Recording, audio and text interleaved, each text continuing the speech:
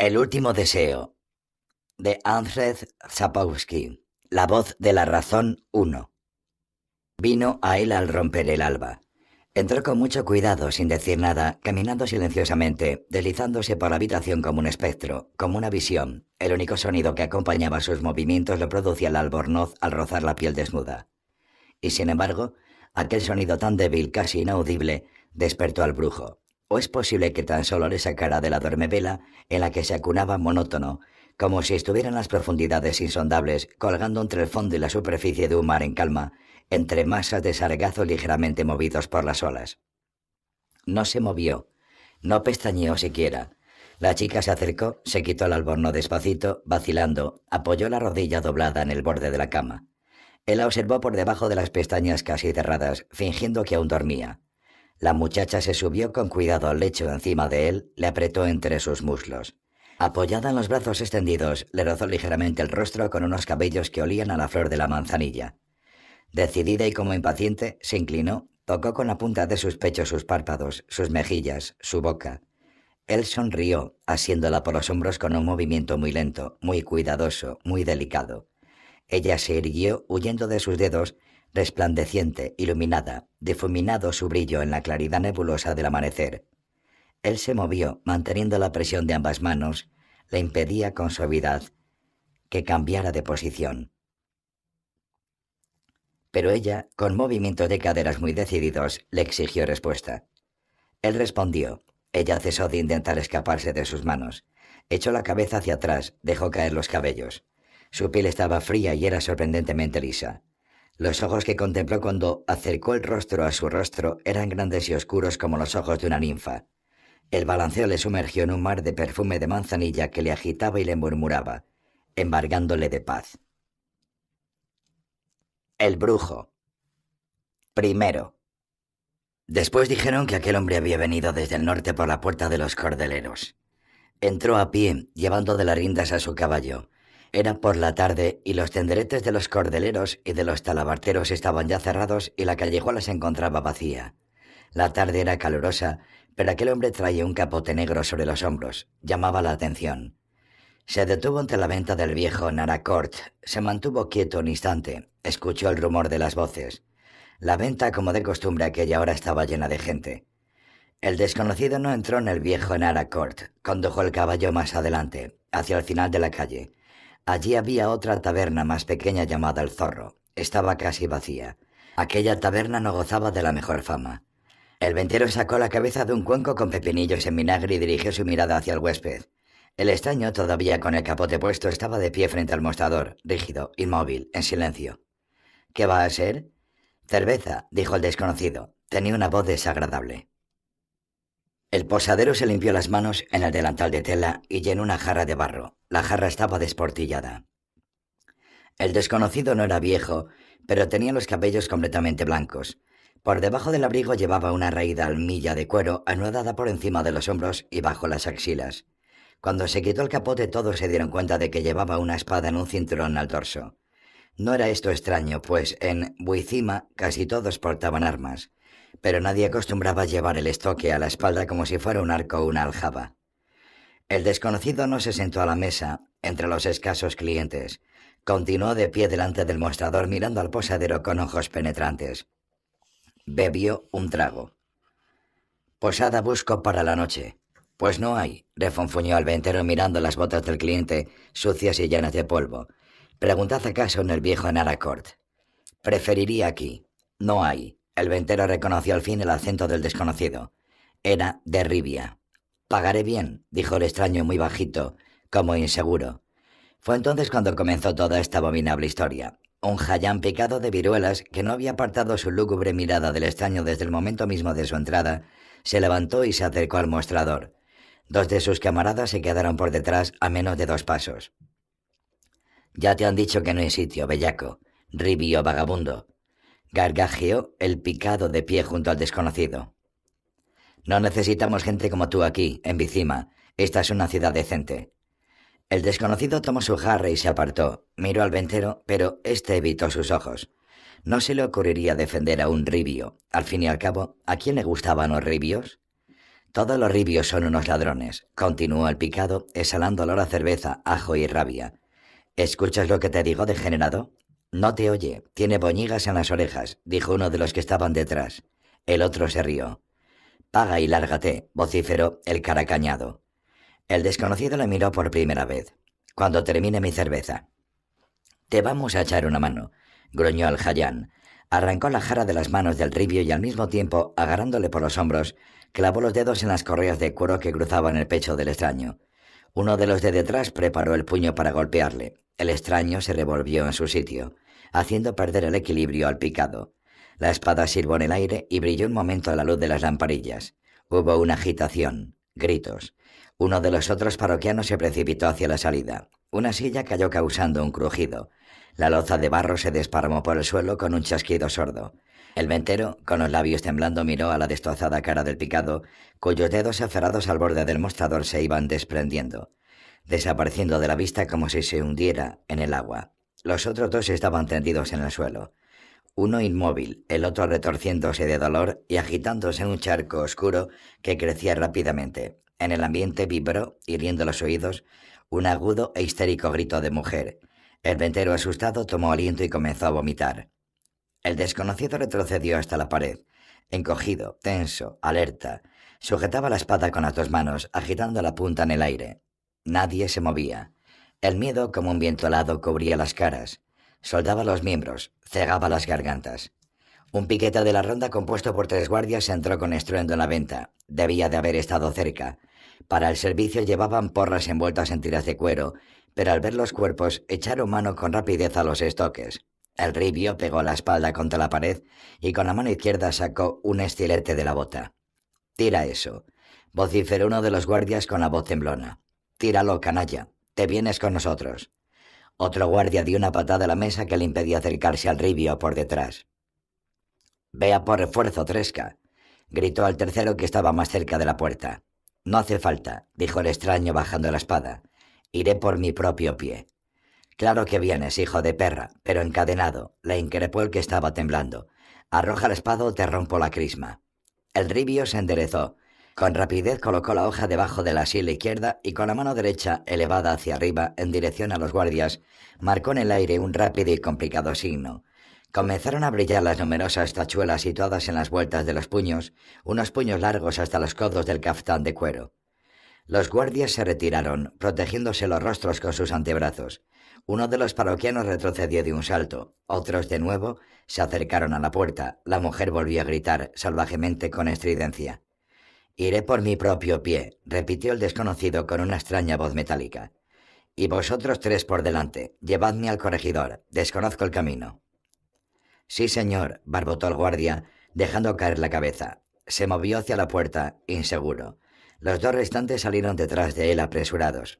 El extraño siguió sus pasos, guardando la espada en su vaina y el estilete en la bota. Cuando pasaron las mesas, los clientes escondieron los rostros entre los gorgueros de los jubones. Segundo. Beleraz, corregidor de Bicima, reflexionaba sobre la cuestión mientras se rascaba la barbilla. No era supersticioso ni cobarde, pero no le agradaba quedarse con el albino a solas. Se decidió por fin. Salid, ordenó a los guardias. Y tú siéntate. No, no aquí, allí, más lejos, si te parece. El desconocido se sentó. No tenía ya ni la espada ni el capote negro. Escucho, dijo Beleraz, jugueteando con una pesada maza que estaba sobre la mesa. Soy Belrad, corregidor de Bicima. ¿Qué me has de decir, señor bandido, antes de que te mande la mazmorra? Tres muertos. Intento de lanzar un hechizo. No está mal, nada mal. Tales crímenes se castigan aquí en Bicima con empalamiento, pero como soy una persona justa, te escucharé antes. Habla. El ribio se desabrochó la almilla, sacó de debajo de ella un pergamino de blanca piel de cabrito. Claváis esto en las tabernas y en los cruces de caminos, dijo con voz queda. ¿Es verdad lo que pone aquí? Ajá, murmuró Belerad, contemplando las runas escritas en la piel. Así que es eso. Que no me haya dado cuenta de ello enseguida. Así es, la verdad de las verdades. Está firmado por Foltes, rey de Temeria, Pontar y Mahakam. Lo que quiere decir que es cierto.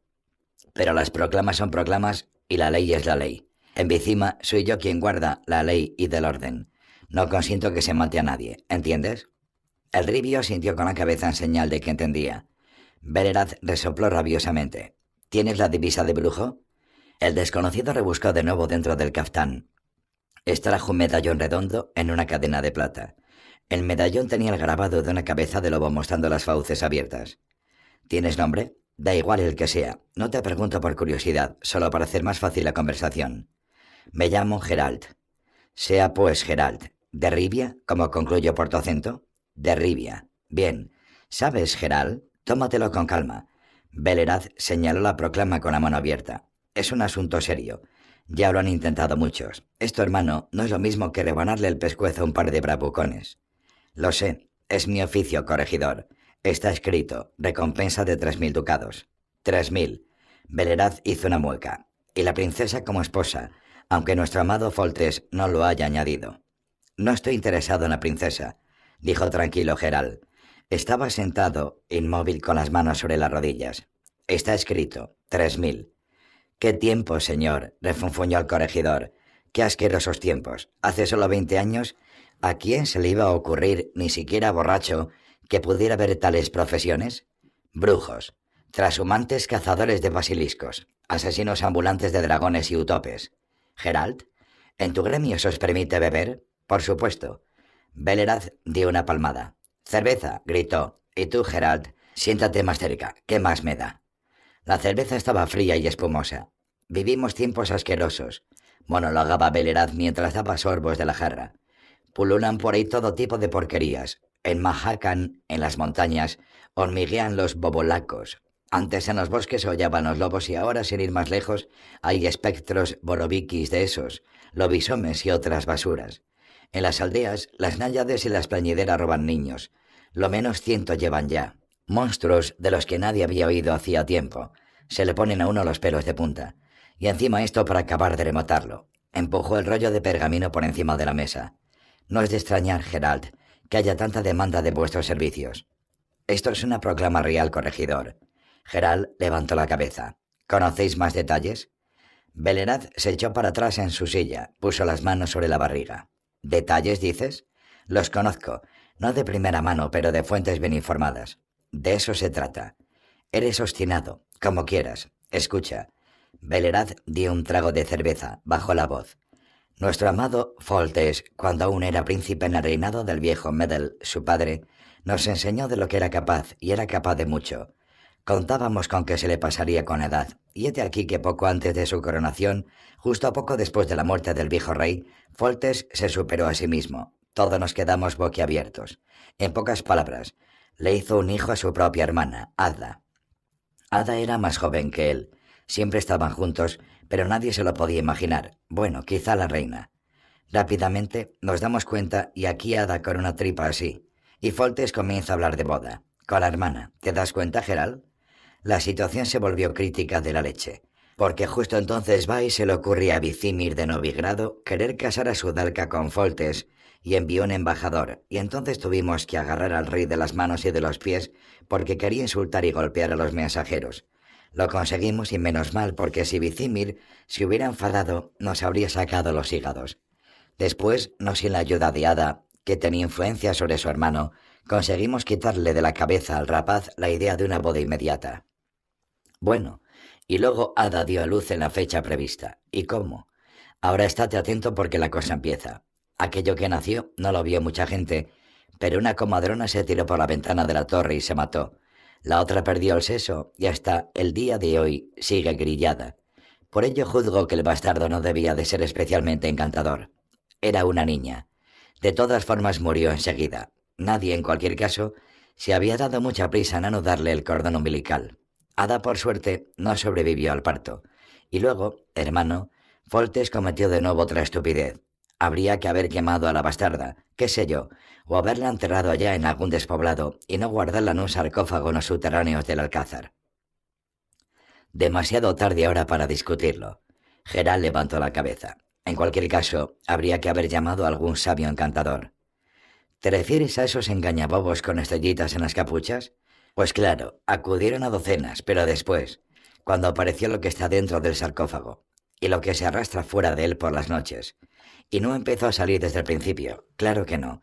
Después del entierro tuvimos siete años de tranquilidad, hasta que una noche, con la luna llena, algazaron el palacio, griterío, jaleo. ¿Para qué hablar más? ¿Sabes de lo que se trata? Has leído la proclama también. La cría se había desarrollado en su tumba, y bastante además, y los dientes le crecían a ojos vista. En una palabra, una estrige. Una pena que no hayas visto los cadáveres, como yo. Seguro que dejarías a un lado Vicima dando un buen rodeo. Gerald no dijo nada. Entonces, continuó Beleraz, como te dije, Foltes convocó a toda una manada de encantadores. Vociferaron el uno detrás del otro. Por poco no se pegaron con esos garrotes que llevan, seguramente para espantar a los perros cuando alguien los azuza contra ellos. Y me da la sensación de que les echan los perros regularmente. Perdóname, Gerald, si tienes una opinión distinta de los hechiceros, seguro que la tienes, dada tu profesión. Pero para mí no son otra cosa más que gorrones e idiotas. La gente confía más en vosotros, los brujos. Sois, por así decirlo, más concretos. Gerald sonrió, no dijo nada. Pero al grano. El corregidor fue hasta un barril, echó más cerveza al ribio y a sí mismo. Algunos de los consejos de los hechiceros no parecían nada estúpidos.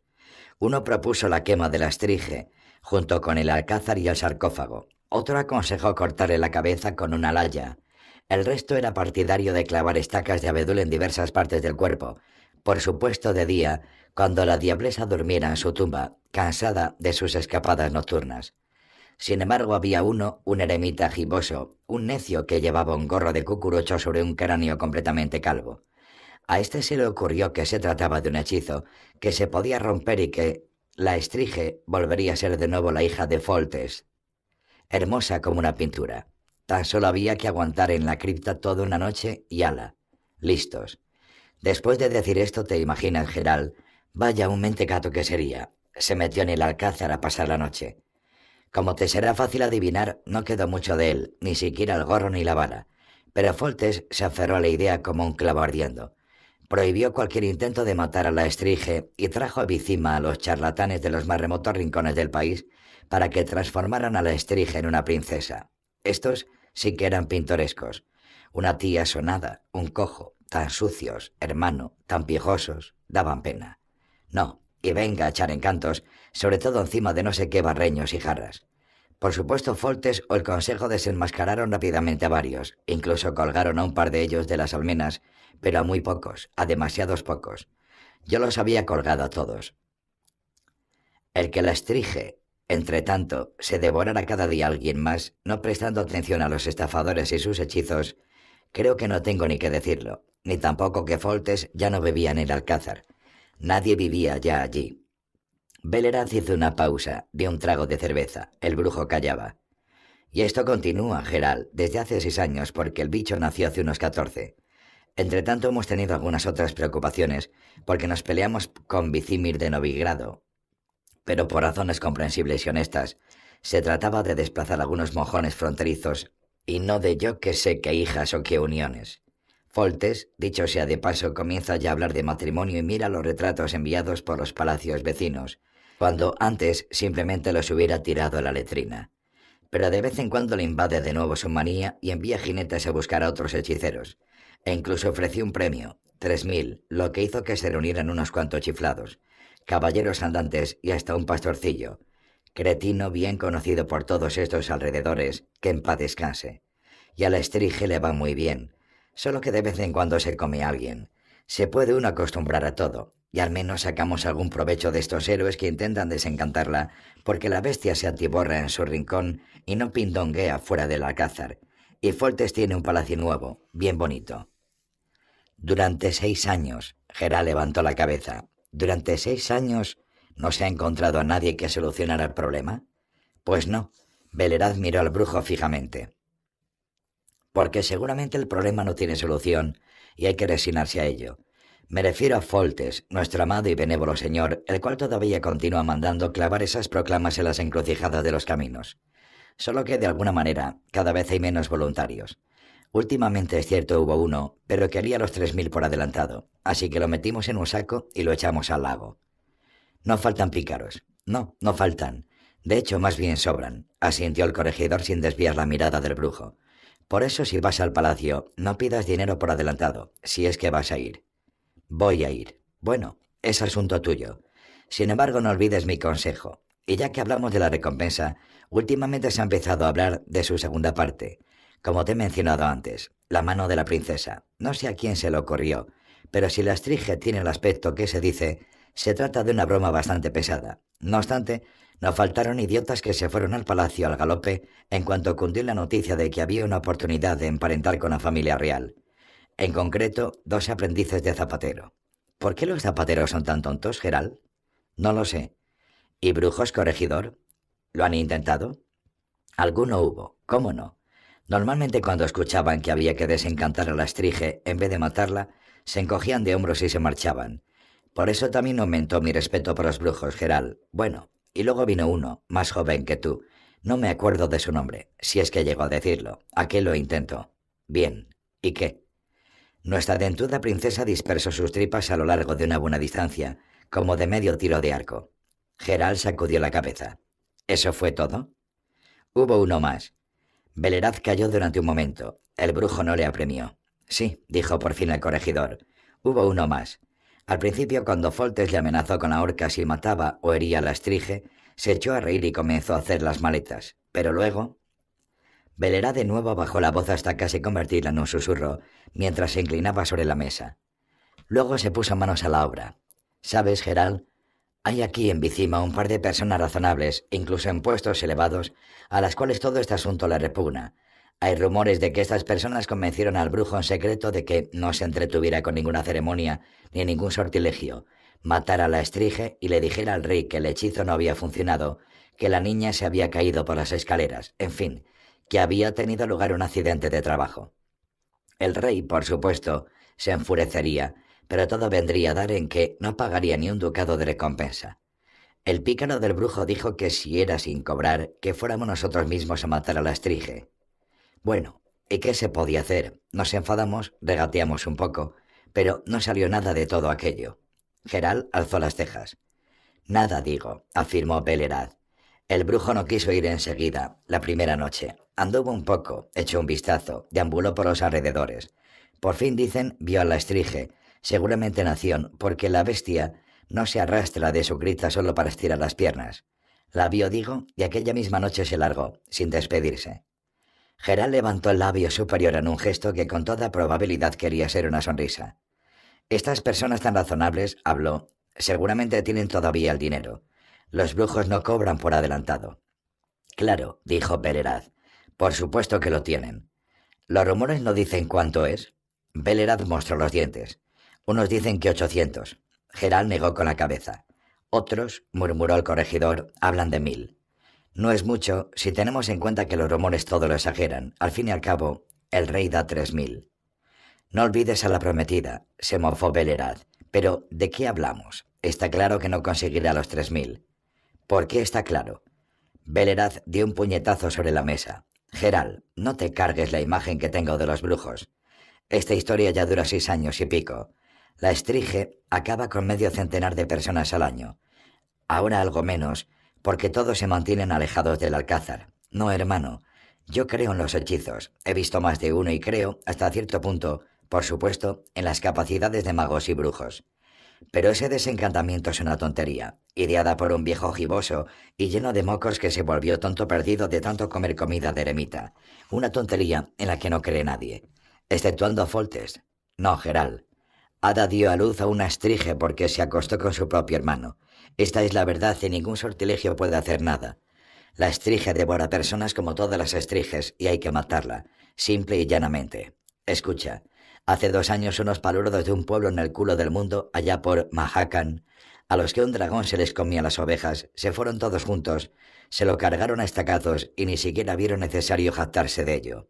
Y nosotros, aquí en Bicima, esperamos a que suceda un milagro, Echamos el cerrojo las puertas cada luna llena o atamos a los criminales a un palo delante del alcázar, contando con que la bestia se los coma y vuelva a su tumba. No es un mal método, sonrió el brujo. ¿Se ha reducido la criminalidad? Ni pizca. ¿Cómo voy al palacio ese nuevo? Te acompañaré personalmente. ¿Qué pasa con lo propuesto por las personas razonables? Corregidor, dijo Geral, ¿Por qué apresurarse? ¿Acaso pueda ocurrir de verdad un accidente de trabajo, independientemente de mis intenciones? Entonces, Las personas razonables debieran pensar en cómo salvarme de la cólera del rey y también preparar esos mil quinientos ducados de los que hablan los rumores. Eran mil. No, señor Belerad, contestó el brujo con firmeza. Aquel a quien le disteis mil huyó ante la vista de la estrige. Ni siquiera regateó. Esto quiere decir que el riesgo es mayor que mil. Y ya veremos si no es mayor que mil quinientos. Por supuesto, si es mayor, yo me iré. Belerad se rascó la cabeza. ¿Geral? ¿Mil doscientos? No, corregidor. No es un trabajo fácil. El rey da tres, y debo deciros que a veces desencantar es más difícil que matar. Al fin y al cabo, cualquiera de mis antecesores habría matado a la estrige si hubiera sido tan fácil. ¿Pensáis que se dejaron devorar solo porque tenían miedo del rey? Vale, hermano. Belerad afirmó tristemente con la cabeza. Trato hecho. Pero delante del rey ni pío sobre posibles accidentes de trabajo. Te lo aconsejo de todo corazón. Tercero. Poltes era delgado, tenía un rostro hermoso, demasiado hermoso. El brujo calculó que no alcanzaba todavía los cuarenta años. Estaba sentado en un sitial esculpido en madera negra, los pies dirigidos hacia la chimenea, delante de la que se calentaban dos perros. Junto a él, sentado en un arca, estaba un viejo barbado de compresión fuerte. Detrás del rey, de pie, había otra persona ricamente vestida, con un rostro de aspecto orgulloso, un noble. Brujo de Ribia, dijo el rey después de unos instantes de silencio que siguieron a las palabras de Belerad. Sí, señor. Geral inclinó la cabeza. ¿Por qué se te ha encanecido la cabeza? ¿Por los encantamientos? Veo que no eres viejo. Vale, vale, basta. Es una broma. No digas nada. ¿Alguna experiencia tienes, como me atrevo a sospechar? Sí, señor. Me alegraría oírlas. Geral se inclinó todavía más. Sabéis seguro, señor, que nuestro código nos prohíbe hablar de lo que hacemos. Un código muy oportuno, señor brujo, muy oportuno. Pero así en general, ¿has tenido algo que ver con trasgos? Sí. ¿Con vampiros y con silvias? También. Foltes vaciló. ¿Con estriges? Geral levantó la cabeza, miró al rey directamente a los ojos. También. Foltes desvió la mirada. Belerad. Sí, Su Majestad. ¿Le has informado de los detalles? Sí, Su Majestad. Afirma que se puede desencantar a la princesa. Eso lo sé desde hace tiempo. ¿De qué forma, señor brujo? Ah, es verdad, me olvidé. El código. De acuerdo. Solo una advertencia. Aquí han venido ya unos cuantos brujos. ¿Se lo has contado, Belerad? Bien. Por ello sé que vuestra especialidad es más bien matar y no romper los hechizos. Tal cosa no entra dentro de lo posible. Si a mi hija se le cae un solo pelo de la cabeza, la tuya irá a parar al tablado. Eso es todo. Ostrit y vos, don Segelín, Quedaos, dadle toda la información que desee. Los brujos siempre preguntan mucho. Dadle de comer y que duerma en palacio. Que no vagabunde por las tabernas. El rey se levantó, silbó a los perros y se dirigió hacia la salida, dispersando la paja que cubría el suelo de la habitación. Al llegar a la puerta se volvió. Si lo logras, brujo, la recompensa será tuya. Puede que añada algo más si lo haces bien. Por supuesto, los cuentos del populacho que se refieren a la mano de la princesa no contienen ni una sola palabra de verdad. No pensarás que doy a mi hija el primero que llega. No, señor, no lo creo. Bien, esto demuestra que eres inteligente. Folte salió, cerrando la puerta tras de sí. Beleraz y el noble, que hasta entonces estaban de pie, se sentaron inmediatamente a la mesa. El corregidor se terminó la jarra que el rey ya había dejado a medias, la contempló, lanzó una maldición. Ostrit, que había ocupado el lugar de Foltes, miró al brujo con el ceño fruncido, acariciando con los dedos los esculpidos brazos del sillón. Segelin el barbudo hizo una señal a Geralt. Sentaos, señor brujo, sentaos. Ahora nos traerán la cena. ¿Sobre qué querríais hablar? Creo que el corregidor Belerad ya os lo habrá dicho todo. Lo conozco y sé que antes habrá contado demasiado que demasiado poco. Solo unas pocas preguntas. Preguntad, pues, el corregidor dijo que cuando apareció la estrige, el rey mandó llamar a muchos sabios. Así fue, pero no digáis estrige, decid la princesa. Fácilmente cometeríais este error ante el rey, y os podría suceder alguna desgracia. ¿Había alguien conocido entre los sabios? ¿Alguien famoso? Los hubo tanto entonces como después, no recuerdo los nombres. ¿Y vos, Ostrid? No recuerdo, dijo el noble, pero sé que algunos gozaban de fama y reconocimiento. Se habló mucho de ello. ¿Estaban de acuerdo en que se podía deshacer el hechizo? Se mostraron bien lejos de cualquier acuerdo, sonrió Segelin, en cada detalle. Pero hubo quien lo afirmó. Se trataba de algo sencillo, que ni siquiera precisaba de habilidades mágicas, y por lo que entendí bastaba con que alguien pasara la noche desde la puesta del sol hasta el tercer gallo en el subterráneo junto al sarcófago. De verdad, muy sencillo, resolló Beleraz. Me gustaría que me describierais a la princesa. Beleraz se levantó de la silla. La princesa parece una estrige, gritó, la más estrige de las estriges de las que jamás hayas oído. Su Alteza la Infanta, maldita bastarda, mide cuatro codos de altura, recuerda un barril de cerveza, tiene un morro de oreja a oreja, lleno de dientes como estiletes, los ojos colorados y las greñas bermejas, las garras afiladas como las de un lince, le cuelgan hasta la misma tierra. No te extrañes de que todavía no hayamos empezado a mandar sus miniaturas a los palacios de nuestros amigos. La princesa, así se la trague la tierra, tiene ya catorce años, es hora de pensar en darle matrimonio a algún príncipe. Tranquilízate, corregidor. Ostrid frunció el ceño, mirando hacia la puerta. Segelin sonrió levemente. La descripción, aunque tan plena de imágenes, es bastante exacta, y esto es lo que quería el brujo, ¿no es cierto? Beleraz olvidó añadir que la princesa se mueve con una velocidad increíble y que es mucho más fuerte de lo que se puede suponer por su complexión y su estatura, y que tiene catorce años es un hecho, si sirve para algo. Sirve, dijo el brujo. ¿Ataca solo durante el plenilunio? Sí, respondió Segelin. Si ataca fuera del alcázar viejo. Dentro del alcázar, independientemente de las fases de la luna, siempre muere gente, pero sale solo durante el plenilunio y no todos. ¿Ha habido algún ataque a la luz del día? No, de día no. ¿Devora siempre a sus víctimas? Beleraz escupió con energía sobre la paja. Que nos van a traer la cena, Gerald. Puaj, devora, mordisquea, lo deja. Depende del humor que tenga, digo yo. A uno solo le mordió la cabeza, a un par los destripó y a otros los dejó limpios, hasta el hueso podría decirse. ¿Su puta madre? Ten cuidado, Beleraz, increpó Street. Di lo que quieras de la estrige, pero no insultes a Ada delante de mí, solo porque no te atreves delante del rey. ¿Hubo alguien que sobreviviera a uno de los ataques? preguntó el brujo, sin prestar atención al estallido del noble. Segelin y Ostrid se miraron el uno al otro. Sí, dijo el barbudo. Al principio, hace seis años, se les echó encima a dos soldados que estaban de guardia en la cripta. Uno pudo escapar. Y luego, intercaló Beleraz, el molinero al que atacó cerca de la ciudad. ¿Os acordáis? Cuarto. Al día siguiente por la noche, trajeron al molinero a la habitación del cuerpo de guardia en la que habían alojado al brujo. Lo trajo un soldado vestido con un abrigo con capucha. La conversación no arrojó ningún resultado. El molinero estaba asustado, balbuceaba, tartamudeaba. Más información le dieron al brujo sus cicatrices. La distancia entre las mandíbulas de la estrige era tremenda y por supuesto tenía los dientes punzantes, incluyendo unos larguísimos colmillos superiores, cuatro, dos a cada lado. Las uñas debían de estar más afiladas que las de los linces, aunque menos torcidas. Solo por ello el molinero había logrado arrancárselas. Terminada la inspección, Gerald los despidió con un gesto. El soldado empujó al molinero al otro lado de la puerta y se quitó la capucha. Era Foltes en persona.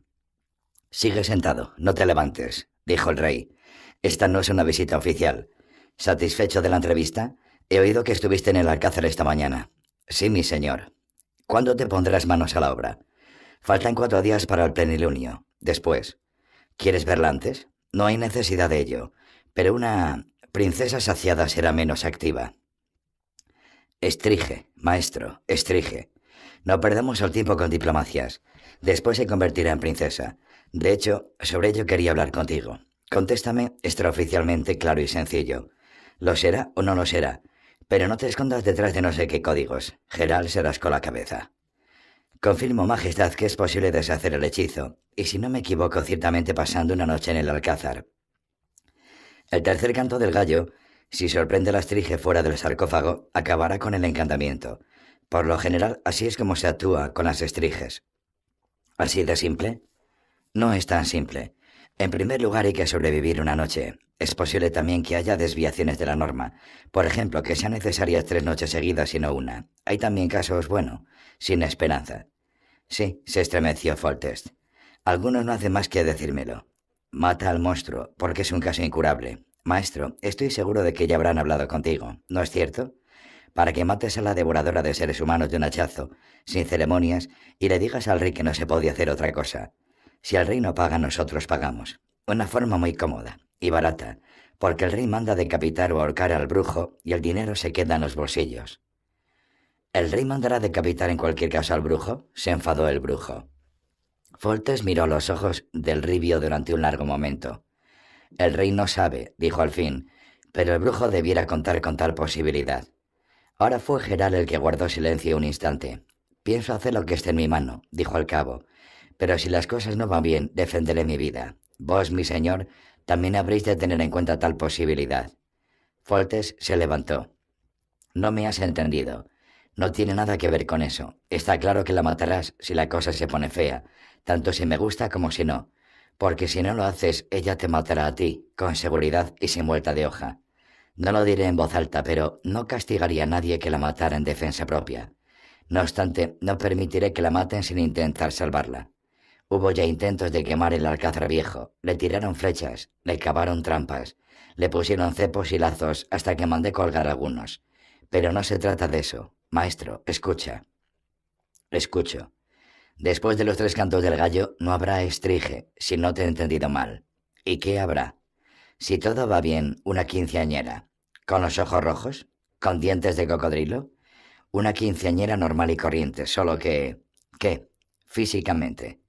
Acabáramos. ¿Y psíquicamente? ¿Cada día un cubo de sangre para desayunar o mulo de doncella? No.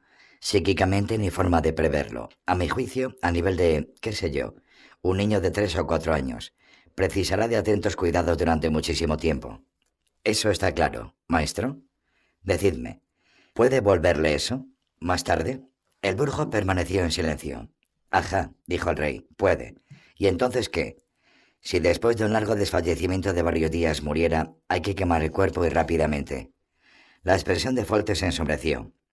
No pienso, sin embargo, añadió Geral, que se llegue a eso. Para mayor seguridad os daré algunos consejos, señor, que harán disminuir el riesgo. ¿Ahora? ¿No es demasiado pronto, maestro? Y sí. Ahora, le cortó el ribio. Pueden suceder muchas cosas, rey. Puede suceder que por la mañana allí en la cripta la princesa desencantada y mi cuerpo tendido. ¿Es posible?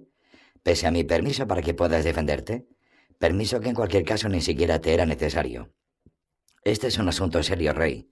El riesgo es muy grande. Por eso, escuchadme. La princesa debe llevar siempre al cuello un zafiro, mejor un inclus, en una cadena de plata, siempre, de día y de noche.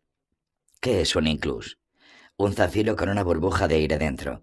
Aparte de eso, en la habitación en la que vaya a dormir hay que quemar en la chimenea cada cierto tiempo unos vástagos de nebro, retama y avellano. Foltes se quedó pensativo. Te agradezco el consejo, maestro. Haré uso de ellos y... Y ahora escúchame con atención. Si te convences de que se trata de un caso incurable, la matas. Si deshaces el hechizo y la niña no es normal, si tuviera siquiera la sombra de una duda de haberlo logrado completamente, la matas también. No temas, nada te amenaza por mi parte. Tendré que gritarte delante de la gente, te echaré del palacio y de la ciudad, pero nada más.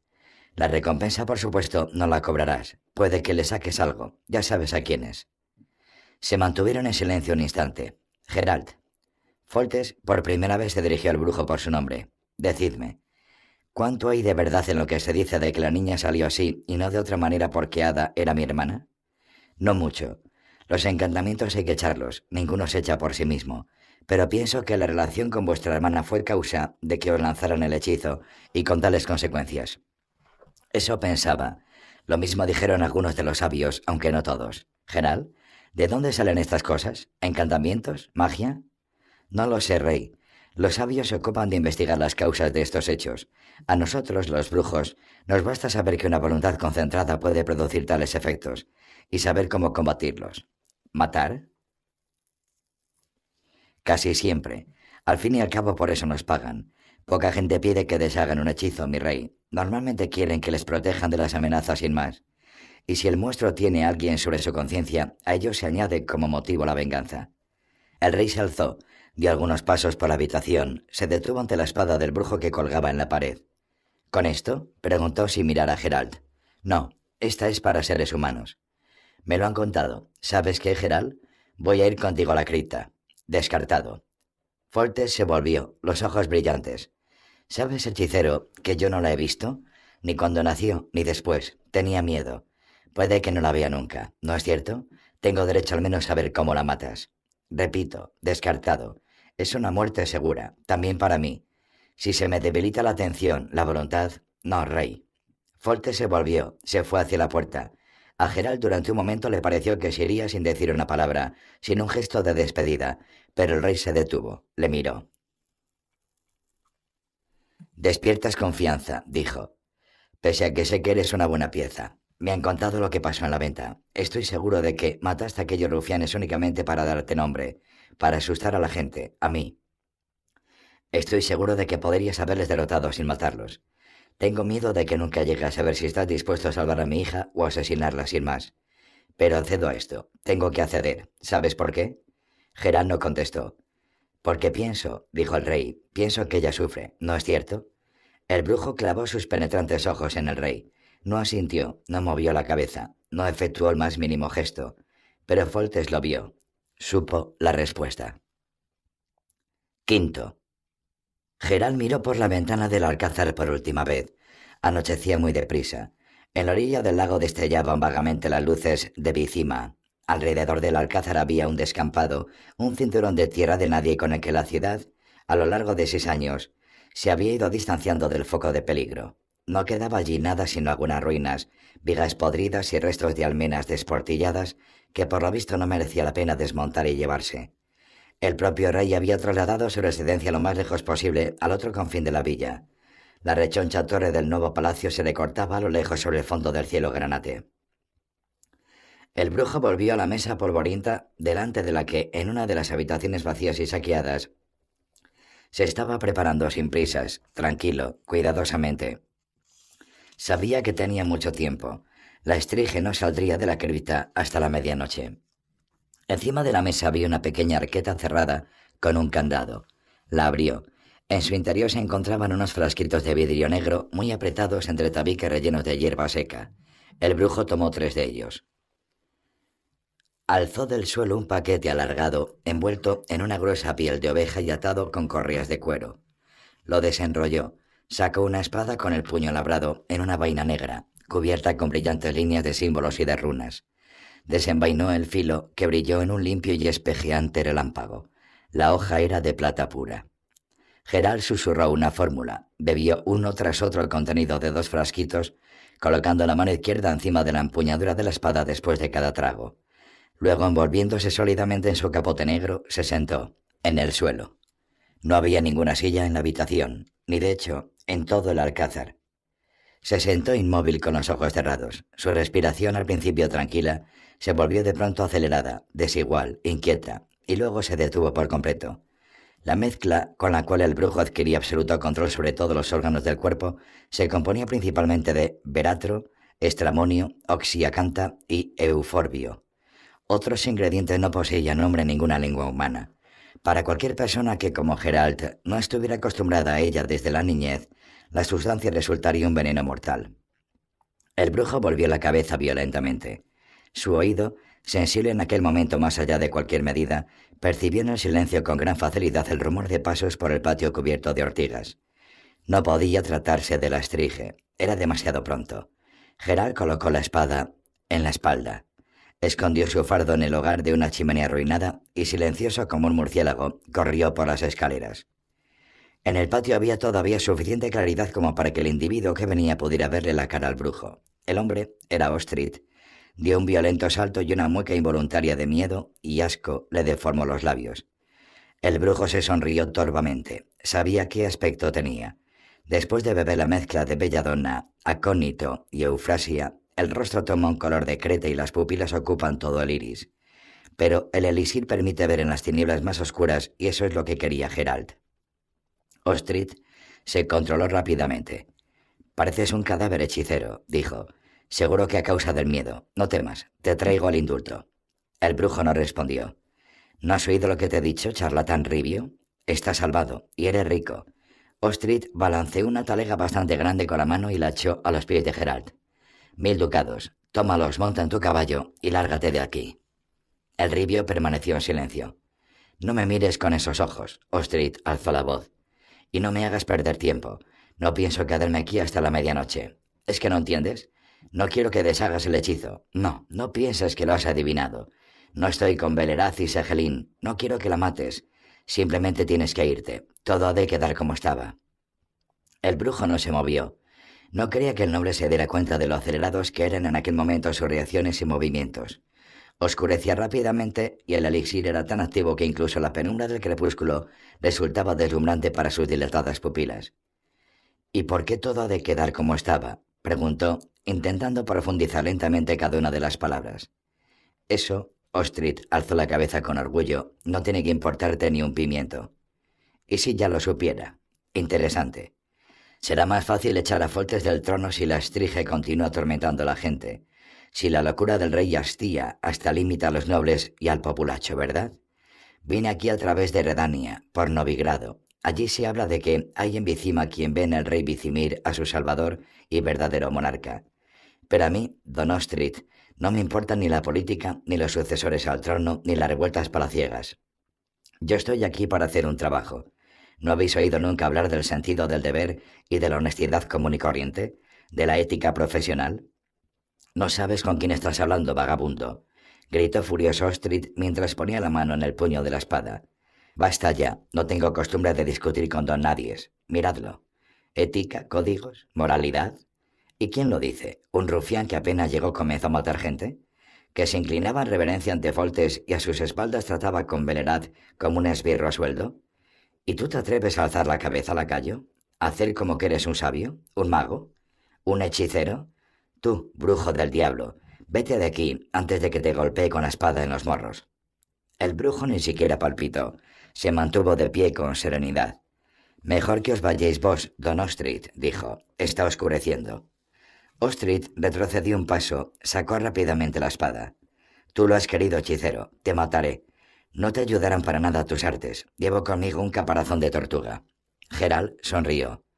La opinión sobre el poder del caparazón de tortuga era tan falsa como extendida, pero el brujo no pensaba desperdiciar fuerzas en sortilegios, ni mucho menos arriesgar la hoja de plata en el choque con el filo de Ostrid. Maniobró por debajo de los molinetes de la espada y golpeó al noble en la sien con el canto del puño y las tachuelas de plata de sus mangas. Sexto. Ostrid recobró pronto el conocimiento, giró los ojos alrededor en la más completa oscuridad. Percibió que estaba atado. No vio a Gerald que estaba junto a él, pero se dio cuenta de dónde estaba y lanzó un aullido prolongado, terrible. Calla, dijo el brujo, o la traerás antes de tiempo. Maldito asesino, ¿dónde estás? Desátame inmediatamente, canalla. Te ahorcarán por esto, hijo de perra. Calla. Ostrid respiró con dificultad. ¿Me dejarás aquí para que me devore? ¿Atado?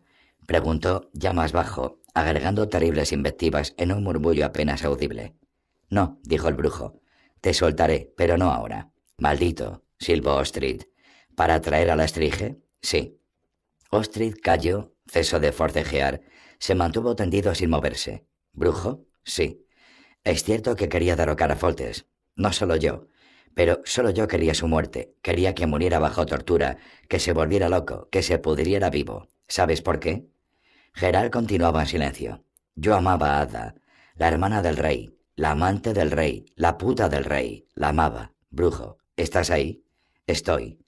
Sé lo que piensas, pero no fue así. Créeme, no arrojé ningún hechizo. Solo una vez dije, lleno de rabia. Solo una vez. Brujo, ¿me escuchas? Te escucho. Fue su madre, la vieja reina. Seguro que fue ella. No podía ver que él y Ada. No fui yo. Solo una vez, ¿sabes? Intenté persuadir a Ada. Brujo, me trastorné y dije, ¿Brujo? ¿Fui yo? ¿Yo? Eso ya no importa. ¿Brujo? ¿Falta poco para la medianoche? Poco. Suéltame antes.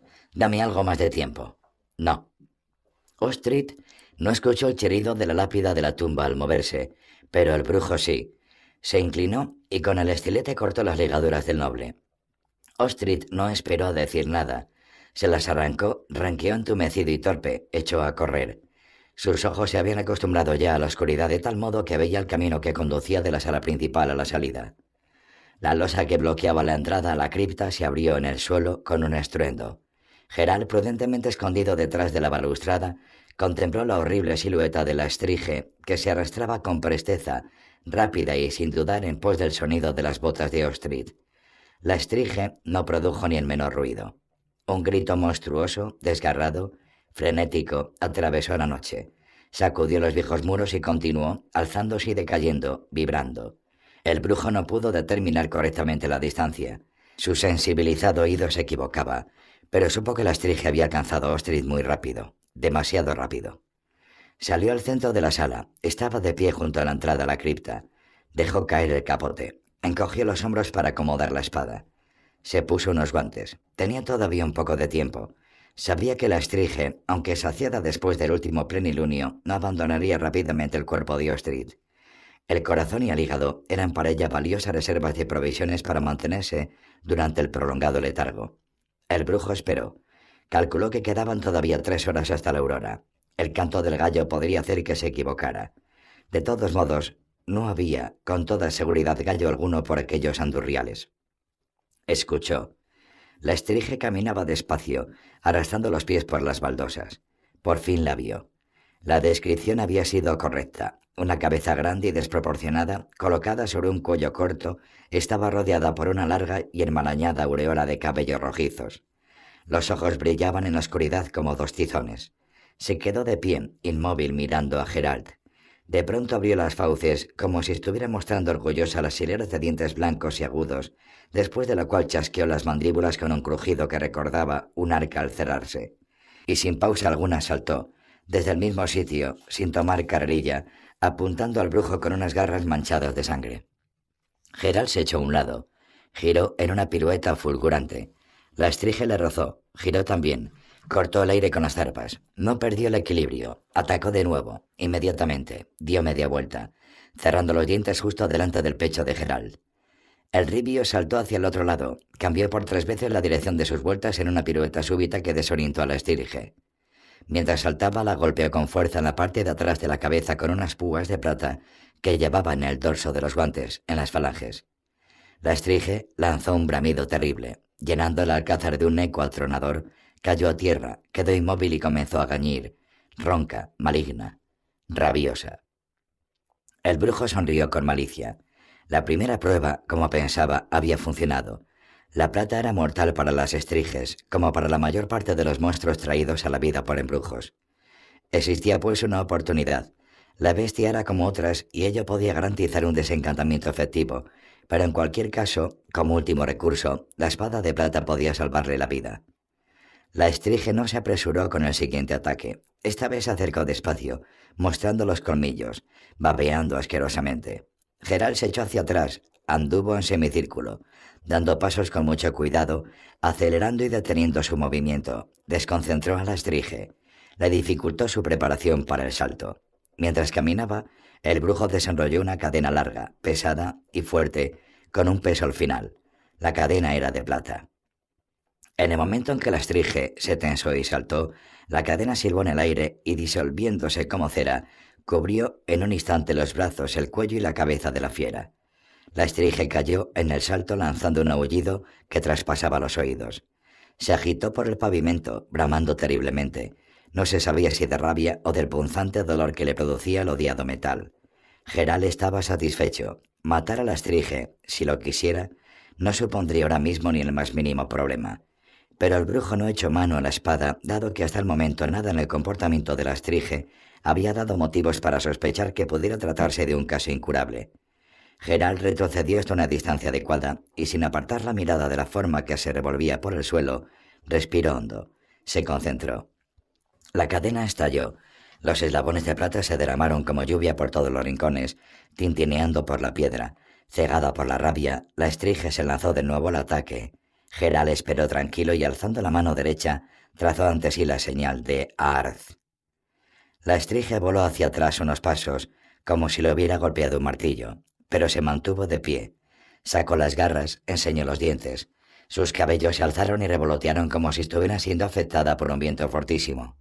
Con esfuerzo, renqueando, paso a paso, lentamente, mas, pese a todo, fue acercándose. Gerald se sintió intranquilo. No había pensado que una señal tan simple paralizara por completo a la estrige, pero tampoco esperaba que la bestia superara la resistencia con tanta facilidad. No podía sostener la señal demasiado tiempo. Era extenuante y al estrige le quedaban poco más de diez pasos para alcanzarle. Súbitamente rompió la señal y saltó a un lado, tal como esperaba. La estrige quedó sorprendida, se precipitó hacia adelante, perdió el equilibrio, se dio la vuelta, se escurrió por las baldosas y cayó por las escaleras a través de la humeante abertura de entrada a la cripta. Se oyó desde arriba su infernal aullido. Para ganar tiempo, Gerald saltó a los escalones que llevaban a la galería.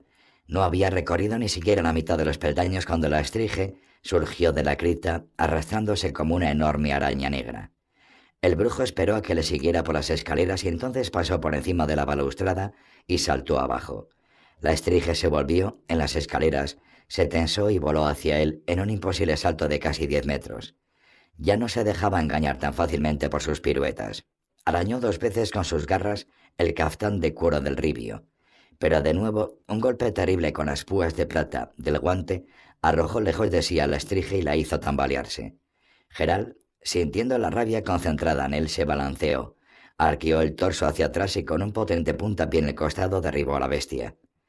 El grito que lanzó fue el más sonoro de todos, hasta cayeron pedazos del enlucido del techo. La estrige se alejó, tiritando de malignidad indominable y de deseos de matar. Gerald esperó. Ya había desenvainado la espada. Marcó en el aire un círculo. Anduvo, rodeó a la estrige, poniendo cuidado en que el movimiento de la espada no fuera el mismo que el ritmo y el tiempo de sus pasos. La estrige no saltó. Se acercó con lentitud dirigiendo sus ojos hacia la brillante estela de la hoja.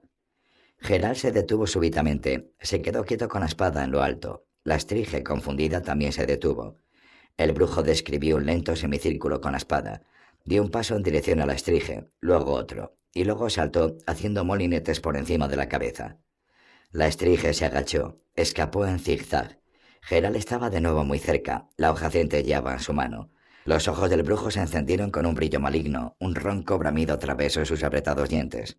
La estrige se echó atrás de nuevo traspasada por el poder del odio, la maldad y la violencia concentrados que emanaban del hombre al que estaba atacando.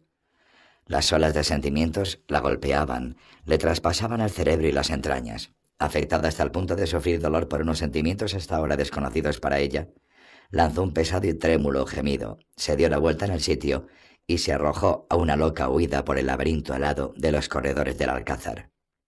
Geral Sacudido por un escalofrío, estaba de pie en el centro de la sala. Solo. Mucho ha durado, pensó, hasta que este baile en los límites del abismo, este loco, macabro ballet de lucha, ha obtenido el resultado deseado, la unidad psíquica con el contrario. Conseguir la conquista de los depósitos de voluntad concentrada escondidos dentro del engendro, la perversa y maligna voluntad por cuyo poder surgiera la estrige. El brujo tembló al recordar el momento en el que había absorbido dentro de sí tal carga de maldad para dirigirla como un espejo hacia el monstruo.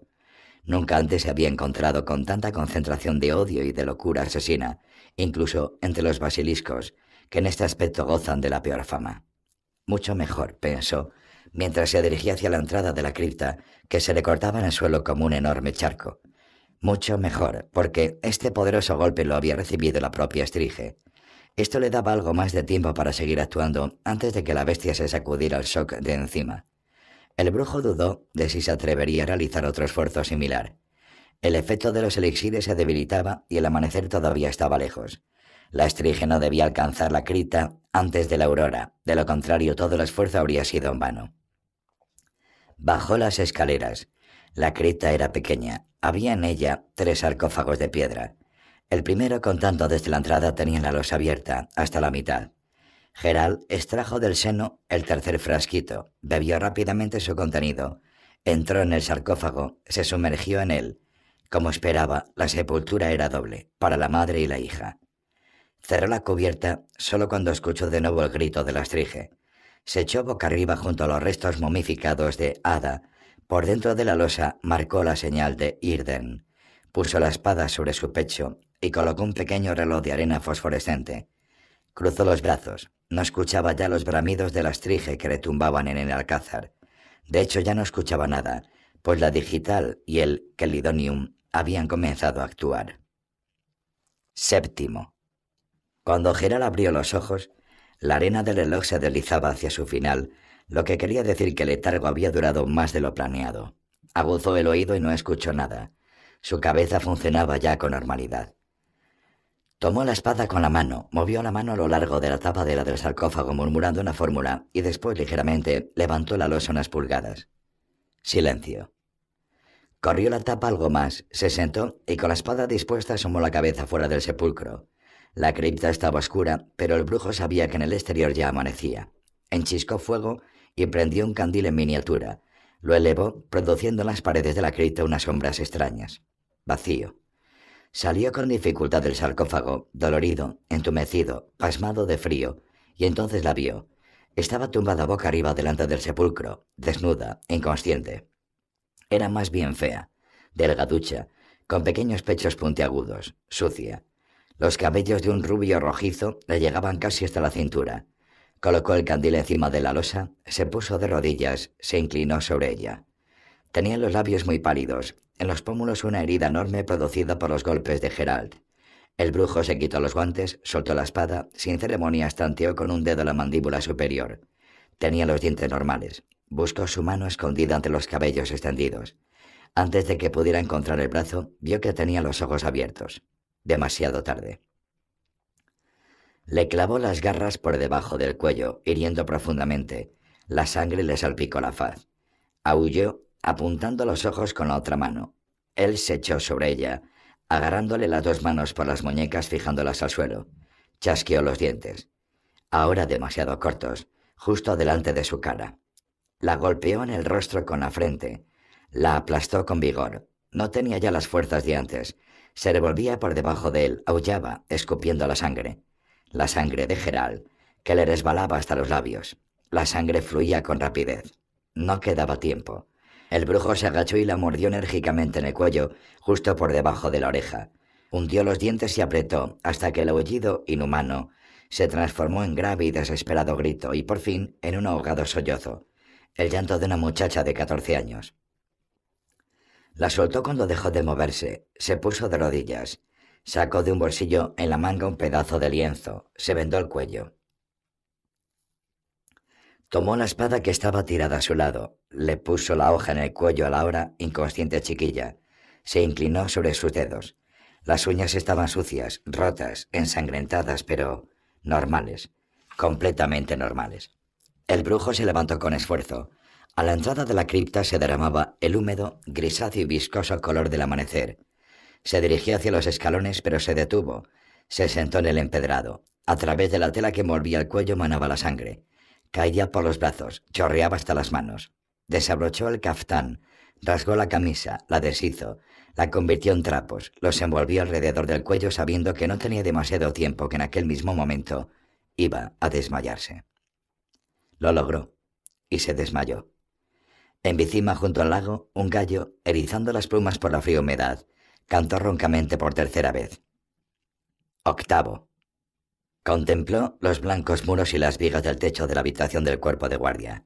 Movió la cabeza, frunciendo el ceño por el dolor, gimiendo. Tenía en el cuello un vendaje sólido, grueso y muy profesional. Estate tendido, hechicero, dijo Belerad. Estate tendido, no te muevas. Mi espada. Claro, claro, por supuesto. Lo más importante es tu plateada espada de brujo. Está aquí, no temas. La espada y el cofre. Y tres mil ducados. Sí, sí, no digas nada. Yo soy un viejo tonto y tú eres un brujo listo. Foltes repite estas palabras desde hace dos días. Dos. Pues sí, dos. No te trinchó mal el pescuezo. Se veía todo lo que tienes por dentro. Perdiste mucha sangre. Por suerte corrimos al alcázar nada más cansar el tercer pollo. En Bicima no durmió nadie aquella noche. No se podía. Metisteis un ruido tremendo. ¿No te cansa mi palabrería? La princesa. La princesa, pues como princesa, delgada y más bien tirando a tonta, llora sin tregua y se mea en la cama. Pero Foltes dice que cambiará. Pienso que no será peor, ¿no, Gerald? El brujo cerró los ojos. Vale, ya me voy. Beleraz se levantó. Descansa. Gerald, antes de que me vaya, dime, ¿por qué la mordiste, eh, Gerald? El brujo dormía. La voz de la razón 2. Primero. Gerald alzó la cabeza, expulsado del sueño. El sol estaba ya muy alto, traspasaba con violencia las molduras de los postigos cegándole con manchas de oro. Penetraba la habitación con tentáculos de luz. El brujo se tapó los ojos con las manos sin necesidad. Un gesto instintivo del que nunca se había librado. Pues le bastaba solo con contraer las pupilas hasta volverlas apenas unas rendijas perpendiculares. Ya es tarde, dijo Nenneke, abriendo las ventanas. Os habéis dormido. Y hola, desaparece, ya no estás aquí. La muchacha se levantó con rapidez, saltó de la cama, recogiendo el albornoz del suelo. En los brazos, en el lugar donde un segundo antes habían estado sus labios, Gerald sintió restos de saliva que se iban disipando. Espera, dijo inseguro. Ella miró hacia él, volvió la cabeza rápidamente. Había cambiado. No poseía ya nada de la ninfa, de la luminosa aparición perfumada que había sido al amanecer. Sus ojos eran azules y no negros, y su piel estaba poblada de pecas. En la nariz, en el escote, en los brazos. Aquellas pecas estaban llenas de gracia, le sentaban bien al tono de su piel y a sus cabellos rojizos, pero no las había visto entonces, al amanecer, cuando ella era aún su sueño. Con vergüenza y tristeza se dio cuenta de que lo que sentía hacia ella era resentimiento, resentimiento porque no había seguido siendo un sueño, y supo que nunca se perdonaría a sí mismo aquel resentimiento. Espera, repitió. Y hola, quisiera... No le digas nada, Gerald, dijo Neneke. Y de todas formas no te va a contestar. Desaparece Yola. Date prisa, chiquilla. La muchacha, envuelta en el albornoz, se arrastró hacia la puerta haciendo ruido en el suelo con sus pies desnudos, turbada, sonrojada, torpe. Ya no recordaba en nada a... Jennifer. Neneke, dijo él alzando la camisa, espero que no pretendas... ¿No la vas a castigar? Idiota, le sopló la sacerdotisa acercándose a la cama. Te has olvidado de dónde estás. Esto no es una cueva de ermitaños ni un convento. Esto es el santuario de Melitele. Nuestra diosa no prohíbe las sacerdotisas nada, casi. Me has prohibido hablarle a ella. No te he prohibido nada. Llamé tu atención sobre su inutilidad. Y Ola no habla. ¿Cómo? No habla porque hizo un voto. Es una especie de renuncia gracias a la que... Ah, ¿Qué te voy a explicar? Si ni así lo vas a entender, ni siquiera vas a intentar entenderlo. Conozco tu opinión sobre las religiones. No, no te vistas todavía. Quiero comprobar cómo cicatriza tu cuello. Se sentó al borde de la cama. Con gran habilidad desenrolló los gruesos vendajes de lino que envolvían el cuello del brujo. Él apretó los labios a causa del dolor. Al poco de llegar a Elander, Neneke le había retirado el horrible hilo de zapatero con el que le habían cosido en bicima, había abierto la herida y la había revisado. El resultado había sido el previsto. Había llegado al santuario casi curado, puede que un poco rígido, y ahora estaba otra vez enfermo y dolorido. Pero no protestó. Conocía a la sacerdotisa desde hacía años. Sabía lo grande que era su sabiduría médica y la rica y amplia farmacia de la que disponía. La convalecencia en el santuario de Melitele solo podía serle beneficiosa. Neneke palpó la herida, la lavó y comenzó a maldecir. Se sabía aquello ya de memoria, pues había empezado desde el primer día y nunca olvidaba blasfemar cada vez que veía los recuerdos dejados por las zarpas de la princesa de Bicima. Vaya una monstruosidad. Dejarse zurar así por una simple estrige. Músculos, tendones. Por un pelo no te afectó la arteria. Por la gran Melitele, Geral, ¿qué te pasa? ¿Cómo le dejaste acercarse tanto? ¿Qué querías hacer con ella? ¿Trajinártela? No respondió. Sonrió levemente. No pongas esa sonrisa de tonto. La sacerdotisa se levantó, tomó una bolsa con vendas que estaba sobre la cómoda. Pese a su corpulencia y baja estatura, se movía con agilidad y gracia. No es nada divertido lo que ha pasado. Estás perdiendo reflejos, Gerald. Exageras. No exagero. que colocó sobre el herido un paquete verde que exhalaba un penetrante olor a eucalipto. No debes dejarte herir, y te dejaste, y esto es muy serio. Yo diría que fatal. Incluso con tus extraordinarias facultades de regeneración, pasarán unos meses hasta que recuperes la completa movilidad del cuello. Te lo advierto, en este tiempo no pruebes tus fuerzas en una pelea con un contrincante que sea muy rápido. Te agradezco la advertencia. Puedes además darme un consejo. ¿De qué voy a vivir durante este tiempo? Junto a unas cuantas señoritas, compro un carro y organizo una casa de citas ambulante. Nene que se encogió de hombros mientras le vendaba el cuello con rápidos y certeros movimientos de sus rollizas manos. ¿Tengo que darte consejos de cómo vivir? ¿Qué pasa? ¿Que soy tu madre o qué? Ya estás listo, puedes vestirte. En el refectorio te espera el desayuno. Date prisa, o en caso contrario tendrás que cocinártelo tú mismo. No pienso tener a las chicas en la cocina hasta el mediodía. ¿Dónde puedo encontrarte más tarde? ¿En el santuario? No. que se levantó. En el santuario no. Eres un huésped bienvenido, brujo. Pero no me andes dando vueltas por el santuario. Vete a dar un paseo. Ya te encontraré yo misma. De acuerdo. Segundo. Gerald recorría por cuarta vez el paseo de álamos que llevaba de la puerta al edificio residencial, en dirección al bloque del templo y del santuario mayor, que estaban clavados en el escarpado precipicio del acantilado. Después de pensárselo brevemente, decidió no volver bajo techo. Dobló en dirección a las huertas y los edificios de labranza. Unas cuantas sacerdotisas vestidas con grises mantos de trabajo se afanaban allí en escardar percherones y alimentar a las aves en el gallinero. Predominaban entre ellas las que eran jóvenes y muy jóvenes, casi niñas. Unas cuantas, cuando pasaba junto a ellas, le saludaron con un ademán de la cabeza o una sonrisa. Respondió a los saludos, pero no reconoció a ninguna. Aunque visitaba el santuario menudo, una vez, a veces dos, al año, nunca se había encontrado con más de tres o cuatro caras conocidas.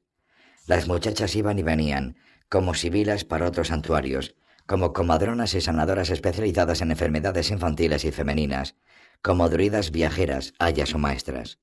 Pero nunca faltaban nuevas que llegaban de todos lados, incluso de los lugares más lejanos. El santuario de Melitele, en Elander, era muy conocido y gozaba de merecida fama. El culto de la diosa Melitele era uno de los más antiguos y en tiempos más extendidos.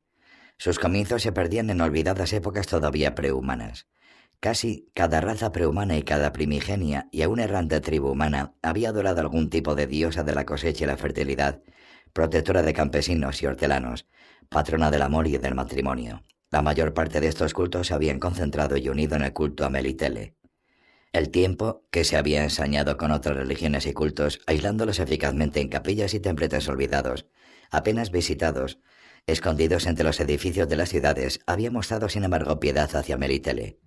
A Melitele todavía no le faltaban ni creyentes ni patrocinadores. Los estudiosos que analizaban este hecho explicaban la popularidad de la diosa echando mano de los primitivos cultos a la gran matriarca, a la madre naturaleza apuntaban su relación con los ciclos de la naturaleza, con el renacimiento de la vida y con otros procesos de nombres sonoros. Un amigo de Gerald, el trovador Haskier, al que le gustaba aparecer como especialista en todos los campos posibles, había buscado una explicación más sencilla. El culto a Melitele, habían concluido, es un culto típico para mujeres. Melitele es al fin y al cabo la patrona de la fertilidad, de los nacimientos, es la protectora de las comadronas y una mujer que está dando a luz tiene que gritar, además de los gritos habituales que por lo general se componen de falsas promesas de que nunca más en la vida se volverán a dejar hacer por ningún asqueroso jovenzuelo. La mujer que está pariendo tiene que llamar en su ayuda a alguna diosecilla, y Melitele es perfecta para ello. Y como las mujeres han dado a luz, siguen dando a luz y seguirán dando a luz, aseguraba el poeta, por ello Melitele no debe tener miedo de perder su popularidad. Gerald, Aquí estás, Neneque, te estaba buscando. A mí, la sacerdotisa le miró con aire de burla. ¿No a Iola? A Iola también, reconoció. ¿Tienes algo en contra? En este momento sí. No quiero que la moleste ni distraiga su atención.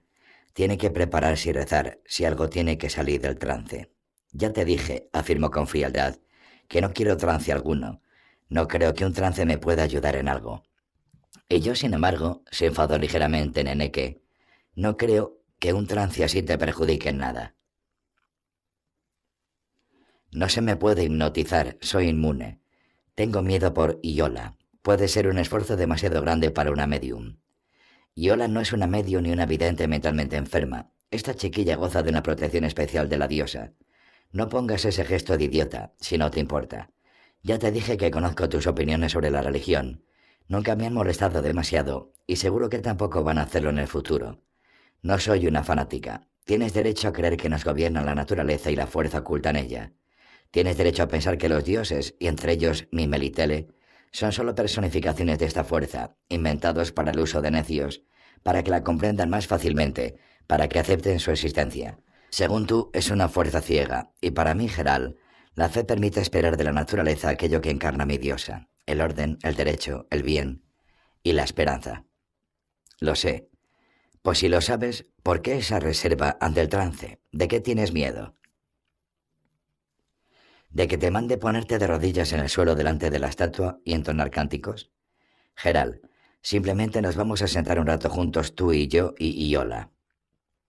Y probaremos si las facultades de esta muchacha nos permiten leer en el torbellino de las fuerzas que te rodean.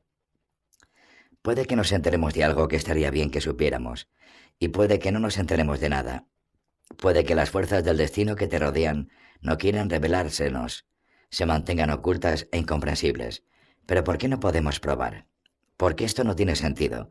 No me rodea ningún torbellino del destino, e incluso si así fuera, ¿por qué diablos revolver en él? Geral, estás enfermo. Herido, querrás decir. Sé lo que quería decir. Algo raro hay en ti, lo percibo. Por algo te conozco desde que eras eso, un pipiolo. Cuando te conocí no me llegabas ni al cinturón de la falda. Y ahora siento que das vueltas en torno a algún maldito vórtice, enredado por completo, amarrado en un lazo que se cierra poco a poco. Quiero ver de qué se trata. Yo sola no puedo. Necesito de las habilidades de Iola. ¿No pretendes ir demasiado lejos? ¿Para qué tanta metafísica?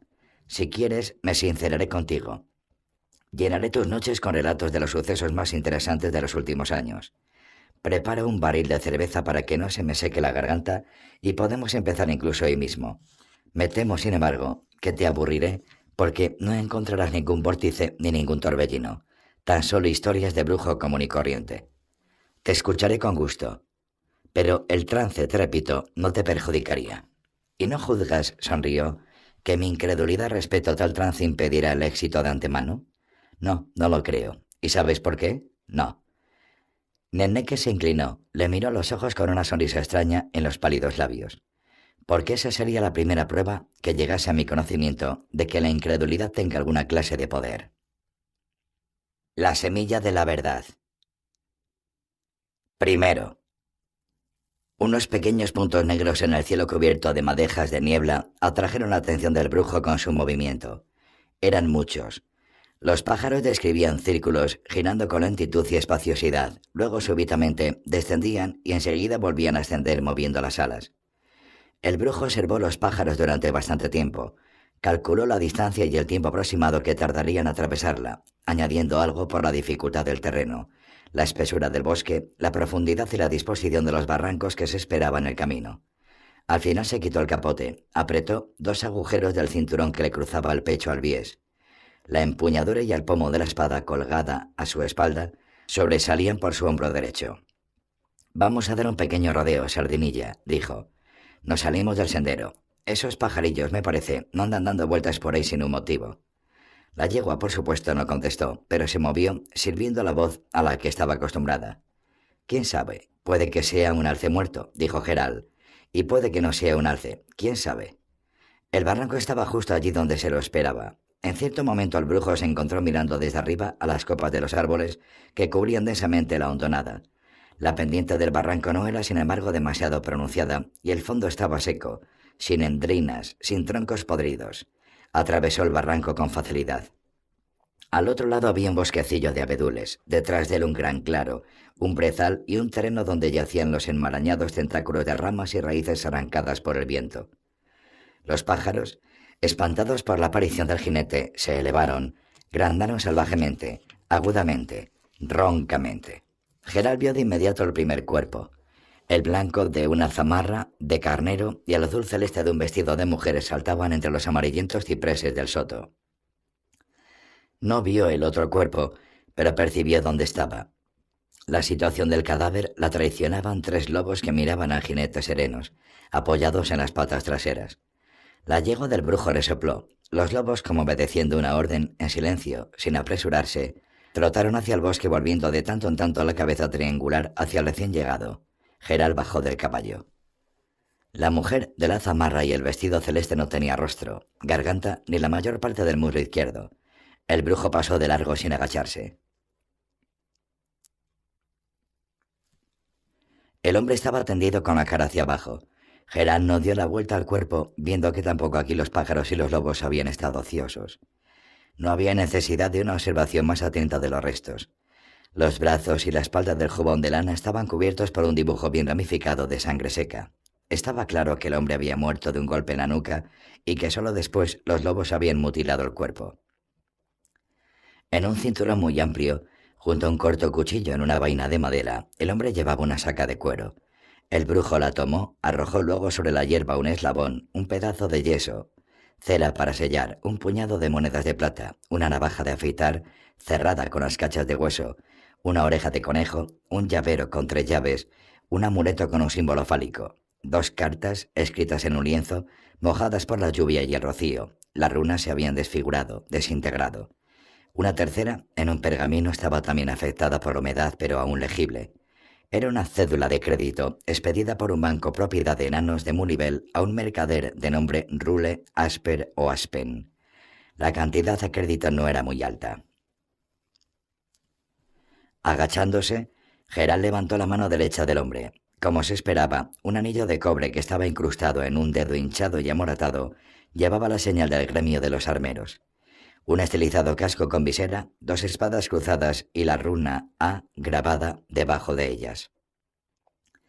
El brujo regresó al cuerpo de la mujer.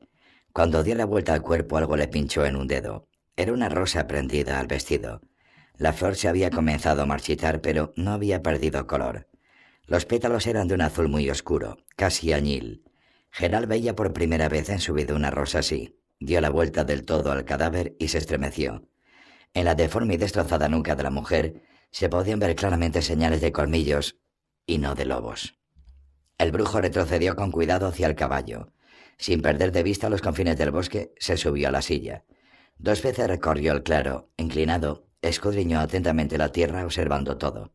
Sí, sardinilla, dijo en voz baja, deteniendo el caballo. La cosa está clara, aunque no del todo. El armero y la mujer venían a caballo, desde aquel bosque. Sin duda se encaminaban desde Muribel a su casa, porque nadie lleva consigo durante mucho tiempo una cédula de crédito sin realizar. No sé por qué iban por aquí y no por el sendero, pero atravesaron el brezal el uno al lado del otro, y entonces no sé por qué, los dos bajaron del caballo o se cayeron. El armero murió en el acto. La mujer echó a correr, luego tropezó y también murió, y algo que no ha dejado huellas la arrastró por la tierra con los dientes apretados a su nuca. Sucedió hace dos o tres días. Los caballos escaparon. No vamos a buscarlos. La yegua, por supuesto, no contestó. Resopló inquieta, reaccionando al familiar tono de voz. Lo que mató a los dos, continuó Geral mirando a los límites del bosque, no era ni un lobisome ni una silvia. Ni el uno ni la otra hubieran dejado tanta carne para los comedores de carroña. Si hubiera por aquí una ciénaga, diría que se trata de una kikimora o de un viper, pero aquí no hay ciénaga alguna. Agachándose el brujo aflojó un tanto la gualtrapa que cubría el costado del caballo, dejando al descubierto otra espada, sujeta a las albardas, que tenía una vaina brillante y decorada y una empuñadura negra como el carbón. Sí, sardinilla, daremos un rodeo. Hay que comprobar por qué el armero y la mujer iban por el monte y no por el sendero. Si pasamos de largo ante tales acontecimientos, no ganaremos ni siquiera para tu avena. ¿No es cierto, sardinilla? La yegua se movió servicialmente hacia adelante a través del calvero, apoyándose con cuidado en los tocones derivados por el viento. Aunque no sea un lobisome, no vamos a arriesgarnos, continuó el brujo, sacando de una bolsa en la silla un ramillete seco de acónito y colgándolo junto a la boquilla. La yegua resopló. Gerald desanudó un poco el caftán debajo del cuello, sacó un medallón con la cabeza de un lobo mostrando los dientes. El medallón, que colgaba de una cadena de plata, se bamboleaba al ritmo del movimiento del caballo, brillando como el mercurio bajo los rayos del sol. Segundo. Vio por vez primera las rojas tejas de la techumbre cónica de una torre cuando alcanzó la cumbre de una elevación a la que se encaramaba para cortar el arco de la curva de un sendero poco marcado. El desvío, poblado de avellanos, obstruido por ramas secas, cubierto por una gruesa alfombra de hojas amarillas, no era demasiado seguro para cabalgar. El brujo retrocedió, avanzando cuidadosamente por la pendiente. Volvió al camino. Cabalgaba despacio. Cada cierto tiempo detenía el caballo, se agachaba en la silla, observaba las huellas. La yegua agitó la cabeza, relinchó salvajemente, pataleó, bailoteó en el sendero. levantando un remolino de hojas secas. Gerald, agarrando el cuello del caballo con el brazo izquierdo, dirigió la mano izquierda hacia la cabeza de su montura, con los dedos en forma de la señal de Axia, silbando el conjuro al mismo tiempo. ¿Tan malo es? murmuró mirando alrededor sin dejar de hacer la señal. ¿Tan malo? Tranquila, sardinilla, tranquila. El hechizo funcionó con rapidez, pero la yegua movía sus cascos obligada, con torpeza, desconcertada, falta de naturalidad, perdiendo el elástico ritmo de la marcha. El brujo saltó a tierra, siguió a pie llevando al caballo de las riendas, vio un muro. Entre el muro y el bosque no había solución de continuidad ni transición evidente. Árboles jóvenes y arbustos de enebro entremezclaban sus hojas con la hiedra y la vid silvestre pegadas a las paredes de piedra. Geral alzó la cabeza. En ese mismo momento sintió cómo se le aferraba y se le arrastraba por el cuello, erizándole e irritándole los cabellos una blanda criatura invisible. Sabía lo que era. Alguien estaba mirando. Se volvió con lentitud, con fluidez. Sardinilla resolló, los músculos de su cuerpo temblaron, se movieron por debajo de la piel. En la pendiente de la loma por la que había venido hace unos momentos había una muchacha de pie, inmóvil, que apoyaba una mano en el tronco de un aliso. Su largo vestido blanco contrastaba con el brillante negro de los largos y sueltos cabellos que le caían sobre los hombros. A Gera le pareció que sonreía, pero no estaba seguro. Se encontraba demasiado lejos. Hola, dijo levantando una mano en gesto amistoso. Dio un paso hacia la chica. Esta, girando levemente la cabeza, siguió sus movimientos. Tenía el rostro muy pálido y unos enormes ojos negros. La sonrisa, si era una sonrisa, desapareció de su cara como si se lo hubieran borrado. Gerald dio un paso más. Las hojas crujieron. La muchacha echó a correr por la pendiente como un corzo. Se deslizó por entre las matas de avellano. Era ya solo una estela blanca cuando desapareció en lo profundo del bosque. Su largo vestido parecía no estorbar en nada su libertad de movimiento. La yegua del brujo relinchó quejumbrosamente, alzando la cabeza. Geral, que todavía estaba mirando en dirección al bosque, la calmó con la señal. Abrazó al caballo alrededor del muslo y avanzó con lentitud siguiendo el muro, hundiéndose en el sendero entre las hojas de las bardanas. La puerta, sólida, cubierta de hierro, sujeta por unas oxidadas bisagras, estaba provista de una gran aldaba de latón.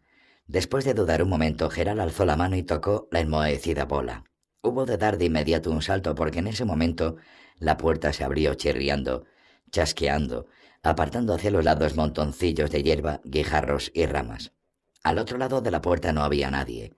El brujo vio tan solo un patio desierto, descuidado, obstruido por las ortigas. Entró, llevando al caballo detrás de él. Embotada por la señal, la yegua no se resistió, pero asentaba los cascos, insegura y con rigidez. El patio estaba rodeado en tres de sus lados por una pared y ciertos restos de estructuras de madera. El cuarto lado lo constituía la fachada de un pequeño palacio, marcada por la viruela del revoco caído, sucia de choreras de humedad, embellecida por guirnaldas de hiedra. Los postigos de los que se había desprendido la pintura estaban cerrados, la puerta también. Gerald echó las riendas de sardinilla a un poste que estaba junto a la puerta y anduvo lentamente en dirección al palacio, atravesando un paseo cubierto de grava que discurría junto al vaso de una pequeña fuente llena de hojas y de basura. En el centro de la fuente, en un pedestal de fantasía, había un delfín labrado en piedra blanca que alzaba hacia el cielo una cola rota. Junto a la fuente, sobre algo que hacía muchísimo tiempo había sido un macizo de flores, había un rosal. Aquel rosal no se diferenciaba en nada de otros que Geral había tenido la ocasión de ver, excepto en el color de sus flores. Las flores eran excepcionales, tenían un color índigo, con ligeros ribetes púrpuras en las puntas de algunos pétalos. El brujo tocó una de ellas, acercó el rostro, la olió. La flor poseía el típico aroma de las rosas, pero de algún modo más intenso. Las puertas del palacio, y al mismo tiempo todos los postigos, se abrieron con un estruendo. Geral alzó la cabeza súbitamente. Por el paseo, levantando nubes de gravilla, se arrastraba en dirección a él un monstruo. La mano derecha del brujo se elevó rápidamente hacia arriba por encima del hombro derecho, al tiempo que la mano izquierda tiraba con fuerza del cinturón del pecho, gracias a lo cual el pomo de la espada saltó a los dedos. La hoja, saliendo con un silbido de la vaina, describió un corto semicírculo y se detuvo, apuntando con el filo a la bestia atacante. El monstruo, a la vista de la espada, frenó, se detuvo. La gravilla saltó a todos lados. El brujo ni siquiera respiraba. El ser era de aspecto humano, vestido con una ropa ajada pero de calidad, y sin que le faltaran adornos de buen gusto, aunque absolutamente innecesarios. El aspecto humano, sin embargo, no alcanzaba más allá del sucio cuello de la camisa. Sobre ella se alzaba una gigantesca cabeza, velluda como la de un oso, con enormes orejas, un par de ojos salvajes y un morro amenazador lleno de colmillos afilados, entre los cuales, como un fuego, temblaba una lengua roja. Vete de aquí, mortal, gritó el monstruo, agitando las manos pero sin moverse del sitio. Que te devoro, que te hago cachos. El brujo no se movió, no bajó la espada. ¿Estás sordo? Vete de aquí. Bramó el ser, después de lo cual expulsó un sonido que estaba entre el gruñido de un cerdo y el bramido de un ciervo macho. Los postigos de todas las ventanas se cerraron y golpetearon, haciendo caer cascotes y yeso de los muros. Ni el brujo ni el monstruo se movieron. Escapa mientras estés entero, gritó el ser, pero como si se sintiera menos seguro. Porque si no... ¿Si no qué? le interrumpió Gerald. El monstruo resolló salvajemente e inclinó la enorme cabeza. Vedlo ahí, qué atrevido, dijo tranquilo, mostrando los colmillos y mirando a Gerald con los ojos enrojecidos. Baja ese hierro, si no te importa. ¿Puede que no te hayas dado cuenta de que te encuentras en el patio de mi propia casa? ¿O es que de donde vienes es costumbre amenazar con una espada al anfitrión en su propio patio? Lo es, afirmó Geral, pero solo al anfitrión que recibe a los huéspedes a gritos y anuncia que los cortará en pedacitos. Ah, cuernos, se exaltó el monstruo. Y todavía me va a ofender el vagabundo. Vaya un huésped. Se mete en el patio, destroza flores ajenas, campa por su respeto y encima piensa que le van a dar el pan y la sal. Puf. El ser escupió, resopló y cerró el morro. Los colmillos inferiores se quedaron en el exterior, otorgándole el aspecto de un jabalí. ¿Y qué? dijo el brujo al cabo de un rato, bajando la espada. ¿Nos vamos a quedar así, de pie? ¿Y qué propones? ¿Que nos tumbemos? bufó el monstruo. Guarda ese hierro, te digo. El brujo metió diestramente el arma en la vaina de su espalda. Sin bajar la mano acarició el pomo que sobresalía por encima del hombro. Preferiría, dijo, que no hicieras movimientos demasiado violentos. Siempre es posible sacar esta espada, y más rápido de lo que te imaginas. Lo he visto, gargajeó el monstruo. Si no fuera por ello, ya hace rato que estarías al otro lado de la puerta, con la huella de mis tacones en tu trasero. ¿Qué quieres? ¿De dónde has salido? Equivoqué el camino, mintió el brujo. Equivocaste el camino, repitió el monstruo, abriendo la boca en un gesto amenazador. Pues entonces desequivócate. Al otro lado de la puerta se entiende. Pon la oreja izquierda hacia el sol y sigue así, y enseguida encontrarás la carretera. Venga, ¿a qué esperas? ¿Hay agua por aquí? preguntó tranquilamente Gerald. El caballo está sediento, y yo también, si esto no te molesta demasiado. El monstruo cambió el peso de una pierna a otra, se arrascó la oreja. Escucha tú, dijo, ¿de verdad no tienes miedo de mí? ¿Y tendría que tenerlo? El monstruo miró a su alrededor, resopló, se tiró impetuosamente de los pantalones. Ah, cuernos, ¿qué más me da? Un huésped en casa es como Dios en casa. No todos los días encuentra uno a alguien que al verme no salga corriendo ni se desmaye. Bueno, vale. Si eres un viajero cansado pero honesto, te invito a entrar. Si eres sin embargo un ladrón o malhechor, te aviso. Esta casa me obedece. Dentro de estos muros yo gobierno. Levantó una garra velluda. Todos los postigos de nuevo chocaron contra la pared y en la garganta de piedra del delfín algo hizo un ruido sordo. Bienvenido, dijo. Gerán no se movió, mirándolo inquisitivamente. ¿Vives solo? ¿Y a ti qué te importa con quién vivo? dijo con furia el ser, abriendo la boca y seguidamente riéndose en voz alta. Ajá, entiendo. Seguro que te refieres a que si tengo cuatrocientos sirvientes de mi misma belleza. No los tengo. ¿Y qué? ¿Vas a aceptar una invitación hecha de corazón? Si no, la puerta está allí, justo detrás de tu culo. Geral se inclinó con rigidez. Acepto la invitación, dijo formalmente. No faltaré a la hospitalidad del anfitrión. Mi casa es tu casa, dijo el ser, también con mucha formalidad pero descuidadamente. Por aquí. Y pone el caballo ahí, junto al pozo. También en su interior pedía el palacio gritos en la reforma capital, aunque se mantenía una cierta limpieza y un cierto orden. Los muebles habían salido seguramente de las manos de buenos artesanos, aunque esto había tenido lugar hacía mucho tiempo. En el ambiente se percibía un intenso olor a polvo. Estaba oscuro.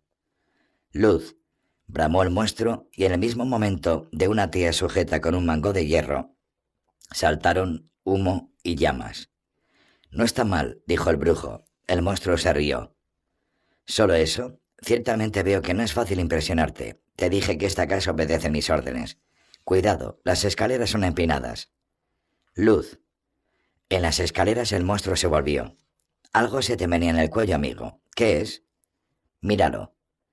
El ser tomó el medallón en las garras, se lo acercó a los ojos, tensando la cadena ligeramente en el cuello de Gerald. Este animal tiene una cara poco agradable. ¿Qué es? El escudo de mi gremio. Ajá, entonces seguro que te dedicas a fabricar bozales. Por aquí, por favor. Luz. El centro de una amplia cámara, completamente falta de ventanas, lo constituye una enorme mesa de roble, vacía excepto por un candelabro de latón verdoso cubierto con festones de cera derretida y vuelta a solidificar. Ante una nueva orden del monstruo, las velas se encendieron, temblaron, iluminaron un tanto el interior.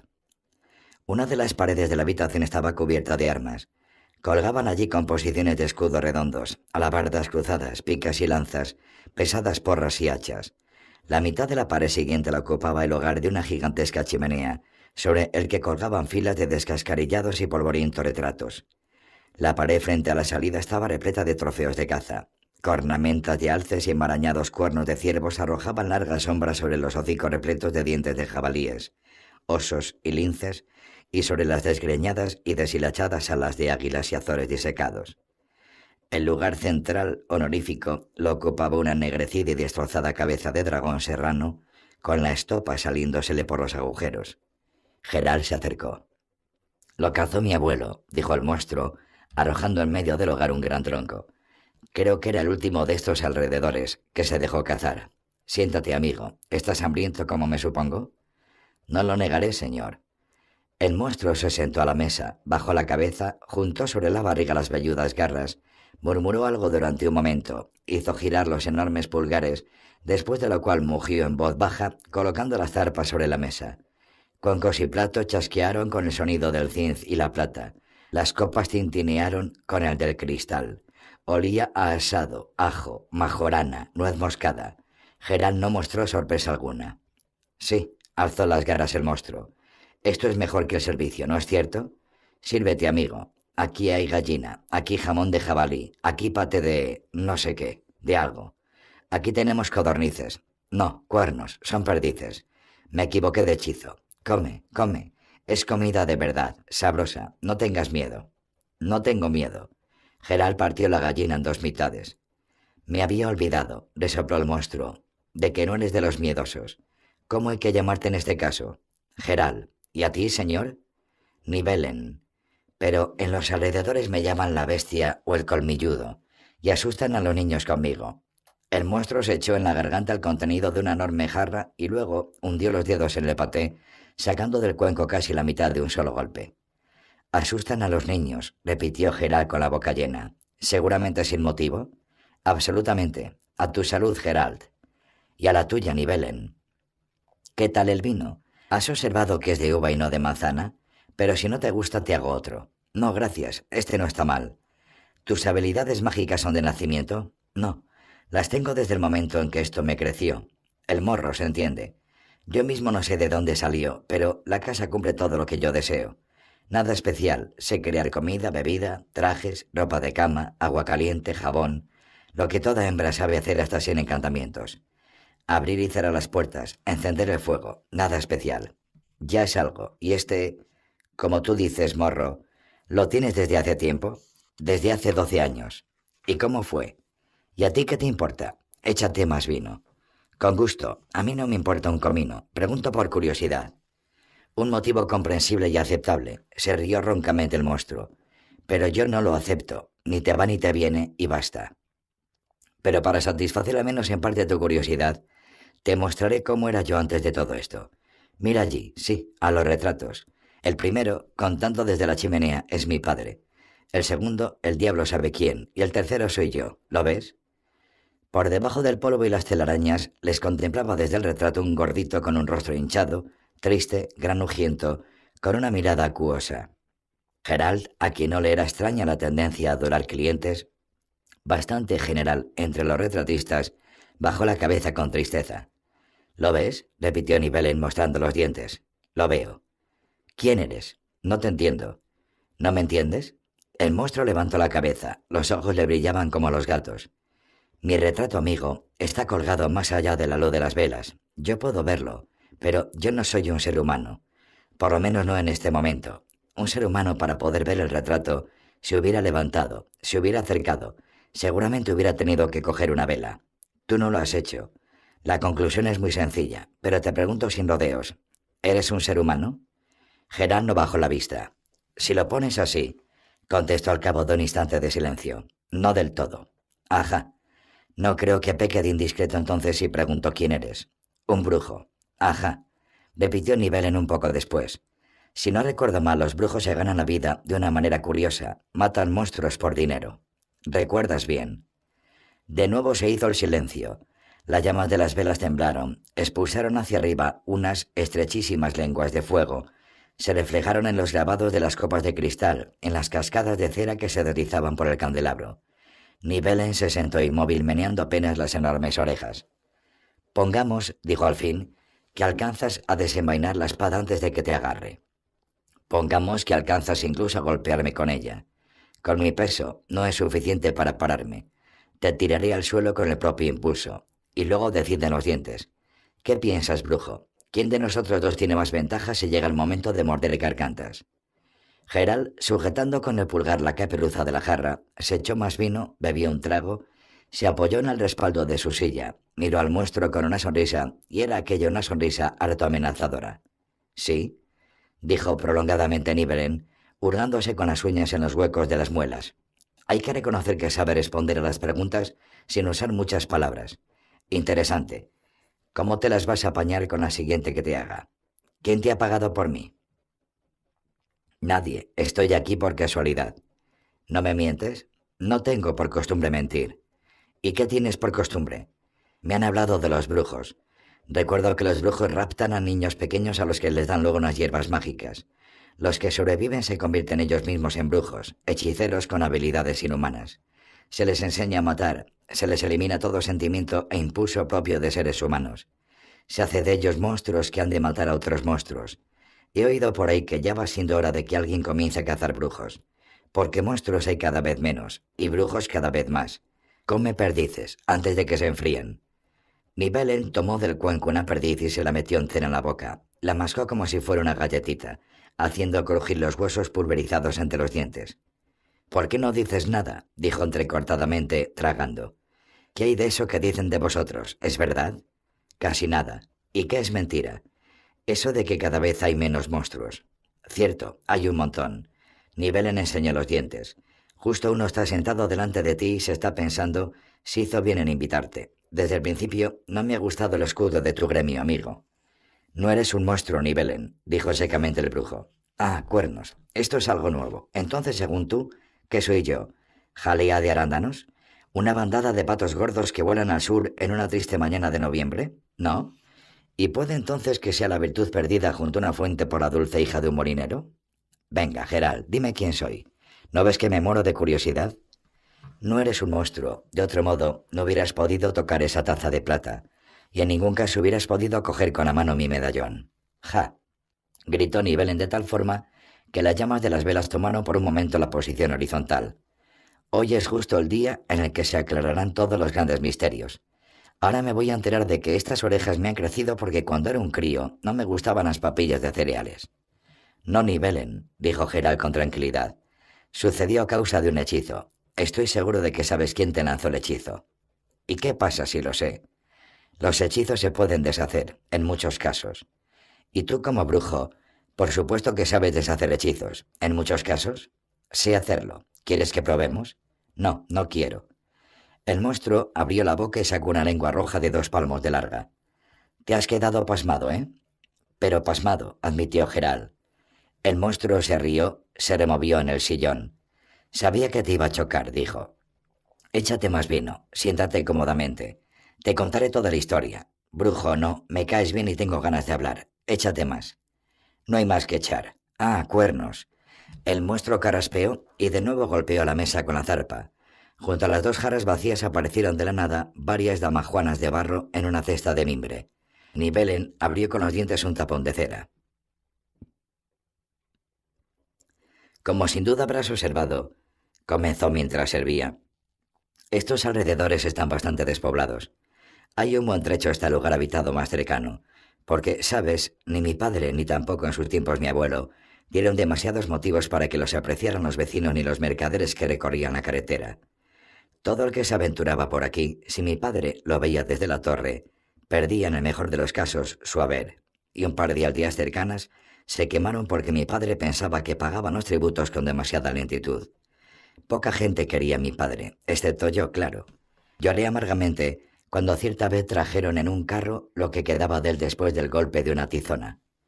De todos modos, por aquel entonces padre ya no se ocupaba de saquear activamente, porque desde el día en que le habían dado en la cabeza con una porra, tartamudeaba de un modo terrible, babeaba y pocas veces alcanzaba a llegar a tiempo al retrete. Y pasó entonces que, como su heredero, tuve que liderar la banda. Muy joven era yo entonces, siguió Nivellen, un niño de teta. Así que los de la banda hacían de su capa un sayo. Yo los lideraba, como puedes imaginarte, de la misma forma que un lechón bien gordo puede liderar a una horda de lobos. De modo que comenzamos a hacer cosas que, de haber vivido mi padre, no habría permitido. Te ahorraré los detalles. Iré derecho al asunto. Cierto día nos llegamos hasta Hellibol, cerca de Mirt, y saqueamos un santuario. Para más Inri había también una sacerdotisa muy jovencita. ¿De qué santuario se trataba, Nibelen? El diablo sabe cuál, Gerald. Pero tenía que tratarse de un santuario poco bueno. Me acuerdo de que en el altar había cráneos y huesos y ardía un fuego verde. Apestaba como el infierno. Pero al caso, los muchachos se apoderaron de la sacerdotisa y la liberaron de sus ropas, después de lo cual dijeron que yo tenía que obrar como un hombre. Bueno, y obré como un hombre, estúpido mocoso. Durante mi actuación como hombre, la sacerdotisa me escupió en la cara y gritó algo. ¿El qué? Que soy un monstruo en la piel de un ser humano y que voy a ser un monstruo en la de un monstruo. Y algo sobre amor y sobre sangre, no me acuerdo. El estilete, así de pequeño, lo tenía, me parece, oculto entre sus cabellos. Se suicidó y entonces huimos de allí. Geral, te digo que a poco no reventamos a los caballos. Era un santuario poco bueno. Sigue. Siguiendo. Sucedió tal y como la sacerdotisa había dicho. Un par de días después me despierto temprano y los sirvientes, todo el que me veía, un grito y pies en polvorosa. Voy al espejo. ¿Sabes, Geral? Entré en histeria, me dio algún ataque, recuerdo todo aquello como a través de una niebla. En pocas palabras, hubo cadáveres, unos cuantos. Usé todo lo que caía en mis manos. De pronto me había hecho muy fuerte, y la casa ayudaba como podía. Se cerraban las puertas, volaba la vajilla por el aire, estallaba el fuego. Quien pudo escapó llevado por el pánico. Mi tía, mi prima, los muchachos de la banda, ¿qué digo? Si se escapó hasta mi gata Tragoncilla. Incluso el papagayo de mi tía se quedó seco del miedo. Al final me quedé solo, rugiendo, aullando, gritando, rompiendo lo que caía en mis manos, sobre todo los espejos. Nivellen se interrumpió, suspiró, se sorbió los mocos. Cuando se me pasó el ataque, dijo el cabo, ya era demasiado tarde para hacer nada. Estaba solo. A nadie puede explicar ya que se me había transformado única y exclusivamente mi aspecto, que, aunque con una figura horrible, era tan solo un crío estúpido, sollozando en un castillo vacío sobre los cadáveres de sus sirvientes. Luego me entró un miedo terrible. Volverán y me matarán a golpes antes de que me dé tiempo a explicarme. Pero nadie volvió. El monstruo se quedó en silencio por un momento, se frotó la nariz con la manga. No quiero volver a aquellos primeros meses, Gerald. Todavía tiemblo cuando me acuerdo. Iré al grano. Mucho, mucho tiempo me quedé en el castillo como el ratón en su ratonera, sin sacar la nariz al exterior. Si aparecía alguien, y esto sucedía raramente, no salía, sino que mandaba a la casa que hiciera golpear dos o tres veces las ventanas o aullaba un poco a través de las gárgolas del canalón, y por lo general esto bastaba para que el tipo dejara detrás de sí una bonita nube de polvo. Fue hasta el día en el que un pálido amanecer miro por la ventana y ¿qué veo? Un gordo arranca una rosa del rosal de mi tía, y has de saber que no se trataba de cualquier tontería, sino de rosas azules de Nazair. El esqueje lo había traído mi abuelo. La rabia me embargó y salté al patio. El gordo, cuando recobró la voz que había perdido al verme, murmuró que tan solo quería una de aquellas rosas para su hija, que le perdonara y le dejara la vida y la salud. Ya me había decidido echarlo de una patada por la puerta principal cuando se me ocurrió algo. Me acordé de un cuento que me contara una vez Lenka, mi niñera, un vejestorio. Cuernos, pensé. Se dice que las muchachas hermosas transforman a las ranas en príncipes y al revés. Así que quizá... Puede que en esas habladurías haya una pizca de verdad, una posibilidad. Salté media legua, aullé de tal modo que las parras se desprendieron de los muros y grité Tu hija o la vida. No se me ocurrió nada mejor. El mercader, porque era un mercader, se echó a llorar y después me dijo que su hija tenía ocho años. ¿Qué pasa? ¿Te ríes? No. Porque yo no sabía si llorar o reír por mi suerte de mierda. Me dio pena el mercader. No podía ver cómo temblaba. Le invité a enterar, le agasajé y cuando se iba le metí oro y piedras preciosas en su bolsa. Has de saber que en los subterráneos quedaban todavía muchas riquezas desde los tiempos de mi padre. No sabía muy bien qué hacer con ellas, así que me podía permitir tal gesto. El mercader se iluminó. Me dio las gracias hasta quedarse seco. Debió de vanagloriarse de sus aventuras donde fuera, porque no habían pasado dos meses cuando apareció otro mercader por aquí. Traía preparadas bolsas de sobra. Y una hija, también de sobra. Nivelen metió los pies debajo de la mesa, se estiró hasta que el sillón crujió. Por segunda vez hablé con un mercader, siguió. Acordamos que me dejaría la hija por un año. Hube de ayudarle a cargar el saco en la mula, él solo no hubiera sido capaz. ¿Y la muchacha? Durante algún tiempo le daban convulsiones cuando me veía. Estaba convencida de que me la iba a comer. Pero al cabo de un mes comíamos ya en la misma mesa, charlábamos y dábamos largos paseos. Y aunque era simpática y muy despabilada, la lengua se me quedaba pegada cuando hablaba con ella. Sabes, Gerald, siempre he sido tímido con las mujeres. Siempre he hecho el ridículo, incluso con las mozas de los establos, esas que tienen estiércol en las pantorrillas, a las que los muchachos de la banda se llevaban de acá para allá a su gusto. Hasta que esas se burlaban de mí. ¿Y qué no será ahora? pensé, con este morro. No fui capaz ni siquiera de mencionar la causa por la que había pagado tan caro por un año de su vida. El año continuó más largo que un día sin pan hasta que al fin apareció el mercader y se la llevó. Yo entonces, resignado, me encerré en casa y durante algunos meses no reaccioné ante ninguno de los sujetos con hijas que fueron viniendo. Pero después de pasar un año en compañía, me di cuenta de lo difícil que era no tener nadie a quien abrir la boca. El monstruo produjo un sonido que había de ser un suspiro, pero que sonó como si tuviera hipo. La siguiente, dijo al cabo, se llamaba Fenne, era pequeña, nerviosa y parlotera, un verdadero ratoncito. No me tenía miedo en absoluto. Un día, justo al día de mi mayoría de edad, nos emborrachamos con licor de miel y... jeje. Inmediatamente después me eché abajo de la cama y directo al espejo. Lo reconozco, me sentí decepcionado y rabioso. El morro estaba allí, tal y como era, puede que incluso con el añadido de una expresión más estúpida. Y dicen que en los cuentos se encierra la sabiduría del pueblo. Una mierda de sabiduría, Geral. Pero Fene intentó con mucho ardor que olvidara mis preocupaciones. No te haces una idea de qué muchacha más alegre era. ¿Sabes lo que se le ocurrió? Asustábamos los dos juntos a los visitantes no deseados. Imagínate, entra uno en el patio, echa un vistazo y de pronto, con un aullido, le salto encima yo, a cuatro patas. Y Fenne, que completamente desnuda está sentada en mi lomo, y sopla el cuerno de caza del abuelo. Nivelen se convulsionó de risa. Le brillaba el blanco de los colmillos. Fenne, continuó, estuvo en casa un año entero. Luego volvió con su familia con una gran dote. Pensaba casarse con cierto criador de cerdos, un viudo. Sigue, Nivelen. Esto es muy entretenido. ¿Tú crees? Dijo el monstruo, arrascándose entre las orejas con un crujido. Venga, vale. La siguiente, Primula, era la hija de un caballero empobrecido. El caballero cuando llegó aquí tenía un caballo esquelético y una cota de malla rumbrosa e increíblemente larga. Era asqueroso, Gerald, ya te digo, como un montón de estiércol y echaba a su alrededor una peste parecida. Primula me dejaría cortar una mano. Debía de haber sido concebida cuando él estaba en la guerra, porque era bastante bonita. Y yo no le producía miedo, cosa no tan extraña al fin y al cabo, pues en comparación con su progenitor podía dármelas hasta de garboso. Ella tenía, como luego pude comprobar, un temperamento considerable, pero yo, habiendo cobrado confianza en mí mismo, tampoco me dormí en mis laureles.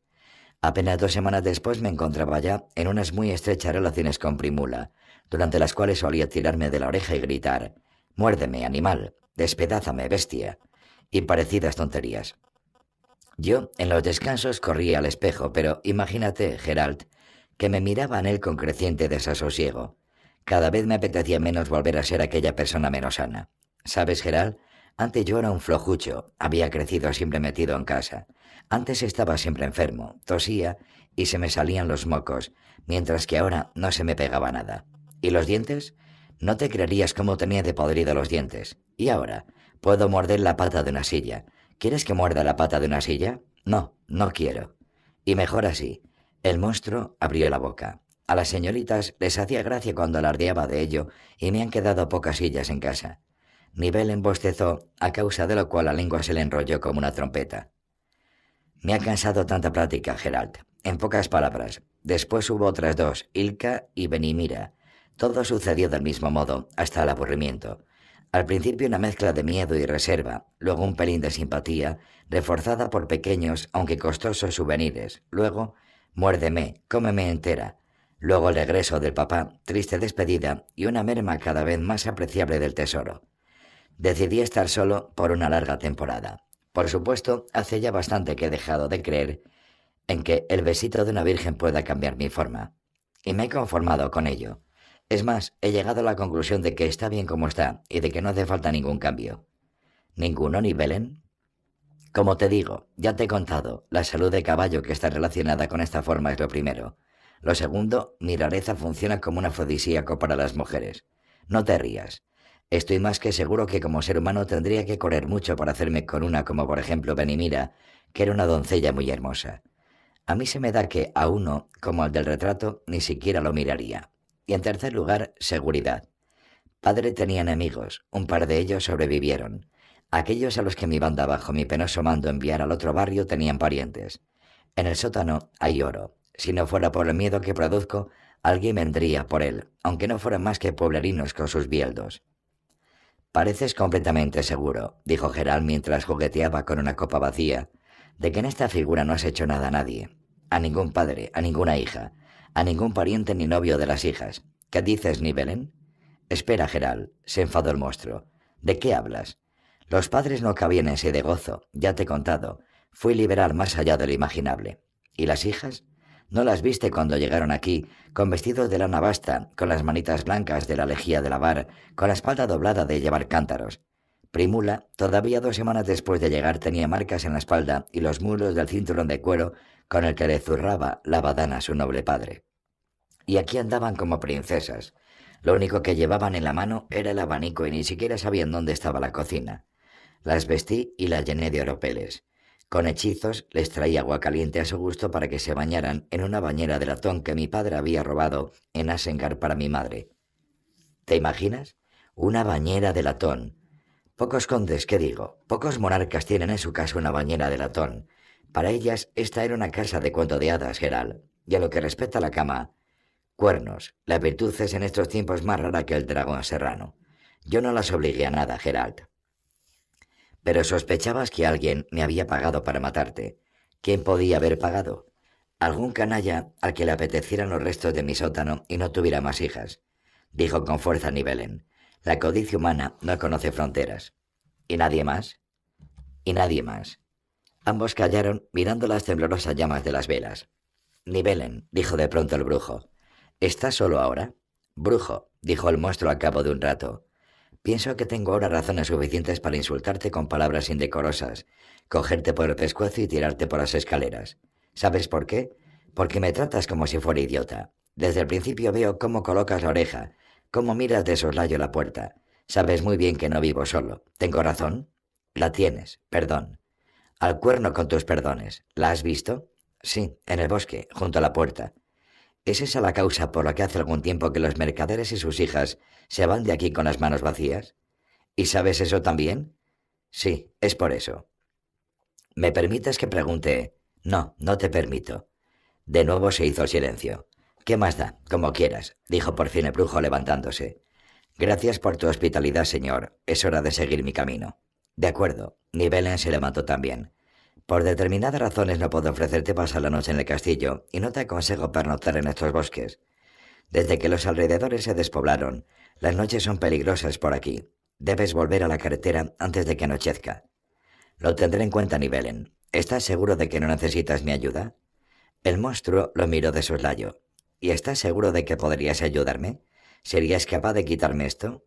No hablaba solo de eso. No has contestado mi pregunta, o mejor dicho, creo que has contestado. No serías capaz. Gerald le miró directamente a los ojos. Tuvisteis mala suerte, dijo. De todos los santuarios en Helibol y el valle de Ninnar, elegisteis justo a Koran Achtera, la araña de cabeza de león. Para quitar un maleficio de la sacerdotisa de Koran Achtera, hacen falta conocimientos y capacidades que yo no poseo. ¿Y quién los posee? ¿Te interesa entonces? Has dicho que todo está bien como está. Como está, sí, pero no como puede llegar a ser. Tengo miedo de que... ¿De qué tienes miedo? El monstruo se detuvo en las puertas de la estancia, se dio la vuelta. Estoy harto de que siempre preguntes, brujo, en vez de contestarme. Está claro que hay que preguntarte de modo adecuado. Escucha, desde hace cierto tiempo tengo unos sueños terribles. Puede que la palabra monstruosos fuera mejor. ¿Tengo razón al tener miedo? En pocas palabras, por favor. Después de esos sueños, al despertarte, ¿no tienes nunca los pies manchados de barro? ¿Hojas de árboles en las sábanas? No. Y tampoco... No, en pocas palabras, por favor. Haces bien en tener miedo. ¿Se puede contagiar? En pocas palabras, por favor. No. Por fin, vamos, te acompañaré. En el patio, mientras Gerald arreglaba las albardas, Nivelen acarició las patas a la yegua, le dio palmaditas en el cuello, sardinilla con treinta de los mismos bajo la cabeza. Los animales me quieren, se enorgulleció el monstruo, y a mí me gustan también. Mi gata dragoncilla, aunque se escapó al principio, luego volvió conmigo. Durante mucho tiempo fue el único ser vivo que me acompañó en mi soledad. A Verena también. Se interrumpió Cerró la boca. Gerald sonrió. ¿También le gustan los gatos? Los pájaros. Nivelen mostró los dientes. Se me escapó, cuernos. ¿Y qué más me da? No es una hija de mercader más, Gerald. Ni estoy buscando otra vez si en viejas historias se encierra una pizca de verdad. Esto es algo serio. Nos amamos. Si te ríes te rompo los morros. Gerald no se rió. Tu Verena, dijo, es seguramente una náyade. ¿Lo sabías? Me lo imaginaba. Delgaducha, morena, habla poco, en una lengua que no conozco. No come comida humana. Se pierde en el bosque durante días, luego vuelve. ¿Es normal esto? Más o menos. El brujo apretó la cincha. Seguro que piensas que no volvería a ti si te convirtieras en ser humano. Estoy seguro. Sabes cómo temen las náyades a los humanos. Pocos han visto a una náyade de cerca. Y yo y Verena... Ah, cuernos. Buena suerte, Gerald. Buena suerte, Nivelen. El brujo dio con unos talones en los costados de la yegua. Se dirigió hacia la puerta. El monstruo se arrastró a su lado. Gerald, habla. No soy tan tonto como piensas. Llegaste aquí siguiendo las huellas de algunos de los mercaderes que estuvieron por aquí hace poco. ¿Le sucedió algo alguno? Sí. El último estuvo aquí hace tres días, con una hija, no de las más guapas en cualquier caso. Ordené a la casa cerrar todas las puertas y postigos, no di señales de vida. Anduvieron un poco por el patio y se fueron. La muchacha cortó una rosa del rosal de la tía y se la prendió en el vestido. Búscalos en otro sitio. Pero ten cuidado.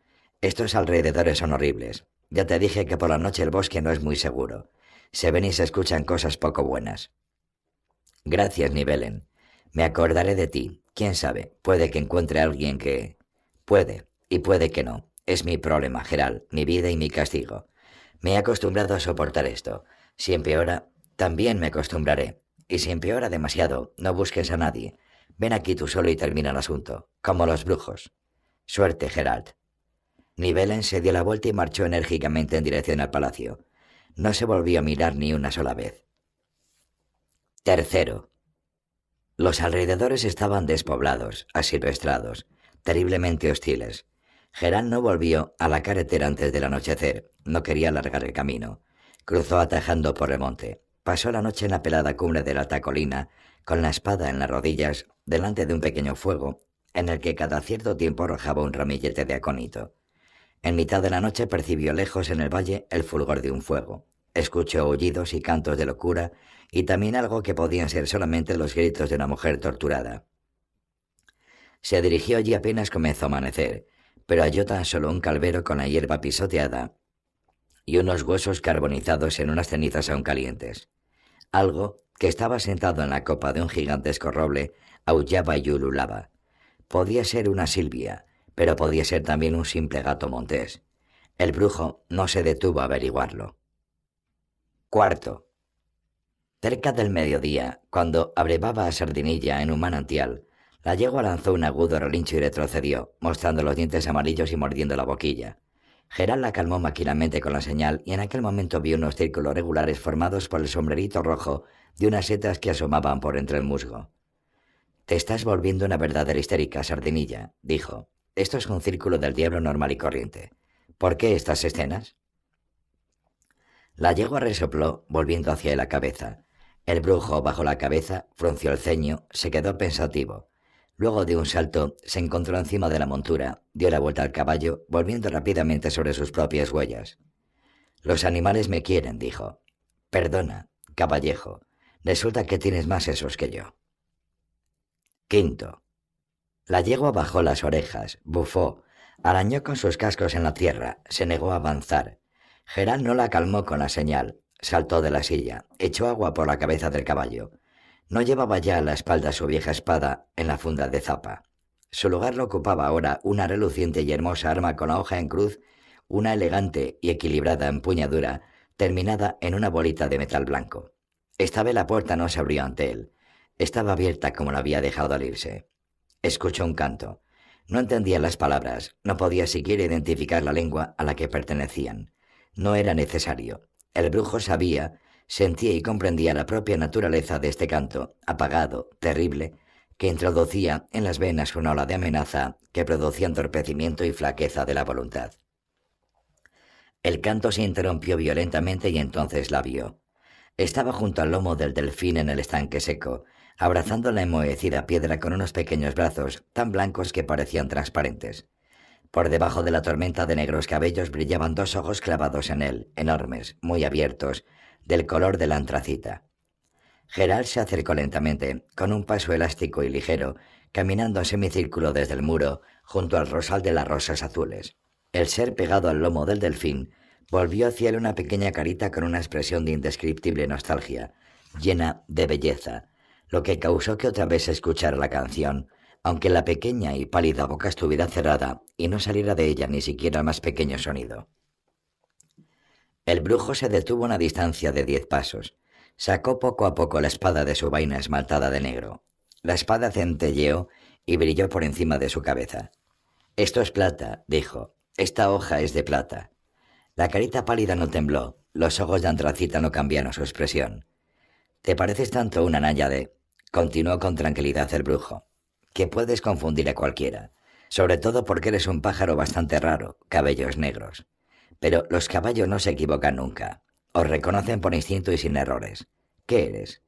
Pienso que una mura o una alpa, un vampiro común y corriente no podría estar al sol.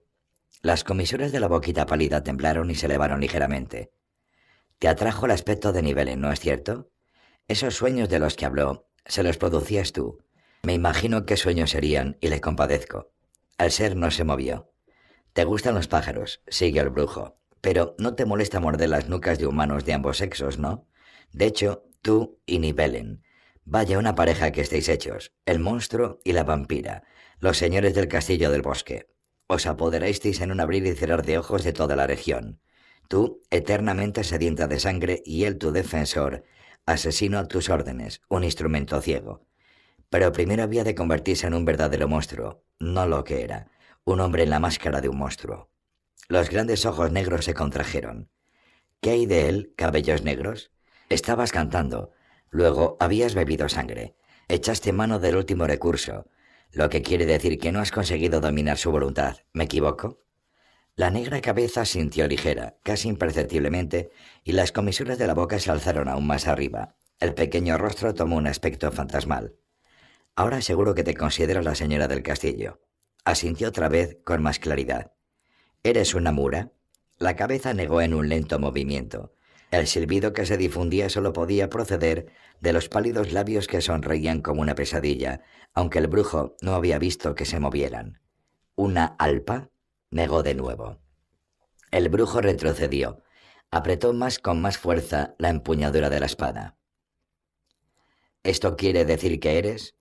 Las comisuras de la boca se alzaron más y más, los labios se separaron. Una lamia, gritó el brujo, arrojándose hacia el estanque. De detrás de los pálidos labios relampaguearon unos afilados colmillos. La vampira se levantó bruscamente, arqueó el cuerpo como un leopardo y gritó. Una ola de sonido golpeó al brujo como un ariete, privándole del aliento, aplastándole las costillas, traspasándole los oídos y el cerebro con espinas de dolor. Mientras volaba hacia atrás alcanzó todavía a cruzar las muñecas de ambos brazos en la señal del heliotropo.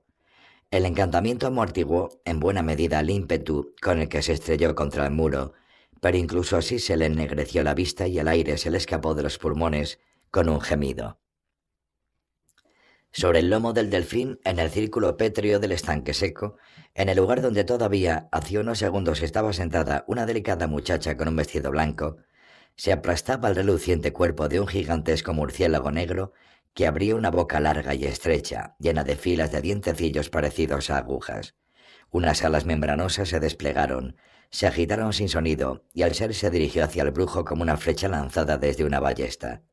Gerald, sintiendo en la boca el sabor férreo de la sangre, realizó un encantamiento, lanzando delante de sí la mano con los dedos en forma de la señal de Ken. El murciélago, silbando, dobló con violencia, se alzó chillando en el aire, e inmediatamente se lanzó en picado hacia la nuca del brujo. Gerald saltó a un lado, dio un tajo con la espada, falló. El murciélago, fluido, con gracia, contrayendo un ala, dio la vuelta, le rodeó y atacó de nuevo, abriendo un ciego morro lleno de dientes. Gerald esperó, colocando en dirección al ser la espada que sostenía con las dos manos. En el último momento saltó, no al lado sino hacia adelante, dio un revés, silbó el aire. No acertó. Resultó tan inesperado que perdió el ritmo. Se retrasó una fracción de segundo. Sintió como las garras de la bestia le rasgaban las mejillas y una húmeda ala de terciopelo le golpeaba la nuca. Se volvió en el sitio, traspasó el peso del cuerpo a la pierna derecha y golpeó agudamente hacia atrás, errando de nuevo a causa de un fantástico quiebro del ser. El murciélago batió las alas, se alzó, emprendió el vuelo en dirección al estanque. En el momento en que las garras ensangrentadas rechinaron sobre la piedra del revestimiento, el monstruoso y babeante morro comenzó a transformarse. Se metamorfoseaba, desaparecía, aunque los pequeños labios que aparecían en su lugar no cubrían aún los colmillos asesinos. La lamia lanzó un penetrante aullido, modulando la voz en un macabro canto, miró con ojos desmesurados al brujo, llena de odio, y gritó de nuevo. La onda de choque fue tan potente que rompió la señal. En los ojos de Gerald giraban círculos rojos y negros. Las sienes y la coronilla le latían con violencia. Con los oídos traspasados de dolor, comenzó a escuchar voces, quejidos y gemidos, el sonido de flautas y oboes, el ulular del viento. La piel del rostro se le entumeció y se le congeló. Cayó sobre una rodilla, agitó la cabeza. El murciélago negro se dirigió en silencio hasta él, abriendo mientras volaba las mandíbulas llenas de dientes. Gerald, aunque estaba aturdido por la onda de sonido, reaccionó instintivamente. Se levantó del suelo, adaptando con rapidez el tempo de sus movimientos a la velocidad de vuelo del monstruo, dio tres pasos hacia adelante, un quiebro y una media vuelta, y después, rápido como el pensamiento, un golpe de espada con las dos manos. La hoja no encontró resistencia, casi no encontró nada. Escuchó un chillido, pero esta vez fue un chillido de dolor, producido por el contacto con la plata. La lamia, aullando, se metamorfoseaba sobre el lomo del delfín. En el vestido blanco, un poco por encima del pecho izquierdo, se veía una mancha roja, bajo un rasguño no más largo que el dedo índice. El brujo apretó los dientes. El golpe, que debía haber partido en dos a la bestia, no había producido más que un arañazo. Grita vampira, gruñó, limpiándose la sangre de la mejilla. Grita lo que quieras, pierde fuerzas, y entonces te cortaré tu preciosa cabeza. Tú, Debilitas primero. Hechicero. Mato. La boca de la lamia no se movió, pero el brujo escuchó las palabras con claridad. Resonaron en su cerebro, explotando, vibrando sordamente, con un eco como debajo del agua. Ya lo veremos, murmuró, mientras se dirigía encorvado hacia el estanque.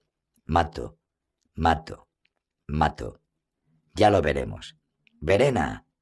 Nibelen, con la cabeza baja, agarrándose con las dos manos al bastidor, salió pesadamente por la puerta del palacio. Con paso vacilante avanzó hacia el estanque, agitando inseguro las manos. El cuello del caftán estaba manchado de sangre. Verena. gritó de nuevo.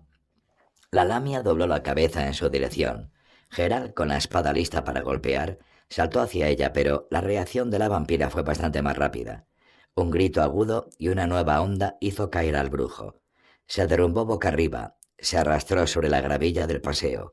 La lamia, comándose, se tensó para saltar. Los colmillos en su boca centellearon como el puñal de un asesino. Nivelen, abriendo los brazos como un oso, intentó detenerla, pero ella le gritó directamente a la cara y le lanzó unos metros hacia atrás, contra un andamiaje de madera que había junto al muro. El andamio se rompió con un estampido tremendo y le enterró bajo una pila de madera. Gerald ya se había levantado. Corrió en un semicírculo, rodeando el patio, intentando alejar la atención de la lamia de Nivelen. La vampira, con el vestido blanco vibrando, voló directamente hacia él, ligera como una mariposa, apenas rozando la tierra. No gritaba ya, no intentaba metamorfosearse. El brujo sabía que estaba cansada, pero también sabía que incluso así era mortalmente peligrosa. Por detrás de Gerald, Nivelen salió con estruendo de entre las tablas bramando. Gerald saltó a la izquierda, se cubrió con un corto y desorientado molinete de la espada.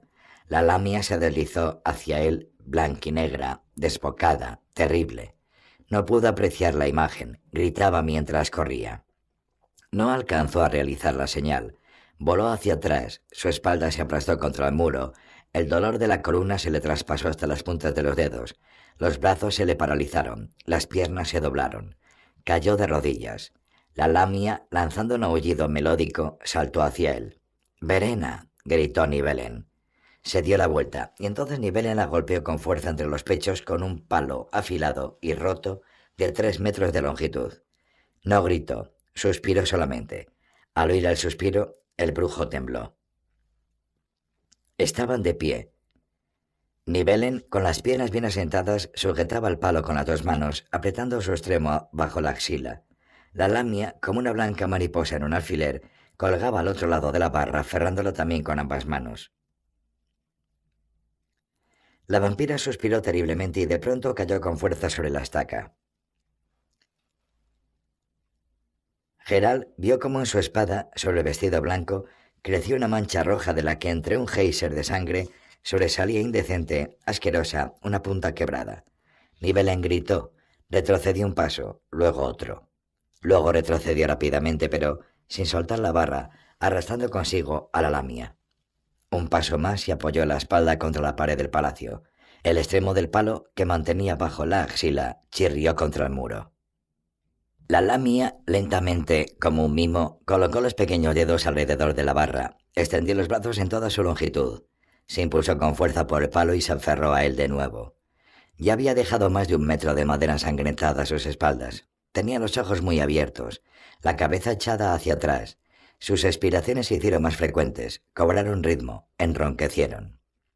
Gerald se había levantado, pero, fascinado por la imagen, no podía decidirse a actuar. Escuchó unas palabras resonando sordamente en el interior de su cráneo, como bajo la bóveda de un subterráneo frío y húmedo. Mío, o de nadie. Te quiero, quiero. Un nuevo suspiro, terrible, desgarrado, ahogado en sangre. La lamia se retorció, avanzó a lo largo del palo, extendió las manos. Nivel embramó con fiereza, sin soltar la barra intentó mantener a la vampira lo más lejos posible de sí. En vano. Avanzó todavía más hacia adelante, lo agarró por la cabeza. Él aulló aún más terriblemente, agitó la peluda cabeza. La lamia de nuevo se deslizó por el palo Inclinó la cabeza hacia la garganta de Nivelen. Los colmillos brillaron con un blanco cegador. Gerald saltó. Saltó como un muelle liberado, automáticamente.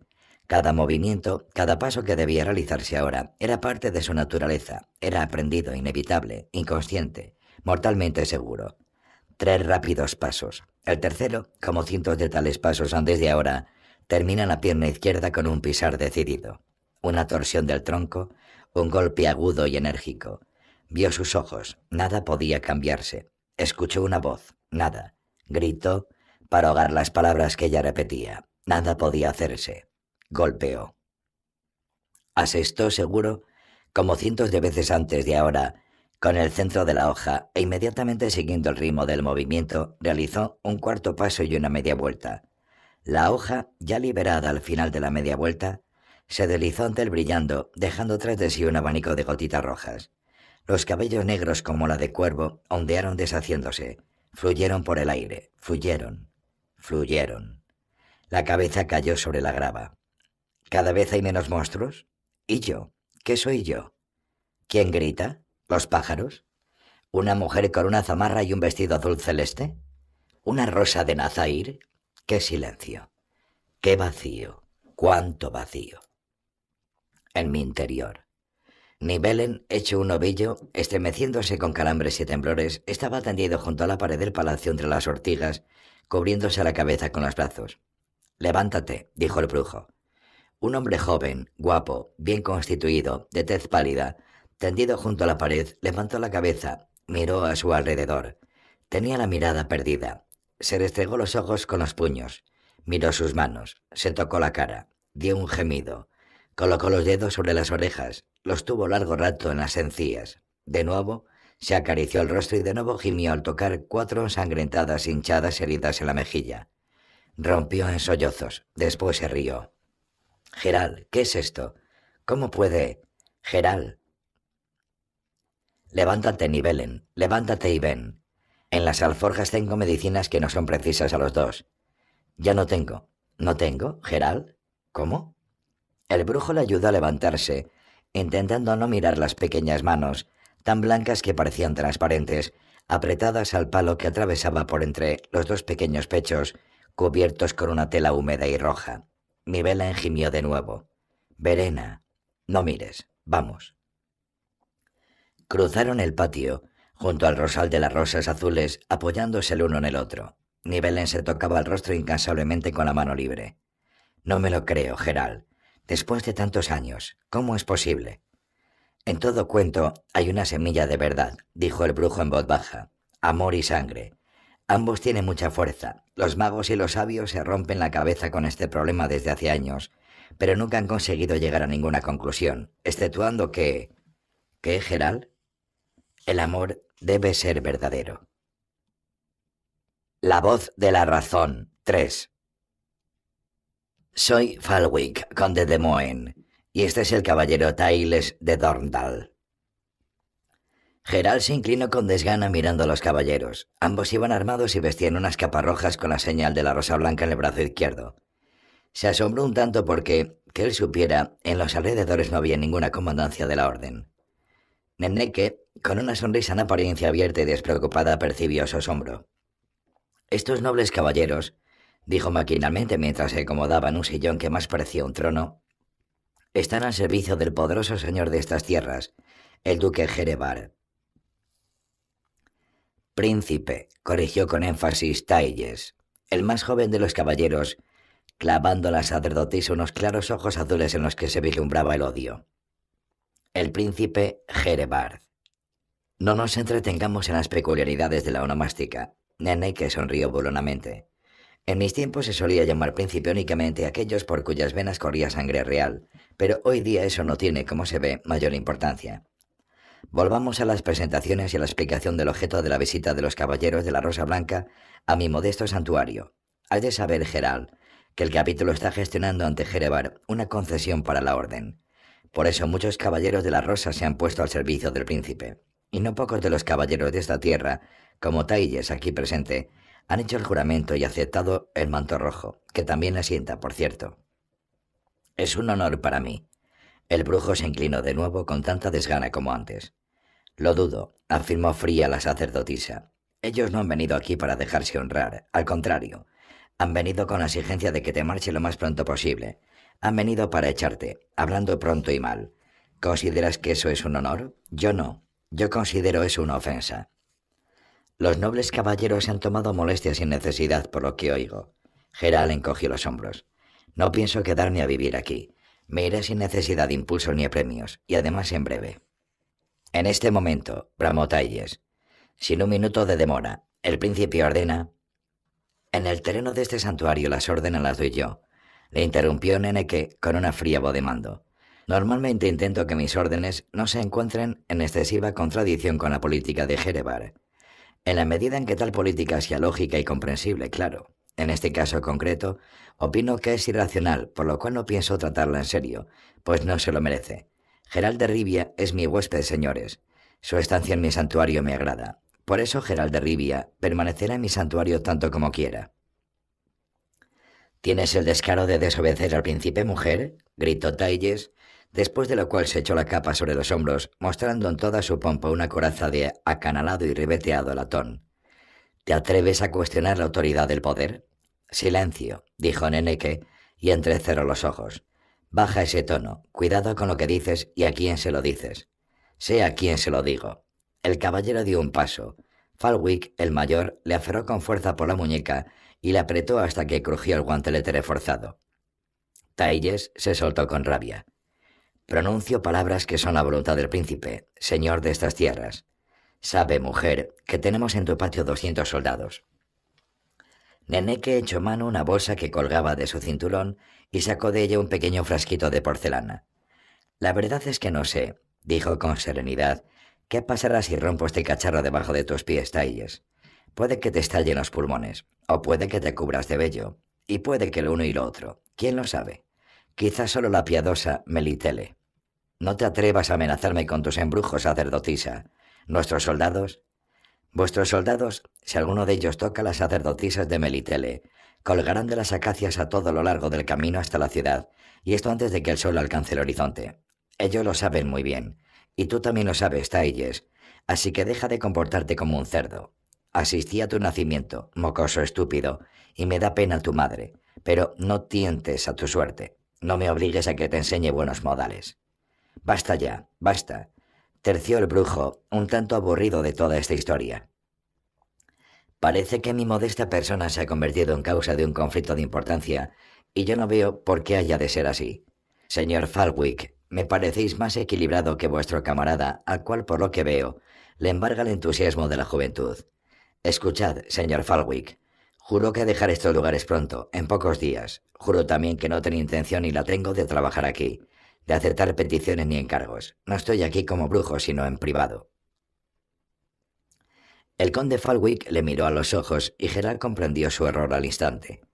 En la mirada del caballero de la Rosa Blanca había un odio puro, inflexible y no contaminado por nada.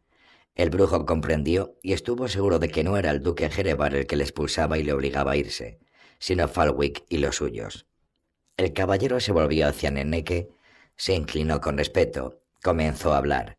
Habló sereno y con educación, habló con lógica, pero Gerald sabía que Falwick mentía como un perro. Venerable Neneque, os pido perdón, pero príncipe Jerebar, mi señor, no desea y no tolerará la presencia del brujo Gerald de Rivia en sus posesiones. No importa si Gerald de Rivia caza monstruos o si se considera a sí mismo en visita privada. El príncipe sabe que Gerald de Rivia no es una visita privada. El brujo atrae los problemas como el el hierro. Los hechiceros se enfadan y escriben peticiones. Los druidas amenazan de nuevo con... No veo motivo por el que Gerald de Rivia tenga que sufrir las consecuencias del desenfreno de los hechiceros y druidas locales. Le cortó la sacerdotisa. ¿Desde cuándo a le interesa la opinión de unos y otros? Basta de discusión. Falwick alzó la cabeza. ¿Acaso no me expreso con suficiente claridad, venerable Neneque? Lo diré entonces tan claro que más claro sea imposible. Ni el príncipe Jerebar ni el capítulo de la orden desean tolerar ni un solo día más en el Ander al brujo Gerald de Rivia, conocido como el carnicero de Blaviken. Esto no es el Ander. La sacerdotisa se levantó del sillón. Esto es el santuario de Melitele. Y yo, Neneque, sacerdotisa mayor de Melitele, no deseo tolerar ni un solo segundo más la presencia de vuestras personas en el terreno del santuario, señores. Señor Falwick, el brujo habló en voz baja. Escuchad la voz de la razón. No quiero problemas, y a vos, pienso, tampoco os apetece especialmente tenerlos. Dejaré estos lugares como más tarde en tres días. No, Neneque, calla, por favor. Es hora de irme, en cualquier caso. Tres días, señor conde, no pido más. Y bien haces en no pedir, dijo la sacerdotisa antes de que Falvik tuviera tiempo de reaccionar. ¿Habéis oído, chicos? El brujo se quedará aquí tres días porque ese es su deseo. Y yo, sacerdotisa de la gran Melitele, le ofreceré mi hospedaje durante estos tres días porque ese es mi deseo. Repetidle esto a Jerebar. No, no a Jerebar. Repetidle esto a su esposa, la noble Hermela, añadiendo que si le interesa seguir recibiendo los afrodisíacos de mi farmacia, que tranquilice mejor a su duque, que le calme sus humores y antojos que cada vez parecen más que nada síntomas de idiotismo. Basta, gritó Tailles y la voz se le quebró en un falsete. No pienso escuchar cómo una charlatán insulta a mi señor y a su esposa. No dejaré sin su pago tal menosprecio. Aquí va a gobernar ahora la orden de la Rosa Blanca. Será el final de vuestros nidos de tiniebla y superstición. Y yo, caballero de la Rosa Blanca. Escucha, mocoso, le cortó Geral con una sonrisa siniestra. Detén tu lengua desatada.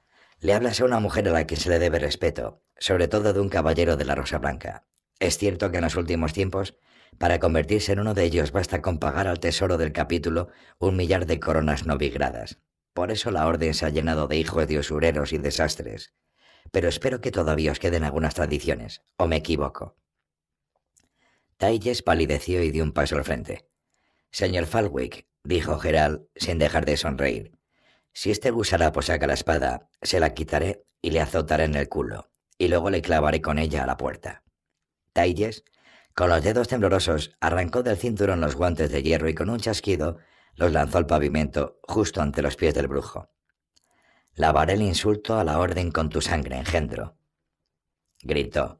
Sal a campo abierto, sal afuera. Algo se te ha caído, hijo, afirmó tranquila Neneque.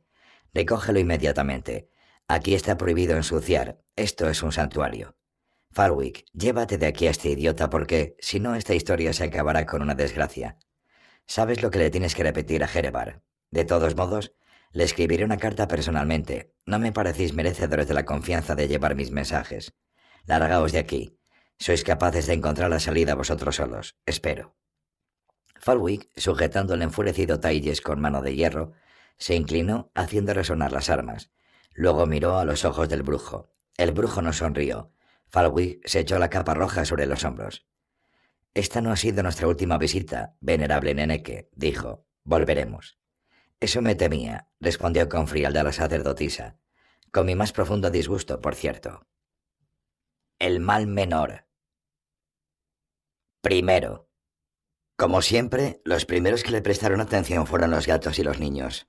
Un gato rayado que estaba durmiendo al sol sobre un montón de leña se estremeció, levantó la cabecita redonda, puso las orejas, resopló y se metió entre las ortigas. Un niño de tres años, Dragomir, hijo del pescador Trigli, quien delante de su payoza hacía lo que podía para ensuciar aún más su ya sucia camisola, se puso a berrear, clavando los ojos bañados de lágrimas en el jinete que pasaba cabalgando por delante de él. El brujo cabalgaba despacio, sin intentar adelantar al carro de leno que taponaba la calle.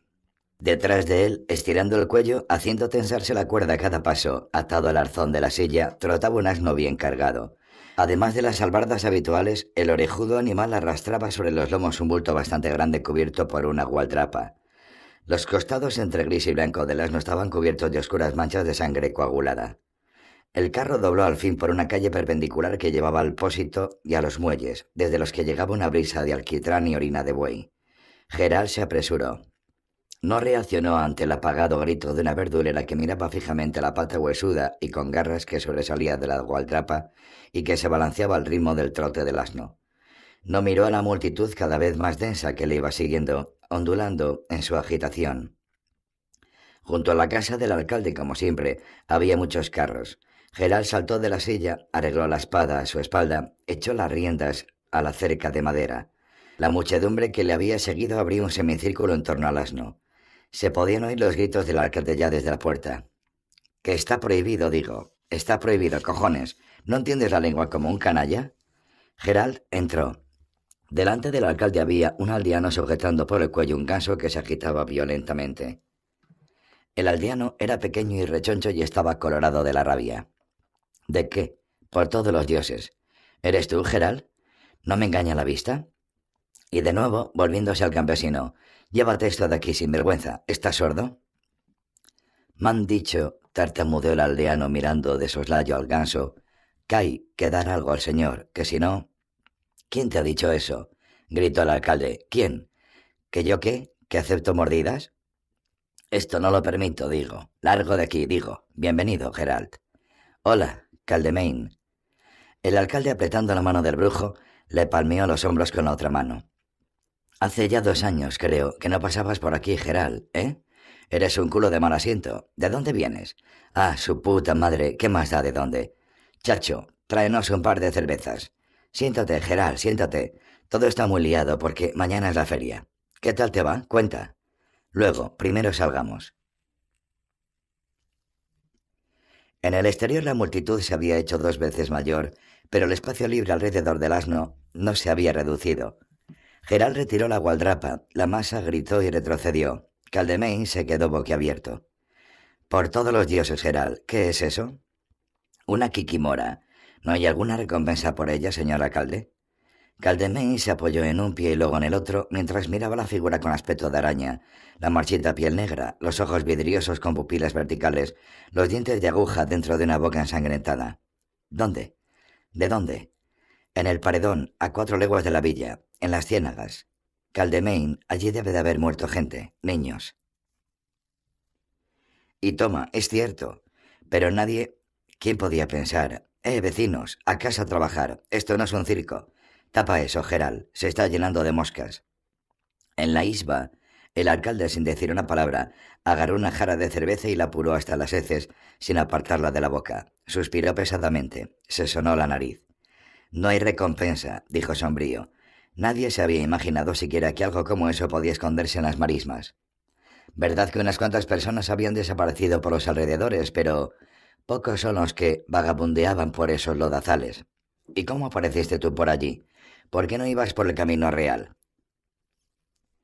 Por los caminos reales no me es fácil ganarme un jornal, Caldemain. Lo había olvidado. El alcalde apagó un eructo, inflando los carrillos.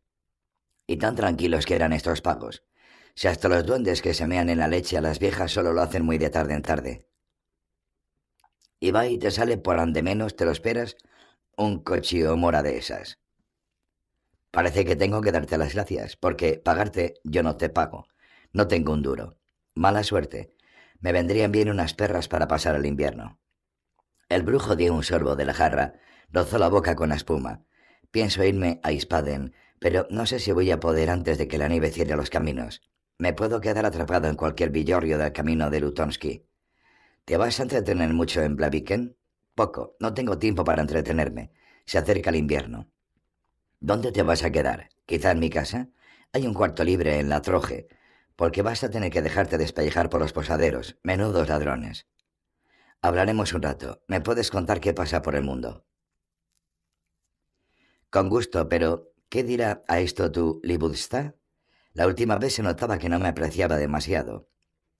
En mi casa las hembras no tienen voz, pero entre nosotros no vuelvas a hacer delante de ella lo que hiciste la última vez, durante la cena.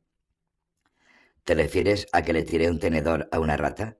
No, me refiero a que le acertaste, y eso que estaba oscuro. Pensé que sería gracioso, y lo fue, pero no lo hagas delante de Libusta. Escucha, ¿y esa cómo se... Kiki... Kikimora? ¿La necesitas para algo? ¿Y para qué?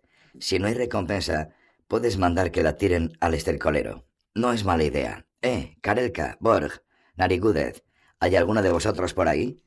Entró un guardia con una alabarda sobre los hombros. La hoja rozó con estrépito en el marco de la puerta. Narigúdez, dijo Caldemain. Toma a alguien que te ayude. Coge el asno con la guarrería esa envuelta en la gualtrapa que está delante de la choza. Llévatelo a las pocilgas y entierra eso en el muladar, ¿entendido? Como usted mande, pero, señor alcalde, ¿qué? Puede que antes de enterrar esa porquería... ¿Qué? Podríamos mostrársela al maestro Irion. A lo mismo se le ocurre algo. Caldemey se dio una palmada en la cabeza con la mano abierta. No es ninguna tontería. Narigúdez, escucha, Geral, puede que nuestro hechicero local te afloje algo por esa carroña. Los pescadores le traen los peces raros, pulpos, clavatres y dracos. Más de uno se ha sacado unos cuartos con ello. Venga, vamos a la torre. ¿Os habéis hecho con un hechicero? ¿Fijo o de vez en cuando? Fijo. El maestro Irion. Vive en Blaviken desde hace un año. Un mago poderoso, Geral. Con solo mirarlo ya te das cuenta. Dudo que un mago poderoso dé algo por una Kikimora, se enfadó Geral. Por lo que sé, no es necesaria para la producción de ningún elixir. Seguro que vuestro Irion tan solo me insulta. Nosotros los brujos no nos llevamos bien con los hechiceros. Jamás he oído que el maestro Irion haya insultado a nadie. No puedo jurar que pague algo, pero por probar nada se pierde. Puede que haya más de los kikimones esos en las ciénagas. ¿Y entonces qué? que el hechicero eche un vistazo al monstruo y si acaso que lance algún encantamiento al odazal o así. El brujo se lo pensó por un instante. Un punto para ti, Caldemain. ¿Qué más da? Arriesguémonos a un encuentro con el maestro Irion. ¿Nos vamos? Nos vamos. Narigúdez, echa esos críos y coge al burro del ramal. ¿Dónde está mi sombrero? Segundo. La torre, construida con bloques de granito finamente labrado, coronada por los dientes de las almenas, se presentaba imponente, dominando sobre los destrozados tejados de las labranzas y las abombadas techumbres de paja de las payozas. Ha hecho reforma, veo, dijo Geral. ¿Con hechizos os obligó a trabajar? Con hechizos principalmente. ¿Cómo es este irión vuestro? De fiar. Ayuda a la gente, pero huraño, solitario, casi no sale de la torre. Sobre las puertas decoradas con rosetones de clara madera taraceada, colgaba una gigantesca aldaba con la forma de la cabeza de un pez aplastado de ojos saltones que sujetaba una rueda de latón con una boca dentada. Caldemain se veía que ya bastante acostumbrado al uso del mecanismo, se acercó, se aclaró la voz y recitó Saluda al alcalde, Caldemain, con un asunto para el maestro Irion. Con él saluda el brujo Geral de Rivia por el mismo asunto. Durante un largo instante no sucedió nada, hasta que por fin la cabeza del pez abrió la dentada mandíbula y exhaló un par de nubecillas de vaho. El maestro Irion nos recibe. Idos, buena gente. Caldemey se removió en el sitio, miró a Geral. El brujo se encogió de hombros.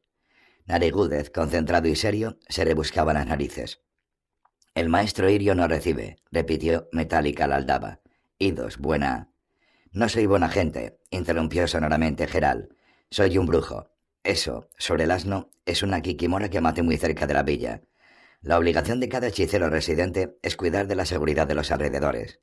El maestro Irion no tiene que honrarme con una entrevista, no tiene que recibirme si tal es su voluntad. Pero que eche un vistazo a la Kikimora y saque sus conclusiones. Narigúdez, empuja a la Kikimora y arrójala aquí, junto a la misma puerta. Geral, dijo en voz baja el alcalde, Tú te vas a ir y yo tengo que... Vámonos, Caldemain. Narigúdez, sácate el dedo de la nariz y haz lo que te he dicho. Esperad, dijo la aldaba con una voz completamente distinta. Geral, ¿eres tú de verdad? El brujo blasfemó por lo bajo. Estoy perdiendo la paciencia. Sí, soy de verdad yo. ¿Y qué pasa porque sea yo de verdad? Acércate a la puerta, dijo la aldaba, echando un par de nubecillas de vaho. Solo, te dejaré entrar. ¿Y qué hay de la Kikimora? Que le den por saco. Quiero hablar contigo, Geral, solo contigo. Perdonadme, alcalde. ¿Y a mí qué más me da, maestro Irion? Caldemey se despidió con la mano. Adiós, Geral. Nos vemos luego. Narigúdez, el monstruo al muladar. Como usted mande. El brujo se acercó a las puertas tarraceadas, que se abrieron solo un poquito, lo suficiente para que se pudiera introducir con un cierto esfuerzo. Después de ello, se cerraron de inmediato, dejándolo en la oscuridad más completa. Eh, llamó, sin ocultar su rabia. Ya voy, contestó una voz extrañamente familiar. La impresión fue tan inesperada que el brujo se tambaleó y extendió una mano buscando apoyo. No lo encontró. Un jardín florecía blanco y rosa, olía a lluvia. Un arco iris de muchos colores atravesaba el cielo, uniendo las copas de los árboles con una lejana cordillera de tonos celestes. La casita en mitad del jardín, pequeña y modesta, se ahogaba en macizos de malvas. Gerald miró a sus pies y se dio cuenta de que estaba hasta las rodillas en un campo de amapolas. Venga, acércate, Gerald, dijo una voz. Estoy delante de la casa. Entró en el jardín atravesando los árboles. Percibió un movimiento a su izquierda. Miró. Una muchacha de cabellos claros, completamente desnuda, surgió de una fila de arbustos, llevando una cesta llena de manzanas. El brujo se prometió a sí mismo no asombrarse más. Por fin, bienvenido, brujo. Estregobor, se asombró Geral. El brujo se había encontrado en su vida ladrones que parecían concejales, a concejales que parecían abueletes normales y corrientes, a meretrices que parecían princesas, a princesas que parecían vacas preñadas y a reyes que parecían ladrones. Pero Stregobor siempre se veía justo tal y como según todos los estereotipos y todas las imágenes tenía que verse un hechicero. Era alto, delgado, cargado de hombros, tenía unas grandes cejas grises muy pobladas y una larga y curvada nariz. Para colmo vestía una túnica negra que arrastraba hasta el suelo, con unas mangas increíblemente anchas, y en la mano aferraba una larguísima varita con una bola de cristal en la punta. Ninguno de los hechiceros a los que Gerard conocía tenía el aspecto de Stregobor. Lo más raro era que Stregobor era de verdad un hechicero. Se sentaron en el zaguán rodeado de malvas, en sillones de mimbre, junto a una pequeña mesa de mármol blanco. La rubia desnuda con la cesta de manzanas se acercó, sonrió, se dio la vuelta y volvió al jardín moviendo las caderas. ¿Eso es también una ilusión? preguntó Geral al contemplar los balanceos. También, como todo aquí. Pero se trata, querido mío, de una ilusión de primera clase. Las flores tienen perfume, las manzanas se pueden comer, las avispas te pueden picar, y a ella, el hechicero señaló a la rubia, te la puedes. Puede que luego. Mejor. ¿Qué haces, Geral? ¿Todavía te afanas en matar por dinero a los representantes de especies en peligro de extinción? ¿Cuánto te dieron por la Kikimora? Seguro que nada, si no, no hubieras venido aquí. Y pensar que hay gente que no cree en el destino, a menos que supieras algo de mí, ¿lo sabías? No, no lo sabía. Este es el último lugar donde se me hubiera ocurrido buscarte. Si la memoria no me falla, antes vivías en Covid, en una torre parecida. Mucho ha cambiado desde entonces. Por lo menos tu nombre. Al parecer ahora eres el maestro Irion. Así se llamaba el autor de esta torre. Falleció hace como doscientos años. Me figuré que era apropiado honrarlo de algún modo al ocupar su lugar. Oficio aquí de residente. La mayor parte de los vecinos se ganan la vida con el mar y como sabes, mi especialidad, además de las ilusiones, es el tiempo. A veces aplaco una tormenta, a veces la provoco, a veces atraigo hacia la playa, gracias al viento del oeste, grandes bancos de bacalao y de merluza. Se puede vivir, quiero decir, añadió Lobrego, se podía vivir. ¿Por qué se podía?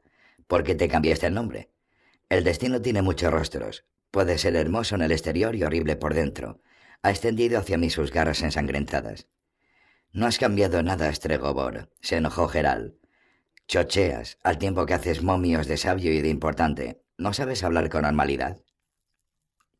Sé, suspiró Nigromante. Si esto te alegra, puedo hacerlo. Llegué aquí huyendo de un ser monstruoso que me quiere asesinar. La huida no me ha servido de nada. Me ha encontrado. Según todas las probabilidades, intentará matarme mañana, como muy tarde pasado. Ajá, dijo impasible el brujo. Ahora entiendo. Me da la sensación de que la muerte que me amenaza no causa en ti la más mínima impresión. Estregobor, dijo Geral, así es el mundo. Mucho se aprende viajando. Dos campesinos se matan entre sí por un campo al que mañana pisotean los caballos de los destacamentos de dos condes que se quieren degollar el uno al otro. A lo largo de los caminos se balancean de los árboles los ahorcados, en los bosques los ladrones les cortan las gargantas a los mercaderes. En las ciudades te tropiezas cada dos pasos con cadáveres tendidos en las regueras. En los palacios se apuñalan con estiletes y en los banquetes cada dos por tres alguien cae debajo de la mesa, lívido, a causa del veneno. Ya me he acostumbrado. Por eso, ¿por qué tendría que afectarme una amenaza de muerte? Y para colmo, ¿qué te amenaza a ti? Para colmo que me amenaza a mí, repitió con sarcasmo Stregobor. Y yo que te tenía por un amigo, contaba con tu ayuda. Nuestro último encuentro, dijo Geral, tuvo lugar en el palacio del rey Idi en Covid. Acudí a que me pagaran por haber acabado con un ambisfen que aterrorizaba los alrededores. Por entonces tú y tu compadre Envidión, a cual mejor, me llamasteis charlatán, máquina de matar sin cerebro, y si no recuerdo mal, carroñero. Como resultado, Idi no solo no me pagó ni un real, sino que además me dio doce horas para irme de COVID, y como tenía la clepsidra rota, por poco no lo cuento. Y ahora me dices que te ayude. Me dices que te persigue un monstruo. ¿De qué tienes miedo, Stregobor? Si te ataca, le dices que te gustan los monstruos, que los proteges y que cuidas de que ningún brujo carroñero les moleste. Y si el monstruo te destripa y te devora, será un monstruo muy desagradecido. El hechicero se mantenía en silencio con la cabeza vuelta. Geral sonrió. No te pongas de morros, mago. Cuéntame lo que te amenaza. Veremos lo que se puede hacer. ¿Has oído hablar de la maldición del sol negro? Claro que he oído. Solo que bajo el nombre de la manía del loco El Tibaldo. Así se llamaba el mago que comenzó la persecución durante la que mataron o encerraron en la cárcel a decenas de muchachas de nobles familias, incluso de la realeza. Según él, estaban algo así como poseídas por demonios, malditas, contaminadas por el sol negro, como llamáis en vuestra pomposa jerga a un eclipse común y corriente. El Tibaldo, que en absoluto estaba loco, descifró las inscripciones de los menires de Dauk y de las lápidas de las necrópolis de Bozgor. Analizó las leyendas y las tradiciones de los bobolacos. Todas hablaban del eclipse en un modo que dejaba lugar a pocas dudas. El sol negro tenía que anunciar la pronta venida de Lilith, adorada aún en Oriente bajo nombre de Nilla, y el holocausto de la raza humana. El camino para Lilith habían de prepararlo sesenta bestias de oro coronadas que con río de sangre los valles llenarán. Sandeces, dijo el brujo. Y para colmo, ni siquiera rima. Toda profecía decente tiene que rimar. Lo que de verdad quería el Tibaldo y el Consejo de Hechiceros es de dominio público. Utilizasteis los delirios de un loco para fortalecer vuestro poder, para deshacer alianzas, romper coaliciones, meter la zarpa en las dinastías. En pocas palabras, para tirar más fuerte de las cuerdas que sujetan a las marionetas con corona. Y tú aquí me echas una perorata sobre unas profecías que le darían vergüenza a un viejo de los de la feria. Se pueden tener reservas en torno a la teoría de El Tibaldo, a la interpretación de las profecías, pero no hay forma de negar el hecho de la aparición de terribles mutaciones entre las muchachas nacidas a poco del eclipse. ¿Por qué no se va a poder poner en duda? He oído hablar de algo completamente distinto. Estuve presente en la disección de una de ellas, dijo el brujo. Geral, lo que descubrimos en el interior del cráneo y de la médula no se puede describir claramente. Una especie de esponja roja. Los órganos internos estaban mezclados, algunos faltaban por completo. Todo cubierto de cerdas móviles y lachas de color azul rosáceo. Un corazón con seis ventrículos. Dos casi atrofiados, pero es igual. ¿Qué dices a esto? He visto personas que en vez de manos tenían garras de águilas, personas con colmillos de lobo, personas con articulaciones de más, con órganos de más y pensamientos de más. Todo era resultado de vuestros devaneos con la magia. Viste distintas mutaciones, dices. El nigromante alzó la cabeza. ¿Y cuántas de ellas te cargaste por dinero siguiendo tu vocación de brujo? ¿Qué? Porque se pueden tener colmillos de lobo y quedarse en alardear de ellos delante de las putas de la taberna. Y se puede tener al mismo tiempo naturaleza de lobo y atacar a niños. Y precisamente así era en este caso de las muchachas nacidas después del eclipse. En ellas se puede reconocer una tendencia irracional a la crueldad, a la agresión, a explosiones irresponsables de rabia y también un temperamento irascible. En cada hembra se puede encontrar algo parecido, se mofó Geral. ¿Y qué me estás desbarrando aquí? Preguntas que cuántos mutantes he matado. ¿Por qué no te interesa cuántos he desencantado? ¿A cuántos les libere de su maldición?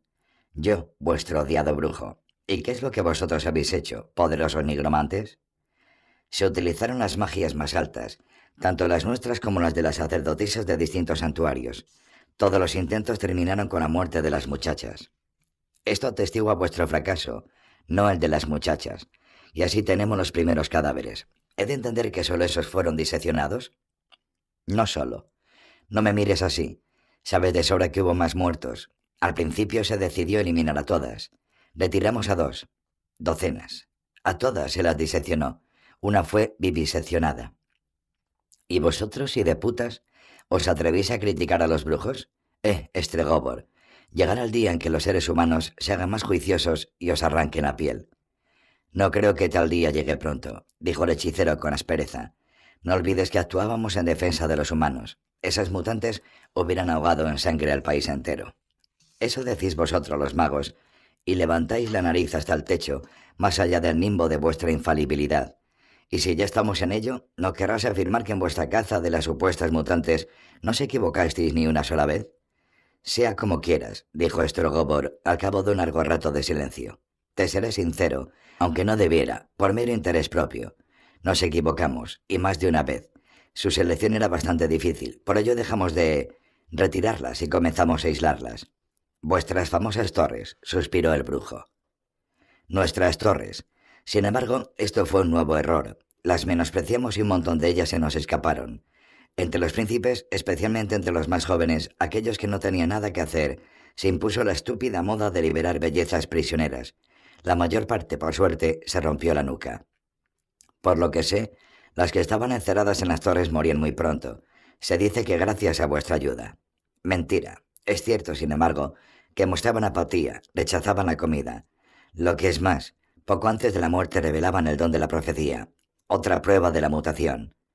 Como prueba no es de las más convincentes, ¿no tienes otras? Las tengo. Silvena, la señora de Narok, a la que nunca nos pudimos siquiera acercar, porque había llegado al poder muy pronto. Ahora suceden en ese país cosas horribles. Fialca, la hija de Ebermir, que huyó de la torre con ayuda de una cuerda hecha con sus trenzas y que ahora terroriza a Velaz del norte. A Bernica de Talgar la liberó un príncipe idiota. Ahora ciego, está en una mazmorra y el elemento más característico del paisaje de Talgar es el cadalso. Y hay más ejemplos. Seguro que los hay, dijo el brujo. En Jamurlak, por ejemplo, gobierna un vejestorio, Abrad, que padece de escrófulas, no tiene un solo diente, nació lo menos cien años antes del eclipse y no se va a dormir si no se tortura a alguien en su presencia. Exterminó a todos sus parientes y despobló la mitad del país en irresponsables, como las definiste, explosiones de rabia. Y hay incluso pruebas de temperamento irascible. Al parecer en su juventud le llamaban incluso a Brad el destrozador. Eh, Strogobor, estaría bien que se pudiera explicar la crueldad de los gobernantes con mutaciones o maldiciones. Escucha, Geral. Ni lo pienso. No me convencerás de tus razones, ni mucho menos de que el Tibaldo no era un loco grillado. Volvamos al monstruo que te amenaza. Por el prólogo que le has dado, sé consciente de que la historia no me gusta, pero te escucharé hasta el final. ¿No me vas a interrumpir con consideraciones maliciosas? No puedo prometerlo. ¿Qué más da? Estregóbor esconde las manos en las mangas de la túnica. Así durará más. En fin, la historia comenzó en Creiden, un pequeño condado en el norte. La mujer de Frede Falk, el conde de Creiden, era Aridea, una mujer sabia y bien educada. Tenía entre sus antecesores a muchos famosos adeptos del arte de la nigromancia, y seguramente por ello había recibido en herencia un artefacto bastante raro y potente, un espejo de Nealena. Como sabes, los espejos de Nealena los usaban sobre todo profetas y adivinos, porque eran capaces de vaticinar el futuro, sin fallos pero bastante confusamente. Aridea a menudo acudía al espejo. Con la pregunta habitual, como me figuro, le interrumpió Geral. ¿Quién es la más hermosa del mundo? Por lo que sé, todos los espejos de Nealena se dividen en dos tipos, los mentirosos y los rotos. Te equivocas. A Aridea le interesaba más el destino del país, y a sus preguntas el espejo respondía vaticinándole una muerte horrible a ella y a una gran cantidad de personas a manos o a causa de la hija del primer matrimonio de Frede Falk. Aridea se las arregló para que esta noticia llegara hasta el consejo, y el consejo me envió a mí a Creiden. No tengo que agregar que la primogénita de Frede Falk había nacido poco después del eclipse. Observé a la pequeña con discreción durante un corto periodo. En ese tiempo, se las arregló para torturar a un canario y dos cachorros de perro, y también para sacarle un ojo a una sirvienta con el mango de un peine. Realicé unas cuantas pruebas con ayuda de encantamientos. La mayoría confirmaron que la pequeña era una mutante. Acudí a Aridea con esto, porque Fredefal estaba loco por su hija. Como dije, Aridea no era una mujer tonta. Está claro, interrumpió Gerald de nuevo, y seguramente tampoco le gustaba demasiado la heredera. Quería que el trono lo heredaran sus propios hijos. El resto me lo imagino, que no se encontraba por allí a nadie que le retorciera el pescuezo. Y ya puestos, a ti también. Estregóbor suspiró, alzó los ojos al cielo del cual todavía colgaba un arco iris multicolor y pintoresco.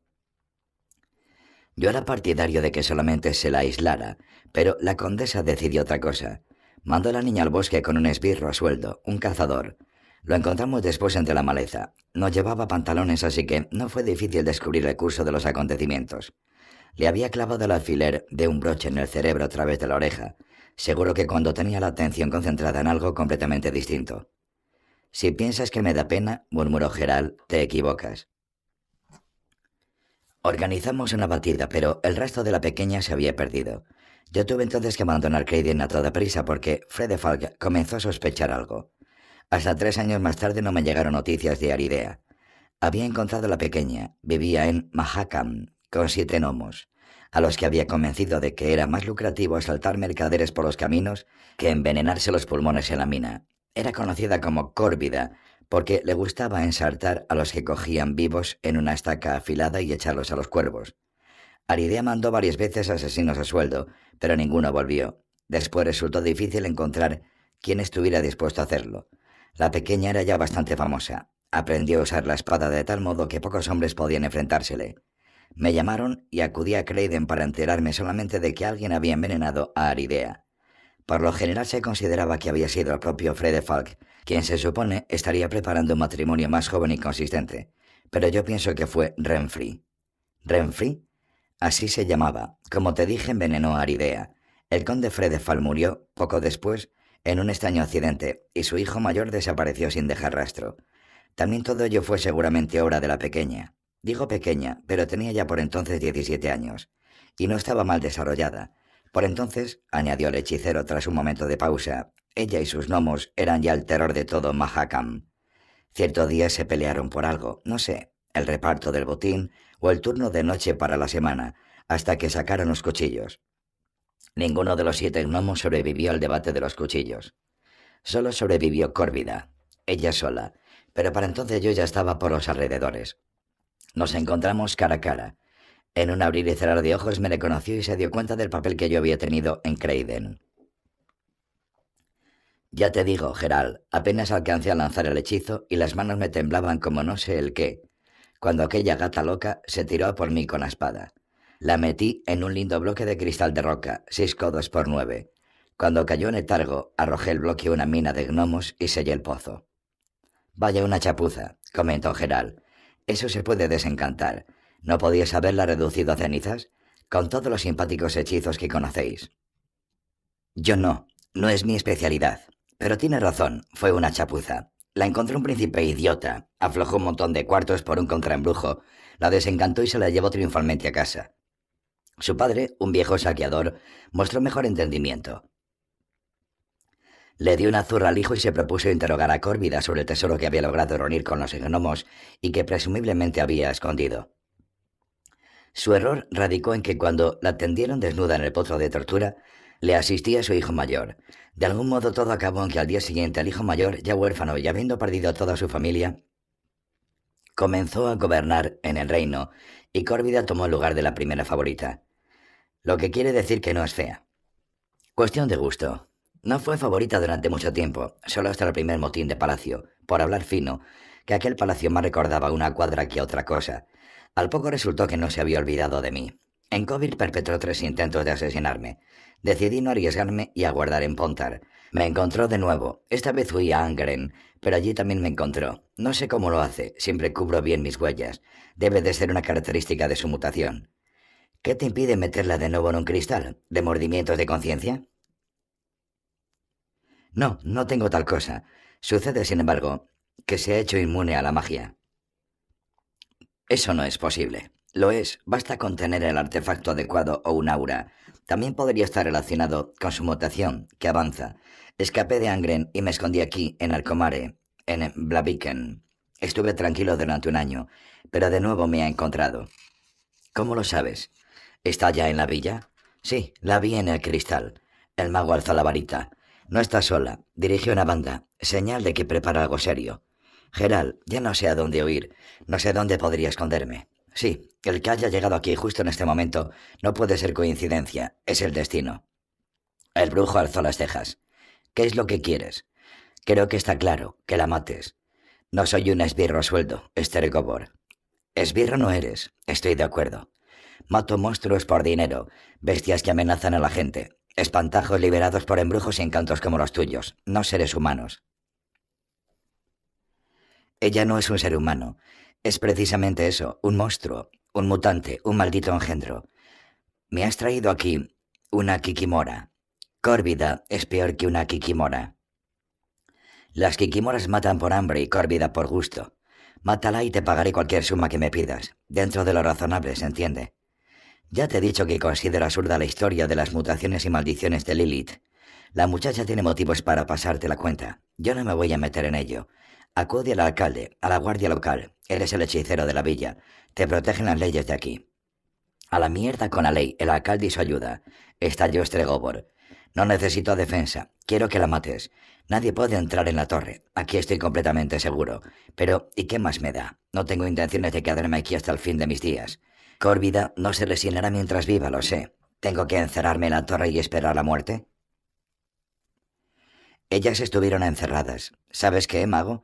Tendrían que haber mandado a cazar a las muchachas otros hechiceros más poderosos. Tendrían que haber previsto las consecuencias. Por favor, Gerard. No, Estregobor. El nigromante se calló.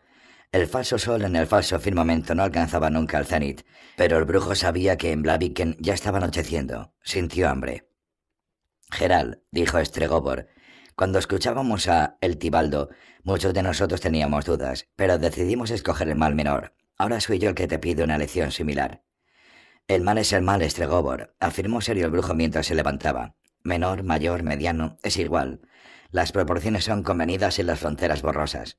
No soy un santo ermitaño, no siempre he obrado bien. Pero si tengo que elegir entre un mal y otro, prefiero no elegir en absoluto. Hora de irme. Nos veremos mañana. Puede ser, dijo el hechicero, si te das prisa. Tercero. La Puerta de Oro. El local representativo de la villa estaba repleto y bullicioso. Los clientes, lugareños y forasteros se ocupaban por lo general de asuntos típicos para las distintas naciones y profesiones. Serios mercaderes se peleaban con enanos por el precio de las mercancías y el porcentaje del crédito.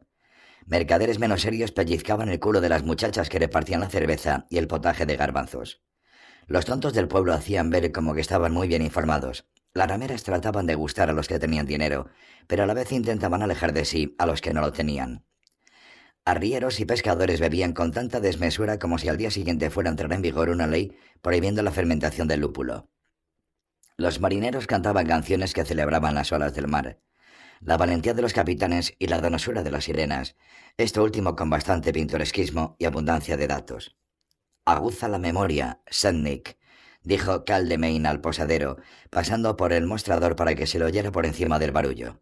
Seis mozos y una muchacha, vestidos en piel negra con adornos de plata, a la moda novigrada. Los vi en los portazgos. ¿Se quedaron en tu casa o fueron a los atunes? El posadero frunció el ceño mientras limpiaba una jarra de cerveza con un delantal a rayas. Aquí, alcalde, dijo al fin. Me soltaron que venían a la feria y todos traían espada, hasta la moza, vestidos de negro, como hablasteis. Pues eso, afirmó con la cabeza el alcalde. ¿Y dónde están ahora? Aquí no los veo. En la sala chica. Con oro pagaron. Iré solo, dijo Geral. No hay por qué hacer de esto un asunto oficial, al menos de momento, delante de todos ellos. La traeré aquí. Pues mejor, pero ojo, no quiero camorra. Tendré cuidado. La canción de los marineros, a juzgar por la creciente saturación de imprecaciones, se acercaba a su gran final. Geral entreabrió las cortinas que cubrían la entrada a la sala chica, tiesas y pegajosas de la suciedad. A la mesa de la sala chica estaban sentados seis hombres. Aquella a la que esperaba no estaba entre ellos. ¿Qué? dijo el que le vio primero, un carborota con la faz destrozada por una cicatriz que discurría entre la ceja izquierda, la base de la nariz y la mejilla derecha. Quiero ver a Córvida. De la mesa se levantaron dos figuras idénticas, con idénticos rostros inmóviles, claros cabellos desgreñados que llegaban hasta los hombros, idénticos trajes ajustados de piel oscura, adornos de plata brillante. Con idéntico movimiento los gemelos alzaron idénticas espadas. Tranquilo, Vir. Siéntate, Nimir, dijo el hombre de la cicatriz apoyando el codo en la mesa. ¿A quién quieres ver, hermano? ¿Quién es esa córvida? Sabes de sobra lo que quiero. ¿Quién es este tío? Dijo un fortachón medio desnudo, empapado en sudor, el torso cruzado de cinturones con púas protegiéndole los antebrazos. ¿Lo conoces, Nohor? No lo conozco, dijo el hombre de la cicatriz. Es un albino de esos. Se rió un hombre delgado de cabellos oscuros sentado junto a Nohor. Sus rasgos delicados, grandes ojos negros y orejas terminadas en punta delataban sin error la mezcla de sangre de elfo. Un albino, un mutante, un aborto de la naturaleza y que también a tales seres se permita entrar en las tabernas donde están las personas honradas. Yo ya le he visto antes, dijo un tipo achaparrado y tostado con los cabellos en una trenza a la espalda, midiendo a Gerald con una furiosa mirada de sus ojos de largas pestañas. No importa dónde lo hayas visto, Tabik, dijo Nohorm. Escucha, hermano, Cibril te ha insultado hace un momento. ¿No le vas a retar? ¿Es una noche tan aburrida? No, afirmó tranquilo el brujo. ¿Y a mí? Si te echo por la cabeza esta caldereta de pescado, ¿me retarías? Se rió el medio desnudo. Tranquilo, quincena, dijo Nohorm. ¿Ha dicho que no? Pues no. De momento. Venga, hermano, dinos lo que tengas que decir y lárgate. Tienes la oportunidad de irte. Si no la aprovechas, te echará al servicio. A ti no tengo nada que decirte. Quiero ver a Córvida, a Renfrey. ¿Habéis oído, muchachos? Nohorm miró a sus compañeros. Quiere ver a Renfrey. ¿Y se puede saber con qué motivo, hermano? No se puede. Nohor alzó la cabeza y miró a los gemelos. Estos entonces dieron un paso al frente, haciendo sonar las hebillas de plata de las altas botas. Ya sé, dijo de pronto el de las trenzas. Ya sé dónde le he visto antes. ¿Qué barbulla está Vic? Delante de la casa del alcalde. Traía una especie de dragón para venderlo, un cruce entre araña y cocodrilo. La gente decía que era un brujo. ¿Qué es eso del brujo? preguntó el desnudo, quincena. ¿Eh? ¿Cibril? Un hechicero de alquiler, dijo el medio elfo. Un prestidigitador por un puñado de monedas de plata. Ya os dije, un aborto de la naturaleza, un insulto al orden humano y divino. A estos habría que quemarlos. No nos gustan los hechiceros, murmuró Tabik sin quitar de Gerald sus ojos pestañosos. Me da la nariz Cibril que vamos a tener más trabajo en esta cloaca de lo que pensábamos. Aquí hay más de uno y todo el mundo sabe que se protegen los unos a los otros. La cabra tira al monte. Sonrió con maldad el mestizo. Y que en el mundo haya cosas como tú. ¿Quién nos cría, engendro? Más tolerancia si no te importa, dijo con tranquilidad Gerald. Tu madre, por lo que veo, debía de pasear sola por el bosque bastante a menudo para que tuvieras motivos de darle vueltas a tu propio origen. Puede ser, respondió el medio elfo sin dejar de sonreír. Pero yo al menos conocí a mi propia madre. Tú, como brujo, no puedes decir lo mismo. Gerald palideció ligeramente y apretó los labios. Nohor, al que no se le había escapado el gesto, se rió con estruendo. Venga, hermano, no puedes dejar pasar tales agravios. Eso que tienes en el lomo parece una espada. ¿Y? ¿Vais a salir tú y Cibril a la calle? Es una noche tan aburrida. El brujo no reaccionó. Maldito cobarde, resopló Tabik. ¿Qué ha dicho de la madre de Cibril? Continuó monótono Nohor, apoyando la barbilla en las manos entrelazadas. Algo muy curioso, si no entendí mal. Que se la follaban o algo así. Eh, quincena, ¿acaso está bien escuchar cómo cualquier vagabundo insulta a la madre de un compañero? Las madres y su chocho son sagrados. Quincena se levantó enérgicamente, se desató la espada, la tiró sobre la mesa, sacó pecho, colocó las muñequeras de plata que le protegían los antebrazos, escupió y dio un paso hacia adelante. Por si tienes cualquier duda, dijo Nohorm, te aviso de que Quincena te está retando una lucha a puñetazos. Te dije que te iban a echar de aquí. Haced sitio. Quincena se acercó, levantando los puños. Gerald puso la mano sobre la empuñadura de la espada. Ten cuidado, dijo. Un paso más y vas a tener que buscar tus manos por el suelo. Nohor y Tavi se separaron, echando mano a la espada. Los silenciosos gemelos alzaron las suyas con idéntico movimiento. Quincena retrocedió. El único que no se movió fue Cibril. ¿Qué coño pasa aquí? ¿No puedo dejaros solos ni un minuto? Gerald se dio la vuelta muy despacio y se encontró mirando de frente unos ojos del color del agua de mar. Era casi tan alta como él. Llevaba los cabellos de color de leno cortados irregularmente, un poco por debajo de las orejas. Estaba de pie, apoyando una mano en la puerta, vestida con un caftán de terciopelo que se ajustaba con un cinturón plagado de ornamentos. Su falda era irregular, asimétrica. Por el lado izquierdo alcanzaba las pantorrillas y por el derecho dejaba al descubierto un muslo poderoso y la caña de una bota alta de piel de alce. En el costado izquierdo portaba una espada, en el derecho un estilete con un gran rubí en el pomo. ¿Os habéis quedado mudos? Es un brujo, masculló Nohorm. ¿Y qué? Quería hablar contigo. ¿Y qué? Es un hechicero, vociferó Quincena. No nos gustan los hechiceros, ladró Tabik. Tranquilos, muchachos, dijo la chica. No es un crimen el que quiere hablar conmigo. Vosotros seguid divirtiéndoos. Y sin escándalos. Mañana es día de mercado. No querréis, supongo, que vuestras travesuras alteren la feria, un acontecimiento tan importante en la vida de esta simpática villa? En el silencio que siguió pudo escucharse una terrible y apagada risa. Cibril, todavía tendido indolente en el banco, se reía. ¿Qué te, Renfri? balbució el mestizo. Un acontecimiento importante. Cállate, Cibril. Inmediatamente. Cibril dejó de reírse. Inmediatamente. Gerald no se asombró.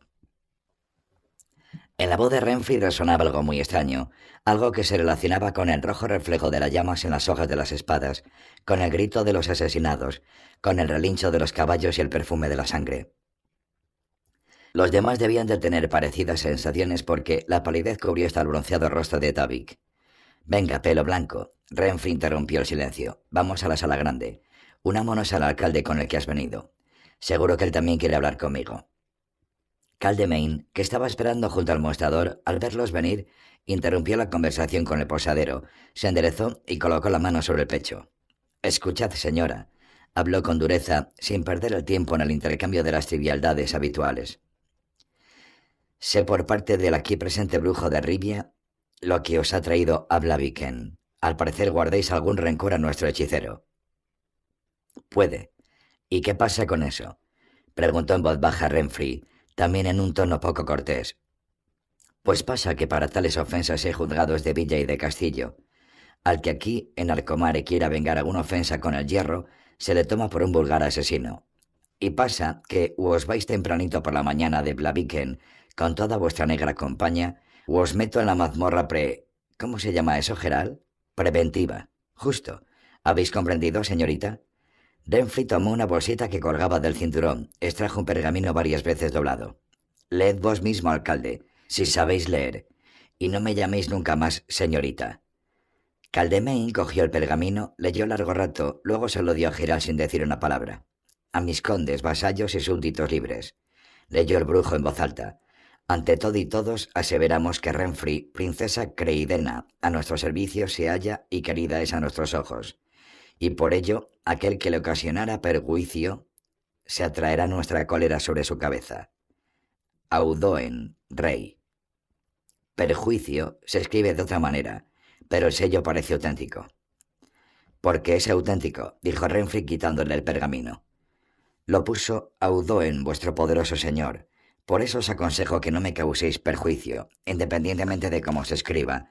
Las consecuencias pueden ser deplorables. No me vais a meter, señor alcalde, ninguna mazmorra, ni me vais a llamar más señorita. No he quebrantado ninguna ley, de momento. Si la quebranta se quiere una pulgada, Caldemain parecía que fuera a escupir, te meto en la trena junto con el pergamino. Encomiéndate a todos los dioses, señorita. Vamos, Gerald. Contigo, brujo. Renfrey toca los hombros de Gerald. Todavía unas palabritas. No llegues tarde a la cena, dijo el alcalde desde la puerta, porque Libusta se pondrá furiosa. No llegaré tarde. Gerald se apoyó en el mostrador. Miró a la muchacha de ojos verdiazules mientras jugueteaba con el medallón, con una faz de lobo que llevaba colgado del cuello. He oído hablar de ti, dijo. Eres Gerald de Rivia, el brujo de cabellos blancos. ¿Estregóbor es tu amigo? No. Entonces eso facilita el asunto. No tanto. No tengo intenciones de quedarme mirando. Los ojos de Renfrey se estrecharon. Estregóbor morirá mañana, afirmó en voz baja, quitándose de la frente los cabellos irregularmente cortados.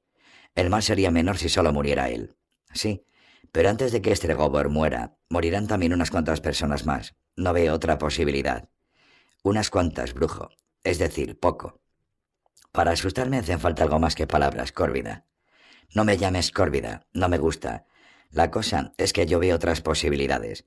Valdría la pena hablar de ello, pero bueno, Libusta espera. Al menos es guapa esa Libusta. ¿Esto es todo lo que tenías que decirme? No, pero ahora vete. Libusta espera. Cuarto. Había alguien en su cuarto de la troje. Gerald lo supo incluso antes de acercarse a la puerta. Lo reconoció en la ligera vibración del medallón. Sopló la lamparilla con la que iluminaba las escaleras, sacó el estilete de la bota, se lo colocó por detrás en el cinturón, alzó el picaporte. En la habitación reinaba la oscuridad, pero no para el brujo. Cruzó el umbral premeditadamente despacio, indolente. Cerró la puerta con lentitud detrás de sí.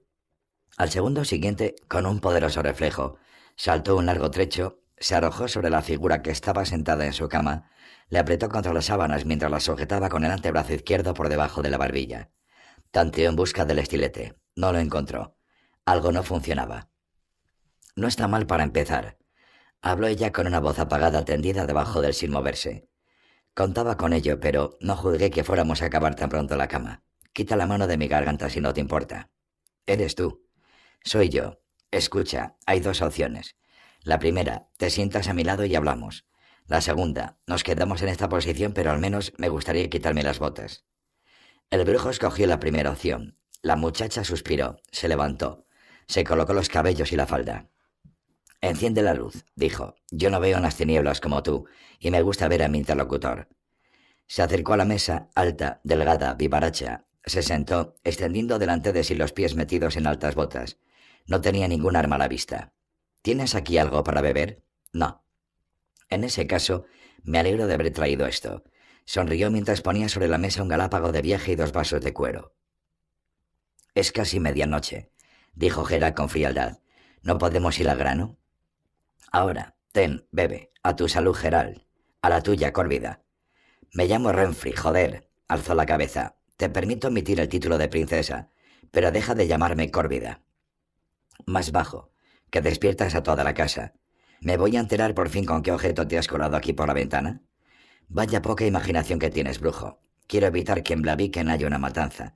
Para ponerme de acuerdo contigo, me ha arrastrado por los tejados como si fuera un gato. Valora el hecho. Lo valoro, dijo Gerald. Solo que no sé lo que puede salir de tal conversación. La situación está clara. Estregobor vive en una torre encantada. Para llegar hasta él tendrías que sitiarlo. Si haces esto, de nada te servirá tu salvoconducto. Audoen no te protegerá si violas abiertamente la ley. El alcalde, la guardia, todo Blaviken se pondrá contra ti. Todo Blaviken, si se pone contra mí, lo lamentará terriblemente. Renfrey sonrió mostrando unos feroces dientes blancos. ¿Has echado un vistazo a mis muchachos? Te juro que conocen su oficio. ¿Te imaginas lo que pasaría si se llega a un combate entre ellos y esos imbéciles de la guardia que se tropiezan a cada paso con sus propias alabardas? ¿Y tú, Renfrey, te imaginas que yo me voy a quedar sentado mirando tranquilamente el desarrollo de esa lucha? Como ves, vivo en casa del alcalde. En caso necesario, me pondré de su lado. No dudo, Renfrey adoptó un tono más serio, que lo harás, aunque con toda seguridad estarás solo, porque el resto se esconderá en los sótanos. No hay en el mundo un alcalde que sea capaz de vencer a siete espadachines. Ningún individuo sería capaz. Pero, pelo blanco, dejemos de asustarnos el uno al otro. Te dije, la carnicería y el derramamiento de sangre se pueden evitar. En concreto, hay dos personas que pueden evitarlos. Soy todo oídos. Una, dijo Renfrey, es el propio Stregobor. Sale voluntariamente de su torre. Yo me lo llevo a algún lugar desierto y Blaviken se sumerge de nuevo en su bienaventurada apatía y se olvida rápidamente de todo este asunto. Stregobor puede parecer chiflado, pero no hasta ese punto. ¿Quién sabe, brujo? ¿Quién sabe? Existen argumentos que no se pueden refutar. Existen proposiciones que no se pueden rechazar. A ellos pertenece, por ejemplo, el ultimátum tridamo. Le lanzaré al hechicero un ultimátum tridamo.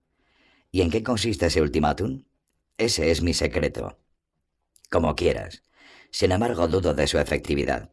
Cuando Stregobor habla de ti, le castañetean los dientes. Un ultimátum que le hiciera entregarse voluntariamente en tus preciosas manos tendría que ser de verdad considerable. Pasemos entonces a la segunda persona que puede evitar una masacre en Blaviken. Intentaré adivinar quién es. Ardo de curiosidad por comprobar tu perspicacia, pelo blanco.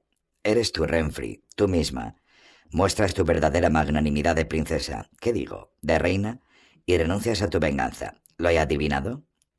Renfrey echó la cabeza hacia atrás y se rió roncamente, tapándose a trechos la boca con una mano. Luego se puso seria, clavó en el brujo unos ojos centelleantes. Gerald, dijo, yo era princesa, pero en Creiden.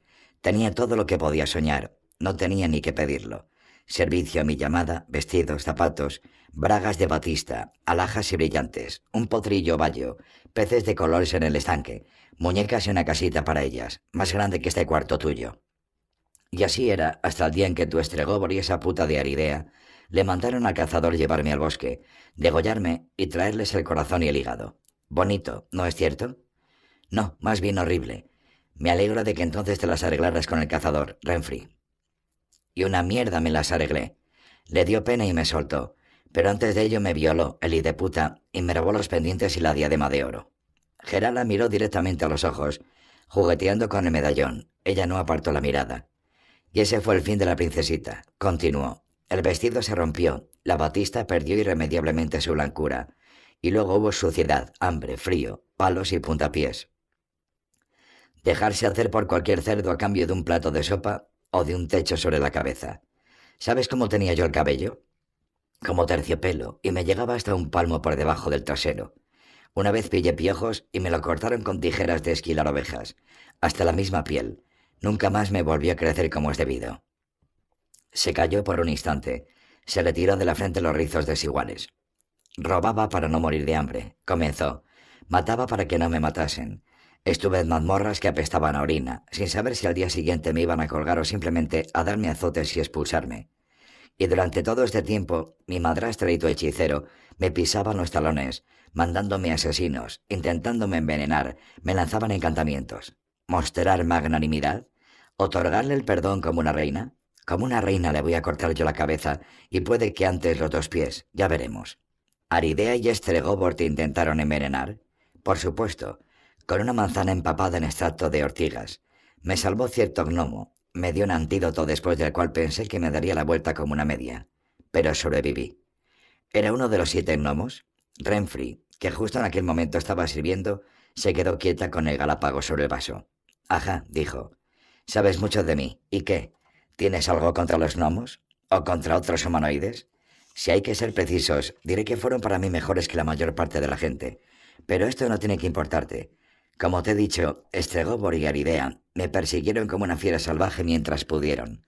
Luego dejaron de poder. Yo misma me convertí en el cazador.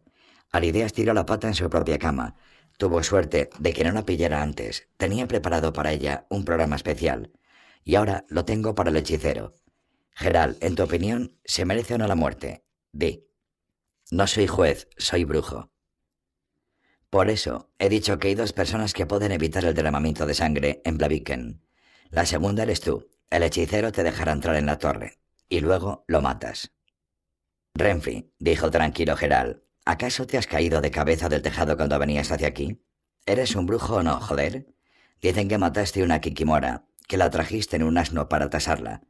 Estregobor es peor que cualquier Kikimora, que al fin y al cabo es solo una bestia irracional y que mata porque así le hicieron los dioses. Estregobor es un salvaje, un maníaco, un monstruo. Tráemelo en un asno y no repararé en oro. No soy un esbirro sueldo, Córvida. No, no lo eres, afirmó con una sonrisa. Se echó hacia atrás apoyada en el escabel y cruzó las piernas sobre la mesa, sin hacer el mínimo esfuerzo por ocultar el muslo con la falda. Eres un brujo, defensor de la gente, a la que proteges del mal. Y en este caso el mal es el hierro y el fuego que empezarán a correr en cuanto estemos frente a frente. ¿No te das cuenta de que te propongo el mal menor, la mejor de las soluciones? Incluso parece y de puta de Estregobor. Puedes matarlo con compasión, de un golpe, de sopetón. Morirá sin saber que muere, y yo eso no se lo garantizo. Antes al contrario. Geral estaba en silencio. Renfrey se estiró, alzando las manos bien arriba. Comprendo tus titubeos, dijo, pero debo conocer la respuesta ahora mismo. ¿Sabes por qué Estregobor y la condesa quisieron matarte entonces, en Creiden y luego? Denfrey se incorporó violentamente. Bajó los pies de la mesa. Creo que está claro, estalló. Querían librarse de la primogénita de Fredefalk, porque era la heredera del trono. Los hijos de Aridea procedían de una unión morganática y no tenían ningún derecho a... Renfrey, no hablo de eso. La muchacha bajó la cabeza pero solo un momento. Sus ojos destellaron. Va, venga, dicen que estoy como maldita, contaminada desde el seno materno. Dicen que soy... Termina. Un monstruo. ¿Y lo eres? Durante un corto momento pareció indefensa y derrotada, y muy triste. No lo sé, Geral. Susurró, después de lo cual sus rasgos se endurecieron de nuevo. Porque, ¿cómo coño lo voy a saber? Si me hieron un dedo sangro. Sangro también cada mes. Si me atraco de comer me duele la tripa y si bebo demasiado la cabeza. Si estoy contenta canto y si estoy triste blasfemo. Si odio a alguien lo mato y si... Ah, joder, basta ya. Responde, brujo. Mi respuesta es no. ¿Recuerdas lo que te he dicho? Preguntó a cabo de un rato de silencio. Hay proposiciones que no se pueden rechazar. Las consecuencias son terribles. Te advierto muy en serio. La mía es de ese tipo. Piénsatelo bien. Lo he pensado bien. Y tómame en serio porque yo te advierto también en serio. Renfrey cayó durante un rato, jugando con el collar de perlas que rodeaba por tres veces el contorno de su cuello.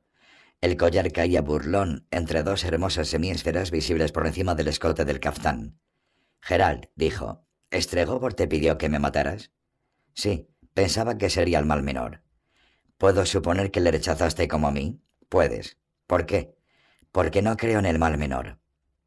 Renfrey sonrió levemente, tras lo cual los labios se le torcieron en un gesto bastante poco agradable a la luz amarilla de las velas. No crees, dices. Sabes, tienes razón, pero solo en parte. Solo existen el mal y el mal mayor. Y sobre ellos dos, en las tinieblas, está el mal muy mayor. El mal muy mayor, Geral, es algo que no puedes ni imaginarte, aunque pienses que ya nada puede sorprenderte. Y sabes, Geral, a veces resulta que el mal muy mayor te agarra por la garganta y te dice, elige hermano, o yo o aquel otro, un poco menor. ¿Se puede saber a dónde quiere llegar? A ningún lugar. He bebido de más y me entretengo en filosofar. Busco las verdades supremas. Justo acabo de encontrar una. El mal menor existe, pero no podemos elegirlo nosotros solos. El mal muy mayor consigue imponernos tal elección, lo queramos o no. Está claro que yo he bebido demasiado poco. El brujo sonrió ásperamente. Y la medianoche, como suele suceder con las medianoches, ha pasado en un suspiro. Concretemos. No vas a matar a Stregobor en Blaviken, no te lo permito. No te permito que se llegue aquí a luchas y masacres.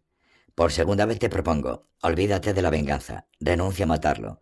De esta forma le probarás a él, y no solo a él, que no eres un monstruo inhumano sediento de sangre, un mutante, un engendro. Le probarás que se equivocó, que su error te causó un gran daño. Renfrey miró durante un momento al medallón del brujo que se balanceaba en la cadena enrollada en sus dedos. Y si te digo, brujo, que no soy capaz de perdonarle ni de renunciar a la venganza, significará que le doy a él y no solo a él la razón, ¿verdad? Le probaré también que al fin y al cabo soy un monstruo, un demonio inhumano maldito por los dioses. Escucha, brujo. En el mismo comienzo de mis vagabundeos me acogió cierto labrador. Le gusté, como él a mí no me gustaba para nada, y antes, al contrario, cada vez que me quería tener, me apaleaba de tal modo que apenas podía arrastrarme del camastro. Un día me levanté cuando todavía estaba oscuro y le corté la garganta al labrador, con una guadaña. No tenía entonces tanta destreza como tengo ahora, y el cuchillo me parecía demasiado pequeño. Y sabes, Gerard, escuchando cómo el labrador gorgoteaba y se ahogaba, mirando cómo pataleaba, sentí que las huellas de sus palos y puntapiés no dolían ya más, y que me sentía bien, tan bien que... Me fui temprano, silbando, sana, alegre y feliz. Y luego, a cada vez fue lo mismo. Si fuera distinto entonces, ¿Quién iba a perder tiempo en la venganza? Renfrey, dijo Gerald, independientemente de tus razones y de tus motivos, no te irás de aquí silbando y no te vas a sentir tan bien que... No te irás alegre y feliz, pero te irás viva. Mañana temprano, como mandó el alcalde. Ya te lo he dicho, pero lo repito, no matarás a Stregobor en Blaviken. Los ojos de Renfrey brillaron a la luz de las velas, brillaron las perlas en el escote del caftán, brilló el medallón con las fauces de lobo vibrando en la cadena de plata. Lo siento por ti, dijo de pronto la muchacha con lentitud, mirando el disco centellante y plateado. Afirmas que no existe el mal menor. Estás de pie en la plaza, sobre el empedrado ahogado en sangre, solo, tan absolutamente solo porque no supiste elegir. No supiste, pero lo hiciste. Nunca, nunca vas a llegar a saber, nunca vas a tener la completa seguridad, nunca. Escuchas. Y tu pago serán piedras, insultos. Me das pena. ¿Y tú?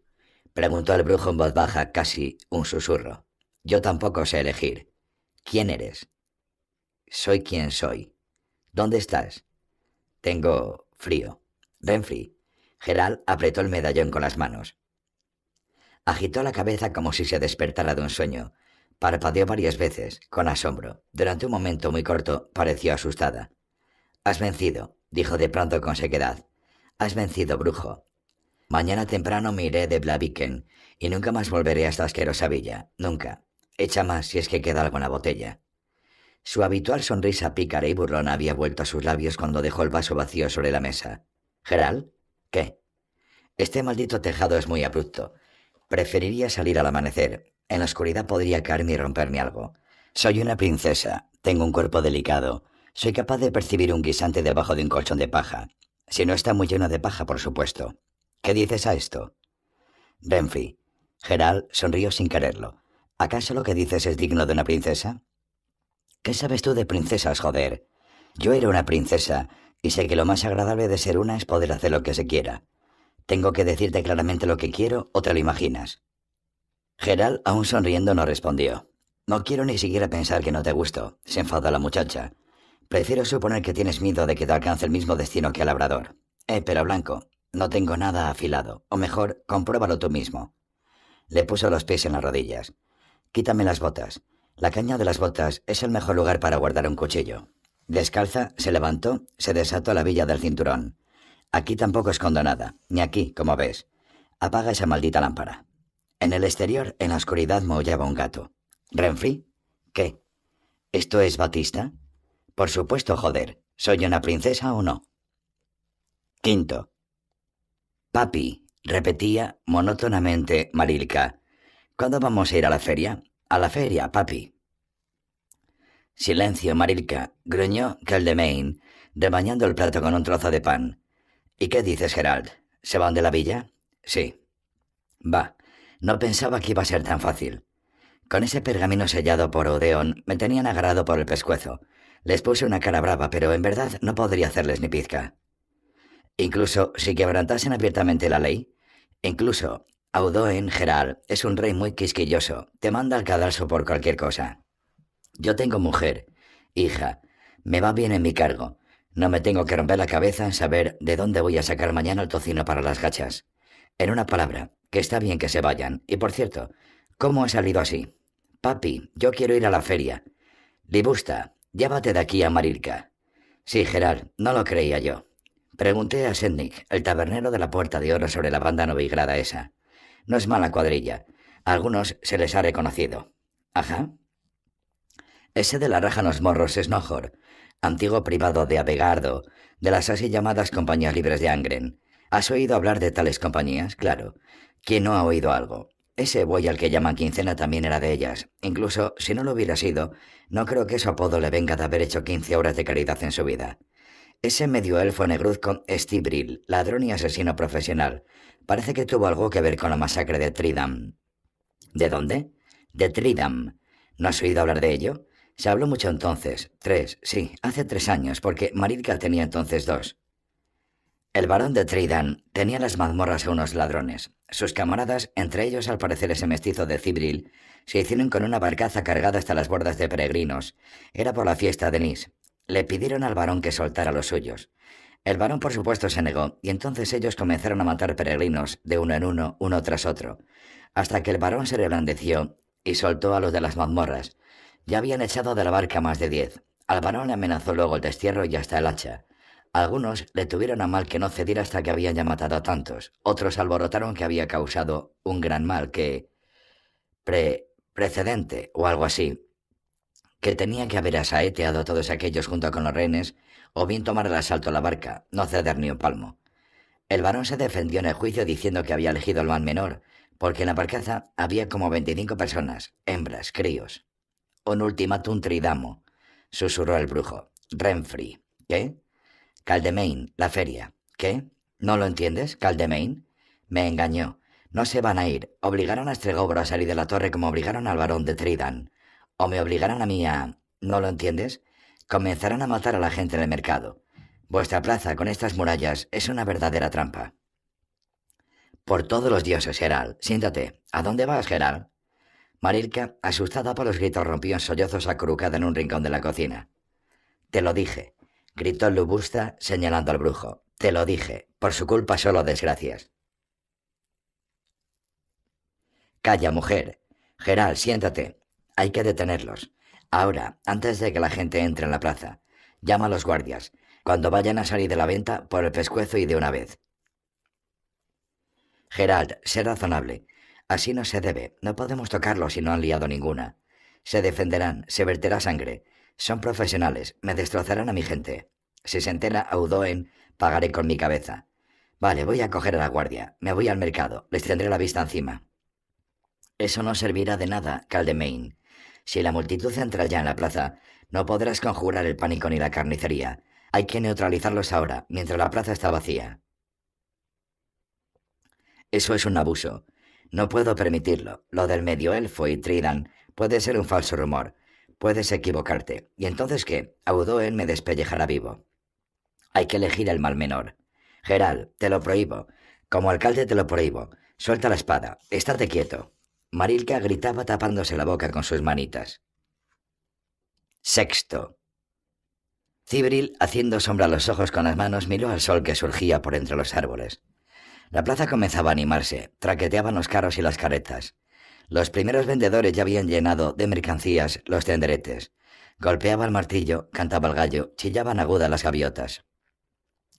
Parece que va a ser un día precioso, dijo Quincena meditabundo, Cibril le miró sesgadamente, pero no dijo nada. ¿Y los caballos, Tabik? preguntó Nohor, tirando de los guantes. Listos, ensillados. Cibril, todavía hay pocos en la plaza. Habrá más. Convendría comer algo. luego. Seguro, tendrás luego tiempo y ganas. Mirad, dijo de pronto Quincena. El brujo entró desde la calle principal y atravesó por entre los tenderetes. Se dirigía directamente hacia ellos. Ajá, dijo Cibril. Renfrey tenía razón. Dame la ballesta, no Horn. Se enderezó, tensó la cuerda sujetando el estribo con el pie. Con esmero colocó la flecha en la estrella. El brujo seguía andando. Cibril levantó la ballesta. Ni un paso más, brujo. Gerald se detuvo. Apenas catorce pasos le separaban del grupo. ¿Dónde está Renfrey? El mestizo deformó su hermoso rostro. Debajo de la torre le está haciendo cierta proposición al hechicero. Sabía que vendrías aquí. Me pidió que te dijera dos cosas. Habla. La primera cosa es un refrán que dice, soy quien soy, elige, o yo o eso otro, menor. Al parecer tienes como que saber de qué va. El brujo afirmó con la cabeza. Luego alzó la mano, asiendo la empuñadura de la espada que sobresalía por su hombro derecho. La hoja brilló, describiendo un círculo por encima de su cabeza. Se dirigió hacia el grupo a paso ligero. Cibril adoptó una sonrisa terrible, cruel. ¿Y qué le vamos a hacer? Ella también previó esto, brujo. Y ahora te daré la segunda cosa que me encargo darte, justo entre los ojos. El brujo se acercó. El medio elfo alzó la ballesta hasta sus mejillas. Se hizo el silencio. La cuerda resonó. El brujo dio un mandoble con la espada. Se oyó un prolongado gemido de metal golpeado. La flecha voló hacia lo alto cabreteando. Cayó seca sobre el tejado. Retumbó en un canalón. El brujo siguió avanzando. La ha parado, gimió Quincena, la ha parado en el aire. Todos a una, ordenó Cibril. Silbaron las espadas al salir de sus vainas. El grupo se apretó hombro con hombro, las hojas erizadas. El brujo aceleró el paso. Su andar, de extraordinaria ligereza y fluidez, se convirtió en carrera, no directamente hacia el collar de espinas de las espadas del grupo, sino de lado, rodeándoles con espirales cada vez más cerradas. Tabik no aguantó. Se lanzó hacia él, reduciendo la distancia. Detrás de él saltaron los gemelos. No os separéis, gritó Cibril doblando la cabeza, perdiendo al brujo de su campo de visión. Maldijo, saltó hacia un lado, viendo que el grupo se disgregaba completamente y daba vueltas entre los tenderetes en un loco cortejo. Tabik fue el primero.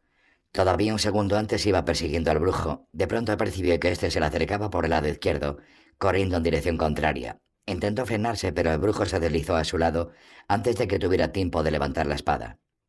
Tabik sintió un fuerte golpe por encima de las caderas. Se le torció y advirtió que caía. Ya de rodillas contempló asombrado sus caderas y comenzó a gritar. Los gemelos atacaron al mismo tiempo a la negra y sucia forma que se arrastraba hacia ellos. Se movieron el uno hacia el otro, chocaron sus hombros, perdiendo durante un segundo el ritmo. Fue suficiente. Bir Herido a todo lo largo del pecho, se dobló en dos, con la cabeza agachada todavía alcanzó a dar un par de pasos y se estrelló contra un puesto de verduras. Nimir recibió un tajo en la sien, giró en el mismo sitio y se derrumbó sobre la reguera, pesado, inerte. La plaza empezó a agitarse. Los vendedores huían. Resonaron los tenderetes que se derrumbaban. Se alzaron humo y gritos. Tabik intentó levantarse otra vez apoyándose en las manos temblorosas. Cayó. Por la izquierda, quincena gritó Nohor, corriendo en semicírculo para asaltar al brujo por detrás. Quincena se dio la vuelta muy deprisa, pero no lo suficiente. Recibió un tajo en la barriga, aguantó, se dobló para golpear, entonces recibió un segundo tajo a un lado del cuello, justo por debajo de la oreja. Rígido, dio cuatro tambaleantes pasos y se derrumbó sobre un carro lleno de pescado. El carro echó a rodar. Quincena se deslizó sobre el pavimento plateado de escamas. Cibril y Nohorm golpearon al mismo tiempo desde dos direcciones. El medio elfo con un enérgico tajo desde arriba, Nohor apoyado en la rodilla, con un golpe bajo y plano. Los dos fueron parados, dos chirridos metálicos unidos en uno. Cibril saltó, dio un paso en falso, se mantuvo en pie apoyándose en el parapeto de madera de un puestecillo. Nohor se tiró y le hizo sombra una espada sostenida perpendicularmente. Rechazó el golpe con tanta fuerza que le echó para atrás. Tuvo que blasfemar. Al incorporarse hizo una parada, demasiado lento. Recibió un tajo en el rostro, en perfecta simetría con la vieja cicatriz. Cibril se impulsó con la espalda contra el tenderete, saltó sobre Nohor cuando éste caía, atacó en media vuelta con las dos manos. No acertó, saltó inmediatamente. No sintió el impacto, se le doblaron las rodillas justo cuando después de una parada forzó la finta pasando a un nuevo ataque. La espada se le cayó de la mano cortada desde el interior por encima del codo. Cayó de hinojos, agitó la cabeza, quería levantarse, no pudo. Descansó la cabeza sobre las rodillas. Así murió, en un charco rojo, entre coletes paramadas, entre rosquillas y peces. Renfrey entró en la plaza. Se acercó lenta, a paso leve, pelino, evitando carros y puestos. La multitud que en las callejas y junto a los muros de las casas tumbaba como un enjambre de abejas se quedó muda. Geral estaba de pie, inmóvil, con la espada en la mano bajada. La muchacha se acercó hasta estar a diez pasos, se detuvo. Vio que debajo de la camisa llevaba una cota de malla, corta, que apenas cubría sus caderas. Hiciste tu elección, afirmó. ¿Estás seguro que fue correcta? No habrá aquí un segundo Tridan, dijo Geral con énfasis. No lo habría habido. Estregobor se rió de mí. Dijo que puedo matar a todo Blaviken y añadir unas cuantas aldeas de los alrededores si quiero, pero que él no saldrá de la torre, y no permitiré entrar a nadie, incluyéndote a ti. ¿Por qué me miras de ese modo? Sí, te engañé. Toda la vida he estado engañando cuando ha sido necesario. ¿Por qué iba a hacer una excepción contigo? Vete de aquí, Renfrey. Se rió. No, Geral. Tomó la espada rápida y hábilmente. Renfrey. No, Geral. Tú realizaste tu elección. Ahora es mi turno. Con un movimiento seco arrancó la falda de sus caderas. La hizo girar en el aire, enredando el material en torno a su antebrazo derecho. Geral retrocedió, alzó el brazo, formando la señal con los dedos. Renfrey se rió de nuevo, breve y roncamente. No servirá de nada, pelo blanco. Eso no funciona conmigo, solo la espada. Renfrey repitió. Vete. Si cruzamos las armas yo ya no podré. Lo sé, dijo. Pero yo Tampoco puedo hacer otra cosa. Somos lo que somos, tú y yo. Se movió hacia él con un paso ligero, cimbreante. En la mano derecha extendida, dirigida hacia un lado, brillaba la espada, con izquierda arrastraba la falda por el suelo. Gerald retrocedió dos pasos.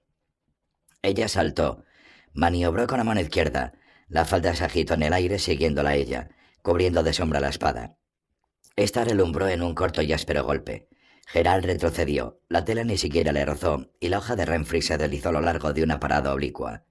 Respondió mecánicamente con el centro del filo. Unió las dos espadas en un breve molinete, intentando hacerle perder su arma. Eso fue un error. Ella repelió su hoja y de inmediato, con las rodillas flexionadas y cimbreando las caderas, golpeó, apuntando al rostro. Geral apenas pudo parar este ataque. Saltó para evitar la tela de la falda que le caía encima. Giró en una pirueta, evitando la hoja que brillaba en golpes relampagueantes. Saltó de nuevo. Ella le cayó encima, le lanzó la falda directa a los ojos. Atacó en un tajo llano, de cerca, en media vuelta. Él se zafó del golpe dándose la vuelta casi pegando a ella. Ella conocía aquella maniobra. Se volvió junto con él y de cerca, tanto que podía sentir su aliento, le recorrió el pecho con la espada. El dolor le mordió, pero no quebró el ritmo. Se dio la vuelta otra vez, en dirección contraria. Rechazó la espada que volaba hacia su sien. Hizo una rápida finta y contraatacó. Renfrey saltó, se preparó para un golpe desde arriba. Gerald hizo una genuflexión. La atacó repentinamente desde abajo, con la misma punta de la espada, a través del muslo descubierto y de la ingle. No gritó. Cayendo de rodillas hacia un costado, soltó la espada. Aceró con las dos manos el muslo herido. Por entre los dedos, la sangre se extendió en clara corriente sobre el cinturón ornamentado, sobre las botas de piel de alce, sobre el sucio pavimento. La multitud apiñada en las callejuelas se removió y gritó. Gerald envainó la espada. No te vayas, gimió, haciéndose un ovillo. No respondió. Tengo frío. No respondió. Renfrey gimió de nuevo, enroscándose aún más. Impetuosos ríos de sangre iban llenando los huecos entre las piedras. Gerald, abrázame. No respondió. Volvió la cabeza y quedó inmóvil, con la mejilla sobre el empedrado. Un estilete de hoja muy estrecha, hasta entonces escondido debajo del cuerpo, relució en sus dedos muertos. Al cabo de un rato que pareció una eternidad, el brujo alzó la cabeza ante el ruido del callado de Estregobor sobre el pavimento. El hechicero se acercó con presteza, evitando los cadáveres. Vaya carnicería, resolló. Lo vi, Geral, lo vi todo en el cristal. Se acercó, se inclinó. Con su larga túnica arrastrando por el suelo, apoyado en su vara, parecía viejo, muy viejo. No se puede creer, agitó la cabeza. Corvida completamente muerta. Geral no respondió. Venga, Geral. El hechicero se enderezó. Vea por un carro. Nos la llevamos a la torre. Hay que diseccionarla. Miró al brujo. Sin esperar respuesta, se inclinó sobre el cuerpo. Alguien a quien el brujo no conocía echó la mano a la espada. La desenvainó muy rápidamente. Tócale un pelo, hechicero, dijo alguien a quien el brujo no conocía. Tócale solo un pelo y tu cabeza volará al suelo. ¿Qué te pasa, Geral? ¿Te has vuelto loco? Estás herido. Tienes un shock. La disección es el único modo de confirmar. No la toques. Estregobor, viendo la espada en alto, saltó agitando el callado.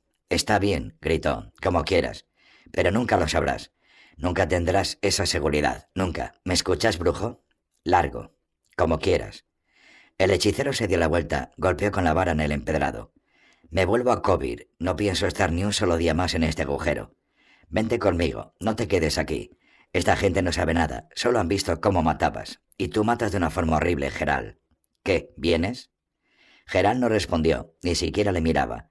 Envainó la espada. Estregobor se encogió de hombros, se fue a paso vivo, golpeteando rítmicamente con el callado. De la multitud surgió una piedra, resonó sobre el pavimento. Luego otra, volando casi hasta los hombros de Geral. El brujo se enderezó, unió ambas manos, hizo con ellas un gesto muy rápido. La multitud comenzó a susurrar, las piedras volaron cada vez con más densidad, pero la señal las desviaba hacia los lados, evitando el objetivo que estaba protegido por una coraza invisible. Basta, gritó Caldemain. Se acabó. ¿La madre que os parió? La multitud dejó escapar un murmullo como olas de la marea, pero las piedras cesaron de volar. El brujo estaba de pie inmóvil. El alcalde se acercó a él. Esto dijo señalando con un amplio gesto los cuerpos inmóviles esparcidos por la plaza. ¿Es todo? ¿Así se ve ese mal menor que elegiste? ¿Ya has hecho todo lo que creías necesario? Sí, contestó Gerald con lentitud, al cabo. ¿Tu herida sería? No. Entonces lárgate de aquí. Sí, dijo el brujo. Estuvo de pie aún un segundo, evitando los ojos del alcalde. Luego se dio la vuelta despacio, muy despacio. Geral. El brujo le miró. No vuelvas aquí nunca, dijo Caldemain. Nunca. La voz de la razón. Cuatro. Hablemos, Iola. Necesito hablar contigo. Dicen que el silencio es oro. Puede. No sé si vale tanto. En cualquier caso tiene su precio. Hay que pagar por ello. A ti te es más fácil, sí. No lo niegues. Al fin y al cabo, tú callas por elección propia. Con tu silencio ofreces un sacrificio a tu diosa. No creo en Melitele. No creo tampoco en la existencia de otros dioses, pero valoro tu sacrificio, lo valoro y además respeto tus creencias, porque tu sacrificio y ofrecimiento, el precio de tu silencio, hacen de ti una persona mejor, más valiosa, o al menos pueden llegar a hacerlo. Mi incredulidad no puede nada, carece de poder alguno. ¿Preguntas que en qué creo entonces? Creo en la espada. Como ves, llevo dos. Todos los brujos llevan dos espadas. Algunos malintencionados afirman que la de plata es para los monstruos y la de acero para los seres humanos. Eso es falso, por supuesto. Hay monstruos a los que solo se puede dominar con la espada de plata, pero lo sé también para los que el acero es mortal. No, y hola, no todo el hierro, solo aquel que procede de un meteorito. ¿Preguntas qué es un meteorito? Es una estrella fugaz. Seguro que has visto más de una vez una estrella fugaz, una breve y brillante estela en el firmamento nocturno. Al verla, pediría seguro algún deseo, Puede que para ti significara una prueba más de la existencia de los dioses. Para mí un meteorito es tan solo un pedazo de metal que al caer se estrella contra la Tierra. Un metal del que se puede hacer una espada. Puedes, por supuesto que puedes. Toma mi espada a la mano. ¿Ves qué ligera es? Incluso tú la levantas sin esfuerzo. No, no toques la hoja, te cortarías. Está más afilada que una navaja de afeitar. Tiene que estarlo. Sí, claro. Me entreno a menudo, en cada minuto libre. No me puedo permitir el perder la forma. Por eso vine aquí, al rincón más escondido del parque del santuario, para moverme, para quemar con ejercicios este terrible, odioso entorpecimiento que me embarga, este frío que me rodea. Y aquí me has encontrado. Es gracioso. Hace varios días que yo intento encontrarte. Te buscaba. Quería... Necesito esta conversación, Yola. Sentémonos, charlemos un rato. Tú no me conoces en absoluto, Iola. Me llamo Geral, Geral de... No, solo Geral. Geral de ningún lado, soy brujo. Mi casa es Caer Morgen, el nido de los brujos, de allí provengo. Es... Era una especie de fortaleza, no queda mucho de ella. Caer Morgen. Allí se producían seres tales como yo. Ya no se hace, y en Caer Morgen no vive nadie. Nadie excepto Besemir. ¿Preguntas quién es Besemir? Es mi padre. ¿Por qué me miras con esa cara? Todo el mundo tiene padre. El mío es Besemir. ¿Y qué importa que no sea mi verdadero padre? Nunca conocí al verdadero, a mi madre tampoco. Ni siquiera sé si están vivos. Y de hecho, tampoco me interesa demasiado. Sí, caer Morgen. Allí sufrí la mutación habitual, la prueba de las hierbas y luego lo normal, hormonas, infusiones, infección de virus, y de nuevo. Y luego otra vez, hasta que se obtenga resultado. Al parecer soporté el cambio muy bien. Estuve poco tiempo enfermo. Me consideraron un crío extraordinariamente resistente y me eligieron para ciertos experimentos más complicados. Eso fue peor, mucho peor. Pero como ves, sobreviví. Fui el único superviviente de aquellos que habían sido elegidos para los experimentos. Desde entonces tengo el pelo blanco. Completa desaparición de los pigmentos. Como se dice, efectos secundarios. Minucias. Casi no molesta. Luego me enseñaron distintas habilidades. Bastante tiempo, hasta que por fin llegó el día en que dejé caer Morgen y me puse en camino. Tenía ya entonces mi medallón, este mismo, la señal de la escuela del lobo. Llevaba también dos espadas, de plata y de hierro. Además de las espadas llevaba conmigo convicciones, entusiasmo, motivación y fe.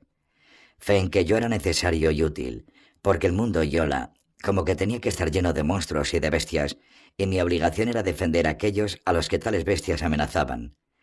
Cuando me fui de Caer Morgen, soñaba con encontrar a mi primer monstruo. No podía guardar el momento en que me hallaría cara a cara frente a él. Y lo encontré. Mi primer monstruo, Iola, era calvo y tenía unos dientes bastante feos y podridos. Me lo encontré en el camino real donde, junto con otros compañeros monstruos, desertores de no sé qué ejército, había detenido un carro de campesinos y había sacado del carro una muchacha, quizá de trece años, quizá menor. Los compañeros sujetaban al padre de la niña y el calvo le estaba rasgando el vestido y gritaba que ya iba siendo hora de que supiera lo que era un hombre de verdad. Me acerqué, bajé del caballo y le dije al calvo que a él también le había llegado la hora. Eso me pareció entonces extraordinariamente divertido. El calvo dejó a la mocosa y se echó sobre mí con una maza. Era muy lento, pero resistente. Tuve que golpearle dos veces para que cayera. No fueron tajos demasiado limpios, pero bastante, diría, espectaculares, tanto que los colegas del calvo salieron huyendo viendo lo que la espada de un brujo le podía hacer a un ser humano. ¿No te aburro, Yola? Necesito hablar contigo, lo necesito de verdad. ¿Dónde me he quedado? Ajá, mi primera acción caballeresca. ¿Ves, Yola? En Caer Morgen. Me habían metido en la cabeza que no me mezclara en tales asuntos, que los evitara, que no jugara al caballero andante y que no ejerciera de guardián de las leyes. Me había puesto en camino no para hacer alarde, sino para realizar el trabajo que me fuera encargado por dinero. Y yo me había metido en ello como un tonto, sin haberme alejado ni siquiera cincuenta millas de las faldas de la montaña. ¿Sabes por qué lo hice? Quería que la muchacha negara sus ojos en lágrimas de agradecimiento y me besara las manos a mí, su salvador, y que su padre me diera las gracias de rodillas. Y sin embargo, el padre había salido corriendo junto con los desertores y la muchacha, sobre la que había caído la mayor parte de la sangre del calvo, se puso a vomitar y luego le dio un ataque de histeria, y cuando me acerqué a ella se desmayó de miedo. Desde entonces, muy pocas veces me he vuelto a entrometer en historias parecidas. Hice mi tarea. Aprendí pronto cómo. Cabalgaba hasta los pardales de las aldeas. Me detenía junto a las empalizadas de los pueblos y los huertos, y esperaba. Si me escupían, insultaban y arrojaban piedras, me iba. Si en cambio alguien salía y me hacía un encargo, lo realizaba. Visitaba villas y castillos. Buscaba proclamas clavadas en los postes de los cruces de caminos.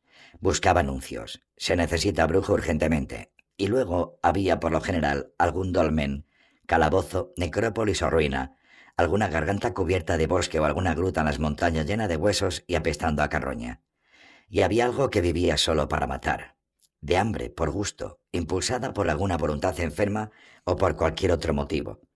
Manticora, viverno, nebulor, abejorro, girador, espanto, silvia, vampiro, gul, graveir, lobisome, gigascorpion, estrige, tragaldabas, kikimora, viper.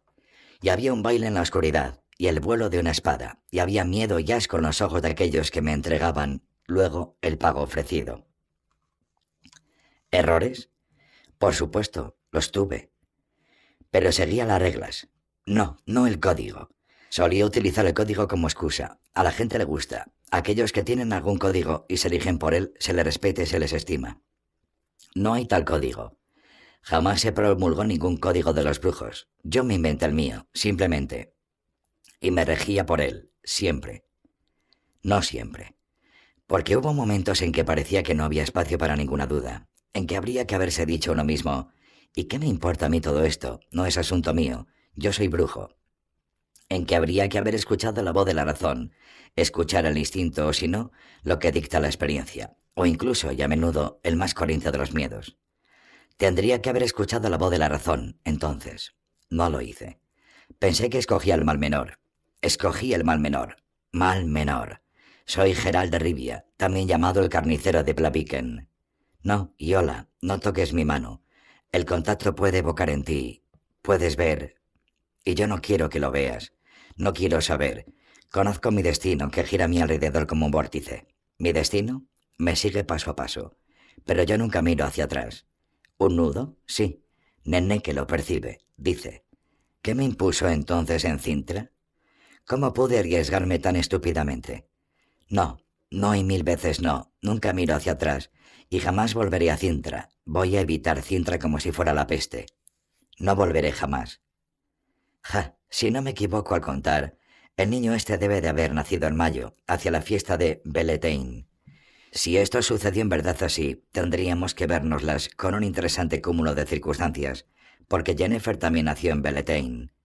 Vámonos ya, y hola, está anocheciendo. Gracias por hablar conmigo. Gracias, y hola. No, no me pasa nada, me siento bien. Completamente bien. Cuestión de precio. Primero. El brujo tenía un cuchillo en la garganta.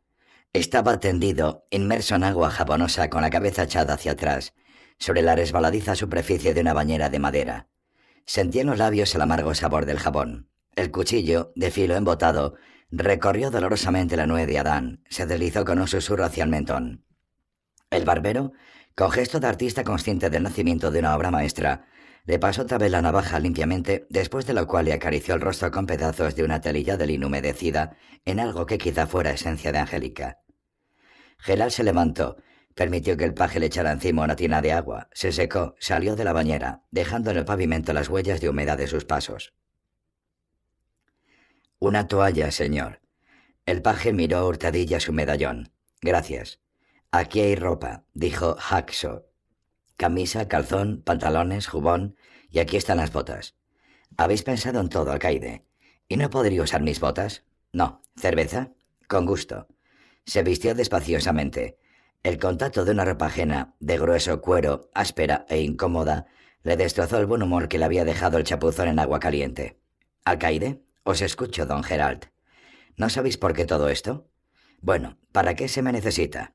No es asunto mío, dijo Haxo, mirando de reojo a los pajes. Yo solo tengo que vestiros. Disfrazarme, queréis decir. Vestiros y conduciros al banquete con la reina. Poneos el jubón, señor, y ocultad bajo él vuestro medallón de brujo. Aquí estaba mi estilete, pero ya no está. Lo hemos puesto en un lugar más seguro, tal y como vuestras dos espadas y todas vuestras posesiones. Allá donde vais se va sin armas. El brujo se encogió de hombros mientras se ponía el ajustado jubón de púrpura. ¿Qué es esto? preguntó señalando el bordado que había en la parte delantera de la prenda. Ah, es verdad, dijo Hackshaw. Casi lo olvido. Durante el banquete seréis el noble Rabix de cuatro cuernos. Como huésped de honor os sentaréis a la derecha de la reina, tal es su deseo, y esto sobre el jubón es vuestro escudo. En campo de oro un oso negro, marchante, sobre él una doncella en manto celeste, con los cabellos sueltos y las manos alzadas. Debierais recordarlo, por si alguno de los huéspedes tuviera alguna manía en punto heráldica, lo que ocurre a menudo. Claro, me acordaré, dijo Gerald con seriedad. ¿Y dónde está Cuatro Cuernos? Suficientemente lejos. ¿Listo? ¿Podemos ir? Podemos. Decidme aún, don Haxo, ¿cuál es la ocasión para este banquete? La princesa Paveta cumple 15 años. Según la costumbre se reúne a los que compiten por su mano. La reina Calante quiere casarla con alguien de Esquelige. Necesitamos una alianza con los isleños. ¿Por qué con ellos? Porque no atacan tan a menudo a aquellos con los que tienen alianza como a los que no. Una razón de importancia. Pero no la única. En Cintra, don Gerald, la tradición no permite que gobiernen las hembras. Nuestro rey Roegner murió hace algún tiempo de un aire pestilente y la reina no quiere otro marido. Nuestra reina, Calante, es sabia y es justa, pero en tanto que rey, pues es el rey al fin y al cabo. El que se case con la princesa se sentará en el trono. Estará bien que le tocara un mozo con toda la barba, y tales hay que buscarlos siempre en las islas. Es un pueblo de gentes valerosas. Vámonos ya. Gerald se detuvo en medio de una galería que rodeaba un pequeño y vacío patio interior. Miró alrededor. Alcaide, estamos solos, dijo Gerald en voz baja. Decidme para qué necesita la reina un brujo. Algo sabréis. ¿Quién, sino vos? Para lo mismo que todos, bufó Haxo. Cintra es como cualquier otro país, lo mismo. Tenemos aquí lobisomes, basiliscos y hasta se pueden encontrar manticoras si se busca bien. Por eso un brujo puede ser útil. No divaguéis, alcaide. Me refiero a un brujo en un banquete y además disfrazado de oso celeste con cabellos sueltos. Haxo también miró hacia todos lados e incluso se inclinó bajo la balustrada de la galería. No es bueno lo que está pasando, don Geral, murmuró. En el castillo me refiero. Algo espantoso. ¿Qué? ¿Y qué va a espantar? Pues un espanto. Dicen que pequeño, encorvado, armado de espinas como un erizo. Andurrea por la noche por todo el castillo. Hace sonar cadenas, aúlla y gime en las habitaciones. ¿Vos lo habéis visto? No, Haxo escupió. Y no quiero verlo. Decís tonterías, alcaide. Se enfadó el brujo. Esto no se lo cree nadie. Vayamos al convite. ¿Y qué tengo que hacer yo allí? ¿Vigilar que no salga el encorvado de debajo de la mesa y se ponga a gemir? ¿Sin armas? ¿Vestido como un bufón? Venga, don Jaxo. Pensad lo que queráis. El alcalde se puso mohino. Me ordenaron no deciros nada. Preguntasteis y os lo conté. Y vos que son tonterías. Muchísimas gracias. Perdonad, no quería heriros, alcaide. Solo me extraña que... Dejad de extrañaros entonces. Jaxo volvió la cabeza a un mohino. No estéis aquí para extrañaros. Y os doy un buen consejo, señor brujo. Si la reina os manda que os desnudéis, os pintéis el culo de color azul y os colguéis del techo con la cabeza hacia abajo como un candelabro, hacedlo entonces sin extrañezas ni vacilaciones. De otro modo, podéis encontraros con desgracias de no poca monta. ¿Habéis entendido? Lo he entendido. Vamos, don Jaxo, sea lo que sea, el baño me dio hambre. Segundo. Si no se cuenta el trivial saludo de ceremonias con el que le recibirá como señor de cuatro cuernos, la reina Calenta no intercambió con el brujo ni una palabra. El banquete todavía no había comenzado. Seguían entrando convidados, anunciados con grandes voces del heraldo. La mesa era enorme, rectangular. Podían sentarse a ella más de cuarenta caballeros. A su cabecera se encontraba Calante, sentada en un trono con una gran base. A su derecha se sentaba Gerald, a su izquierda un bardo de cabellos grises con un laúd llamado Drogodar, las otras dos sillas de la cabecera real, situadas a la izquierda de la reina, se hallaban vacías. A la derecha de Geral, junto al borde más largo de la mesa, se sentaban el alcaide, Haxo, y un boyeboda, de nombre difícil de recordar. Después de ellos había invitados del Principado de Atre, el tétrico y silencioso caballero Reinfarm y el príncipe Wildalm, un mofletudo niño de doce años que se encontraba bajo su tutela. Windhalm era uno de los pretendientes a la mano de la princesa. Más allá había caballeros de cintra con diversos colores y estandartes y algunos vasallos de los alrededores. El barón Eilenberg de Tig, anunció el heraldo. Clococó, murmuró Calante, dándole con el codo a Drogodar. Nos vamos a reír. El caballero delgado, bigotudo y bien vestido, se inclinó bastante, pero sus ojos vivos y alegres y su sonrisa en los labios negaban toda sumisión. Bienvenido seáis, señor Clococo, dijo ceremonialmente la reina. Por lo visto el apodo del varón era más aceptado que su propio nombre. Estoy contenta de que hayáis venido. Más lo estoy yo de haber sido convidado, afirmó Clococo, y suspiró. Así le echaré un vistazo a la princesa si lo permites, reina. Es triste vivir solo, señora. Ay, ay, señor Clococo.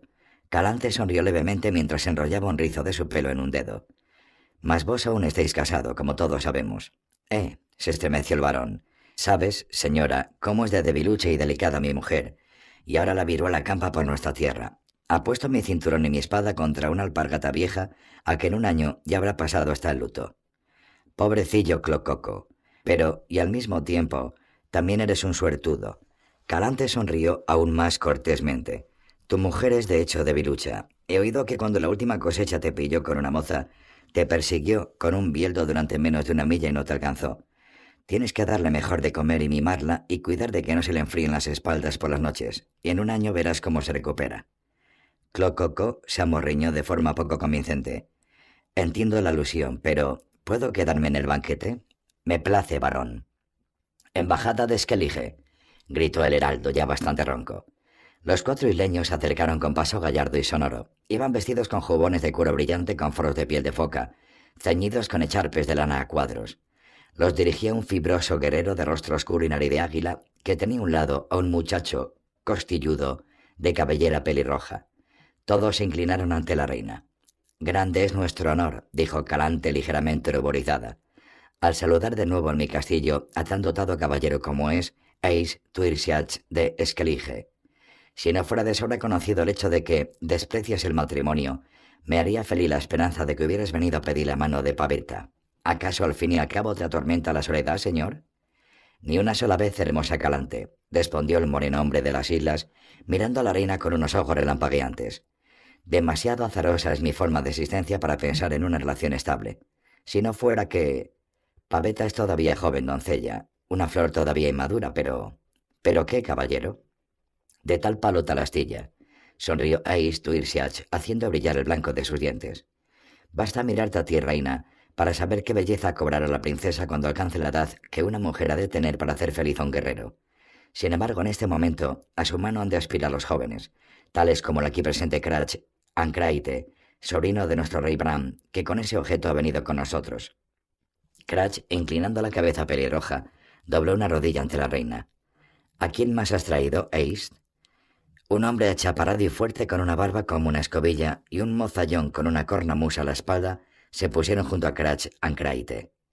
He aquí a vuestro valeroso druida, Mistobor, el cual, tal como yo, es amigo y consejero del rey Bran, y este es Draig Bon Du, nuestro famoso Skalf.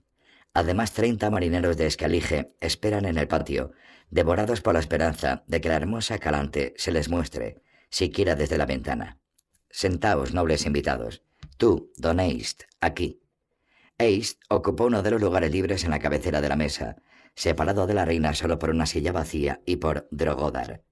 Los otros isleños se sentaron juntos, a la izquierda, entre el mariscal Visegerth y los tres hijos del noble Strepe, que se llamaban Comegatos, Cargamontes y Murmurón. Estos son más o menos todos. La reina se inclinó en dirección al mariscal. Comencemos, Visegerth.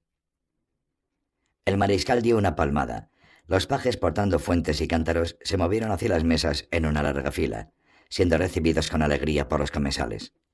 Calante casi no comía, recorría sin gana con su tenedor de plata los manjares hervidos. Drogodar, tragándose algo con ansia, siguió tañiendo el laúd. Los otros invitados saquearon los cochinillos asados, las aves, los peces y moluscos, tarea en la que el pelirrojo Kratz Ancraite se mostró como líder. Reinfarm de Atre amonestaba severamente al joven príncipe Wildam, incluso una vez le dio en las manos por intentar coger una jarra de sidra. Clococo, dejando por un momento de roer unos huesos, alegró a los vecinos con la imitación del silbido de la tortuga de los pantanos. La fiesta se volvió cada vez más alegre. Se pronunciaron los primeros brindis, cada vez más incoherentes. Calante compuso la delgada diadema de oro sobre sus cabellos cenicientos y peinados en rizos. Se volvió ligeramente en dirección a Geral, estaba ocupado en abrir el caparazón de un enorme y pesado cangrejo rojo. Bueno, brujo, dijo, a nuestro alrededor hay ya suficiente ruido para que podamos intercambiar unas palabras discretamente. Comencemos con las cortesías. Me alegro de conocerte. Es una alegría para mí también, Majestad. Después de las cortesías, a lo concreto, tengo un trabajo para ti. Lo imagino. Pocas veces me invitan a banquetes por pura simpatía. Va, quizá no eres un invitado interesante. ¿Piensas que puede ser alguna otra cosa? Sí. ¿Qué es ello? Te lo diré cuando me entere de la tarea que tienes para mí, reina. Geral, dijo Calante, retorciendo con los dedos un collar de esmeraldas de las cuales la menor era como un grueso abejorro de mayo.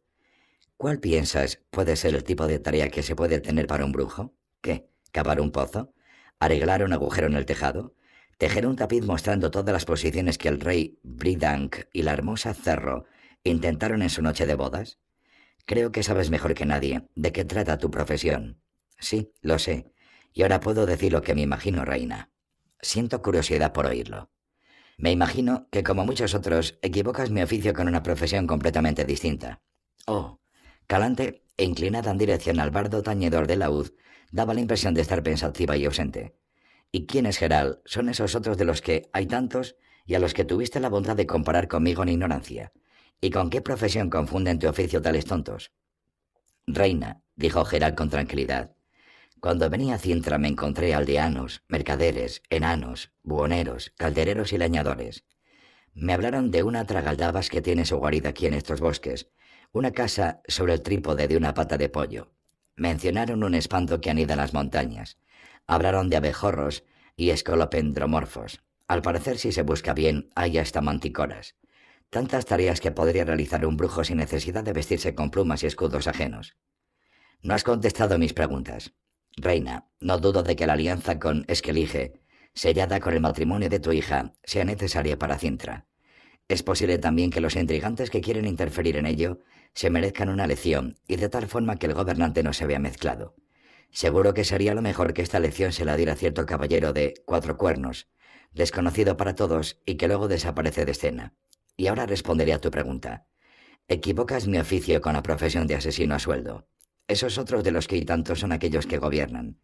No es la primera vez que me llaman a un palacio en el que los problemas de los gobernantes precisan de unos rápidos tajos de espada. Pero yo jamás he matado a nadie por dinero, independientemente de si se trata de una causa buena o mala. Y nunca lo haré. La atmósfera de la sala se avivaba a medida que corría la cerveza.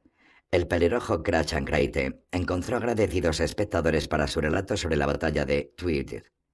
A grito limpio, Señalaba los movimientos tácticos en un mapa que había dibujado sobre la mesa con la ayuda de huesos de carne que chorreaban salsa. Clococo, probando lo acertado de su apodo, cloqueó de pronto como una verdadera gallina clueca, provocando general alegría entre los comensales y consternación entre el servicio, quienes estaban convencidos de que el ave, burlando su vigilancia, había logrado pasar del patio a la sala. Por lo visto, el destino me ha castigado con un brujo demasiado imaginativo. Calante sonrió, pero sus ojos estaban entrecerrados y mostraban enojo. Un brujo que, sin sombra de respeto, ni siquiera de cortesía común y corriente, desenmascara mis intrigas y mis viles planes de asesinato. Por casualidad, la fascinación de mi belleza y de mi arrebatadora personalidad no te han privado del uso de razón. No vuelvas a hacer eso nunca más, Geral. No te dirijas así a aquellos que tienen poder. Más de uno podría no perdonarte esas palabras, y conoces a los reyes. Sabes que disponen de diversos medios. Estilete, veneno, mazmorras. Tenazas al rojo vivo. Hay cientos, miles de métodos a los que los reyes se aferran a la hora de vengar su orgullo herido. No querrás creer, Geral, cuán fácil es herir el orgullo de ciertos gobernantes. Raro el que soporta con tranquilidad palabras tales como no, no lo haré o nunca. Eso es decir poco. Basta con interrumpir a uno de estos cuando está hablando o introducir una advertencia poco adecuada y ya se tiene asegurada una vueltecita de la rueda. La reina juntó las blancas y delgadas manos y apoyó en ella los labios ligeramente, haciendo una pausa bastante dramática. Geral no la interrumpió ni añadió nada. Los reyes, siguió Calante, dividen a las personas en dos categorías. A uno les ordenan y a otro los compran. Actúan siguiendo la antigua y banal verdad de que se puede comprar a todo el mundo, a todos. Solo es cuestión de precio. ¿Estás de acuerdo? Ah, vaya pregunta. Al fin y al cabo eres brujo, haces tu trabajo y te ganas tu sueldo. Hablando de ti, la palabra comprar pierde su sentido peyorativo. También en tu caso la cuestión del precio es algo que se da por supuesto, relacionada con el grado de dificultad de la tarea, la cualidad de la ejecución, el grado de maestría y de tu fama, Geral. Los viejos de los mercados cantan las hazañas del brujo de cabellos blancos venido de Ribia. Si siquiera la mitad de ello es cierto, puedo apostar a que el precio de tus servicios no es pequeño. Contratarte a ti para tan sencillos y banales asuntos como una intriga de palacio o un asesinato sería tirar el dinero. Se puede resolver el asunto con otras manos más baratas. Brack, ga, brack, gritó de pronto Clococo, arrancando violentos aplausos por su nueva imitación de los sonidos de un animal. Gerán no sabía de cuál, pero no le gustaría tener que encontrarse alguna vez con algo como aquello. Volvió la cabeza, observando tranquilamente la mirada virulenta y verde de la reina. Drogodar, con la cabeza baja y la faz invisible detrás de la cortina de caballos grises que caían sobre las manos y sobre el instrumento, rasgueó bajito a laúd. Ah, Geral, dijo Calante, prohibiendo con un gesto a los pajes que volvieran a llenar su copa. Yo hablo y tú callas. Estamos en un banquete. Todos se quieren divertir. Diviérteme. Empiezo a echar de menos tus aceradas advertencias y tus imaginativos comentarios. Estarían bien también uno o dos cumplidos, alabanzas y ofertas de servicio, en el orden que prefieras. Reina, afirmó el brujo, sin duda soy un invitado poco interesante. No puedo dejar de asombrarme de que precisamente a mí me hayas hecho el honor de ocupar este lugar. Habría sido posible sentar aquí una persona mucho más adecuada, a cualquiera que desearas. Bastaría con ordenárselo a alguien o comprar a alguien. Es solo una cuestión de precio. Habla, habla. Calante inclinó la cabeza hacia atrás, entrecerró los ojos, dando a los labios la forma de una hermosa sonrisa.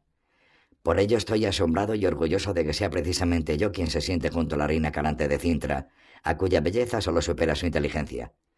También considero un gran honor el que la reina haya oído hablar de mí y de que a causa de lo que escuchara no quiero utilizarme para tan banales asuntos. El invierno pasado el príncipe Hrobarik, que no es tan benévolo, intentó contratarme para que le encontrara una hermosa doncella que, harta de sus vulgares requiebros, se escapó del baile y perdió una zapatilla. Me fue difícil convencerle de que para eso él era preciso un buen cazador y no un brujo. La reina escuchaba con una sonrisa enigmática. También hubo gobernantes, menos dotados que tú, doña Calante, en lo relativo a inteligencia, que no se guardaron de proponerme tareas banales. Por lo general se trataba de privar banalmente de su vida un hijastro, padrastro, madrastra, tío, tía. Es difícil contarlos a todos. Alguno opinaba que solo era cuestión de precio. La sonrisa de la reina podía significar cualquier cosa. Repito, pues, Geral inclinó la cabeza ligeramente, que no quepo en mí de orgullo por poder sentarme junto a ti, señora. El orgullo significa muchísimo para nosotros, los brujos. No podrías creer cuánto, reina. Cierto gobernante hirió una vez el orgullo de un brujo con una proposición de trabajo que no concordaba con el honor ni con el código de los brujos. Aún más, no aceptando la cortés negativa del brujo, quiso impedirle que saliera de su castillo. Todos los que comentaron después lo sucedido estuvieron de acuerdo en afirmar que no fue aquella la mejor de las ideas del gobernante. Geral, dijo Calanti al cabo de un rato de silencio, te has equivocado. Eres un invitado muy interesante. Clococo, con los bigotes y el cuello del caftán manchado de espuma de cerveza, alzó la cabeza y aulló penetrantemente en una imitación muy bien conseguida de un lobo en época de celo. Los perros del patio y de los alrededores respondieron con aullidos. Uno de los hermanos Spread, quizás Cargamontes, trazó con un dedo manchado de cerveza una gruesa línea junto a la formación dibujada por Cratch Ancraite. Error e ineficacia, gritó. No habría que haber hecho eso. Aquí, por el ala, habría que haber dirigido la caballería y atacar en el flanco. ¡Ja! mugió Cratch Ancraite, tomando el hueso de la mesa y salpicando en la cara y la túnica de los invitados con gotas de salsa.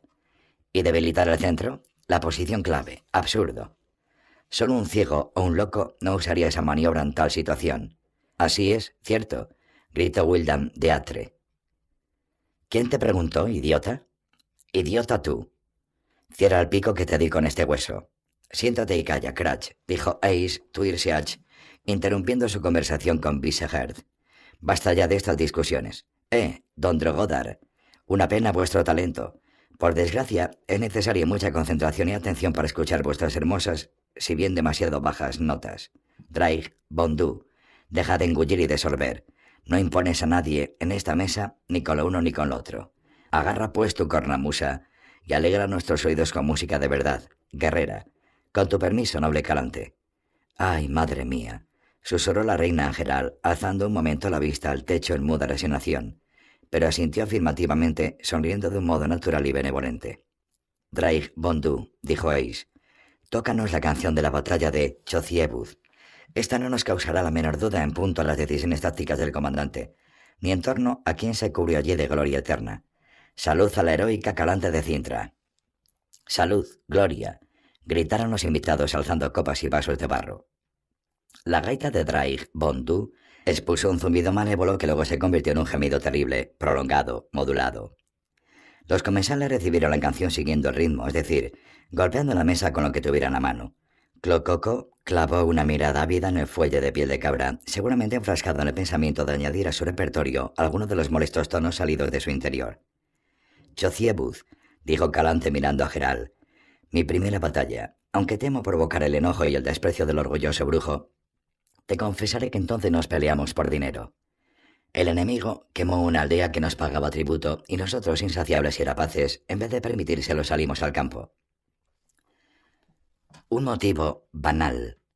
Y banales también los tres mil cadáveres devorados por los cuervos. Y mírame, en vez de avergonzarme, estoy sentada, orgullosa como un pavo, porque se canta una canción sobre mí, incluso aunque sea con el acompañamiento de una música tan horrible y tan bárbara. De nuevo plantó en su cara la parodia de una sonrisa, llena de felicidad y benevolencia, alzando una jara vacía para contestar a los brindis que provenían de toda la mesa. Geral se mantenía en silencio. Continuemos. Calante tomó el muslo de Faisán que le ofrecía Drogodar y comenzó a morderlo con zalamería. Como te dije, has despertado mi interés. Me dijeron que vosotros los brujos sois una casta interesante. No me lo creí entonces, pero ahora lo creo. Al golpearos emitís un sonido que atestigua que se os forjó de acero y no de excremento de pájaro. No cambia esto, sin embargo, el hecho de que estás aquí para realizar una tarea, y la realizarás sin dártelas de listo. Gerard no adoptó una sonrisa siniestra ni de desprecio, aunque tenía muchas ganas. Continuó en silencio. Pensaba, murmulló la reina, haciendo como que dedicaba toda su atención exclusivamente al muro de Faisán, que ibas a decir algo, o que sonreirías, ¿no? Mejor, ¿puedo considerar cerrado nuestro trato? Una tarea que no está clara, habló con sequedad el brujo. No se puede realizar claramente, reina. ¿Qué es lo que hay aquí que no está claro? Al fin y al cabo te diste cuenta de todo enseguida. Cierto que tengo planes en lo tocante a establecer una alianza con Escalige y en cuanto al matrimonio de mi hija Paveta. Tampoco te has equivocado al suponer que estos planes están amenazados, y tampoco en que te necesito para eliminar esta amenaza. Pero aquí se terminó tu perspicacia. La suposición de que equivoco tu oficio con la profesión de esbirro a sueldo me ha herido. Acepta, Geral, que me cuento entre los pocos gobernantes que saben de qué se ocupan los brujos y para qué se les puede contratar. Por otra parte, alguien que mata personas tan hábilmente como tú, aunque no sea por dinero, no debiera asombrarse de que tanta gente le impute profesionalismo en este campo. Tu fama te precede, Geral, y es más sonora que la maldita gaita de Traig Bondu. Y de igual modo hay en ella pocas notas agradables. El gaitero, aunque no podía haber escuchado las palabras de la reina, terminó su concierto. Los comensales le premiaron con una ovación sonora y caótica, después de la cual con nuevo apasionamiento se dedicaron a la destrucción de existencias de comida y bebida, a rememorar el discurrir de diversas batallas y hacer poco corteses bromas acerca de las mujeres. Clococo emitió unos fuertes sonidos, pero no era posible saber si se trataba de otra imitación de un nuevo animal o del intento de aligerar sus repletas tripas. Ace Twirsiach se inclinó al otro lado de la mesa. Reina, dijo, Existen con toda seguridad importantes razones para que tengas que ofrecer toda tu atención exclusivamente al señor de cuatro cuernos. Pero ha llegado la hora de que contemplemos a la princesa Paveta. ¿A qué esperamos? No creo que sea que Cratch Ancraite se emborrache. Y ese momento está cerca. Tiene razón como siempre, Ace. Calante sonrió con calidez. Gerald no dejaba de asombrarse de cuán rico era el arsenal de sus sonrisas. Cierto es que tengo que hablar con el noble Rabix de asuntos en extremo importantes. No temas, también a ti te dedicaré tiempo. Pero conoces mi lema, primero el deber, luego el placer. Don Hackshaw. Levantó la mano, le asintió el alcaide. Hackshaw se levantó sin una palabra y corrió con rapidez por las escaleras, desapareciendo en la oscuridad de la galería. La reina se volvió de nuevo al brujo. ¿Has oído? Hablamos demasiado tiempo. Si Paveta ha terminado ya de hacer melindres delante del espejo, estará aquí enseguida. Abre bien las orejas porque no voy a repetirlo. Quiero conseguir lo que he planeado, que es lo que tú en cierta medida adivinaste. No puede haber ninguna otra solución. En cuanto a ti tienes la posibilidad de elegir, puedes ser obligado a actuar a mis órdenes. No considero necesario referirme a las consecuencias de la desobediencia, pero la desobediencia, se entiende, será recompensada con honor, o puede realizar para mí un servicio pagado. Fíjate que no he dicho puedo comprarte, porque he decidido no herir tu orgullo de brujo. ¿Verdad que es una diferencia enorme? La enormidad de esta diferencia se escapa de algún modo a mi atención. Haz entonces un esfuerzo de atención cuando te hablo. La diferencia, querido mío, estriba en que al que se compra se le paga a capricho, mientras que el que ofrece sus servicios establece el mismo precio. ¿Está claro? En cierta medida. Pongamos pues que elijo la forma de servicios pagados. Creo que debiera al menos saber en qué ha de consistir este servicio. No, no debieras. Una orden debe ser concreta e inequívoca. Un servicio de pago es otra cosa. Me interesa el efecto, nada más. Los medios con que lo alcance son asunto tuyo. Geral, al levantar la cabeza, encontró la oscura y aguda mirada de Miss Tower. El druidades que elige, sin apartar la vista del brujo, mordisqueó como pensativo un pedazo de pan que tenía en la mano, dejando caer unas migas. Geral miró hacia abajo. Delante de él, sobre la mesa de roble, unos granos de cereales y los rojizos fragmentos del caparazón del cangrejo se movieron rápidos como hormigas. Formaron unas runas. Las runas se unieron, por un momento, en palabras, en una pregunta. Mistobor esperaba, sin apartar de él la vista. Geral apenas perceptible asintió con la cabeza. El druida bajó los párpados y limpió las migas de la mesa con un rostro pétreo. Nobles señores, gritó el heraldo, paveta de Cintra. Los invitados se alzaron, volviendo la cabeza en dirección a las escaleras. Seguida por el alcaide y un paje rubio vestido con un jubón escarlata, la princesa entró con lentitud manteniendo la cabeza baja. Tenía los cabellos del mismo color que su madre, gris ceniza, pero los llevaba en forma de dos largas trenzas que alcanzaban hasta más abajo de la cintura. Aparte de la pequeña diadema con una gema artísticamente elaborada y un cinturón con una diminuta cadena de oro que ceñía a las caderas un largo traje azul plateado, Paveta no llevaba ningún adorno. Escoltada por el paje, el heraldo, el alcaide y Viseger, la princesa ocupó la silla libre entre Drogodar y Eistuirseach. El caballero de las islas se ocupó inmediatamente de su copa y la entretuvo en su conversación. Gerán no alcanzaba a ver si le respondía con más de una palabra. Mantuvo los ojos bajos, ocultos por larguísimas pestañas todo el tiempo, incluso durante los ruidosos brindis que se le dirigieron desde distintos puntos de la mesa. Sin duda su belleza había causado impresión en los comensales. Cratch Ancraite dejó de gritar y miraba en silencio a Paveta, olvidando incluso su jarra de cerveza. Windal de Atre también devoraba a la princesa con la mirada, su tez intercambiaba distintos niveles de rojo como si solo unas gotas de agua en la clepsidra le separaran de arrastrarse por el suelo. Con sospechosa atención estudiaban también la pequeña faz de la muchacha los hermanos Strip y Clococo. Ajá, dijo en voz baja Calante, claramente satisfecha del efecto. ¿Y qué dices, Geral? La muchacha sale a la madre, sin falsa modestia. Hasta me da un poco de pena ese tarugo pelirrojo de Cratch. Toda mi esperanza es que de ese cachorro salga alguien de la clase de Ace Tuirseach. Al fin y al cabo es la misma sangre. ¿Me escuchas, Geral? Cintra ha de aliarse con Escalige porque lo requiere el interés de Estado. Mi hija ha de casarse con la persona adecuada porque es mi hija. Precisamente este es el resultado que me has de conseguir. ¿Cómo tengo que conseguirlo? ¿No basta tu voluntad de reina para que esto sea así? El asunto puede torcerse de tal modo que no baste. ¿Qué puede ser más fuerte que tu voluntad? El destino. Ajá, y por eso yo, un pobre brujo, he de plantearle cara a un destino más fuerte que la voluntad real. Un brujo luchando contra el destino. Vaya una ironía. ¿Cuál es esa ironía? Casi nada, reina. Parece que ese servicio al que te refieres ronda lo imposible. Si rondara con lo posible, refunfuñó Calante desde detrás de unos labios sonrientes, me las arreglaría yo sola y no necesitaría al famoso Gerald de Rivia. Deja de hacerte listo. Todo se puede arreglar, solo es cuestión de precio. Al diablo, en tu lista de precios brujeriles debe de figurar el precio para aquello que ronda lo imposible. Me imagino que no será barato. Consígueme el resultado del que te he hablado y te daré lo que me pidas. ¿Cómo has dicho, reina? Te daré lo que me pidas. No me gusta que nadie me mande repetir algo. Estoy dándole vueltas, brujo. Antes de cada trabajo al que te dispones, ¿intenta siempre hacer desistir al cliente igual que a mí? El tiempo vuela. Contesta, ¿sí o no? Sí. Mejor, mejor, Gerard. Tus respuestas están cada vez más cerca del ideal. Cada vez recuerdan más a lo que espero cuando planteo una pregunta. Y ahora alza discretamente la mano izquierda y toca en la base de mi trono. Gerald introdujo la mano bajo la tela azul y amarilla. Casi al momento dio con una espada que yacía apoyada en el cordobán de la base, una espada que conocía muy bien. Reina, habló en voz baja, Dejando aparte lo que dije antes acerca de matar a seres humanos, te das cuenta, por supuesto, de que contra el destino no basta la espada. Me di cuenta. Calante volvió la cabeza. Pero todavía es necesario un brujo que sostenga en la mano la empuñadura de una espada. Como ves, me he ocupado de ello.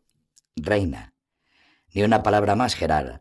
Ya conspiramos durante demasiado tiempo. Nos miran y Ace se está enfadando. Habla durante un rato con el alcaide. Come algo. Bebe pero no demasiado. Quiero que tengas la mano firme. Hizo caso. La reina se unió a la conversación que estaban llevando Ace, Viseherth y Miss Thorwald bajo la silenciosa y somnolienta participación de Pavetta. Drogobar soltó el laúd y recuperó su atraso en la comida. Hagsun no estaba muy conversador. El boyeboda, de nombre difícil de recordar, al que por lo visto le sonaban de algo los problemas y asuntos de cuatro cuernos, Preguntó cortésmente si parían bien las yeguas. Geral respondió que sí, que bastante mejor que los sementales. No estuvo seguro de si la broma había sido bien recibida. El boyeboda no preguntó nada más. Los ojos de Miss Tobur aún buscaban contacto con los ojos del brujo, pero las migas en la mesa no se movieron más. Cratch and se fue haciendo poco a poco amigo de dos de los hermanos Strip, el tercero, el más joven, ya no era de mucho uso después de la apuesta que le había hecho Draig von Du de intentar mantener su tempo de bebida. El Scalz parecía haber salido de la prueba sin el más mínimo perjuicio.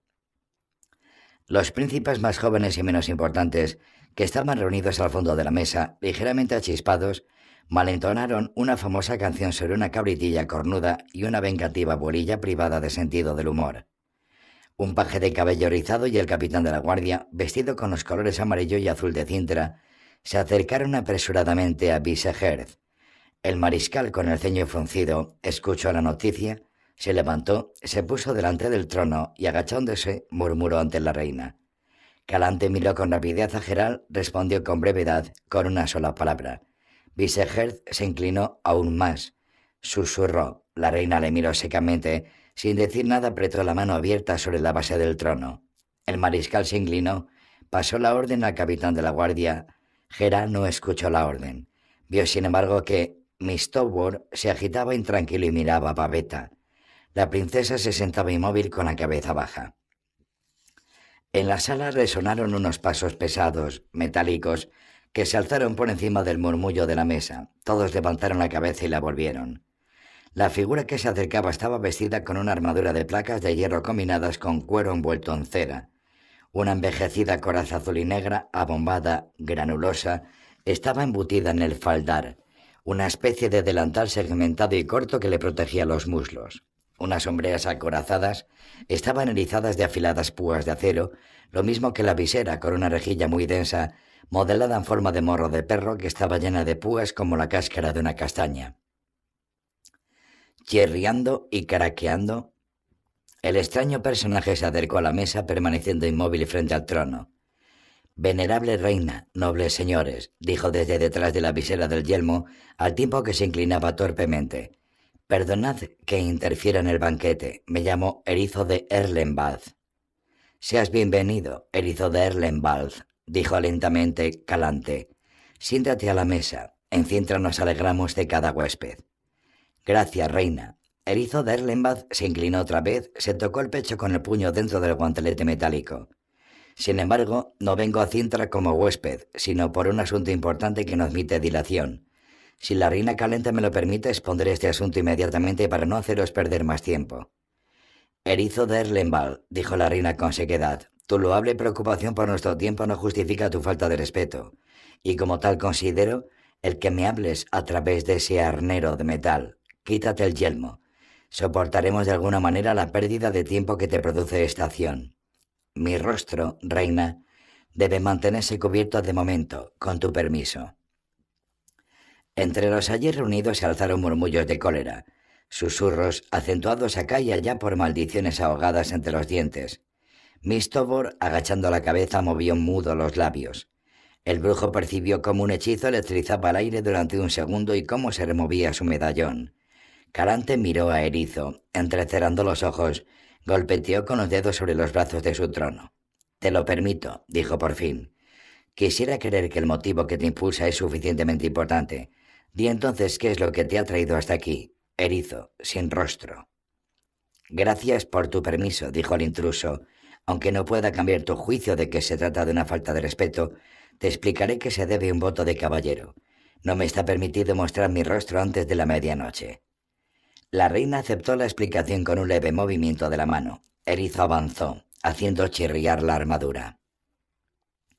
Hace unos quince años, proclamó en voz alta, tu esposo, doña Calante, el rey Roegner, se perdió durante una cacería en Erlenval. Vagando por los senderos se cayó con el caballo por un barranco y se rompió una pierna.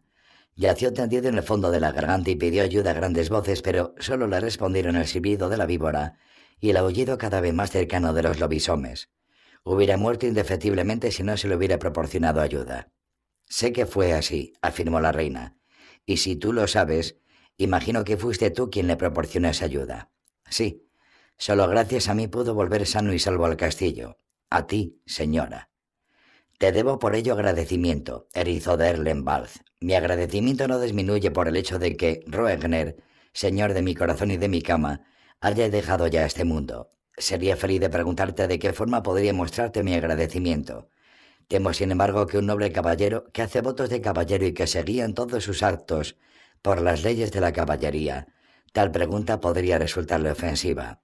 Apostaría, por otro lado, a que la ayuda que le prestaste no fue desinteresada. Bien sabe, reina, que no fue desinteresada. Sabes también que vengo por la recompensa que el rey me prometió por salvarle la vida.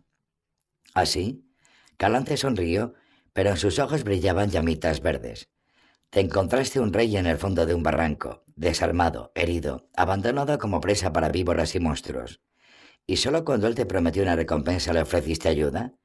Si no hubiese querido podido prometerte una recompensa, ¿le habrías dejado allí y yo no hubiera sabido hasta hoy dónde blanquean sus huesos al sol? Ah, qué noble. Sin duda tu proceder se atuvo entonces algún curioso voto caballeresco. El murmullo entre los comensales creció. ¿Y hoy vienes a por tu recompensa, Rizo? continuó la reina, adoptando una sonrisa cada vez más siniestra. Quince años después, ¿cuentas con los intereses de la cantidad que se hayan acumulado durante este tiempo? Esto no es un banco de enanos, Erizo. ¿Dices que la recompensa te la prometió Roegner? Vaya, va a ser difícil traerlo aquí para que te pague. Será más fácil mandarte a ti con él al otro mundo. Allí podéis arreglároslas. ¿Quién le debe? ¿Qué? ¿A quién? Amaba demasiado a mi marido, Erizo, para dejar de pensar en que podría haberlo perdido entonces, hace quince años, si no hubiera querido regatear contigo. Pensar en ello me despierta escasos sentimientos de simpatía hacia tu persona. Intruso enmascarado, ¿Sabes acaso que en este momento aquí en Cintra, en mi castillo y en mi poder, estás tan impotente y cercano a la muerte como Roegner entonces en la garganta? ¿Qué me propones? ¿Qué precio? ¿Qué recompensa si te prometo que saldrás de aquí vivo? El medallón en el cuello de Gerald tembló, vibró. El brujo echó una rápida mirada a Miss Tower. Encontró su penetrante mirada visiblemente inquieta. Agitó leve la cabeza, alzó las cejas en señal de interrogación. El druida negó también. Con un movimiento apenas perceptible de la ensortijada barba señaló Erizo. Gerald no estaba seguro. Tus palabras, reina, habló Erizo, solo van dirigidas a asustarme y a producir en los nobles caballeros aquí reunidos sentimientos de rabia y desprecio en tu hermosa hija Paveta. Y sobre todo, tus palabras no son ciertas, bien lo sabes. En otras palabras, miento como un perro. En los labios de Calante apareció un gesto poco hermoso. Bien sabe, reina, continuó inmutable el intruso, lo que sucedió entonces en Erlenval. Sabes que salvé a Roegner yo mismo, por propia voluntad, que él juró darme lo que le pidiera. Pongo a todos por testigos de lo que ahora voy a decir. Cuando el rey, salvado de su malaventura, ya en las cercanías de su séquito, Preguntó por segunda vez qué es lo que yo quería, le respondí. Le pedí que me prometiera que me daría lo que dejó en su casa, de lo que no sabía y no se esperaba. Y el rey juró que así sería. Y al volver al castillo te encontró a ti, Calante, en la cuarentena después del parto.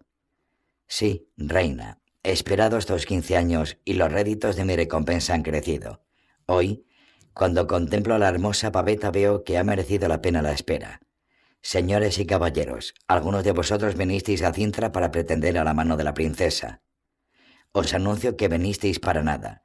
Desde el día de su nacimiento, por la fuerza del juramento real, la hermosa paveta me pertenece. Entre los comensales estalló una varaunda.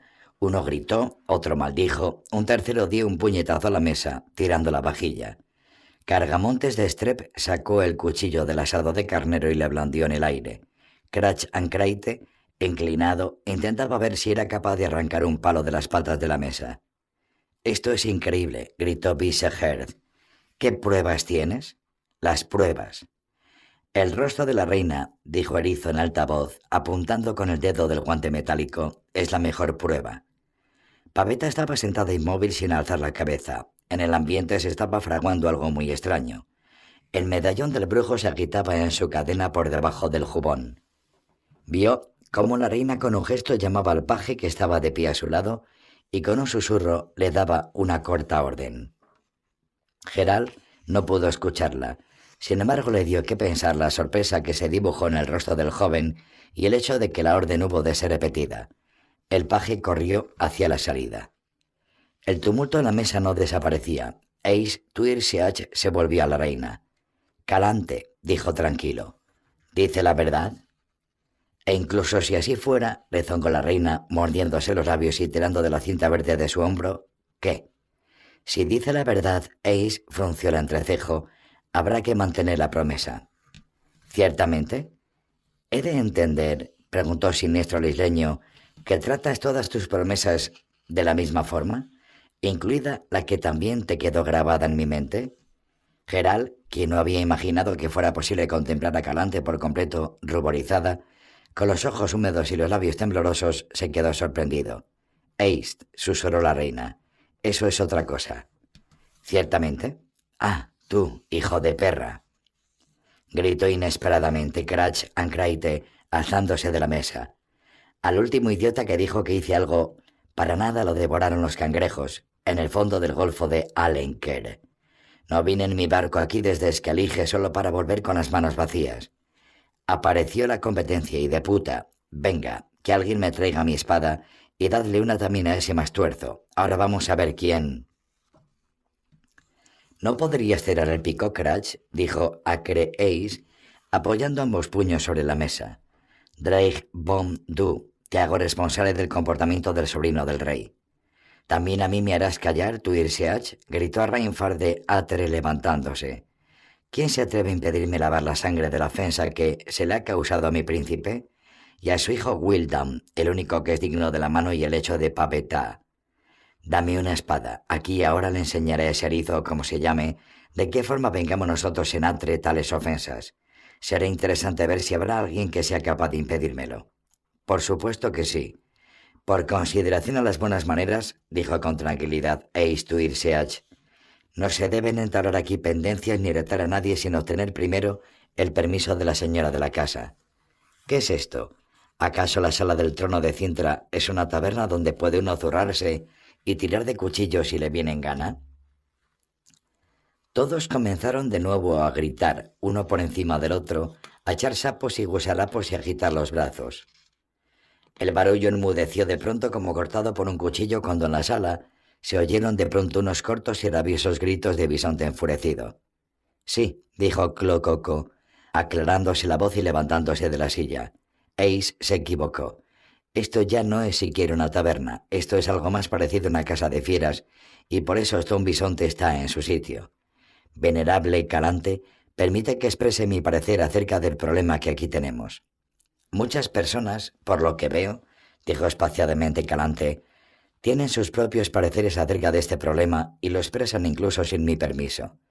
Me extraña que no se interesen los míos. Según mi parecer, antes se me caerá este maldito castillo sobre la cabeza que darle paveta a este engendro. No tengo ni la más mínima intención. La promesa de Roegner, comenzó Erizo, pero la reina le interrumpió de inmediato golpeando furiosamente contra la mesa con una copa de oro. La promesa de Roegner me importa tanto como la nieve del invierno pasado, y en cuanto a ti, erizo, todavía no he decidido si permitiré a Cratch o a Reinfar encontrarse contigo en el campo de honor, o si simplemente te mandaré a ahorcar. Interrumpiéndome cuando hablo, influyes en un grado elevado en mi decisión final. Gerald, aún intranquilo por la vibración del medallón, recorría con la mirada la sala cuando encontró de pronto los ojos de Pavetta, verde esmeralda como los de su madre. La princesa no los ocultaba ya bajo sus pestañas. Los dirigía de Mistobor al brujo sin desviar su atención a otros. Mistobor se removió, encorvado, murmuró algo. Clococo, aún de pie, carraspeó. Habla, afirmó la reina, pero al grano y lo más corto posible. A la orden, reina, hermosa, calante y vos, caballeros. Cierto que extraña fue la petición que le hiciera Erizo de Erlenbach al rey Roegner y extraña la recompensa que pidiera cuando el rey le declaró que satisfaría cualquier deseo. Pero no hagamos de ver que no hemos oído hablar de tales demandas, de algo tan viejo como la humanidad, como es el derecho de la sorpresa, del precio que puede exigir aquel que salva la vida a otro que se encuentra en una situación, diríamos, sin esperanza. Me darás aquello que salga primero a saludarte cuando llegues. Digamos que esto puede ser un perro, el alabardero de la puerta incluso la suegra, impaciente por mal meter al yerno que regresa a casa. O bien, me darás aquello que encuentras en casa y que no te esperas. Después de un largo viaje, nobles señores, y de un regreso inesperado, lo más seguro es que esto sea el querido de tu mujer en tu propia cama. Pero a veces resulta que se trata de un niño, un niño señalado por el destino. Resume Clococo, frunció el ceño calante. A la orden. Señores, ¿Acaso no habéis oído hablar de los niños señalados por el destino? ¿Acaso al legendario héroe Zatret Boruta no le dieron siendo niño a los enanos porque fue él el primero a quien encontró su padre cuando regresaba a la fortaleza? ¿Y el loco Dei, quien obtuvo durante el viaje aquello que dejó en casa y de cuya existencia no sabía? Esa sorpresa era el famoso Supre, quien más tarde liberó al loco Dei del hechizo que se cernía sobre él Recordad también a Cibelena, la cual se convirtió en reina de Metina gracias a la ayuda del gnomo Rumplestelt, y a cambio le prometió su primer hijo. Cibelena no mantuvo su promesa cuando Rumplestet acudió por la recompensa. Le obligó a huir a base de hechizos. Poco tiempo después ella y el niño murieron de una peste. No se juega impunemente con el destino. No me asustes, Clococo, se enojó la reina. Se acerca la medianoche, la hora de los miedos. ¿Recuerdas alguna leyenda más de tu sin duda difícil infancia? Si no, siéntate. Ruego me permitas la gracia, el varón retorció sus largos bigotes, de poder estar de pie un poco más. Querría recordar a todos una leyenda más. Es una antigua y olvidada leyenda. Creo que todos la oímos durante nuestras difíciles infancias. En esta leyenda los reyes mantenían sus promesas, y a nosotros, pobres vasallos, no nos une con el rey más que la palabra real. En ella se basan tratados, alianzas, nuestros privilegios, nuestros feudos. ¿Y qué?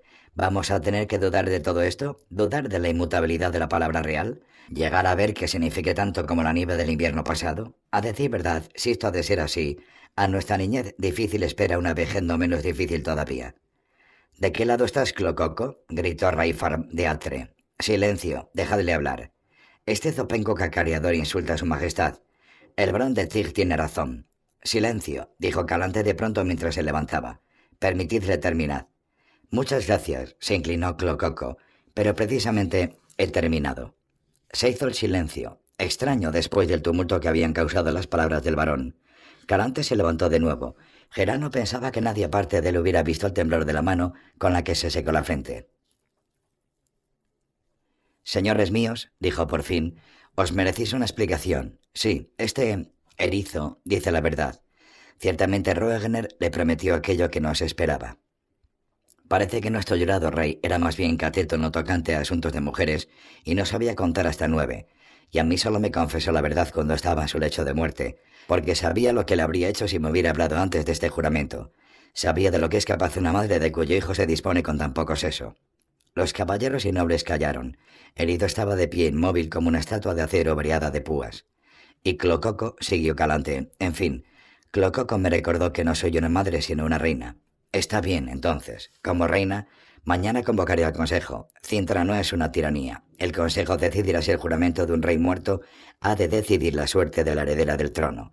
Se anunciará si habrá que dársela a ella y al trono de Cintra al intruso o si se procederá de acuerdo con los intereses del reino. Calante se calló por un segundo. Miró de reojo a Geralt y en lo que respecta a los nobles caballeros que han acudido a Cintra con la esperanza de la mano de la princesa, solo me queda expresar mi dolor por el cruel desprecio y menoscabo de su honor que aquí se les hace, por la vergüenza de la que aquí se han cubierto. No soy yo la culpable de ello. Entre el tumulto de voces que se alzó entre los invitados, el brujo percibió el susurro de Eis Tuirseach. Por todos los dioses del mar, murmulló el isleño. Esto no es justo. Esto es un claro llamamiento al derramamiento de sangre.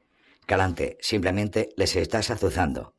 Cállate, Ace, siseó con rabia la reina, o me harás enojar. Los ojos negros de Miss Tower centellearon cuando el druida señaló con ellos a Reinfarn de Atre, que se preparaba para levantarse con una expresión terrible y furiosa. Gerald reaccionó al punto, se la adelantó, se levantó el primero, haciendo un fuerte ruido con la silla. Puede que no sea necesario convocar al consejo, dijo en alta y sonora voz. Todos se callaron, mirándolo con asombro. Gerald sintió sobre él los ojos esmeralda de paveta, la mirada de erizo desde detrás de la rejilla de su negra visera. Percibió también la fuerza, acumulándose como las ondas de un diluvio, vibrando en el aire. Vio cómo bajo el influjo de esta fuerza el humo de antorchas y candiles comenzaba a tomar formas fantásticas. Vio que Miss Tobor también lo veía, y vio también que nadie más era capaz de verlo. He dicho, repitió con calma, que puede que no sea necesario convocar al consejo. ¿Entiendes lo que tengo en mente, erizo de Erlenwald? El caballero de las púas dio dos pasos craqueantes hacia el frente. Entiendo, dijo desde detrás de la cortina de su yelmo. Sería tonto si no lo entendiera. He oído lo que dijo hace un momento nuestra noble y piadosa señora Calante. Ha encontrado un modo excelente para librarse de mí. Acepto tu reto, caballero desconocido. No recuerdo, dijo Geral, que te haya retado. No tengo intenciones de batirme en duelo contigo, erizo Derlenbard. Geral, gritó, calante, torciendo el gesto y olvidando el titular al brujo como noble Rapix. No tires demasiado de la cuerda, no pongas a prueba mi paciencia. Ni la mía, añadió Reinfar con enojo. Sin embargo, Cratch Ancraite solo refunfuñó. E Isturisiach le mostró el puño cerrado en un gesto elocuente. Cratch refunfuñó en voz aún más alta. Todos han escuchado, habló Gerald, cómo el barón de Tig nos narraba las historias de famosos héroes separados de sus padres por la fuerza de tales juramentos, como el que hizo le forzó al rey Roegner. ¿Por qué, sin embargo, con qué objetivo alguien exige tales juramentos? Tú conoces la respuesta, Arizo de Erlenbal. Ese juramento es capaz de crear un potente e indestructible lazo de destino entre el que lo exige y el objeto de ello, la criatura de la sorpresa. Tal niño, señalado por la suerte ciega, puede estar destinado a cosas extraordinarias. Puede ser capaz de jugar un papel increíblemente importante en la vida de aquel al que le liga su destino. Justamente por ello, Erizo, le exigiste a Roegner el precio que hoy reclamas. Tú no quieres el trono de Cintra, quieres llevarte a la princesa. Es justo así como dices, caballero desconocido. Erizo se echó a reír. Eso es lo que reclamo. Dadme aquella que es mi destino. Eso, dijo Gerald, habrá que probarlo. ¿Te atreves a dudar de ello? Después de que la reina haya confirmado mis palabras? ¿Después de lo que tú mismo dijeras hace un momento? Sí, porque no nos lo has contado todo, Roegner. Erizo. Conocía la fuerza del derecho, de la sorpresa y el peso del juramento que hizo, y lo hizo porque sabía que el derecho y la costumbre tienen el poder de proteger tales juramentos, vigilando para que se cumplan solo cuando lo confirme la fuerza del destino. Sabes, Erizo, que de momento no tienes ningún derecho a la princesa. Lo conquistarás solo después de que... ¿De qué? De que la princesa misma ceda irse contigo. Así lo dispone el derecho de la sorpresa.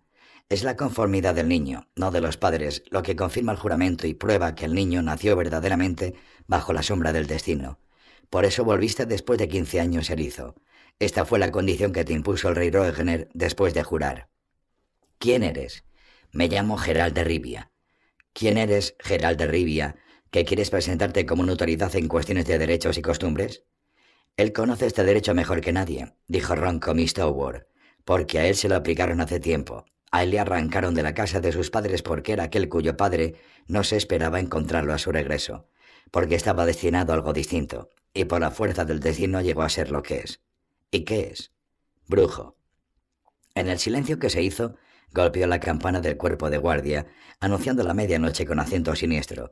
Todos se estremecieron y alzaron la cabeza. Miss Toward, mirando a Gerald, hizo un gesto extraño y sorprendido, pero el más visiblemente sobrecogido e intranquilo era Erizo. Las manos en los guantes de la armadura le cayeron sin fuerza a los lados, el yelmo se balanceó inseguro. Una extraña y desconocida fuerza, invadiendo la sala, como una nube de niebla, se hizo violentamente densa. Es cierto, dijo Calante. Geral de Rivia, aquí presente, es brujo. La suya es una profesión que digna de respeto y aprecio. Se sacrifica para protegernos de monstruos y pesadillas que pueblan la noche, creados por fuerzas enemigas y perjudiciales para los humanos. Él mata a todos los engendros y fenómenos que nos acechan en bosques y despoblados, también a aquellos que tienen la osadía de entrar en nuestras moradas. Erizo se mantenía en silencio. Y después de esto, siguió la reina alzando una mano llena de anillos, que se cumpla la ley, que se verifique el juramento cuyo cumplimiento reclamas. Erizo de Erlenval. Ha sonado la medianoche. Tu voto ya no te obliga. Quítate el yelmo. Antes de que mi hija declare su voluntad, antes de que decida sobre su destino, que vea tu rostro. Todos deseamos ver tu rostro. Erizo de Erlenval alzó lentamente la mano, desató la sujeción del yelmo, se lo quitó asiéndolo del cuerno de hierro y lo arrojó resonando al suelo. Hubo quien gritó, quien lanzó una maldición, quien tomó aliento con un silbido. En el rostro de la reina apareció una sonrisa maligna, terriblemente maligna. Una horrible sonrisa de triunfo. Por encima del amplia y semicircular chapa de la coraza miraban hacia ellos los botones negros de dos ojos saltones, colocados en un hocico largo y romo, cubierto por los dos lados de cerdas rojizas y armado de temblorosos y vibrantes pinchos blancos y muy agudos. La cabeza y la nuca del ser que estaba de pie en mitad de la sala estaban erizadas de púas encrespadas, cortas, grises y móviles. Este es mi aspecto, pronunció el ser, del que tú ya sabías, Calante. Roegner, cuando te contó la aventura que le sucedió en Erlenval, no puede haber eludido describir aquel al que le debía la vida, aquel a quien, pese a su aspecto, prometió lo que le prometió. Bien te preparaste para mi visita, reina. Tus propios vasallos te han recriminado tu soberbio y despectivo rechazo a mantener la palabra dada. Por si no tenía éxito, el intento de azuzarme a otros pretendientes, tenías aún en la manga un brujo asesino que se sentaba a tu derecha en el lugar de honor. Y al final el engaño simple y rastrero. Querías humillarme, Calante, saber que te humillaste a ti misma. Basta.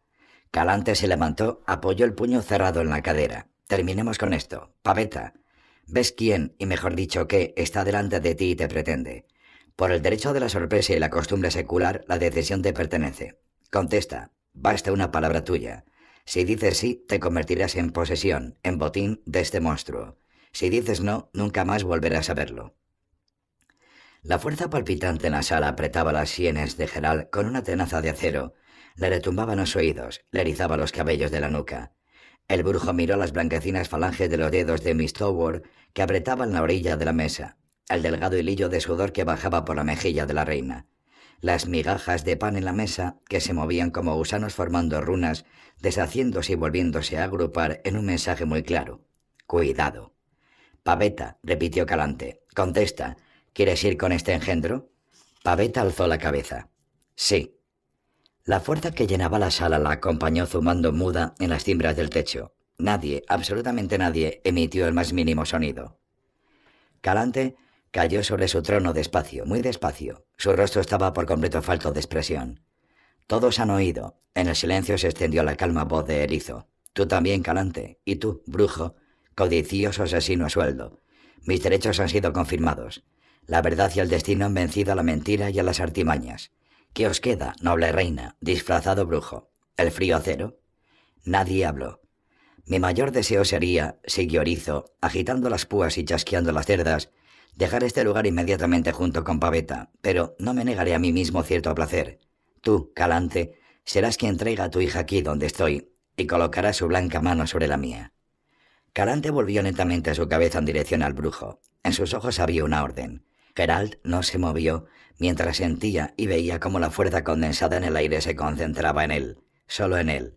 Ya sabía, los ojos de la reina se agrandaron, los labios le temblaron. ¿Qué? ¿Qué es esto? gritó de pronto Cratch Ancraite levantándose de su asiento.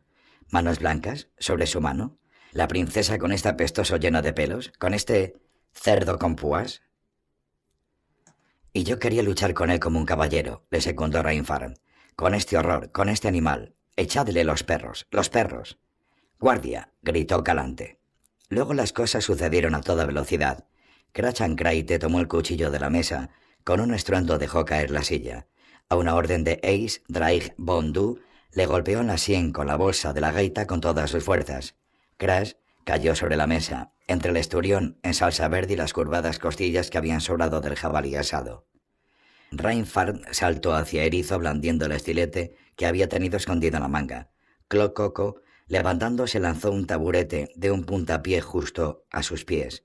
Reinfar saltó el obstáculo con habilidad, pero ese segundo de distracción bastó para que Erizo le evitara con una corta maniobra y le pusiera de rodillas con un potente golpe de sus puños acorazados. Clococo se lanzó con intención de quitarle a Reinfar el estilete, pero le detuvo el príncipe Wildown, agarrándose su muslo como un perro de caza. Unos soldados de la guardia entraron corriendo armados de picas y lanzas. Calante en pie y amenazante le señaló a Erizo con un brusco gesto de mando. Paveta comenzó a gritar. Ace, Tuirseach a maldecir. Todos se alzaron de su sitio sin saber muy bien qué hacer. Matadlo, gritó la reina. Erizo, resoplando rabiosamente y mostrando los colmillos, se lanzó sobre los guardias. No tenía armas, pero estaba cubierto por el acero que con estruendo desviaba la punta de las picas. Pese a ello, el golpe le lanzó hacia atrás, directamente hacia Reinfarth, que se estaba levantando y aprovechó para inmovilizarle agarrándole por los pies. Erizo bramó parando con la protección de los antebrazos los golpes de las hojas que se derramaron sobre su cabeza. Reinfar le acuchilló con el estilete, pero el filo resbaló por las planchas de la coraza. Los guardias, cruzando sus palos, empujaron a Erizo hasta la chimenea labrada. Reinfar, colgado de su cinturón, buscó en la coraza una rendija y clavó el puñal en ella. Erizo se dobló. ¡Duni! gritó con voz aguda Paveta, saltando de la silla. El brujo con la espada en la mano corrió por encima de la mesa hacia los que luchaban, derribando platos, cuencos y jarras.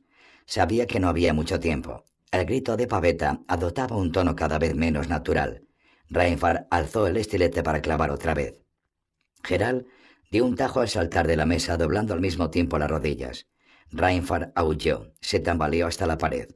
El brujo giró con el centro de la hoja golpeó a un guardia que intentaba introducir la afilada lengua de la lanza por entre el faldar y la coraza de erizo. El guardia cayó al suelo, perdiendo su yelmo plano. Por la puerta entraron más. No lo acepto, gritó Ace Tuirseach, al tiempo que aferraba una silla. Destrozó el incómodo mueble contra el suelo y con lo que le quedó en las manos se lanzó hacia los que entraban. Erizo, pinchado al mismo tiempo por dos de las picas, se derrumbó con estrépito, gritó y aulló, arrastrándose por el suelo. El tercer guardia saltó, alzó la lanza para clavarla. Geral le tascó en la sien con la misma punta de la espada. Los que rodeaban a Erizo retrocedieron, arrojando las picas. Los que entraban por la puerta retrocedieron ante el pedazo de silla que blandía Ace, como si fuera la espada mágica Balmur, en la mano del legendario Zatret Boruta. El grito de Paveta alcanzó su cenit y de pronto pareció romperse. Gerard presintió lo que iba a suceder y se tiró al suelo, alcanzando a captar con los ojos un relámpago verde. Sintió un dolor terrible en los oídos. Escuchó un terrible ulular y gritos de espanto que surgían de muchas gargantas, y luego el aullido vibrante, uniforme y monótono de la princesa. La mesa, dispersando a su alrededor la vajilla y las viandas, se elevó, giraba, Pesadas sillas volaron por la sala destrozándose contra las paredes, los tapices y las alfombras aletearon levantando nubes de polvo. Desde la salida se podía escuchar el tumulto, el estruendo y el seco chasquido de los mástiles de la lanza rompiéndose como cerillas. El trono, junto con la reina sentada en él, echó a rodar y recorrió la sala como una flecha. Chocó con un sonoro golpe contra la pared y se desarmó. La reina cayó sin fuerzas como una muñeca de trapo. Ace, Tuirsiach, que apenas se sostenía sobre sus pies, saltó hacia ella, la cerró en sus brazos y con su propio cuerpo la protegió de los cascotes que se desprendían de techos y paredes. Geral, apretando el medallón en la mano, tan rápido como pudo, se arrastró hacia Miss Tower. Este, que no se sabe gracias a qué milagro aún estaba de rodillas y no sobre la barriga, alzó una corta varita de rama de espino. Al final de la varita había un cráneo de rata. En la pared, a espaldas del druida, el tapiz que mostraba el sitio y quema de la fortaleza de Ortagor ardía con fuego de verdad. Paveta huyaba, girando la cabeza, golpeaba con su grito como si fuera un bate a todo y a todos. Si alguno de los que yacían en el suelo intentaba levantarse, lo tiraba al suelo y lo hacía rodar o lo estrellaba contra la pared. Ante los ojos de Geral, una enorme salsera de plata, esculpida en forma de nave de muchos mástiles con una proa afilada, revoloteó por el aire y fue a dar en los pies al boyeboda, de nombre difícil de recordar. El revoco de los techos se iba deshaciendo poco a poco. Bajo el techo giraba la mesa y Cratch Ancreite, que estaba tendido sobre ella, vomitaba hacia abajo blasfemias horribles. Gerald se unió a Miss Tower. Ambos cayeron detrás del montículo que contando desde abajo formaban, come gatos de strip, un barrilete de cerveza, Drogodar, una silla y el laúd de Drogodar. Es fuerza pura y primigenia, gritó el druida, por encima del barullo y el griterío. Ella no la controla. Lo sé, le contestó Gerald también gritando. Un faisán asado, que todavía conservaba algunas plumas rayadas sobre el trasero, cayó de no se sabe dónde golpeándole en el pecho. Hay que pararla. Los muros empiezan a agrietarse. Lo veo. ¿Listo? Sí. Una, dos, ahora. La golpearon los dos a la vez, Gerald con la señal de Arth, Miss Tower con un terrible hechizo de tres niveles a causa del cual daba la impresión, parecía que se iba a hundir el suelo. La silla en la que se sentaba la princesa se deshizo en astillas. Paveta, como si no lo hubiera advertido, colgaba todavía en el aire, en el interior de una diáfana esfera verde. Sin dejar de gritar, volvió la cabeza hacia ellos y su pequeño rostro se arrugó de pronto en un gesto minoso. Por todos los demonios, gritó Miss Tower. Cuidado, gritó el brujo encogiéndose. Bloqueala, Miss Tower, bloqueala o vendrá por nosotros.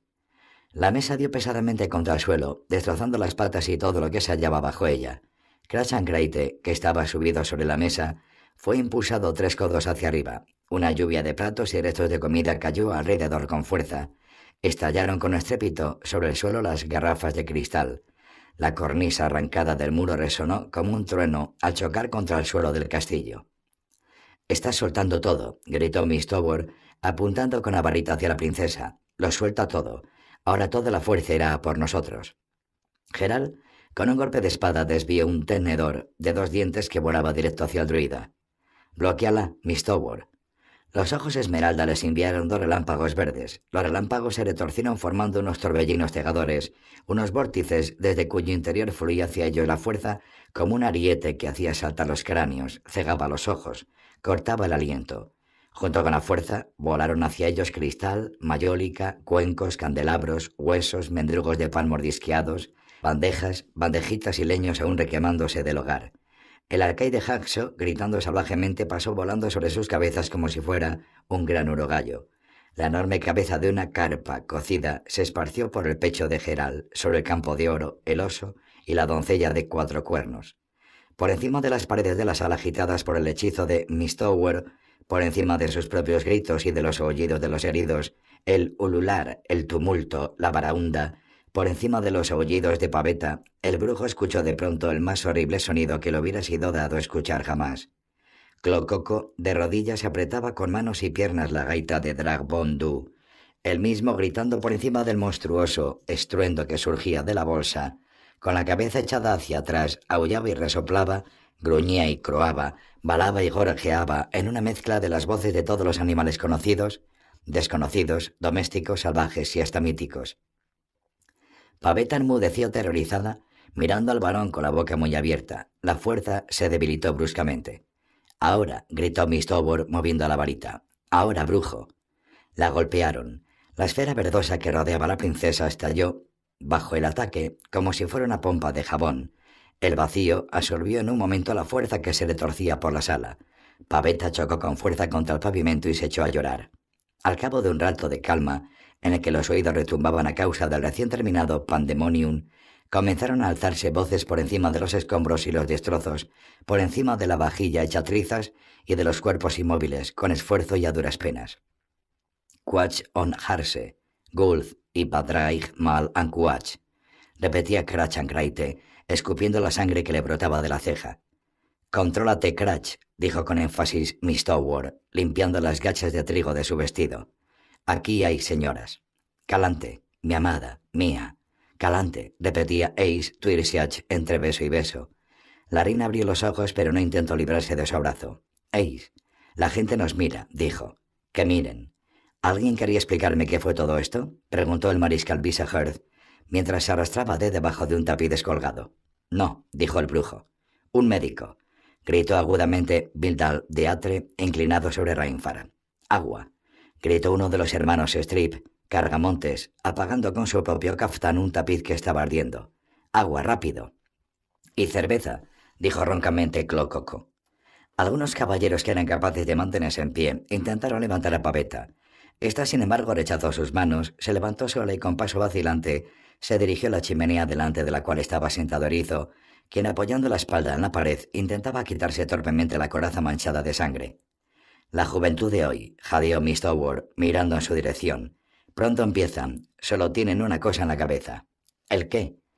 ¿Qué pasa, brujo? ¿No sabes que una doncella, es decir, intacta, no podría usar la fuerza? Que el diablo se lleve su virginidad, murmulló Gerald. ¿De dónde ha sacado tales habilidades? Por lo que sé ni Calante ni Roegner. Las heredó de un salto, por así decirlo, dijo el druida.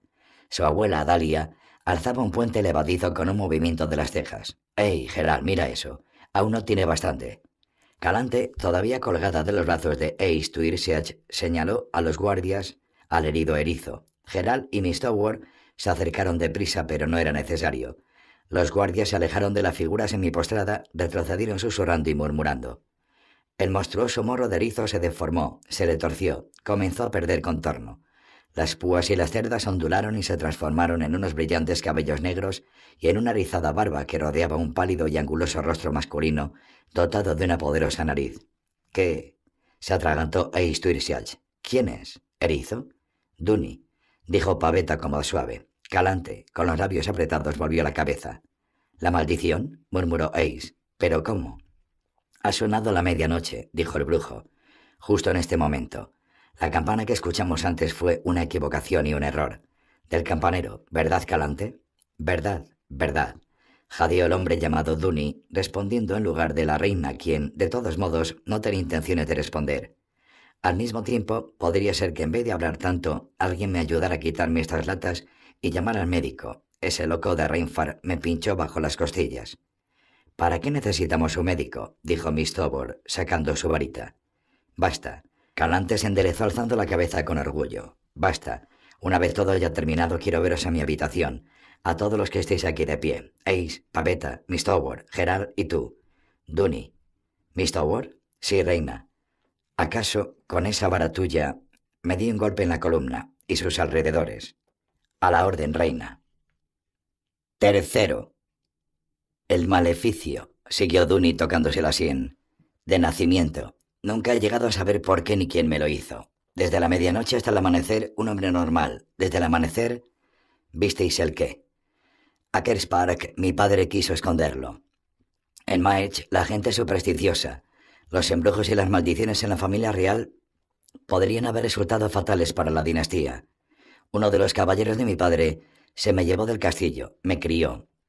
Los dos vagabundeamos por el mundo, el caballero andante con su escudero. Luego, cuando él murió, viajé solo. Ya no recuerdo quién le oí decir que de la maldición me podía librar un niño sorpresa. Poco después encontré a Roegner. El resto ya lo sabéis. El resto ya lo sabemos o nos lo imaginamos, afirmó con la cabeza calante. Especialmente que no esperaste los quince años acordados con Roegner y le calentaste la cabeza a mi hija antes de tiempo. Paveta, ¿desde cuándo? La princesa bajó la cabeza y subió un dedo. Vaya, mira, pequeña bruja, delante de mis narices como me enteré de quién lo dejó entrar de noche al castillo, como pilla las dueñas del castillo con las que ibas a coger prímulas, prímulas y un cuerno. Calante, comenzó Ace. Poco a poco, tú H. Aún no he terminado. Dunny, el asunto se ha complicado mucho. Estás con Paveta desde hace un año. ¿Y qué? Y nada. Eso quiere decir que le sacaste una promesa al padre equivocado. El destino se ha reído de ti. Qué ironía, como dice el aquí presente Gerald de Rivia. A la porra con el destino, las promesas y la ironía. Se encolerizó Duni. Amo a Paveta y ella me ama a mí. Solo eso cuenta. No puedes, reina, interponerte en el camino de nuestra felicidad. Puedo, Duni, puedo y no sabes cómo. Sonrió Calante con una de sus indescifrables sonrisas. Por suerte para ti, no quiero. Tengo cierta deuda para contigo, Duni. Por aquello, sabes, estaba decidida a... Debería pedir perdón, pero odio hacerlo, así que te doy a Paveta y estamos en paz. ¿Paveta? ¿No has cambiado de opinión? La princesa negó con pasión agitando la cabeza. Gracias, señora, gracias, sonrió Duni. Eres una reina inteligente y bondadosa. Por supuesto que sí, y hermosa. Y hermosa. Podéis quedaros los dos en Cintra, si queréis. La gente de aquí es menos supersticiosa que los habitantes de Maetz y se acostumbra a todo rápido. Al fin y al cabo, incluso como Orizo eras bastante simpático.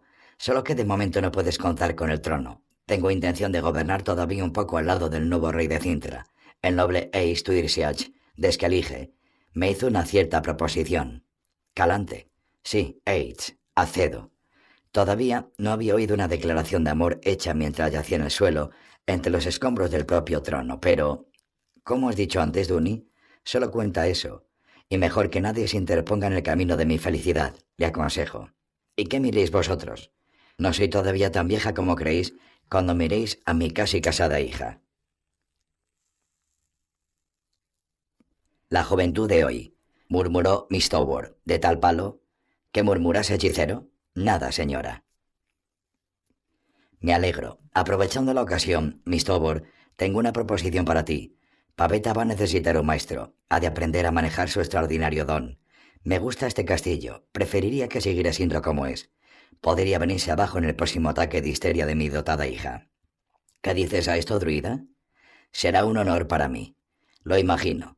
La reina volvió la cabeza hacia la ventana. Ha amanecido. Es hora ya de...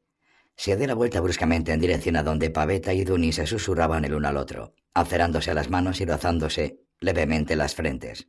Duni, ¿sí, reina? ¿Has oído? El amanecer, ya ha amanecido. ¿Y tú?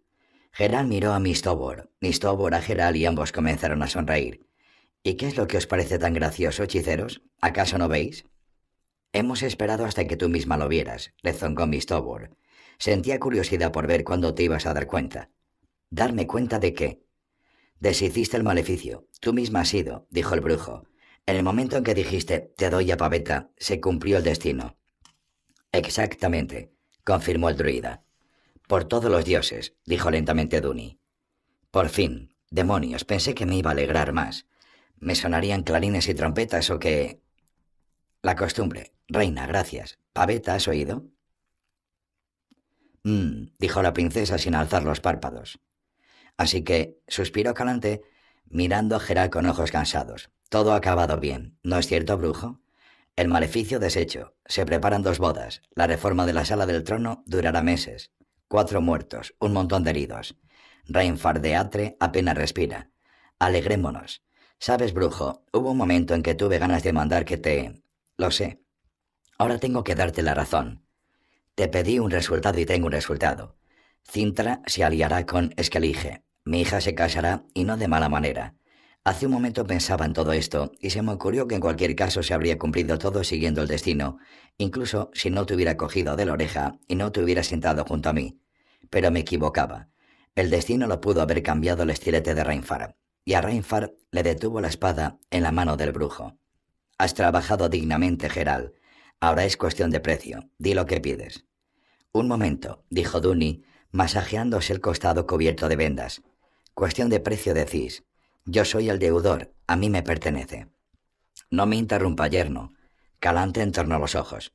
Tu suegra no aguanta que se la interrumpa, recuérdalo, y sabe que no eres deudor de nadie. Tal vino a suceder que fuiste algo así como el objeto de un contrato que haré con Gerald de Rivia.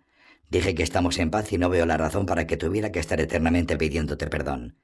Pero estoy todavía ligado por el contrato. Venga, Gerald, tu precio. Bien, dijo el brujo. Pido tu fajín verde, para que siempre me recuerde el color de los ojos de la más hermosa de las reinas que conozco. Calante sonrió. Se quitó del cuello el collar de esmeraldas. Esta bisutería, dijo, tiene piedras de un tono más preciso. Guárdala junto con los hermosos recuerdos. ¿Puedo decir algo? preguntó con modestia Duni. Por supuesto, yerno. Venga, venga. Sigo afirmando que yo te debo algo, brujo.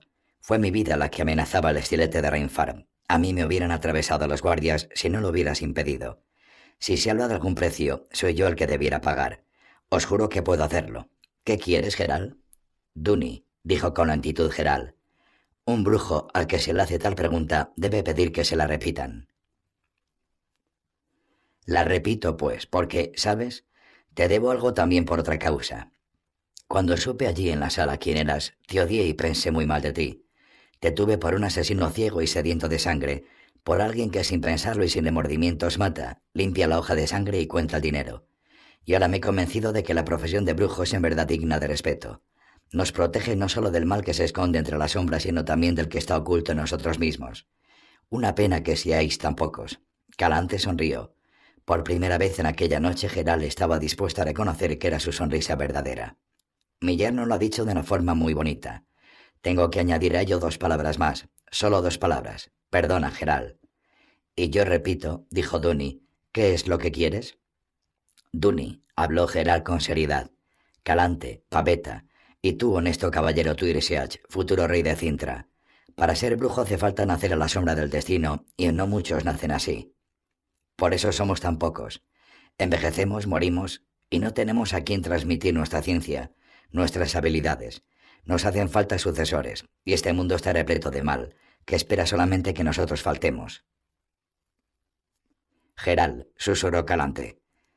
Sí, no te equivocas, reina. Duni, me darás aquello que ya posees y de lo que aún no sabes. Volveré a Cintra dentro de seis años para comprobar si el destino me ha sido benigno. Paveta. Duni abrió mucho los ojos. Tú no estás. Paveta, gritó Calante. ¿Acaso tú. ¿Acaso tú estás?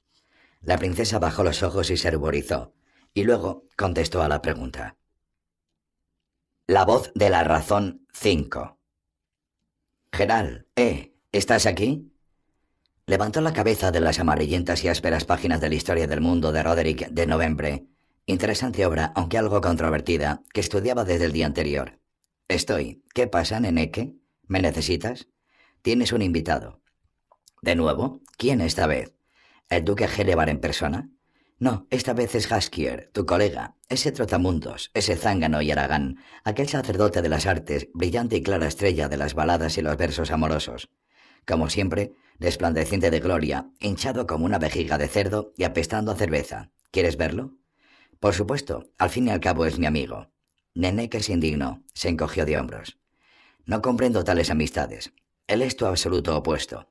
Los opuestos se atraen. Está clarísimo. Oh, por favor, ahí viene señaló con un movimiento de cabeza. Tu famoso poeta.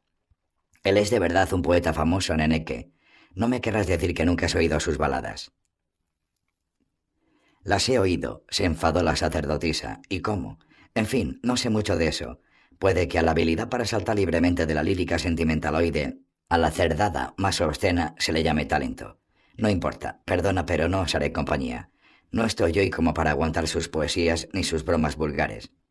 Desde el pasillo se escuchó una risa perlada, el rasguido de un laúd y en la entrada de la biblioteca apareció Jaskier, vestido con una almilla de color lila con mangas de encaje y un sombrerito ladeado. A la vista de Neneque, el trovador se inclinó exageradamente, barriéndole entarimado con la pluma de garza prendida a su sombrero. Mis más profundos respetos, venerable madre, gorgió tontamente. Gloria a la gran Melitele y a sus sacerdotisas, guardianas de la virtud y la inteligencia. Deja de molestar, Jaskier, bramó Neneque, y no me llames madre. Me aterra el simple pensamiento de que pudiera ser mi hijo. Se dio la vuelta de repente y salió, arrastrando la túnica por el pavimento con un siseo. Jaskier, con un gesto de mono, parodió una inclinación. No ha cambiado nada, dijo serenamente. Sigue sin entender una broma. Se ha enfadado conmigo porque al llegar platiqué un poquillo con la portera, una simpática rubia de largas pestañas con unos rizos que alcanzan hasta un hermoso culito, el cual no pellizcar sería un pecado. Así que pellizqué, y Neneque, que justo entonces apareció. Ah, ¿qué más da? Hola, Geral. Hola, Jaskier. ¿Cómo sabías que estaba aquí? El poeta se enderezó, se tiró de los pantalones. Estaba en Bicima, dijo. Oí lo de la estrige, me enteré de que estabas herido. Anduve pensando dónde podrías ir a pasar la convalecencia. Como veo, estás ya sano. Bien ves, pero intenta explicarle esto a Neneque. Siéntate, charlaremos un rato. Haskier se sentó, echó un vistazo a los libros que yacían en el púlpito. ¿Historia? se sonrió. ¿Roderick de Novembre? Lo he leído, lo he leído. Cuando estudié en la Academia de Osenfurt, la historia ocupaba el segundo lugar en la lista de mis asignaturas favoritas. ¿Y qué estaba en el primer lugar? La geografía, dijo serio el poeta. El atlas del mundo era más grande y resultaba más fácil esconder detrás de él las damajuanas de vodka. Gerald se rió secamente, se levantó, tomó de una estantería los arcanos de la magia y de la alquimia de Lunini y Tirs y sacó a la luz del día un recipiente rechoncho y envuelto en paja que estaba escondido tras el grueso volumen. ¡Ojo! El bardo mostró su alegría. La inteligencia y la inspiración aún se esconden en las bibliotecas. Ah, me gusta. ¿Decirlo la verdad? Sí, esto es alquimia. Vaya una maravilla. Esta es la piedra filosofal, el verdadero valor de los estudios. A tu salud, hermano. Ah, es fuerte de la leche. ¿Qué te trae por aquí? Gerald recogió la dama Juana de manos del poeta. Echó un trago y tosió, tocándose el cuello vendado. ¿A dónde te diriges? A ningún lado. Es decir, podría ir allí a donde tú vas. Podría acompañarte. ¿Piensas entretenerte mucho aquí? No mucho. El duque local me ha dado a entender que no estoy bien visto en sus posesiones. ¿Erevar? Jaskier conoció a todos los reyes, príncipes, gobernantes y señores desde el Yaruga hasta las montañas del dragón. No te importe un pito. No se atreverá a meterse con Neneque, con la diosa Melitele. El polo ya no le quemaría el castillo. No quiero problemas, y además llevo aquí ya demasiado tiempo. Me voy al sur, Jaskier, muy al sur. Aquí ya no encuentro trabajo. La civilización. ¿Quién necesita un brujo aquí? Cuando pregunto por algún trabajo me mira como si estuviera loco. ¿Qué chorradas dices? ¿Qué hablas de una civilización? Atravesé el Buin hace una semana y yendo por el país oí hablar de muy distintas cosas. Parece que hay por ahí geniecillos del agua, bijunos, espantos, cometas, toda clase de guarrerías. Tendrías que estar de trabajo hasta las orejas.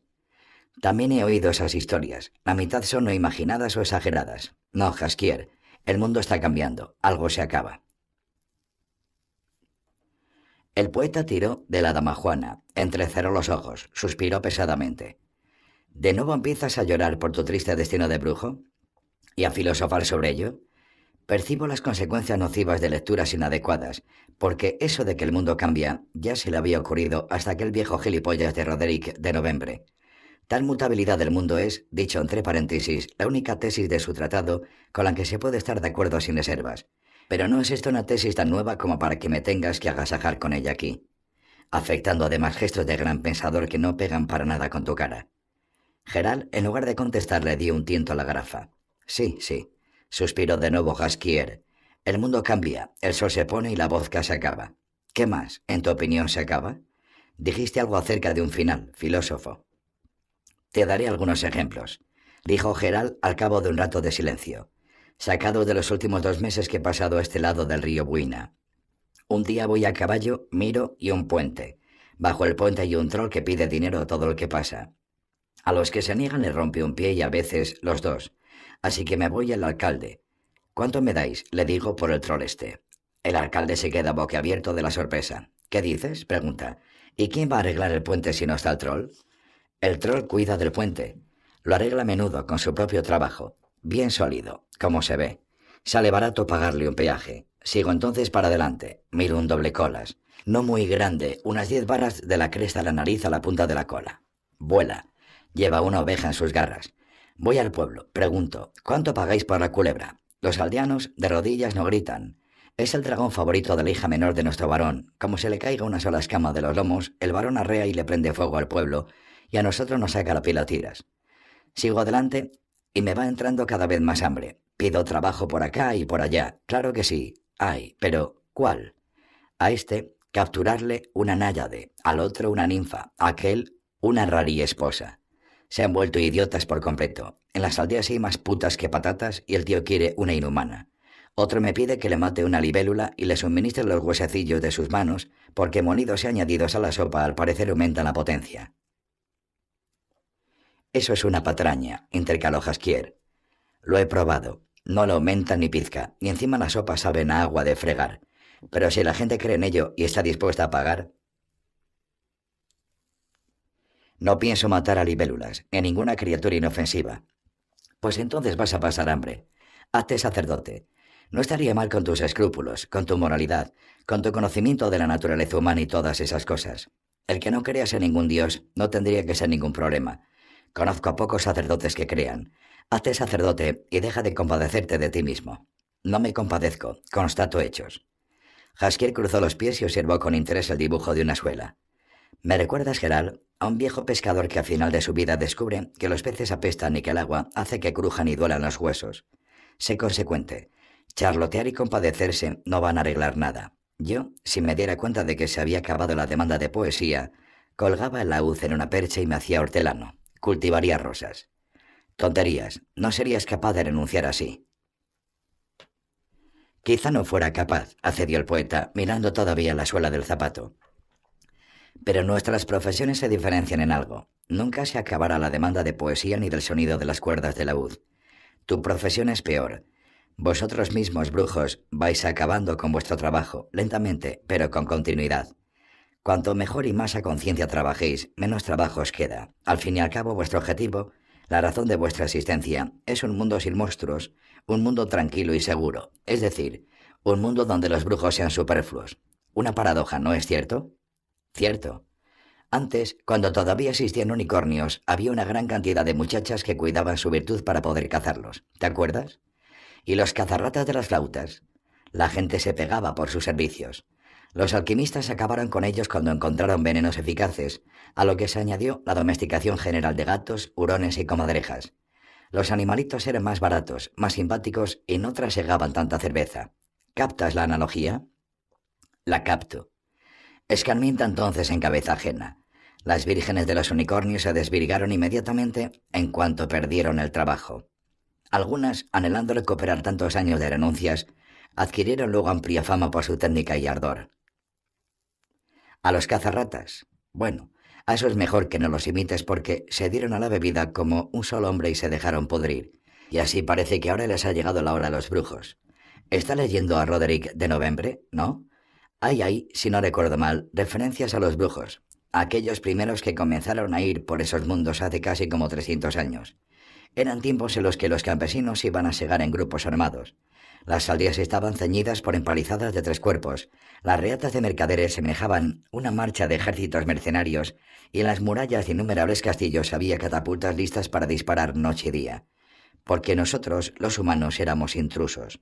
Esta tierra era de los dragones, las manticoras, los grifos y los anfisbenos, los vampiros, los lobisomes y las estriges, las quiquimoras, las quimeras y las cometas y hubo que quitarles esta tierra trechos, cada valle, cada desfiladero, cada bosque y cada calvero.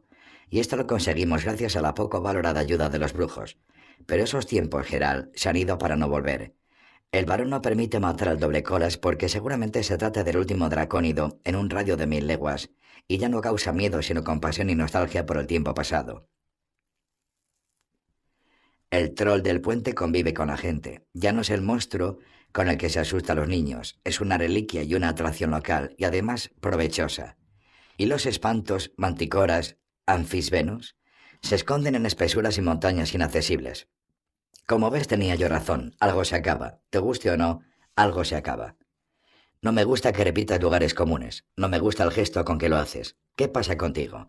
No te reconozco, Geral. Eh, diablos. Cabalguemos pronto hacia el sur, hacia esos países indómitos. En cuanto te ganes el jornal con un par de monstruos, se te pasará la morriña. Y al parecer allí hay monstruos de sobra. Dicen que si una vieja está cansada de la vida, se va más sola que la una al bosque a por carrascas sin llevarse astralejas. Resultado garantizado. Deberías asentarte allí permanentemente. Quizás debiera, pero no lo haré. ¿Por qué? Allí es más fácil para un brujo el ganarse la vida. Ganar dinero más fácil. Geral eche un trago. Pero gastarlo más difícil. Además, Allí solo se come cebada y mijo, la cerveza sabe a meado. Las muchachas no se lavan y los mosquitos se te comen. Jaskier se rió con fuerza apoyando el codo sobre una estantería, sobre el lomo de un libro encuadernado en piel. Y mosquitos. Eso me recuerda a nuestra primera aventura juntos en el confín del mundo, dijo. ¿Te acuerdas? Nos conocimos en el festival de Gulet y me convenciste. Tú me convenciste a mí. Tenías que alargarte de Gulet todo lo deprisa que pudiera tu caballo, porque la moza que te camalaste bajo el estrado de los músicos tenía cuatro hermanos bien crecidos. Te buscaron por todo lugar amenazando que te embadurnarían de serrín y alquitrán y te echarían. Por eso te pegaste a mí entonces. Y tú por poco no te saliste de los pantalones de alegría por encontrar quien te acompañara. Pero como quieras, tienes razón. Fue como tú dices. Es cierto que tuve entonces que desaparecer por algún tiempo y el Valle de las Flores me parecía que ni pintado para ello. Decían que era con fin del mundo habitado, la avanzadilla de la civilización y de lo nuevo, el punto más alejado de la frontera entre los dos mundos. ¿Recuerdas? Recuerdo, Haskier. El confín del mundo. Primero. Haskier bajó con cuidado los escalones de la taberna, llevando dos jarras que chorreaban espuma. Maldiciendo voz baja, se abrió paso por entre el grupo de niños curiosos que se apretaban en torno a él. Atravesó oblicuamente el corral, evitando las numerosas plastas de las vacas. Alrededor de una mesa puesta en la calle, ante la que el brujo hablaba con la estaratosta de la villa, se habían reunido ya unas decenas de colonos. El poeta colocó las jarras, se sentó. Enseguida se dio cuenta de que durante su corta ausencia la conversación no había avanzado ni siquiera una pulgada. Soy brujo, señor estarosta, repitió por no se sabe qué vez Geral, hundiendo los labios en la espuma de la cerveza. No mercadeo nada. No me ocupo de alistar para el ejército y no sé curar los muermos. Soy brujo. Es una especie de profesión, aclaró, por no se sabe qué vez Jaskier. Brujo, ¿comprendéis? Mata estriges, espectros también. Estirpa toda porquería, como un profesional por dinero. ¿Comprendéis, Estaratosta? Ajá. La frente del Estaratosta, surcada por las arrugas provocadas por pensamientos demasiado complicados, se relajó. Brujo, haber principiado por ahí. Pues claro, afirmó Geral. Por eso pregunto, ¿hay faena para mí por estos alrededores? Ah, el Estaratosta comenzó a pensar de nuevo de un modo bastante visible. ¿Faena? ¿Como cuál? Bueno, ¿elementalos? ¿Preguntáis si no haya acá elementalos? El brujo sonrió y asintió con la cabeza, rascándose ligeramente con una falange el párpado cubierto de polvo. Haya, concluyó el Estaratosta al cabo de un buen rato. Mirad allá, ¿veis aquellas sierras? Allá moran los elfos, allá tienen su reino. Los palacios suyos, os digo, por entero son de oro puro. Ay, señores, los elfos os digo, peligro, quien allá acude jamás regresa. Así lo creo, dijo Gerá con frialdad. Por eso es por lo que no pienso ir allá. Jaskier se rió con insolencia. El Estaratosta, como Gerald se esperaba, se lo pensó durante un largo rato. Ajá, dijo por fin. Clarito, claro. Pero hay otros elementalos acá. De las tierras de los elfos se nos cuelan, por lo visto. Oh, señores, hay de ellos, los hay. Ni se pueden contar. Y la peor es la muaré. ¿Acaso miento a paisanos? Los paisanos se reanimaron, rodearon la mesa por todos lados. La muaré, dijo uno. Sí, sí, con toda razón habla el estaratosta. Una moza descolorida que corre por las casas al alba. Y los críos se mueren. Y trasgos, añadió otro, soldado en la guardia local. Les enredan las crines a las caballerías en las cuadras. Y murciélagos, murciélagos hay. Y calborotes. Por su culpa la gente se llena de granos. Los siguientes minutos fueron ocupados por un intensivo recuento de los seres que importunaban a los lugareños con sus innobles actos o con su mera asistencia. Gerald y Haskier se enteraron de datos acerca de los trastornones y las mamillas, seres debido a los cuales un labrador honrado no puede encontrar su casa cuando está borracho, sobre las cometas que vuelan y beben la leche de las vacas, sobre las cabezas con patas de araña que corren por los bosques, sobre los hoboldag que llevan un sombrerito rojo, y sobre los peligrosos lucios que arrancan la ropa blanca de las manos de las mujeres que están lavando y mira, igual les da por liarse con las propias mujeres. No se quedaron, como era habitual, sin que les informaran de que la vieja Narazkova vuela por las noches subida al atizador y de día provoca abortos, que el molinero mezcla la harina con polvo de bellotas y que un cierto duda, hablando del capataz real, le llamó a este ladrón y granuja. Gerald escuchó con tranquilidad, asintiendo con la cabeza en fingida atención. Realizó unas cuantas preguntas relativas sobre todos los cambios y la topografía del terreno, después de lo cual se levantó y le hizo una señal a Jaskier. Entonces, con los dioses buenas gentes, dijo, pronto volveré, entonces veremos qué se deja hacer. Se fueron en silencio, entre los chozos y las tapias, acompañados del ladrido de los perros y la algarada de los niños. Geral, habló Jaskier, levantándose sobre los estribos y arrancando unas hermosas manzanas de unas ramas que sobresalían por encima de las paredes de un huerto. Todo el camino te has estado quejando de que cada vez te es más difícil encontrar trabajo, y por lo que escuché hace unos instantes resulta que podrías trabajar aquí hasta el invierno y sin descanso. Aquí te ganarías unos duros y yo encontraría bonitos temas para mis romances. Entonces explícame, ¿por qué seguimos andando? No me ganaré aquí ni un real, Jaskier. ¿Por qué? Porque ni una sola palabra de todo lo que dijeron era verdad. ¿Qué dices?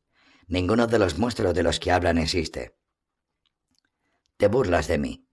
Jaskier escupió las pipas y echó los restos a un perro callejero que estaba muy pegado a los cascos del caballo. No, no es posible. Me fijé en esas gentes y yo conozco bien a las personas. No mentían. No, aceptó el brujo, no mentían. Creen ciegamente en ello, lo que no cambia las cosas. El poeta se mantuvo un rato en silencio. Ninguno de esos monstruos, ninguno, no puede ser. Algunos de los que mencionaron tienen que existir, aunque no sea más que uno. Reconócelo. Lo reconozco. Es seguro que por aquí hay uno de ellos. ¿Lo ves? ¿Cuál? El murciélago. Dejaron atrás la última cerca y salieron a una calzada entre bancales amarillos de colza y campos ondulados de trigo. El camino en dirección contraria lo recorrían carros cargados. El bardo colocó la pierna sobre el arzón de la silla, apoyó la hoz en la rodilla y rasgueó una nostálgica melodía. Daytonito saludaba con la mano las mozas risueñas y aremangadas que caminaban por los rebordes del camino llevando rastrillos en sus hombros poderosos. Geral, dijo de pronto. Pero hay monstruos. Puede que no sean tantos como antes, puede que no acechen detrás de cada árbol en el bosque, pero hay. Existen.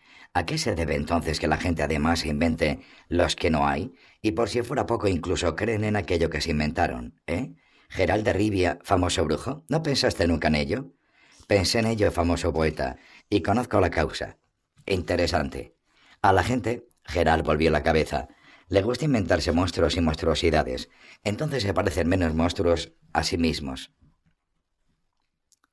Cuando beben como una esponja engañan, roban, le dan de palos a su mujer, matan de hambre a su vieja abuelilla, golpean con un hacha a la raposa atrapada en el cepo o acribillan a flechazos al último unicornio del mundo. Les gusta pensar que sin embargo todavía es más monstruosa que ellos la muere que entra en las casas a la aurora. Entonces, como que se les quita un peso de encima, y le resulta más fácil vivir. Lo recordaré, dijo Gaskier a cabo de un rato de silencio. Sacaré una rima y compondré un romance sobre ello. Componlo, pero no cuentes con grandes aplausos. Cabalgaban despacio, pero a poco perdieron de vista la última aldea de Chozos. No mucho después alcanzaron la línea de unas lomas pobladas de bosques. Ah, Jaskier detuvo el caballo, miró a los lados. Contempla, Geral, ¿no es hermoso? Un idilio. Así me lleva el diablo. La vista se alegra. El terreno más allá de las lomas caía levemente en distintas direcciones, formando llanuras a medias cubiertas de un mosaico de cultivos de muchos colores.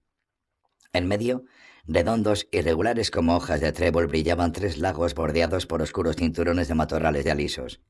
El horizonte estaba marcado por una nebulosa línea de montañas de color azul oscuro, alzándose sobre una oscura e informe extensión de bosque.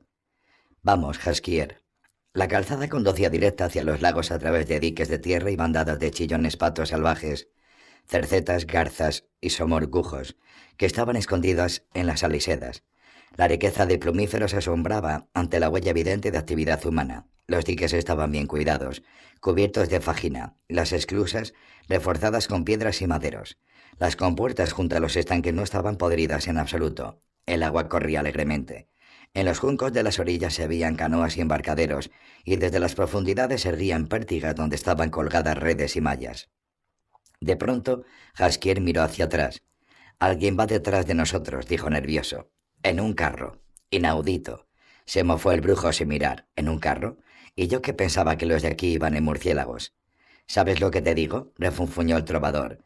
Cuanto más cerca del confín del mundo, más agudas se vuelven tus bromas. Asusta pensar a dónde llegarás. Cabalgaban sin prisa, y como el carro al que iban enganchados dos caballos píos no llevaba carga, les alcanzó muy pronto. Prrr. El hombre que conducía sujetó a los caballos justo detrás de ellos. Llevaba una zamarra de borrego sobre la piel desnuda y los cabellos le alcanzaban hasta las cejas. Alabados sean los dioses, caballeros. Alabados sean, contestó Gasquier, entendido en costumbres. No por mí, masculló el brujo. Tapadera me nombran, declaró el arriero. Os vi a vos cómo platicasteis con el estaratosta de posada de arriba. Sé qué brujo sois. Geral dejó pasar el carro, permitió a la yegua remonear las hierbas del camino. Hoy, continuó el hombre de la zamarra, cómo el estaratosta os contó tamaños cuentos. Os lo conocí en vuestro gesto, y no me fue raro que al tiempo que no oía tales mentiras ni embustes. Jaskier sonrió. Gerán miró al aldeano atentamente, sin decir nada. El aldeano llamado Tapadera carraspeó. ¿No querríais liaros con una faina de las buenas, verdadera, señor brujo? preguntó. Algo tendría para vos. ¿El qué? Tapadera no bajó los ojos. Mal se habla de negocios por los caminos. Vayamos a mi casa, a Posada de abajo. Allá platicaremos. Al cabo, este es también vuestro camino. ¿Por qué estáis tan seguro? porque aquí no hay otro camino, y vuestros caballos el morro tienen en aquesta dirección y no en la contraria. Jaskier sonrió de nuevo. ¿Qué dices a esto, Gerald? Nada, contestó el brujo. Mal se habla por los caminos. En marcha, pues, señor don Tapadera. Atar los caballos a las estacas y encaramaos al carro, propuso el aldeano, os será más cómodo. ¿Por qué cansar el culo con la silla? Verdad de la buena. Se subieron al carro. El brujo se tumbó sobre la paja con voluptuosidad. Haskier, temiendo suciar su elegante jubón verde, se sentó en el asiento. Tapadera silbó a los caballos. El vehículo avanzó rechinando por sobre los maderos que reforzaban los diques. Cruzaron un puente sobre los canales repletos de nenúfares y lentejas de río. Atravesaron una franja de campos segados. A todo su alrededor, hasta donde la vista alcanzaba, se extendían campos labrados. No se puede creer que esto sea el confín del mundo, el fin de la civilización, dijo Haskier. Echa un vistazo, Geral. Centeno como oro, y entre ese maíz podría esconderse un hombre a caballo. Y mira los nabos, son enormes. ¿Sabes algo de agricultura? Nosotros los poetas debemos saber de todo, afirmó Haskier con soberbia. En caso contrario, nos comprometeríamos cuando escribimos. Hace falta estudiar, querido mío, estudiar. De la agricultura depende el destino del mundo. Por ello está bien saber algo de agricultura. La agricultura proporciona alimento, viste, guarda del frío, provee de entretenimiento y ayuda a las artes. Con lo del entretenimiento y las artes creo que te has pasado un poco. ¿Y de dónde se saca el aguardiente? Comprendo. Nada comprendes. Estudia. Mira esas florecillas violetas. Son altramuces. En verdad que esos son arvejas, le contradijo Tabadera. ¿Acaso no visteis nunca altramuces? Pero en algo acertasteis, señor. Todo se cría aquí con mucha fuerza y crece que da gloria. Por ello lo llaman el Valle de las Flores, y por ello nuestros abuelos se asentaron acá y echáronse de aquí a los elfos. El Valle de las Flores, es decir, Dol Baltanna, Jaskier, le dio con el codo al brujo tendido sobre la paja. ¿Te das cuenta? A los elfos echáronse, pero los antiguos nombres elfos no creyeron necesario cambiar arse. Les falta fantasía. ¿Y cómo se vive aquí con los elfos, jefe? Al fin y al cabo, los tenéis con las montañas de por medio. No nos mezclamos los unos con los otros. Ellos con ellos, nosotros con nosotros. La mejor solución, dijo el poeta. ¿No es cierto, Geral? El brujo no contestó. Segundo. Gracias por el convite. Geral relamió la cuchara de hueso y la colocó en el cuenco vacío. Gracias mil, señor. Y ahora, si permitís, vayamos al asunto. Va, venga, se mostró de acuerdo Tapadera. ¿Qué? ¿Dun? Dun, el anciano de posada de abajo, un enorme hombre de lúgubre mirada, inclinó la cabeza a las mozas. Estas a toda prisa recogieron de la mesa la vajilla y dejaron la sala del concejo, para evidente tristeza de Gasquier el cual, desde el principio del banquete, les había mostrado sus blancos dientes y les había empujado a soltar risitas a base de bromas bastante vulgares. Escucho entonces, dijo Geral mirando por la ventana desde la que le llegaba el golpetear del hacha y el sonido de la sierra. En el exterior se estaba haciendo algo con madera. Un fuerte olor a resina llegaba hasta la isba. Decidme en qué os puedo ayudar. Tapadera miró a Doom. El viejo colono asintió, carraspeó. Va, esto es así, dijo. Hay acá una cierta aza. Geral dio un puntapié por debajo de la mesa a el cual se disponía ya a soltar un comentario malintencionado. Aza, continuaba Dun. ¿No digo bien, tapadera? Estuvo esta aza por largo tiempo baldía, pero la aramos y ahora sembramos allá cáñamo, centeno y lino. Un pedazo de terreno, os digo, hasta el mismo monte que alcanza. ¿Y qué? No resistió el poeta. ¿Qué hay en esa aza? Va. Dun bajó la cabeza, se rascó detrás de una oreja. Va, allá campa un diablo. ¿Qué? resopló Jaskier. ¿El qué? Lo dicho, el diablo. ¿Qué diablo? ¿Y qué diablo va a ser? El diablo y basta. Pero si los diablos no existen. No interrumpas, Jaskier, dijo Geral con voz serena. Y vos seguid adelante, señor Dunn. Pues sí lo dije, un diablo. Esto ya lo sé. Geral, cuando quería, sabía ser paciente hasta el extremo. Decidme qué aspecto tiene, ¿De dónde salió? ¿En qué os estorba? Una cosa tras la otra, si nos importa. Va. Dun alzó una mano nudosa y comenzó a contar, doblando los dedos de uno en uno con grandes trabajos. Una cosa tras la otra. Cuán vivo y sabio me sois. Va, venga. Aspecto tiene, señor, pues de diablo, un diablo tal que ni pintado. ¿De dónde salió? Pues de lugar ninguno. Pam, paf, chas y miro. Diablo. Y estorbar, lo que es estorbar, lo cierto es que no mucho. Y hay veces en que hasta ayuda. ¿Ayuda? Se rió mientras intentaba sacar una mosca de la cerveza. ¿El diablo? No interrumpas, Haskier. Seguid, señor Dunn. ¿En qué forma os ayuda ese, como decís? Diablo, repitió con énfasis el aldeano. Va, ayuda de tal modo. Estericola al campo, remueve el terreno, mata a los topos, asusta a los pájaros, vela por los nabos y los rabanillos. Ah, y las hojillas que se resecan se come de las coles. Pero por cierto que también la col entera se come, no es que se embuche otra cosa, así es este diablo. Jaskier se rió de nuevo, después de lo cual chasqueó los dedos y disparó la mosca bañada en cerveza hacia el gato que dormía junto al hogar. El gato abrió un ojo y miró al bardo con reproche. En cualquier caso, habló con tranquilidad el brujo, estaréis dispuestos a pagarme para libraros de ese diablo, ¿o no? En otras palabras, ¿no lo queréis por estos alrededores? ¿Y quién? Dun le miró lúgubremente. Querría un diablo en la tierra de sus padres. Nuesa es esta tierra, de nuestros antepasados, procesión del rey, y nada pinta que un diablo, al cuerno con su ayuda. ¿Qué pasa, que no tenemos mano nosotros mismos? Y no de diablo, señor brujo, sino de malevada bestia, tiene en la cabeza tales, con perdón, mierdas, que no se puede aguantar. No sabes por la mañana lo que le vendrá a la cabeza por la noche. Y allá, señores, que ensucia el pozo. Y acá que corre una moza, la asusta, la amenaza que la va a encular. Roba, señores, los sabios de la casa y de la cosecha, destruye y rompe, importuna, mete el moro en el dique, patea en los bajos como un castor o un hurón cualquiera. El agua de un estanque se escurrió del todo y las carpas se murieron.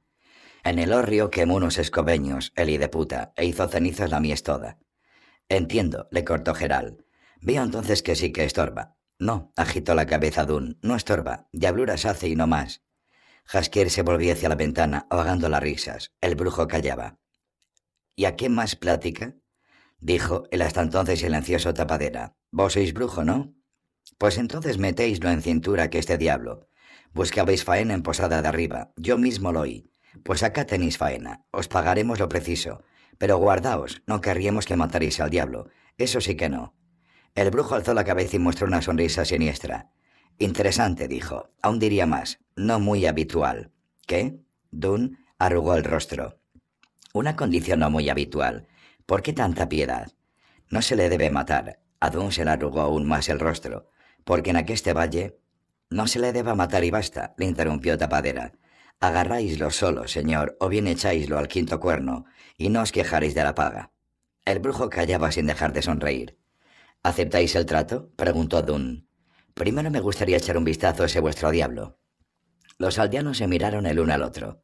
Vueso derecho, dijo Tapadera, después de lo que se levantó, y vuesa voluntad. Por todos los alrededores andurrea el diablo a las noches, pero de día suele estar allá por los cañaverales o entre los sauces viejos, en el pantano. A voluntad podréis verlo allá. No os vamos a urgir. Si queréis descansar, descansáis de tan largo como queráis.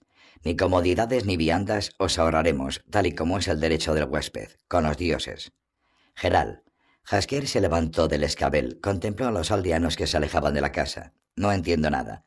No ha pasado ni un día desde que hablábamos de monstruos imaginarios y tú de pronto te contratas para cazar diablos. Y que los diablos son invenciones, criaturas míticas, lo sabe todo el mundo, descontando por lo que vi algunos aldeanos analfabetos. ¿Qué significa este inesperado entusiasmo tuyo? Apuesto, como te conozco un poco, a que no trabajaste a solucionarnos de este modo alojamiento, manutención y lavado de ropa. Por supuesto, se enfadó Geral. Parece que ya me conoces un poco, payador. En tal caso, no lo entiendo. ¿Y qué hay que entender aquí? No existe el diablo, gritó el poeta sacando definitivamente al gato de su sueño. No hay. Los diablos no existen, diablos. Cierto, se sonrió Geral, pero yo, Jaskier, Nunca pude resistir la tentación de ver algo que no existe. Tercero. Una cosa es cierta, murmuró el brujo recorriendo con la vista la enmarañada jungla de cañas que se extendía ante ellos. Este diablo no es tonto. ¿Por qué lo dices? se interesó Jaskier. ¿Porque se esconde en una espesura impenetrable? Una liebre común y corriente tiene suficiente cerebro para ello. Me refiero a las propiedades especiales del cañaveral. Un campo tan enorme emite una potente aura antimágica, la mayor parte de los encantamientos resultan aquí inútiles. Y mira allí, ¿ves esas hierbas? Eso es lúpulo. El polen de lúpulo actúa de forma parecida. Apuesto a que no es casualidad. El bellaco siente Laura y sabe que aquí está seguro. Jaskier tosió. Se colocó los pantalones. Me interesa ver, dijo rascándose la frente debajo del sombrerillo. ¿Cómo te pondrás a ello, Geral? Todavía no tuve ocasión de verte nunca en el Tajo. Apuesto a que sabes un tanto de la caza de diablos. Intentaré recordar un antiguo romance. Había uno sobre un diablo y una moza, indecoroso pero divertido. Moza, piensas. Olvídate de la moza, Jaskier. Como quieras. Quería ayudar, nada más. Y no hay que menospreciar los cantos antiguos. Está oculta en ello la sabiduría recogida por generaciones. Hay un romance sobre un jornalero llamado Yolov, el cual cierra el pico. Es hora de ponerse al tajo. Hay que ganarse la manutención y el lavado de ropa. ¿Qué quieres hacer? Fisgaré un poco los cañaverales. Muy original, rebufó el trovador, aunque no muy refinado. ¿Y tú qué harías?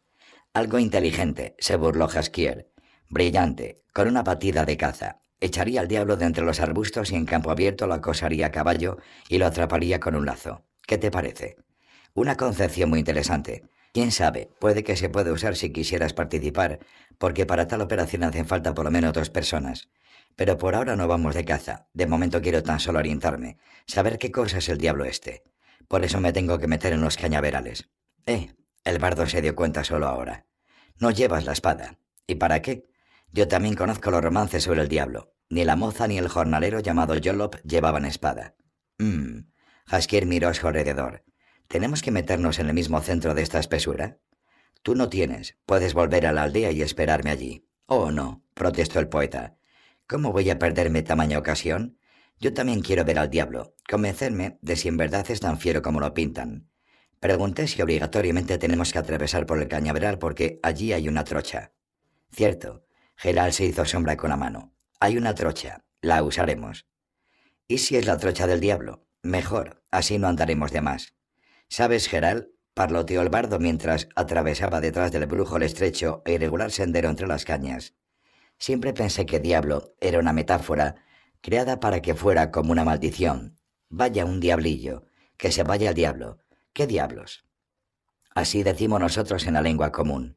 En mi tierra se usa allá donde el diablo dijo buenas noches para referirse al quinto pino. Los duendes, cuando ven que se acerca alguien a caballo, dicen, de nuevo los diablos traen a alguien. Los enanos maldicen dubel o ael cuando algo no les sale, y a las mercancías defectuosas las llaman doubles heis. Y en la antigua lengua hay un dicho, a daejelv aep arse, que quiere decir, sé lo que quiere decir, deja de cotorrear, Jaskier. Jaskier se calló, se quitó el sombrerito adornado con una pluma de ganso y se abanicó con él y se secó la frente sudorosa. En la espesura hacía un calor pesado, húmedo, asfixiante, incrementado incluso por el perfume de hierbas y matorrales en flor que flotaba en el ambiente. El sendero se torcía ligeramente y al otro lado de la curva se terminaba en un pequeño claro lleno de malas hierbas. Mira, Jaskier. En el mismo centro del claro se erguía una piedra grande y plana sobre la que había unos cuantos cuenquecillos de barro. Entre los cuencos resaltaba una vela de sebo quemada casi hasta el final. Geral vio, pegados a las plastas de grasa deshecha, unos granos de maíz y de habas, así como otros pipos y semillas ya irreconocibles. Como me imaginaba, murmuró, le ofrecen aquí sacrificios. Cierto, afirmó el poeta señalando la vela, y le encienden fuego al diablo. Pero, por lo que veo, lo alimentan de semillas como una gallina. Joder, vaya una pocilga asquerosa. Todo está pegajoso de bre y miel. ¿Qué? Las siguientes palabras del bardo se ahogaron en un berrido sonoro y amenazador. En los cañaverales algo se removió y pataleó, después de lo cual de la espesura surgió el más extraño ser que a Geral le hubiera sido dado contemplar. El ser tenía algo más de cuatro codos de altura, ojos saltones, cuernos y barbas de cabra. También los labios, vivos, partidos y blandos, recordaban una cabra rumiando. La parte inferior del cuerpo del ser estaba oculta por pelos largos, densos, de color rojo oscuro que alcanzaban hasta unas pezuñas bifurcadas. El engendro también estaba provisto de una cola terminada en un bordón apincelado que agitaba enérgicamente. Uk, uk, castañeteó el monstruo moviendo las pezuñas. ¿Qué aquí? Largo, largo, que os ensarto en mis cuernos. Uk, uk. ¿Te ha dado alguien alguna vez una patada en el culo, cabroncillo? No resistió Jaskier. Uk, uk, ve baló el cuerno cabra. Resultaba difícil discernir si esto era una afirmación, una negación o incluso un menosprecio de la pregunta. Cállate, Jaskier, habló el brujo. No digas ni una palabra. Ble, ble, ble, ble. Gorjeó con rabia al ser, alzando tanto los labios que dejó al descubierto unos amarillentos dientes de caballo. Uk, uk, uk. Bleu, bleu, bleu, ble. Seguro, seguro, afirmó Jaskier. El organillo y la campanilla son suyos. Cuando te vayas a ir a casa, lo recoges. Déjalo ya, joder, gritó Geral. Lo vas a estropear todo. Guarda para ti tus estúpidas bromas. Bromas. Berrió sonoramente el cuerno cabra y dio un salto. Bromas, ve, ve. Nuevos bromeadores vinieron. ¿Qué? ¿Trajeron bolitas de metal? Ya os daré yo bolitas de metal a vosotros, canallas. Uk, uk. ¿No queríais bromas? Ve. Aquí tenéis bromas. Tenéis vuestras bolitas. Tenéis. El ser saltó y agitó violentamente la mano. Jaskira huyó y cayó en la trocha tentándose la frente. El ser dio un balido, agitó de nuevo la mano. Junto a la oreja de Geral algo pasó silbando. Tenéis vuestras bolitas. Ve. Una bolita de metal de una pulgada de diámetro le asestó al brujo en el hombro. La siguiente le acertó a Jaskier en la rodilla. El poeta soltó una imprecación y emprendió la huida. Geral se lanzó delante de él sin esperar, mientras las bolitas le silbaban por encima de la cabeza. Uk, uk, ve. gritó el cornocabra saltando. Ya os daré bolitas, bromistas de mierda. Una bolita silbó en el aire. Jaskier lanzó una maldición aún más fea y se agarró el codo. Geral se echó a un lado, entre los cañaverales, pero no escapó al impacto que le acertó en el homóplato. Había que reconocer que el diablo tenía una puntería asombrosa y que parecía tener un depósito inagotable de bolitas. El brujo, arrastrándose por entre la espesura, escuchó aún el balido triunfal del diablo victorioso y enseguida el silbido de otra bolita, la blasfemia y el pataleo de Haskier escapando de la vereda. Y luego se hizo el silencio. Cuarto. Bueno, sabes, Geral. Haskier apretó contra la frente una herradura enfriada en un cubo de agua. No me esperaba esto. Un simple monstruillo cornudo con barbas de chivo, un simple morueco peludo y te echó de allí como a cualquier mocoso. Y a mí me abrió la cabeza. Mira qué chichón tengo. Es la sexta vez que me lo enseñas. No parecía interesante ni siquiera la primera vez. Qué amable. Y yo que pensaba que iba a estar seguro contigo. No te pedí que corrieras detrás de mí a los cañaverales. Te pedí, sin embargo, que escondieras detrás de los dientes tu lengua de verdulera. No me hiciste caso, ahora sufre. En silencio, si no te importa, porque precisamente ahora están entrando. A la sala del concejo entraron Tapadera y el imponente Doom.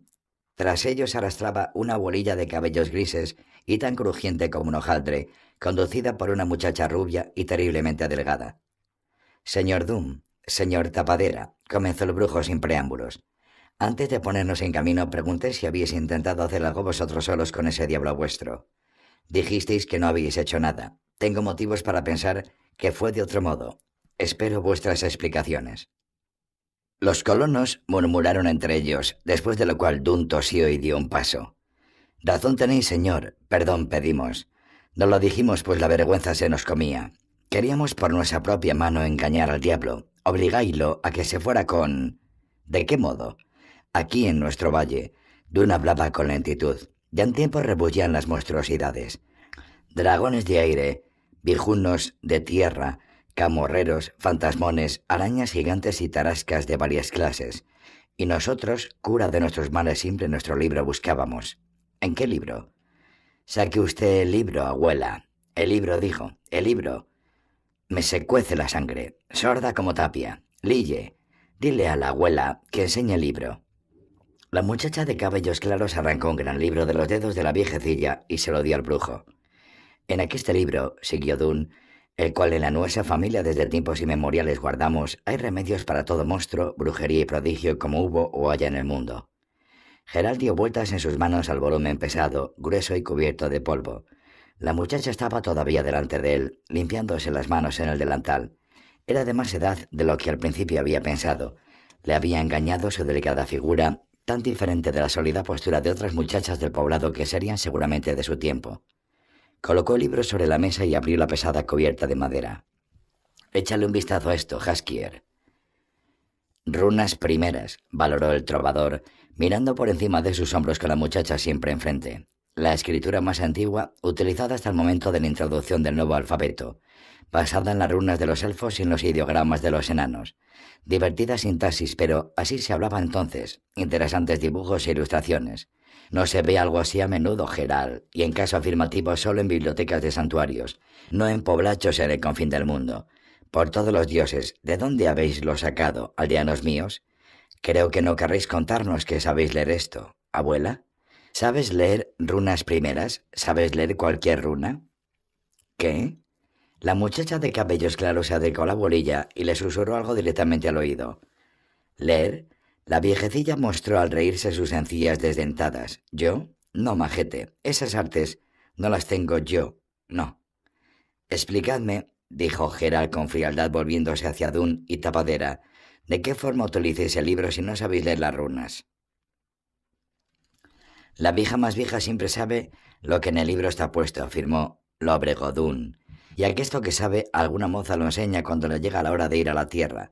Vos mismos comprendéis que a nuestra abuela la hora se le acerca. La abuela por eso tomó a Lille y la enseña, pero tras tanto, la abuela lo sabe mejor todo. La vieja bruja y la bruja joven, murmulló Jaskier. Si no he entendido mal, dijo Gerald con incredulidad, ¿la abuela se sabe el libro entero de memoria? ¿Es así, abuela? Entero no. ¿Qué es lo que dices? respondió la abuela de nuevo por intercesión de Lille. Aquí esto solo que alrededor de los santos se encuentra.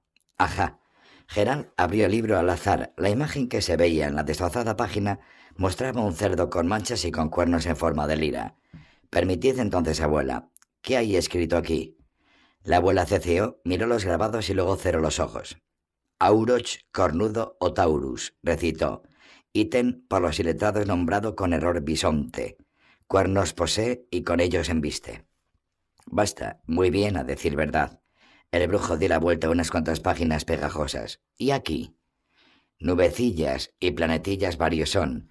Este lluvia provoca, a que este viento se hace soplar, a que el otro cría truenos. Quisierais guardar de su acción la cosecha, tomaréis un cuchillo de fierro, nuevo, tres medias onzas de boñiga de oso, sebo de garza gris. Bien, bravo. Mm. ¿Y aquí? ¿Qué es esto? El dibujo mostraba un engendro desgreñado, montado a caballo, con ojos enormes y aún mayores dientes. En la mano derecha al ser asía una espada considerable, en la izquierda una bolsa de monedas. Brujeador, murmuró la vieja. Por algunos nombrados brujos, llamarlo es harto peligroso, aunque necesario, pues si contra las monstruosidades y las plagas nada más puede, el brujeador puede. Guardarse es, sin embargo, preciso. Basta, murmuró Gerard. Basta, abuela. Gracias. No, no, protestó Haskier con una sonrisa malvada. ¿Cómo sigue? Pero, qué interesante es este libro. Hablad, abuela, hablad. Eh, guardarse es, sin embargo, preciso de tentarlo y tocarlo al brujeador, porque ello puede ser causa de ensarnecerse, y hay que las mozas esconder que el brujeador lujurioso es más allá de toda medida. Coincide como que ni pintado, se rió el poeta, y Lille le pareció el brujo, se sonrió de forma apenas visible. Aunque el brujeador gran rapacés que tras el oro va, murmuraba la abuela entrecerrando los ojos, no daile más que por el utopes real de plata real y medio, por el gatolaco dos reales de plata, por el vampero cuatro reales de plata. Aquellos eran tiempos, murmuró el brujo. Gracias, abuela. Y ahora mostradnos dónde se discurre aquí del diablo y qué se cuenta sobre los diablos en el libro. En este caso me sería de más agrado escuchar porque en ello interés tengo. ¿Qué remedio con él utilizasteis? Cuidado, Geral, se rió Jaskier. Comienza a sacar en su jerigonza. Es un dialecto contagioso. La abuela, moviendo las manos con dificultad, volvió unas cuantas páginas. El brujo y el poeta se inclinaron sobre la mesa. En efecto, en el grabado figuraba el lanzador de bolitas, cornudo, peludo, con su cola y su sonrisa pérfida. Diablo, recitó la abuela, ítem nombrado cojuelo o bien silván, contra las posesiones y las bestias de coral es grande dañino y enfadoso. Si se lo quiere echar de los campos hay que talobrar. Sí, sí, murmuró Jaskier. Toma de nueces un puño, siguió la abuela, moviendo su índice por el pergamino. Toma de bolas de fierro otro, de miel un cantarillo, de brea otro, de jabón gris una escudilla, de requesón otra. Entre tanto el diablo está quieto, acude a él en horas nocturnas. Para principiar es de comer las nueces. Entonces el diablo, que goloso es, acudirá y preguntará acaso sean deliciosas. Al efecto, a él le has de dar las bolitas de fierro. ¿Seréis cabrones? murmuró Jaquier. ¿Seréis locos? Silencio, dijo Geral. Venga, abuela, seguid. Pondréis la miel en los labios. El diablo, viendo que es miel, tal miel se le antojará. Daile a él la brea y tú el requesón has de comer. Escucharás como al diablo le zumban y retumban las entrañas, pero como si nada has de obrar. Y si se le antoja al diablo requesón, daile a él jabón. Después del jabón, el diablo no habrá de resistirlo. ¿Llegasteis hasta el jabón? le interrumpió Geral con rostro de piedra volviéndose hacia Dun y Tapadera. Kia, ni pensáislo, gruñó Tapadera, más que a las bolas. Ay, señor, nos dio el candela cuando mordió las bolas. Pero, ¿quién nos mandaba? se enojó Gasquier, de darle tantas bolas. Está en el libro escrito que un puñado solo, y vosotros un saco de las bolas le disteis. Munición para dos años, sin exagerar, le disteis. Pedazo de bolos. Cuidado, se sonrió el brujo. Comienzas a caer en su jerigonza. Es un dialecto contagioso. Gracias. Geral levantó de pronto la cabeza y miró a los ojos de la muchacha que estaba al lado de la anciana. Lillen no bajó los ojos, los tenía de un azul claro y radiante. ¿Por qué le hacéis ofrendas de semillas? preguntó con aspereza. Se ve perfectamente que es un tipo comedor de plantas. Lillen no contestó. Te he hecho una pregunta, muchacha. No tengas miedo. No se infecta uno de sarna solo por hablar conmigo. Nada le preguntéis, señor, habló Tapadera con posible embarazo en la voz. Lille era... rara es. No os contestará, no lo obliguéis. Gerald todavía miraba los ojos de Lille. Lille seguía sin apartar la mirada. Sintió un escalofrío recorriéndole la espalda, arrastrándose por la nuca. ¿Por qué no fuisteis a por el diablo con estacas y bieldos? Alzó la voz. ¿Por qué no le pusisteis cepos?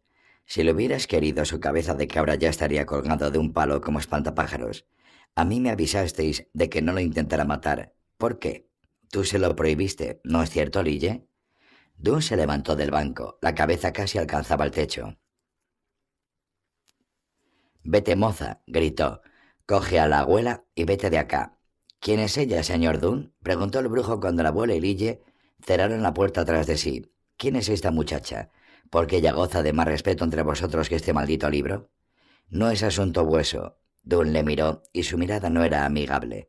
Si queréis perseguir a las hembras, sabíais allá en vuestras ciudades quemarlas en hogueras allá, no acá. En nuestra tierra tal cosa no hubo y no habrá. No me habéis entendido, dijo con frialdad el brujo. Porque no quiero. Ya lo he observado, rezoncó el brujo, hablando también con franqueza. Pero una cosa importante habréis de saber, señor Dun. De momento no nos obliga ningún contrato. De momento no me he comprometido nada con vosotros. No tenéis razones para pensar que os habéis comprado a un brujo que por un real de plata o uno y medio hará todo lo que vosotros no sabéis, o no queréis, o no se os permite. Así es, señor Dunn. No habéis comprado un brujo y no pienso que vayáis a conseguir comprarlo. No, desde luego con vuestra falta de ganas por entender. Dunn cayó midiendo a Gerald con ojos terribles. Tapadera carraspeó, se removió en el banco, dio unas sonoras palmadas, luego de pronto se incorporó. Señor brujo, dijo, no os enojéis, os lo contaremos de cabo a rabo. ¿Dun? El anciano del poblado hizo un gesto afirmativo y se sentó. Cuando hacia acá veníamos, comenzó Tapadera, observasteis cómo se cría acá de todo y cómo las cosechas son acá de buenas. Tales se crían acá cosas que en otros rincones mal se dan o ni se dan siquiera. Pues eso, en aquesta tierra nuesa son los esquejes y las semillas de sementera cosas de importancia, pues y de ellos pagamos los tributos y vendemos y mercamos. ¿Qué tiene que ver esto con el diablo? Tiene. El diablo antes no más molestaba y tontas jugaretas hacía hasta que empezó a ramplar grano a lo bruto. A lo primero le trajíamos un poco a la piedra en los cañizos. Pensamos, se llena y nos deja en paz. Pero nada, siguió arramplando más, a reventar, y como quiere que echamos a esconder los depósitos que teníamos en pajares y hórreos, que zarábamos a calicanto, pues él se enrabietó tanto, señor, que venga a balar, bramar, gritar, uk, uk, y cuando él, uk, uk, no, pues más vale seguir pitando. Amenazó con que... Por culo os daría, interrumpió Jaskier con sonrisa burlona. También asertó Tapadera, y hasta las nuestras madres mentó. Para no darle más vueltas, como no podía robar, pues nos cargó un tributo. Mandó que le llevaran grano y otros enseres a sacos enteros. Entonces, cierto es que rabioso nos puso y anduvimos tramando atizarle en el culo con el rabo, pero... El abrigo carraspeó bajo la cabeza. No hay que vacilar, habló de pronto Dun. Mal le calamos al brujo. Va, desembucha todo, tapadera. La abuela atizarle al diablo nos prohibió, dijo tapadera muy deprisa. Pero sabemos, sin embargo, que es Lille, pues la abuela... La abuela solo dice lo que Lille le manda, y nosotros, vos mismos, lo visteis, señor brujo. Nosotros la obedecemos. Ya lo he observado. Geralde formó los labios en una sonrisa. La abuela es capaz solo de mover las barbas y recitar un texto que no entiende ella misma, y sin embargo miréis a la muchacha como si fuera una forma de la diosa, con la boca abierta. Evitáis sus ojos, pero intentéis prever sus deseos. Y sus deseos son órdenes para vosotros. ¿Quién es esa lille vuestra?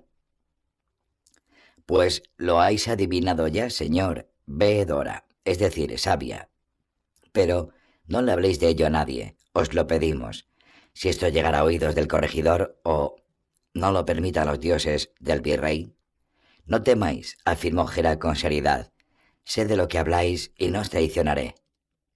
Las extrañas mujeres y muchachas llamadas veedoras o sabias, que a veces se encuentran por las aldeas, no gozan de la mayor simpatía de los magnates que recogían tributo u obtenían ganancias de la agricultura. Los labradores siempre pedían consejo a las profetisas sobre casi cada asunto. Las creían ciegamente y sin límites, pero las decisiones tomadas sobre la base de tales consejos resultaban a menudo opuestas a la política de señores y gobernantes. Gerald había oído hablar de casos absolutamente radicales e incomprensibles. El exterminio de todo el ganado reproductor, de no llevar a cabo la siembra o la cosecha, e incluso de migraciones de aldeas enteras. Los gobernantes perseguían por ello las supersticiones, a menudo sin reparar en medios. Por eso los labrigos habían aprendido muy deprisa a esconder a las sabias, pero no habían dejado de escuchar sus consejos, porque, como probaba la experiencia, una cosa estaba más allá de toda duda. A largo plazo siempre resultaba que las sabias tenían razón. Leía al diablo cargarnos no nos dejó, siguió Tapadera. Mandó hacer tal como en el libro se manda. Como sabéis, no salió, y ya tuvimos problemas con el corregidor. Cuando le dimos menos grano que de costumbre, los morros se le retorcieron, gritó, injurió. Del diablo ni pío le soltamos, que el corregidor serio es y poco aguanta las bromas. Y entonces vos aparecisteis, preguntó a Lille si sos podía alquilar. ¿Y? Dijo por la abuela que primero os ha de mirar. Y nos miró. Os miró y sos aceptó se lo conocimos, sabemos ver lo que Lilla acepta y lo que no. No me dijo ni palabra. A nadie, si no es a la abuela, nunca jamás dijera palabra, pero si no se aceptara, de la sala no se hubiera ido como si nada. Mmm, pensó Gerald. Esto es interesante. Una profetisa que en vez de profetizar calla. ¿De dónde vino a nosotros? No sabemos, señor brujo, murmulló Dun. Pero con la abuela, tal y como los viejos recuerdan, también así fue. La abuela de antes, también una moza poco habladora, se sacó una que salió de no se sabe dónde. Y esta moza es justo nuestra abuela de ahora. El mi abuelo decía que la abuela se nueva en tal forma, del mismo modo que la luna que en el cielo se nueva y cada vez nueva es. No sorríais. No me río, agito la cabeza Geral. Demasiado visto ya para que me hagan de reír tales cosas. Tampoco pienso meter la nariz en vuestros asuntos, señor Dunn. Mi pregunta va dirigida a establecer el vínculo entre Lille y el diablo. Creo que vosotros mismos ya habéis comprendido que existe tal vínculo. Si vuestra veedora os es tan necesaria, entonces, en lo tocante al diablo puedo daros un único consejo. Tenéis que quererlo. Saber, señor, dijo Tapadera, que no solo del diablo se trata. Lille matar no nos deja, ni a una criatura sola. Por supuesto, terció Jasquier. Las profetisas de aldea proceden del mismo tronco que los druidas, y un druida cuando un tábano le está chupando la sangre hasta le desea buen provecho. Acertáisteis, se sonrió ligeramente Tapadera, acertáisteis en el medio. Lo mismo nos pasó con unos jabalines que se jamaban las verduras. ¿Y qué? Mirar por la ventana. Verduritas como de pintura. Se halló el medio. Lille no sabe siquiera cuál. Ojos que no ven, corazón que no siente. ¿Lo cogéis? Lo cojo, murmuró Gerard. ¿Y cómo? Pero no importa, Ligi o no, vuestro diablo es un silván, Una criatura extraordinariamente rara pero dotada de razón. No lo mataré. Mi código no me lo permite. Si razona, habló Dun, entonces hacerle de razonar. Por supuesto, le apoyó Tapadera. Si el diablo tiene razón, quiere decir que el grano con razón lo roba. Vos, señor brujo, enteraros qué es lo que quiere, pues el grano no se come, al menos no tanto. Entonces, ¿para qué cojones quiere grano? ¿Por hacernos mal o qué? ¿Qué quiere? Enteraros y echáislo de los alrededores con remedios brujeriles. ¿Lo haréis? Lo intentaré, se decidió Geral, pero... ¿Pero qué? Vuestro libro, queridos míos, está anticuado. ¿Entendéis a dónde quiero llegar? Pues la verdad, murmuró Dun, es que no mucho. Os lo explicaré, señor Dun, señor Tapadera. Si pensabais que mi ayuda os iba a costar un real de plata o uno y medio, entonces os equivoquéis completamente. Quinto. ¡Hey! De la espesura surgió un siseo, un colérico uk-uk y un agitar del ramaje. ¡Hey! repitió el brujo cautelosamente oculto. Venga, muéstrate, cojuelo. Cojuelo tu padre. ¿Y entonces cómo? ¿Diablo? Diablo tu padre. El cuerno cabra asomó la cabeza por entre las cañas mostrando los dientes. ¿Qué quieres? Hablar. ¿Bromeas o qué? Való el diablo. ¿Piensas que no sé quién eres? Los labrigos te han alquilado para que me eches de aquí, ¿o no? Cierto, acertó Gerald con indiferencia. Y justo de eso quería hablar contigo. ¿Y si llegamos a un acuerdo? Ahí te duele, barrito al diablo. ¿Querrías escurrir el bulto a bajo coste, eh? ¿Sin esfuerzo? Conmigo no hay tales numeritos. Ve. La vida humano es pura competencia. Ganan mejor. Si quieres ganarme, prueba que eres mejor, en vez de ponernos de acuerdo una competición. El que gane pone las condiciones. Propongo una carrera desde aquí al sauce viejo que está sobre la tumba. No sé dónde está la tumba ni dónde el sauce viejo. Si lo supieras, no te propondría la carrera. Me gusta competir, pero no me gusta perder. Ya lo he visto. No, no vamos a correr. Hace calor hoy. Una pena. ¿Puede que compitamos de otro modo? El diablo mostró los dientes amarillos y cogió del suelo un montón de cantos rodados. ¿Conoces el juego ¿Quién grita más fuerte? Yo tiro primero. Cierra los ojos. Tengo otra propuesta. Soy todo oídos. Te largas de aquí sin competiciones sin carreras y sin gritos, por ti mismo, sin imposiciones. Métete esa propuesta a Jebel Aep Arse. El diablo demostró su conocimiento de la antigua lengua. No me voy de aquí, me gusta. Pero has hecho demasiadas travesuras, te has pasado con tus bromas. Hayes con mis bromas. El Silván, como se veía, conocía también el idioma de la gente pequeña. Y tus propuestas también son Hayes. Nunca me iré de aquí. A menos que me venzas en algún juego. ¿Te doy una oportunidad? Vamos a jugar a las adivinanzas. Si no te gustan los juegos de acción, ahora te pondré una adivinanza. Si la aciertas, habrás ganado y me iré de aquí. Si no lo consigues, yo me quedo y tú te vas. Piénsatelo bien, porque la adivinanza no es fácil. Antes de que Gerald acertara a protestar, el diablo dio un válido, golpeteó con las pezuñas, barrió la tierra con la cola y recitó. No lejos del río, Crece en blando barro una flor manchada de un tallo largo. Hojitas rositas de vainas bien llenas, no la enseñes al gato, que la devora entera. Venga, ¿qué es? Adivina. No tengo ni idea, reconoció indiferente el brujo, sin intentarlo siquiera. ¿Quizá los guisantes trepadores? Mal, perdiste. ¿Y cuál es la respuesta correcta? ¿Qué cosa tiene mmm, vainas bien llenas? La col. Escucha, gritó Geral, empiezas a ponerme nervioso. Te avisé, se rió el diablo, de que la adivinanza no iba a ser fácil. Lo siento, gané, luego me quedo. Y tú te vas. Le despido usted calurosamente. Un momento. El brujo metió con disimulo la mano en un bolsillo. ¿Y mi adivinanza? Creo que tengo derecho a la revancha. No, protestó el diablo. ¿Por qué razón? Podría no acertarla. ¿Me tienes por tonto? No, agitó la cabeza Geral. Te tengo por un zopenco malvado y arrogante. Ahora nos vamos a divertir con un juego nuevo, que desconoces.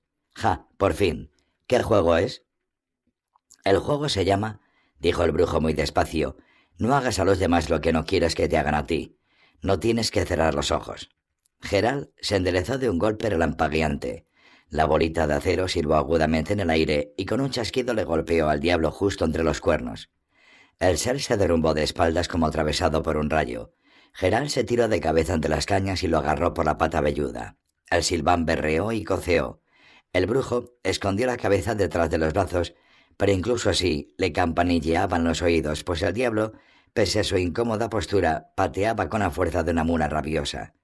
Intentó atrapar la pezuña coceadora, pero no pudo. El cuerno cabra se agitó, martilló la tierra con las manos y lo coció de nuevo, directamente en la frente. El brujo lanzó una maldición al sentir cómo el pie del diablo se le escapaba de entre los dedos. Al separarse, los dos cayeron en dos direcciones distintas, volteando con un chasquido las cañas y enredándose en las hierbas del pantano. El diablo se liberó primero y cargó, bajando la testa cornuda, pero Gerald ya estaba sobre sus pies y evitó el ataque sin problemas. Así, al ser por los cuernos, empujó fuerte, le echó al suelo y le sujetó con las rodillas. El diablo barrito y le escupió en los ojos de tal forma que no hubiera avergonzado un camello afligido de heptialismo. El brujo se echó hacia atrás automáticamente, pero sin soltar los cuernos del diablo.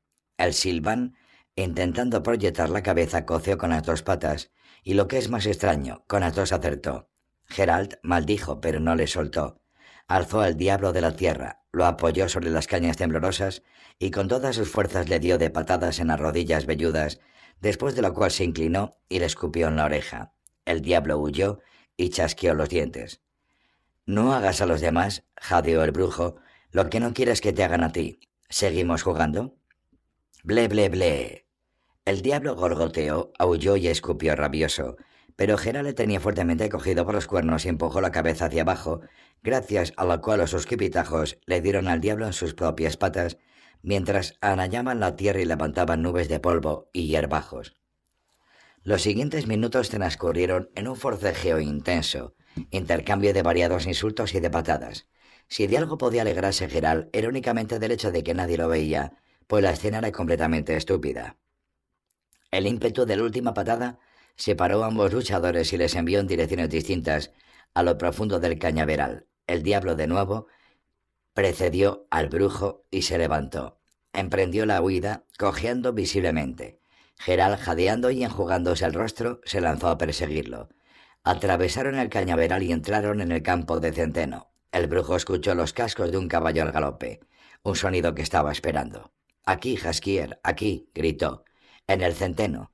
De pronto vio el pecho del caballo justo delante de él y seguidamente resultó atropellado. Rebotó contra el caballo como contra un muro y cayó de espaldas. Del golpe, contra el suelo, se le nublaron los ojos. Pese a ello alcanzó a echarse a un lado, detrás de los tallos del centeno para evitar los cascos. Se levantó rápidamente, pero en aquel momento le atropelló un segundo jinete, tumbándole de nuevo, y luego de pronto alguien se le lanzó encima, aplastándole contra la tierra y luego hubo un relámpago y un terrible dolor en la cabeza. Y oscuridad. Sexto. Tenía arena en los labios. Cuando quiso escupirla, se dio cuenta de que estaba tendido con el rostro sobre la tierra. Cuando quiso moverse, se dio cuenta de que estaba atado. Alzó ligeramente la cabeza. Escuchaba voces. Estaba tendido en una cama de hojas secas junto a un tocón de pino. A unos veinte pasos había varios caballos desensillados. Los veía a través de las hojas de unos helechos bastante borrosos, pero uno de aquellos caballos era sin duda la yegua castaña de Jaskier. Tres sacos de maíz, escuchó. Bien, Torque, muy bien, has cumplido. Y eso no es todo, dijo un valido que solo podía ser la voz del diablo Silván. Mira eso, Galar. Son judías, pero completamente blancas. Y qué grandes. Y esto, esto se llama colza. De ella se saca aceite. Geral Apretó fuertemente los párpados y los abrió de nuevo. El diablo y Galar, quien quiera que fuese, utilizaban la antigua lengua, el idioma de los elfos, pero las palabras maíz, judía y colza las habían pronunciado en la lengua común. ¿Y esto? ¿Qué es esto? preguntó el llamado Galar. Semillas de lino. Lino, ¿comprendes? Para hacer camisas. Es mucho más barato que la seda y más resistente. La forma de usarlo es, me parece, muy complicada, pero me enteraré de cómo hacerlo. Solo con que lo pudiéramos emplear, este lino tuyo, solo con que se nos echara a perder como los nabos, acusó Galar, utilizando de nuevo aquel estaño Volapuk, Intenta conseguir más esquejes de nabo, Torque. No tengas miedo, való el diablo. Aquí no hay problemas con eso. Aquí crece todo de la leche. Os lo conseguiré, no te preocupes. Y todavía algo más, dijo Galar. Entérate por fin en qué consiste ese sistema suyo de los barbechos. El brujo levantó la cabeza con cuidado e intentó darse la vuelta. Geral, escuchó un susurro. ¿Te despertaste? Haskier respondió. ¿Dónde estamos? ¿Qué nos ha pasado?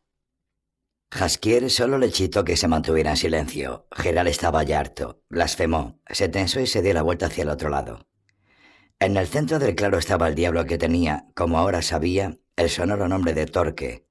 Estaba ocupado en cargar en un caballo sacos, costales y alforjas. En ello le ayudaba un hombre delgado y alto que solo podía ser Galar. Este, al escuchar el movimiento del brujo, se dio la vuelta. Sus cabellos eran negros con un tono visiblemente granate. Poseía unos rasgos agudos y unos ojos grandes y brillantes, y unas orejas terminadas en punta. Galar era un elfo, elfo de las montañas, sangre pura de Ain Seide, un representante del antiguo pueblo. Galar no era el único elfo al alcance de la vista. Al borde del campo estaban sentados otros seis, uno se ocupaba de rebuscar en las alforjas de Gasquier, otro jugueteaba con el laúd del trovador. El resto, alrededor de un saco abierto, se ocupaban de devorar ávidamente nabos y zanahorias crudas. Banadain, Torubiel, dijo Galar, señalando a los prisioneros con un ademán de la cabeza. Bedrai, Enle. Torque dio un salto y berreó. No, Galar, no. Filabandre lo prohibió. ¿Lo has olvidado? No, no lo he olvidado. Galar echó dos bolsas atadas por encima del lomo de un caballo, pero hay que comprobar que las ataduras no se han aflojado. ¿Qué queréis de nosotros? gritó el trovador mientras uno de los elfos poniéndose de rodillas comprobaba las ataduras. ¿Por qué nos atáis? ¿Qué buscáis? Soy Haskier, Poe.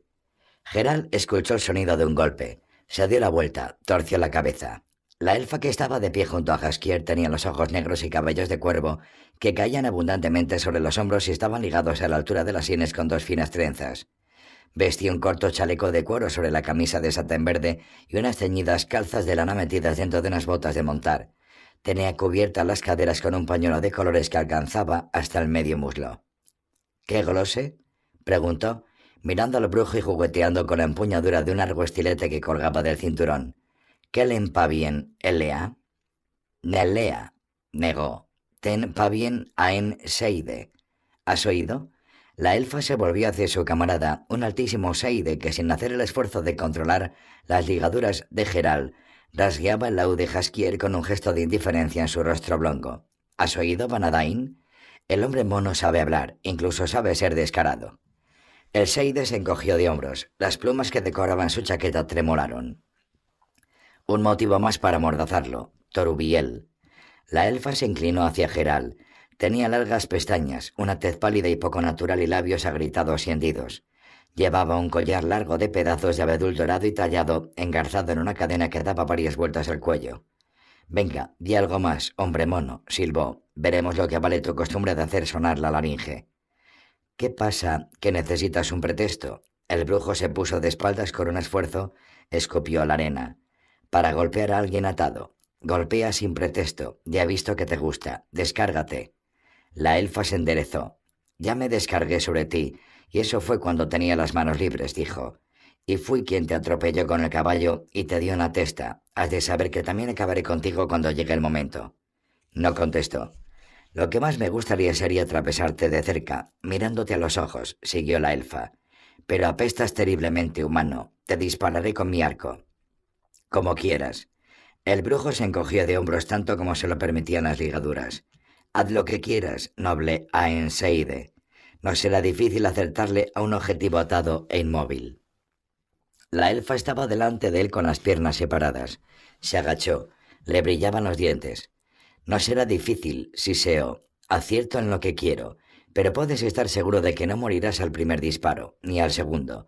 Intentaré que te enteres de que estás muriendo. No te acerques tanto, frunció el ceño haciendo como que le daba asco. Apestas terriblemente, Ain Seide. La elfa dio un paso atrás, se balanceó en sus anchas caderas y con rabia le dio una patada en el muslo. Geral se encogió viendo el lugar al que tenía intenciones de patear seguidamente. Lo consiguió, le dio en la cadera, pero de tal modo que hasta los dientes le dolían. El elfo que estaba al lado aplaudió los golpes con agudos acordes de las cuerdas del laúd. Déjalo, Torubiel. Berreó el diablo. ¿Te has vuelto loca? Galar dice que lo deje. Ta ese. Gritó Torubiel y pateó al brujo otra vez. El alto Seide rasgó las cuerdas con violencia. Una se rompió lanzando un agudo gemido. Basta ya. Basta por los dioses, dijo Gasquier revolviéndose y forcejeando con las cuerdas. ¿Por qué lo torturas así, puta zorra? Dejadnos en paz. Y tú deja en paz mi laúd, ¿vale? Torubiel se volvió hacia él con una perversa mueca en sus labios agritados. Un músico, aulló. Ser humano y músico, tocador de laúd. Sin una palabra arrancó el instrumento de las manos del elfo y con rabia lo estrelló contra el tocón de pino. Luego echó los restos enredados de cuerda sobre el pecho de Jaskier. En los cuernos de una vaca tienes que tocar salvaje y no en un laúd. El poeta palideció mortalmente. Los labios le temblaban. Geral, sintiendo crecer allá en su interior una rabia fría, atrapó con su mirada los ojos negros de Torubiel. ¿Y tú qué miras? silbó la elfa agachándose. Sucio hombre mono. ¿Quieres que te arranque esos ojos saltones? Su collar colgaba justo delante de él. El brujo se tensó, se lanzó de repente, agarró el collar con los dientes y tiró de él con fuerza, juntando los pies y echándose hacia un lado. Torobiel perdió el equilibrio, cayó sobre él. Geral se revolvió en las ligaduras como un pez en la orilla, arrastró a la elfa sobre él, echó la cabeza hacia atrás de tal modo que hasta le crujieron los huesos del cuello y con todas sus fuerzas le golpeó en el rostro con la frente. Torubiel huyó, se atragantó. Se le arrancaron brutalmente, tomándola por los cabellos y las ropas. La levantaron. Alguien le golpeó, sintió como unos anillos le rasgaban la piel sobre la barbilla. El bosque bailó y fluyó ante sus ojos. Observó cómo Torubiel se arrodillaba, vio la sangre que brotaba de su nariz y su boca. La elfa sacó el estilete de la funda, pero de pronto rompió en sollozos, se enderezó, se echó las manos al rostro y puso la cabeza entre las rodillas. El alto elfo, de la abigarrada chaqueta cubierta de plumas, le quitó el estilete de las manos y se encaminó hacia el brujo. Sonrió, alzando la hoja. Geral lo veía todo en un tono rojizo. La sangre de la frente herida por los dientes de Torubiel le resbalaba con las cuencas de los ojos. No, barrito Torque, echándose sobre el elfo y colgándose de su brazo. No lo mates, no. Boerle, Vanadain. Se escuchó de pronto una sonora voz. ¿Qué es Ain? Kaelm Ebelien? Galar. Geral volvió la cabeza hacia atrás todo lo que le permitía el puño cerrado a sus cabellos. El caballo que entraba en el calvero era blanco como la nieve, tenía un lomo grande, blando, aterciopelado como cabello de mujer, los cabellos del jinete sentado en una rica silla eran de idéntico color, ceñidos en la frente por una cinta de zafiros encarzados. Torque, balando, alcanzó al caballo, se aferró al estribo y ahogó al elfo de cabellos blancos con un diluvio de palabras. El Seide le interrumpió. Con un gesto de majestad, bajó de la silla. Se acercó a Torubiel a quien sostenían dos elfos. Con cuidado le retiró del rostro un pañuelo sangrentado. Torubiel dio un gemido desgarrador. El Seide agitó la cabeza, se volvió en dirección al brujo, se acercó. Sus negros y penetrantes ojos brillantes como estrellas en su pálida faz estaban ojerosos, como si no hubiera sido capaz de conciliar el sueño durante varias noches seguidas. Muertes incluso atado, dijo en voz baja, en una común desprovista de acento. Como un basilisco, sacaré mis conclusiones de ello. Torubiel empezó, bajó el diablo, lo pateó atado como si hubiera perdido la razón. El elfo le ordenó silencio de nuevo. A una corta orden otro Seide arrastraron al brujo y a Jaskier junto al tocón y les ataron a él con cinturones. Luego todos se agruparon en torno a Torubiel, que estaba tendida en el suelo, impidiendo que la vieran. Geral escuchó cómo en cierto momento ella dio un grito agitándose en sus manos. No quería esto, dijo el diablo, que seguía junto a ellos. No quería humano. No sabía que ellos iban a aparecer aquí justo cuando nosotros cuando te derribaron y a tu amigo lo ataron con la cuerda, les pedí que os dejaran allí, en el centeno, pero... No podían dejar testigos, murmuró el brujo.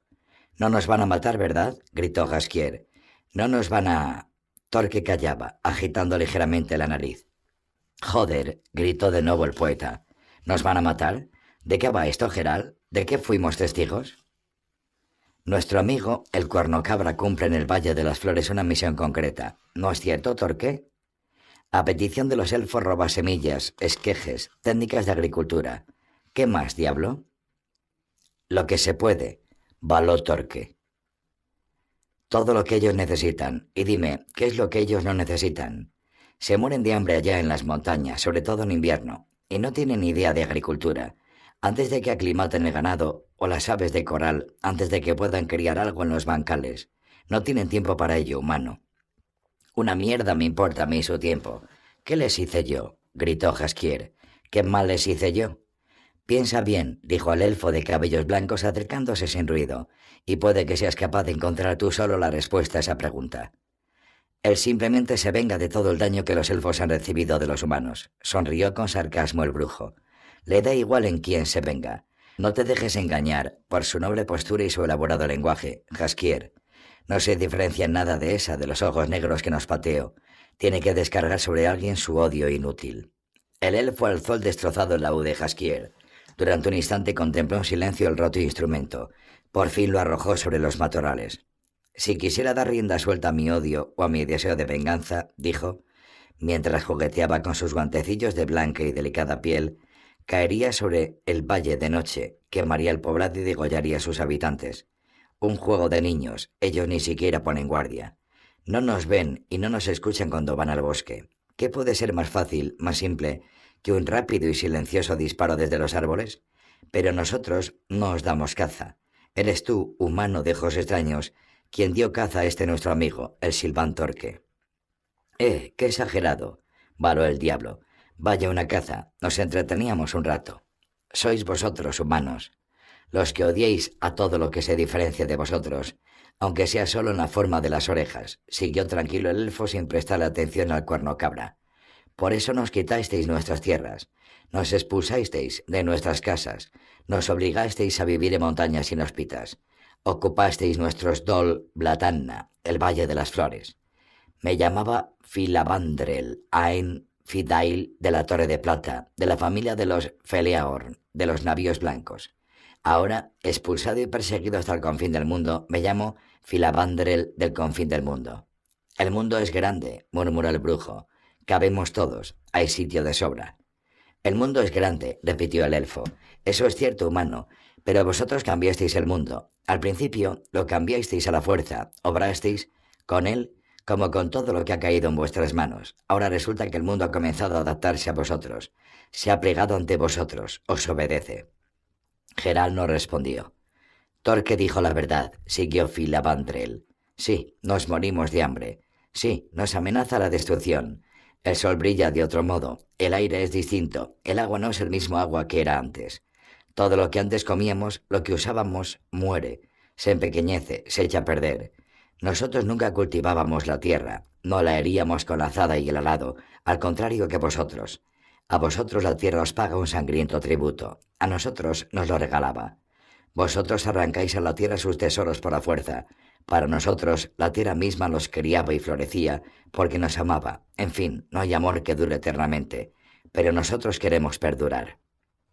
En vez de robar grano se puede comprar, tanto como necesitéis. Todavía tenéis multitud de enseres que los humanos consideran extraordinariamente valiosos. Podéis comerciar. Filabandre sonrió insultante. ¿Con vosotros? Nunca. Geral movió los músculos del rostro, haciendo crujir la sangre pegada a la mejilla. Iros al diablo junto con vuestra arrogancia y vuestro desprecio. Si no queréis convivir, os condenéis vosotros mismos a la destrucción. Convivir, adaptarse, es vuestra única oportunidad. Filabandrel se inclinó hacia adelante, los ojos le brillaban. ¿Convivir en las condiciones impuestas por vosotros? Preguntó algo trastornado, pero aún con una voz tranquila. ¿Reconocer vuestra dominación? ¿Perder nuestra identidad? ¿Convivir como qué? ¿Esclavos? ¿Parias? ¿Convivir con vosotros desde fuera de las murallas de las ciudades que levantáis para aislaros de nosotros? ¿Convivir con vuestras mujeres e ir por ello al cadalso? Basta con ver lo que les espera cada paso a los hijos nacidos de tal convivencia. ¿Por qué evitáis mi mirada, hombre extraño? ¿Cómo te parece la convivencia con el prójimo del cual te diferencias tan solo un poco? Me las apaño. El brujo le miró directamente a los ojos. De algún modo consigo apañármelas. Porque tengo que hacerlo, porque no tengo otra salida, porque de algún modo expulsé de mí cualquier orgullo y cualquier arrogancia por mi diferencia, porque comprendí que el orgullo y la arrogancia, aunque son una defensa para ser diferente, son una lamentable defensa, porque comprendí que el sol brilla de otra forma, que algo cambia, y yo no soy el eje de estos cambios. El sol brilla de otra forma y seguirá brillando y de nada sirve intentar cazarlo con una red.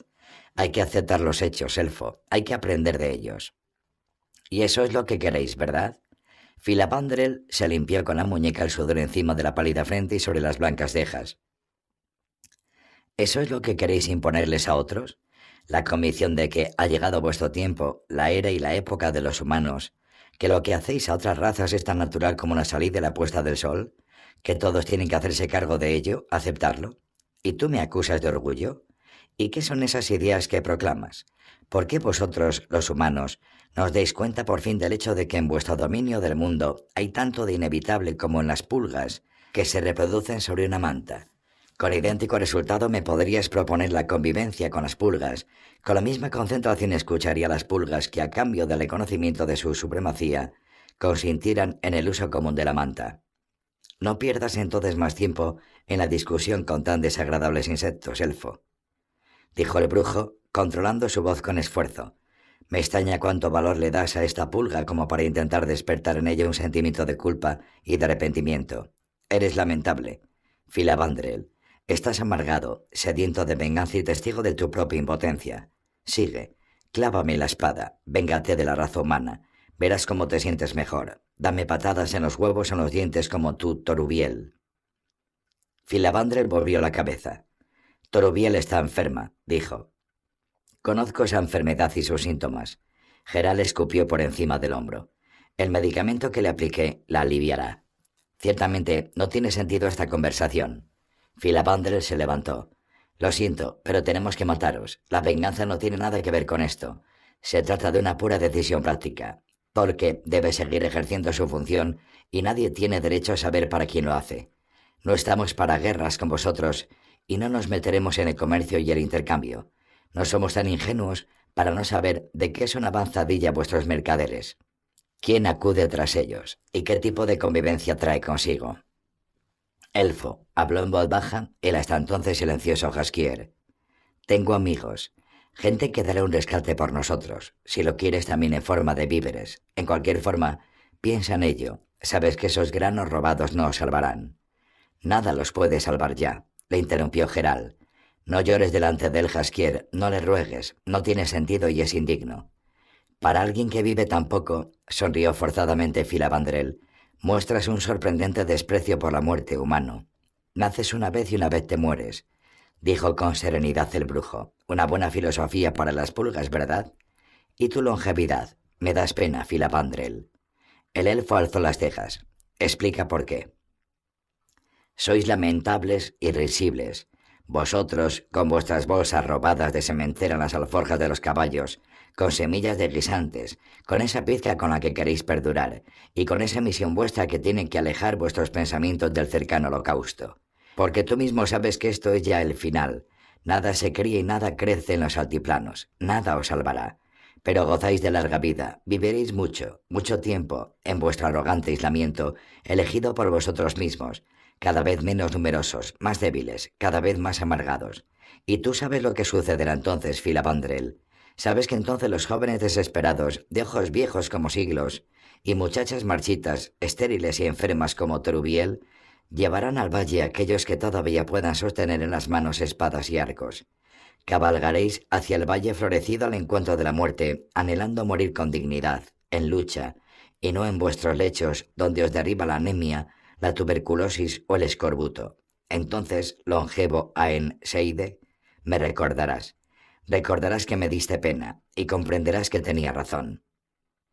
El tiempo dirá quién tenía razón, habló en voz baja el elfo, y en esto la ventaja la posee la longevidad. Yo tengo la oportunidad de convencerme de ello, aunque sea gracias a esas semillas de guisante robadas. Tú no tendrás tal oportunidad. Morirás en unos instantes. Déjale al menos a él. Gerald señaló a Jaskier con un movimiento de cabeza. No, no por alguna misericordia patética, por razonamiento. Nadie se acordará de mí, pero a él querrán vengarlo. Poco valoras mi razón, dijo indeciso el elfo. Si él sobrevive gracias a ti, sin duda se sentirá en la obligación de vengarse. Puedes estar seguro, estalló Jaskier, pálido como la muerte. Puedes estar seguro, hijo de perra. Mátame también, porque te prometo que de otro modo levantaré contra vosotros al mundo entero. Verás para lo que sirven las pulgas de la manta.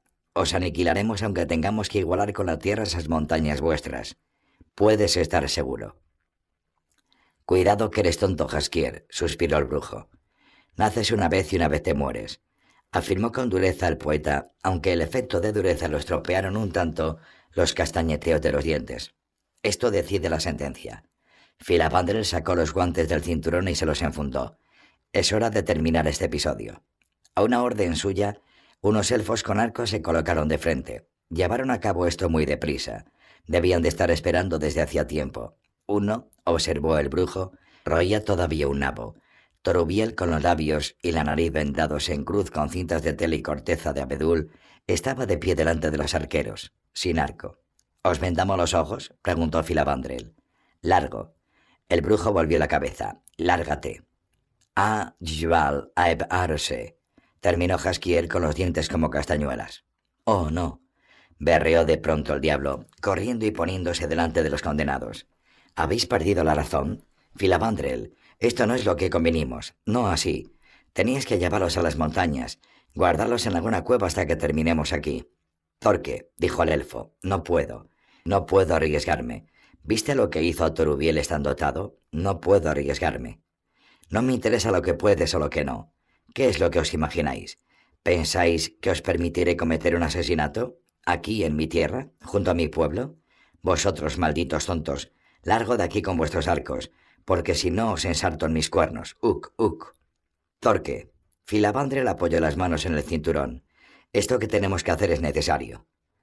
Dubelsheis es, y no necesidad. Échate un lado, Torque. El cuerno cabra movió las orejas, berreó aún más fuerte, abrió desmesuradamente los ojos y dobló el codo en un gesto insultante, muy popular entre los enanos. Aquí no vais a matar a nadie, subíos a los caballos y largaos a vuestras montañas, al otro lado del puerto, si no, vais a tener que matarme a mí también.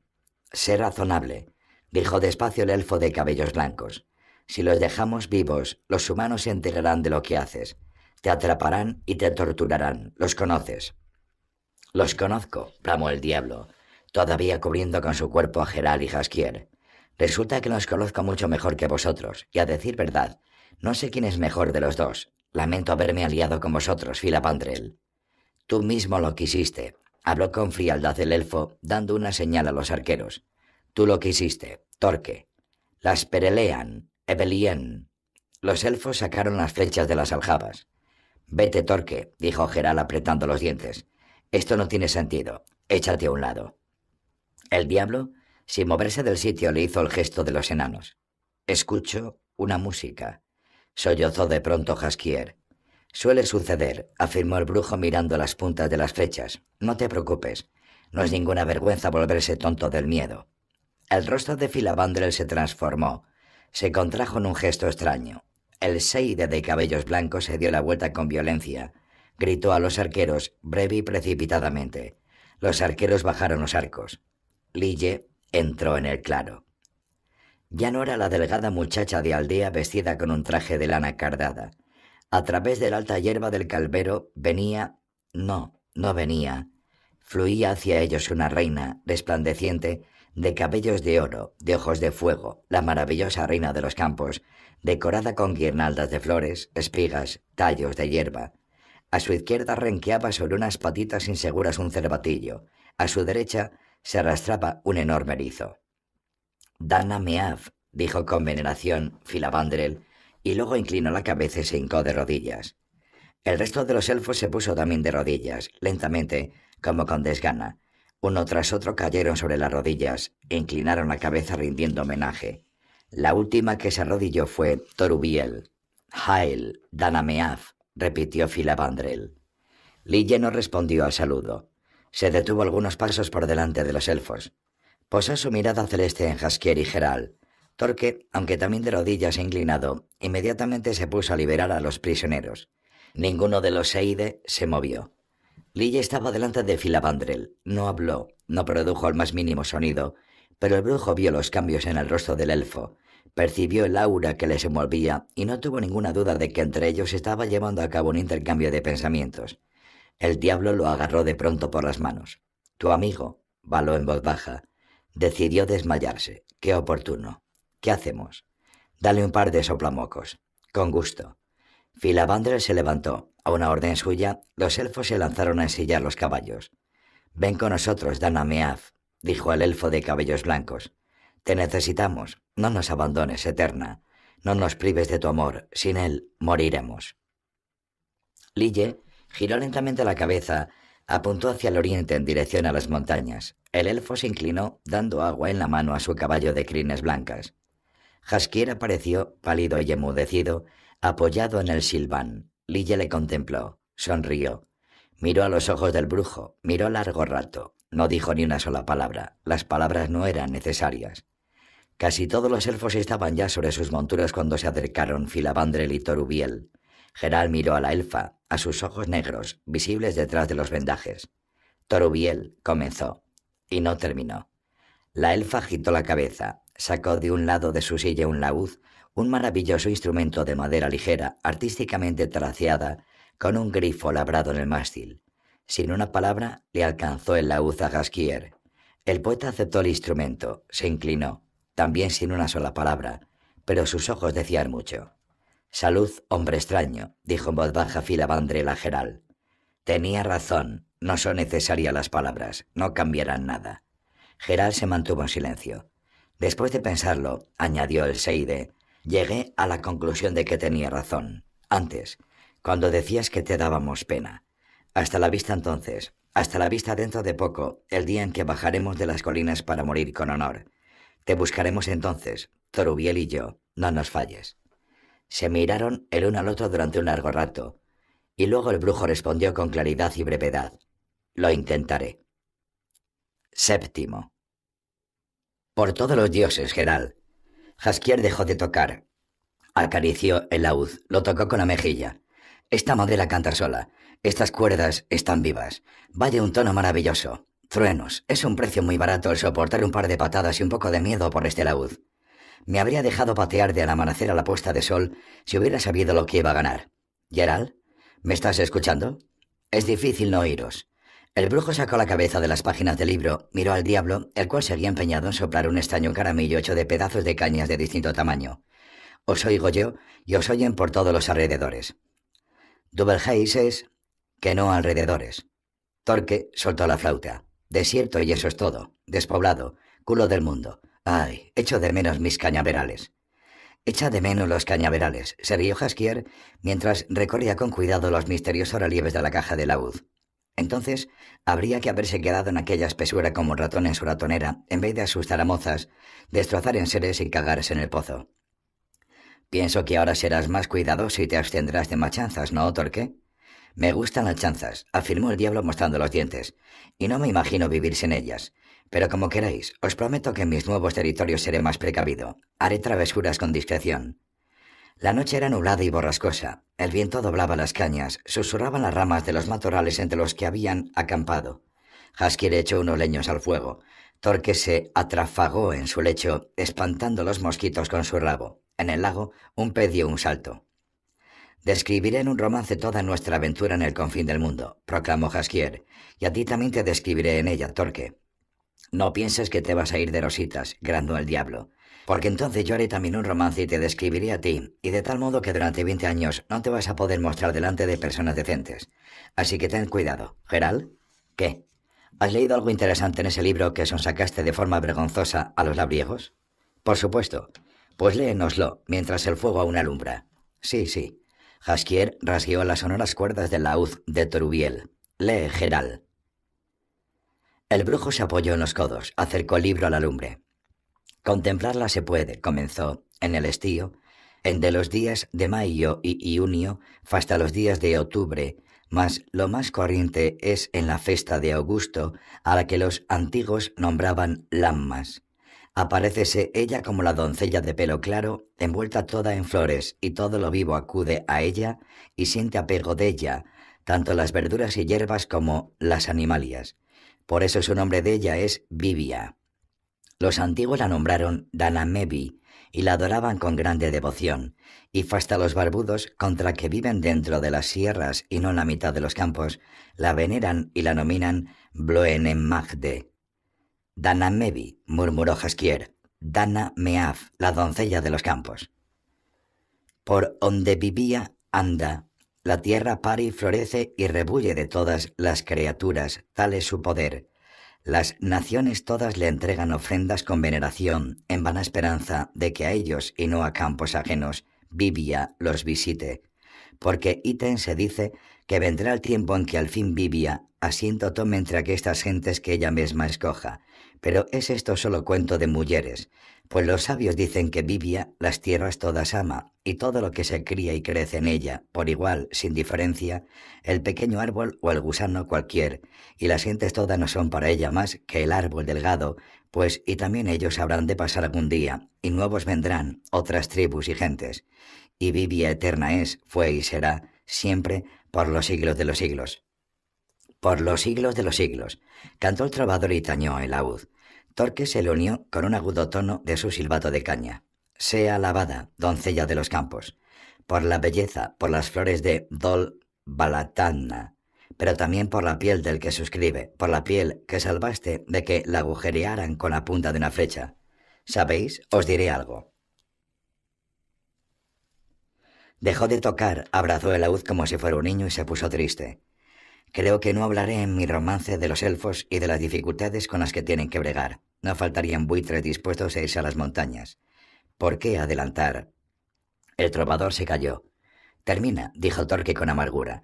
Querías decir adelantar aquello que es inexorable, inevitable. No hacemos de eso, les cortó Geral. ¿Para qué hablar? Las palabras no son necesarias. Tomad ejemplo de Lille.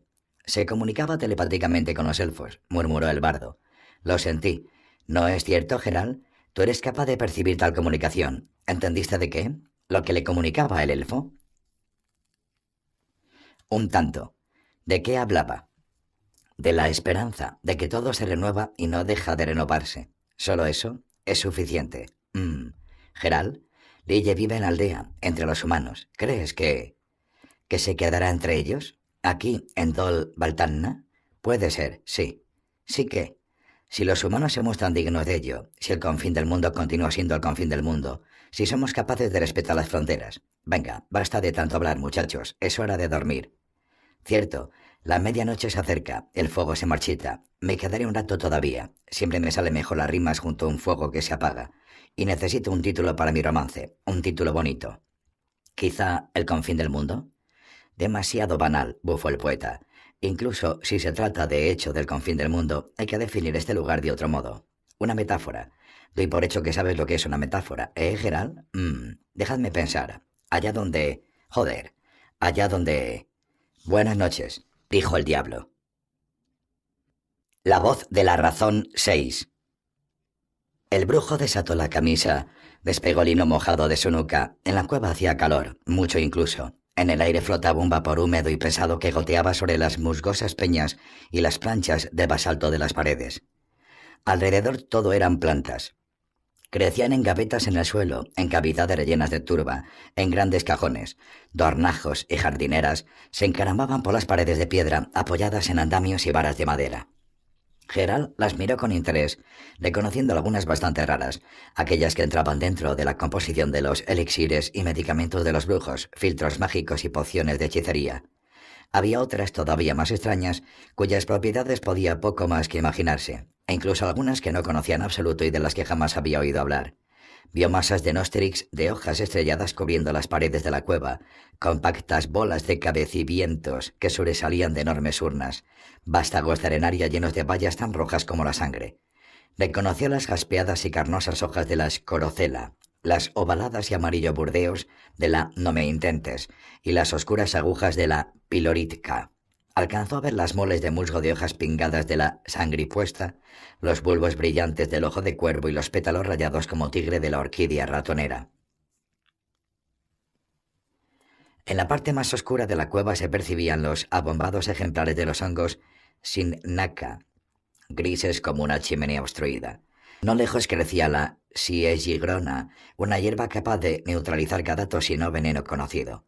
Saliendo de urnas empotradas profundamente en el suelo, unas escuálidas escobillas de un amarillo grisáceo traicionaban al ranog, una raíz de poderosas y universales virtudes medicinales. El centro de la cueva lo ocupaban plantas acuáticas. Geral vio cubas llenas de cuernillos y pestañas de tortuga y estanques cubiertos de una densa piel de bajo tierras, plantas útiles para proteger de los parásitos. Colecciones de vasos llenos de retorcidos rizomas de dobles rejos, alucinógenos, esbeltos criptocores verde oscuro y ovillos de nematodos. Estaba también la fangosa y encenagada corita, y había cultivos incontables de mohos, algas y líquenes pantanosos. Neneque, con las mangas del hábito de sacerdotisa recogidas, sacó de una cesta unas tijeras y un pequeño rastillo de hueso, y sin una palabra se puso a trabajar. Geral se sentó en un banco entre dos columnas de luz que caían atravesando sendas placas de cristal en el techo de la caverna. La sacerdotisa murmuraba y ronroneaba en voz baja mientras introducía hábilmente las manos en la espesura de hojas y tallos. Hacía chasquear las tijeras y llenaba la cesta de manojos de hierbas. Arreglaba también las varitas y los marcos que sujetaban las plantas. Removía la tierra de vez en cuando con el rastrillo. A veces, murmurando con cólera, arrancaba tallitos secos o podridos. Los arrojaba a unos esportillos repletos de humus para disfrute de hongos y de otras plantas provistas de vainas y tortuosamente retorcidas que el brujo no conocía. Ni siquiera estaba seguro de si se trataba de plantas. Le parecía que los brillantes rizomas se movían ligeramente, tendiendo en dirección a las manos de la sacerdotisa unos plantones peludos. Hacía calor. Mucho calor. ¿Geral? ¿Sí? Combatió la somnolencia que le amenazaba. Nenneque, jugueteando con las tijeras, le contemplaba desde detrás de unas plumosas hojas de espergularia. No te vayas todavía. Quédate unos cuantos días más. No, Nenneque, es hora ya de que me ponga en camino. ¿Qué te hace apresurarte? No tienes que preocuparte de Jerebar. Y ese vagabundo de Jaskier bien se puede ir solo a romperse la crisma por ahí. Quédate, Gerald. No, Nenneque. La sacerdotisa hizo chasquear las tijeras. ¿Acaso tienes tanta prisa por irte del santuario porque tienes miedo de que ella te encuentre aquí? Sí, reconoció, no sin resistencia. Lo has adivinado. No era una adivinanza muy difícil, murmuró. Pero tranquilízate. Jennifer ya estuvo aquí, hace dos meses. No volverá pronto porque discutimos. No, no por ti. Ni siquiera preguntó por ti. ¿No preguntó? Ahí te duele. Se rió la sacerdotisa. Eres egocéntrico como todo hombre. No hay nada peor que el desinterés, ¿no es cierto? La indiferencia, pero no, no te deprimas. Conozco demasiado bien a Jennifer. No preguntó por nada, pero miraba a todos lados buscando huellas tuyas. Y estaba muy enfadada contigo. Lo percibí. ¿Por qué discutisteis? Por nada que a ti te interese. De cualquier modo, ya lo sé. No lo creo, afirmó con tranquilidad Neneque, arreglando unas varitas. Lo que sabes de ella es bastante superficial. Lo que ella sabe de ti, dicho sea entre paréntesis también lo cual es típico de una relación como la que os une u os ha unido. Ninguno de los dos prestéis atención a nada. Hacéis una valoración en extremo emocional de los resultados mientras ignoráis las causas. Estuvo aquí para intentar curarse, afirmó con frialdad. Por eso os peleasteis, reconócelo. No reconozco nada. El brujo se levantó, se enderezó bajo la luz de uno de los tragaluces. Permíteme un momento, Neneque. Echa un vistazo a esto. Abrió un bolsillo secreto en su cinturón. Extrajo un pequeño bulto, un saquito a miniatura hecho de piel de cabra. Derramó el contenido sobre una mano. Dos diamantes, un rubí, tres hermosos jades, una interesante ágata. Nené que sabía de todo. ¿Cuánto te han costado? Dos mil quinientos ducados temerios. La paga por la estrige de Bicima. Por un cuello desgarrado, se enojó la sacerdotisa. ¿Qué más da? Cuestión de precio. Pero hiciste bien en invertir el dinero en estas piedras preciosas. Los ducados tienen hoy día una cotización muy baja y el precio de las piedras en Bicima no es muy alto, demasiado cerca de las minas de los enanos en Mahakam. Si vendes estas piedras en novigrado, te darán por lo menos 500 coronas novigradas, y la corona está en este momento a seis ducados y medio, y subiendo. Me gustaría que lo aceptaras. ¿En depósito? No. El jade puedes guardarlo para el santuario, como, digamos, mi sacrificio a la diosa Melitele, y el resto de las piedras son para ella, para Jennifer, dáselas cuando vuelva por aquí, que con toda seguridad será pronto. Neneke le miró directamente a los ojos. Yo no lo haría en tu lugar. Créeme, la harás enfadarse aún más si esto es posible. Deja todo tal y como está porque no estás en posición de cambiar ni de mejorar nada. Huyendo de ella te comportaste, digamos que de una forma no especialmente digna de un hombre adulto. Intentando borrar tu propia culpa con alhajas, te comportas como un hombre demasiado maduro, hasta pasado, diría yo. La verdad es que no sé qué tipo de hombre soporto menos. Era demasiado opresiva, murmuró volviendo el rostro. No podía soportarlo. Me trataba como a... Basta, dijo con sequedad. No me llores en el regazo. No soy tu madre. ¿Cuántas veces tendré que decirlo? Tampoco tengo intención de ser tu confidente. Me importa un pimiento cómo te trató y menos todavía me importa cómo la trataste tú a ella. Y no tengo ni la más mínima intención de hacer de Celestina ni de entregarle esas estúpidas piedras. Si quieres hacer el tonto, hazlo sin mi intercesión. No me has entendido. No pienso andar rogándole ni comprarla. Sin embargo, le debo algo y el tratamiento que ella pretende es al parecer muy caro. Quiero ayudarla, eso es todo. Eres más tonto de lo que pensaba. Nene que soltó la cesta en el suelo. ¿Un tratamiento caro? ¿Ayudar? Geral, para ella tus piedrecillas o minucias que no valen un escupitajo. ¿Sabes acaso lo que Jennifer puede cobrar por hacerle desaparecer el embarazo a una gran dama? Eso en concreto lo sé. Y también que por el tratamiento de la infertilidad cobra incluso más. Lástima que no se puede ayudar a sí misma. Por eso busca ayuda en otros lados, como por ejemplo contigo. Nadie le puede ayudar a ella. Es absolutamente imposible. Es una hechicera. Como la mayoría de los magos, tiene las gónadas atrofiadas, por completo insuficientes, y esto no es recuperable. Jamás podrá tener un niño. No todas las hechiceras son estériles. Algo sé sobre ello y tú también. También. Neneque entrecerró los ojos. Lo sé. No puede ser una regla aquello para lo que hay excepciones. Por favor, no me cuentes ahora banales mentiras sobre excepciones que confirman las reglas. Cuéntame algo sobre las excepciones en sí. Sobre las excepciones, respondió con frialdad. Se puede decir solamente una cosa, que las hay, y no más. Y Jennifer, por desgracia, ella no es una excepción, al menos no en cuanto a la esterilidad de la que hablamos, porque en otros aspectos sería difícil hallar mayor excepción que ella. Los hechiceros, Geral no tomó en cuenta ni su frialdad ni sus alusiones, han conseguido ya resucitar a los muertos. Conozco casos bien documentados, y la resurrección de los muertos es bastante más difícil que la reparación de la atrofia de miembros u órganos, me parece a mí. Mal te parece, porque yo no conozco ni un solo caso documentado del éxito de una reparación de atrofias o de una regeneración de glándulas endocrinas. Geral, basta ya. Esto comienza a recordar a una consulta. Tú no tienes ni idea de medicina y yo sí. Y si te digo que Jennifer pagó por ciertas capacidades el precio de perder otras, entonces esto es así. Si es tan evidente, no entiendo por qué ella todavía intenta. Tú entiendes poco, le interrumpió la sacerdotisa. Poquísimo. Deja de preocuparte por las aflicciones de Jennifer y piensa en las propias. También tu organismo fue sometido a cambios que son irreversibles. La forma de proceder de Jennifer te extraña, pero ¿qué dices de ti mismo? Para ti también tendría que ser evidente que nunca serás un ser humano, y sin embargo todo el tiempo intenta serlo, cometiendo errores humanos, errores que un brujo no debería cometer. Él se apoyó en la pared de la cueva, se limpió el sudor de las cejas. No contestas, afirmó Neneque, sonriendo levemente. No me extraña. No se discute fácilmente con la voz de la razón. Estás enfermo, Geral. Eres un inválido. Reaccionas mal a los elixires. Tienes la respiración acelerada. La acomodación del ojo es demasiado lenta. Tus reflejos también. No te salen ni las señales más sencillas. ¿Y tú quieres ponerte en camino? Lo que tienes que hacer es ponerte en tratamiento. Es necesaria una terapia, y antes de ella un trance. ¿Por eso me enviaste a Yola como parte de la terapia, para facilitar el trance?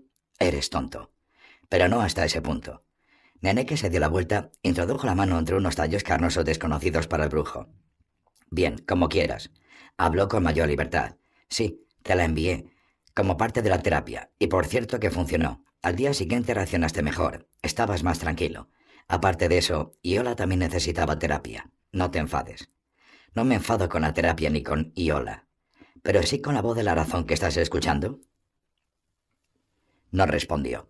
El trance es necesario, repitió Neneke, midiendo con la mirada a su jardín cavernario. Iola está dispuesta ha establecido contacto físico y psíquico contigo. Si quieres irte, lo haremos esta noche. No, no quiero. Entiende, Neneke, que en el trance Iola puede comenzar a ver, a profetizar, a leer el futuro. Precisamente de eso se trata. Precisamente, y yo no quiero conocer el futuro. ¿Cómo podría hacer lo que hago si lo conociera? Y de todos modos, yo ya lo conozco. ¿Estás seguro? No respondió. Bueno, de acuerdo, suspiró. Vámonos. Ah, Gerald.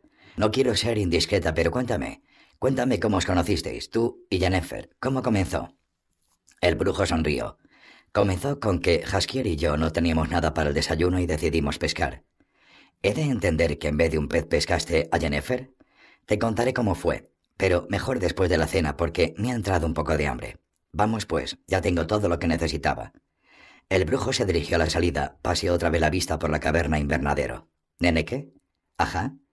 La mitad de lo que tienes aquí son plantas que no crecen ya en ningún otro lugar del mundo. No me equivoco, ¿verdad? No te equivocas, más de la mitad. ¿Cómo explicas eso?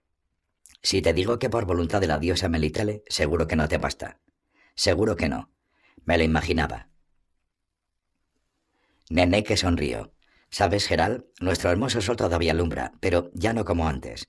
Si quieres, léete un libro, pero si no quieres perder tiempo en ello, puede que te satisfaga la explicación de que el cristal de que está hecho el techo actúa como un filtro. Elimina las radiaciones mortales de las que cada vez hay más en la luz del sol. Por eso crecen aquí plantas que ya no verás crecer en su estado natural en ningún otro lugar del mundo. Comprendo, afirmó con la cabeza el brujo. ¿Y nosotros, neneque? ¿Qué nos pasará? El sol también luce sobre nosotros. ¿Acaso no debiéramos nosotros también escondernos debajo de un tejado parecido? De hecho, debiéramos hacerlo. Suspiró la sacerdotisa. Pero... ¿Pero qué? Pero ya es demasiado tarde. Primero. El siluro sacó al aire su cabeza y sus bigotes, tiró con fuerza, salpicó, removió el agua, su blanco vientre destelló al sol. Cuidado, Jaskier, gritó el brujo clavando los talones en la arena mojada. Sujeta, hombre. Sujeto, resolló el poeta. Madre mía, qué monstruo. Un leviatán y no un pez. Nos vamos a poner las botas, por los dioses. Suelta, suelta, que se rompe el sedal. El siluro se hundió hasta el fondo y con un repentino ataque se movió bajo la corriente en dirección a los meandros del río. El sedal silbó. Los guantes de Haskiel y Geral echaron humo. Tira, Geral, tira. No sueltes, porque se enredará en alguna raíz. Que se rompe el sedal. No se rompe, tira. Se enderezaron, tiraron. Con un silbido, el sedal cortó el agua, vibró, lanzó gotitas que destellaban como mercurio bajo el fuego del sol naciente. De pronto el siluro emergió, se agitó sobre la superficie, la tensión de la cuerda disminuyó. Comenzaron a recuperar espacio. Lo ahumaremos, jadeó Jaskier. Lo llevaremos a aldea y mandaremos que lo ahumen. Y con la cabeza haremos una sopa. Cuidado. Notando el fondo del río bajo su vientre, el siluro sacó del agua la mitad de su cuerpo de una roba, le torció la cabeza, removió el agua con su cola plana y se hundió abruptamente en las profundidades. De nuevo salió humo de los guantes. Tira, tira. A la orilla con él, hijo de puta. El sedal tiembla. Suelta, Jaskier. Aguanta, no tengas miedo. Con la cabeza. Haremos una sopa. Arrastrado de nuevo a la orilla, el siluro agitó y tiró con rabia, señalando que no se iba a dejar meter en la olla con tanta facilidad. Las salpicaduras alcanzaron más de una braza por encima. Vamos a vender la piel. Jaskier, apoyándose, tiró del sedal con ambas manos, rojo por el esfuerzo. Y con los bigotes, con los bigotes vamos a hacer. Nadie jamás llegó a enterarse de lo que pensaba hacer el poeta con los bigotes del siluro. El sedal se rompió con un chasquido y ambos pescadores perdieron el equilibrio y cayeron sobre la arena mojada. Me cago en la puta, gritó Jaskier, mientras que el eco resonaba por entre los juncos. Tanta comida que se ha perdido. Así revientes, hijo de siluro. Te lo dije. Geral se limpiaba la culera de los pantalones. Te dije que no tiraras con tanta fuerza. Te has cargado el asunto, compañero. De ti se saca un pescador lo mismo que del culo de una cabra una trompeta. No es cierto, se enfadó el trovador. El que ese monstruo picara fue cosa mía. Interesante.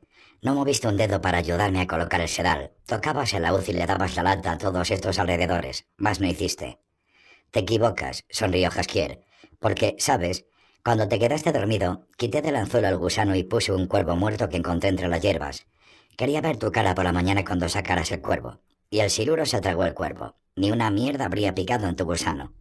Picó, picó. El brujo escupió al agua mientras enrollaba el sedal a una horquilla de madera.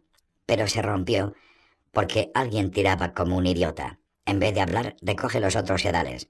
El sol ya ha salido. Es hora de ponerse en camino. Voy a hacer el equipaje. Geral. ¿Qué? En el otro sedal hay algo también. No, leches, solo se había enganchado. Cojones, pesa como una piedra. No soy capaz. Va. La saqué. Jaja, mira qué he sacado. Es un barco naufragado en tiempos del rey Deadmoth. Vaya una mierda. Mira, Geral. Haskier, por supuesto, exageraba. La maraña que había sacado del agua, formada por cuerdas retorcidas, restos de redes y algas, era impresionante, pero estaba muy lejos de las medidas de los barcos de tiempos del legendario rey. El bardo echó el montón de fusca sobre la playa y comenzó a escarbar en él con la punta de la bota. Las algas casi se movían solas de todas las sanguijuelas, gusanos y pequeños cangrejos que tenían. ¡Eh! Mira lo que he encontrado. Gerald se acercó con curiosidad. El hallazgo resultó ser un jarro de barro descascarillado, una especie de ánfora de dos asas, enredada en una red, oscurecida a causa de las algas podridas y las colonias de moluscos y caracoles, chorreando apestoso cieno. ¡Ja! gritó de nuevo orgulloso Jaskier. ¿Sabes acaso qué es esto? Por supuesto, es un cacharro viejo. Te equivocas, anunció el trovador, rascando con un pedacito de madera los moluscos y el barro apelmazado y petrificado. Esto es nada más y nada menos que una jarra encantada. Dentro de ella hay un genio que cumplirá mis tres deseos. El brujo resopló. Puede reírte. Jaquier terminó la limpieza, se inclinó y golpeteó a la ánfora. Pero la boca tiene un sello, y en el sello un símbolo de hechicería. ¿Cuál? Muéstramelo. De eso nada. El poeta escondió el jarro detrás de su espalda. ¿Y qué más, Nicolás? Yo lo encontré y necesito todos y cada uno de los deseos. No toques ese sello. Déjalo. Largo, dijo. Es mío. Jaskier, ten cuidado. Ni pensarlo. No lo toques. Ay, la madre que te echó. Del jarro, que durante el forcejeo había caído en la arena, fluyó un humo brillante y rojo. El brujo dio un salto y se fue en dirección al campamento a por su espada. Jaskier, cruzando las manos sobre el pecho, ni siquiera se atrevía a respirar. El humo rebulló. Se concentró en una bola irregular que colgaba a la altura de la cabeza del poeta. La bola tomó la forma de una cabeza caricaturesca, sin nariz, con grandes ojos y algo parecido a un pico. La cabeza tenía alrededor de una braza de diámetro. Genio, habló Haskier con las piernas temblándole. Yo te he liberado y desde ahora soy tu amo. Mis deseos son... La cabeza chasqueó el pico, que no era un pico, sino algo en forma de labios caídos, deformes y cambiantes. Huye, gritó el brujo. Huye, Haskier. Mis deseos, continuó el poeta, son los siguientes. En primer lugar, que a Baldo Marx, trovador de Cirdaris, le caiga un rayo. En segundo lugar, en Cal vive la condesa Virginia, la cual no quiere dárselo a nadie. Que me lo dé a mí. En tercer lugar. Nadie llegó ante las cejas más de cuál era el tercer deseo de Jaskier. La monstruosa cabeza puso de sí dos garras o más monstruosas y agarró al bardo por la garganta. Jaskier chilló. Gerald se llegó a la cabeza entre saltos, aferró la espada de plata y cortó desde la oreja, atravesándola por el centro. El aire huyó, la cabeza estalló en humo y creció violentamente, doblando su diámetro. La monstruosa boca, ahora sensiblemente más grande, se abrió, chasqueó y baladró. Las garras sacudieron violentamente a Jaskier, que se agitaba como loco, y lo golpearon contra la tierra. El brujo colocó los dedos en la señal de Arth y descargó en la cabeza la máxima energía que fue capaz de movilizar. La energía, materializándose en el espacio que rodeaba la cabeza en forma de un resplandor cegador, dio en su objetivo. Hubo un alarido tal que a Gerald le silbaron los oídos y del aire lanzado por la implosión hasta se doblaron los juncos. El monstruo gritó ensordecedoramente, creció aún más, pero soltó al poeta, flotó hacia arriba, se bamboleó y voló sobre la superficie del agua agitando las garras. El brujo se dirigió a atender a Haskier que yacía inmóvil. En ese momento sus dedos tocaron un objeto circular semienterrado en arena. Se trataba de un sello de latón decorado con la señal de una cruz quebrada y una estrella de nueve puntas. La cabeza que colgaba sobre el río había tomado ya el tamaño de un montón de heno. El morro abierto y berreante recordaba más a la puerta de un establo de tamaño mediano. Sacando las garras, el monstruo atacó. Gerald, sin saber qué hacer, apretó el sello en el puño y apuntando los brazos en dirección al atacante, murmuró la fórmula de un exorcismo que le había enseñado una vez cierta sacerdotisa. Nunca hasta entonces había usado esta fórmula, puesto que por principio no creía en supersticiones. El efecto sobrepasó sus expectativas. El sello silbó y se calentó con violencia, quemando la mano. La gigantesca cabeza se detuvo en el aire, colgó inmóvil sobre el río. Colgó así por un instante, al final aulló, gritó y se disolvió en una humareda pulsante, en una gran nube de humo. La nube se hizo muy fina y con asombrosa velocidad se lanzó volando por encima del río, dejando en la superficie del agua una estela vibrante. En unos pocos segundos desapareció en la lejanía. Solo el agua traía de vez en cuando algún aullido apagado. El brujo se inclinó sobre el poeta, que estaba hecho una bola sobre la arena. Jaskier, ¿estás vivo? Jaskier, voto a Dios. ¿Qué te pasa? El poeta movió la cabeza, agitó las manos y separó los labios para gritar. Gerald adoptó una expresión preocupada y entrecerró los ojos. Haskier tenía una voz de tenor bien educada y sonora, y bajo la influencia del miedo era capaz de alcanzar sonidos de extraordinarios registros. Pero lo que se alzó de la garganta del bardo fue un grandido ronco y apenas audible. Haskier, ¿qué te pasa? Responde. Pepepe. Puta. ¿Te duele algo? ¿Qué te pasa, Haskier? No digas nada. Si todo está bien, afirma con la cabeza. Haskier apretó los músculos del rostro y con grandes esfuerzos afirmó con la cabeza. Inmediatamente se dobló hacia un lado. Cayó y vomitó sangre, atosigándose y tosiendo. Gerald blasfemó. Segundo. Por los dioses. El guardia retrocedió y soltó el candil. ¿Qué le sucede? Déjanos pasar, buen hombre, dijo en voz baja el brujo sujetando a Haskier que estaba encogido en la silla. Tenemos prisa, como ves.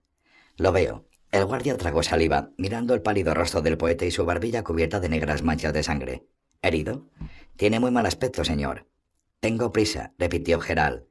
Estamos en el camino desde el amanecer. Dejadnos pasar, por favor. No podemos, dijo el segundo guardia. Por el portón, nada más que de la salida a la puesta de sol se puede. Por las noches, nada. Tales son las órdenes. No dejar a ninguno, a menos que tenga la señal real o del burgomaestre, o si es un noble con título. Jaskier gimió, se encogió aún más, apoyando la cabeza en las crines del caballo. Tembló, se sacudió, forcejeó en un vano intento por vomitar. Por el ramificado dibujo de sangre coagulada en el cuello del jinete fluyó una nueva línea.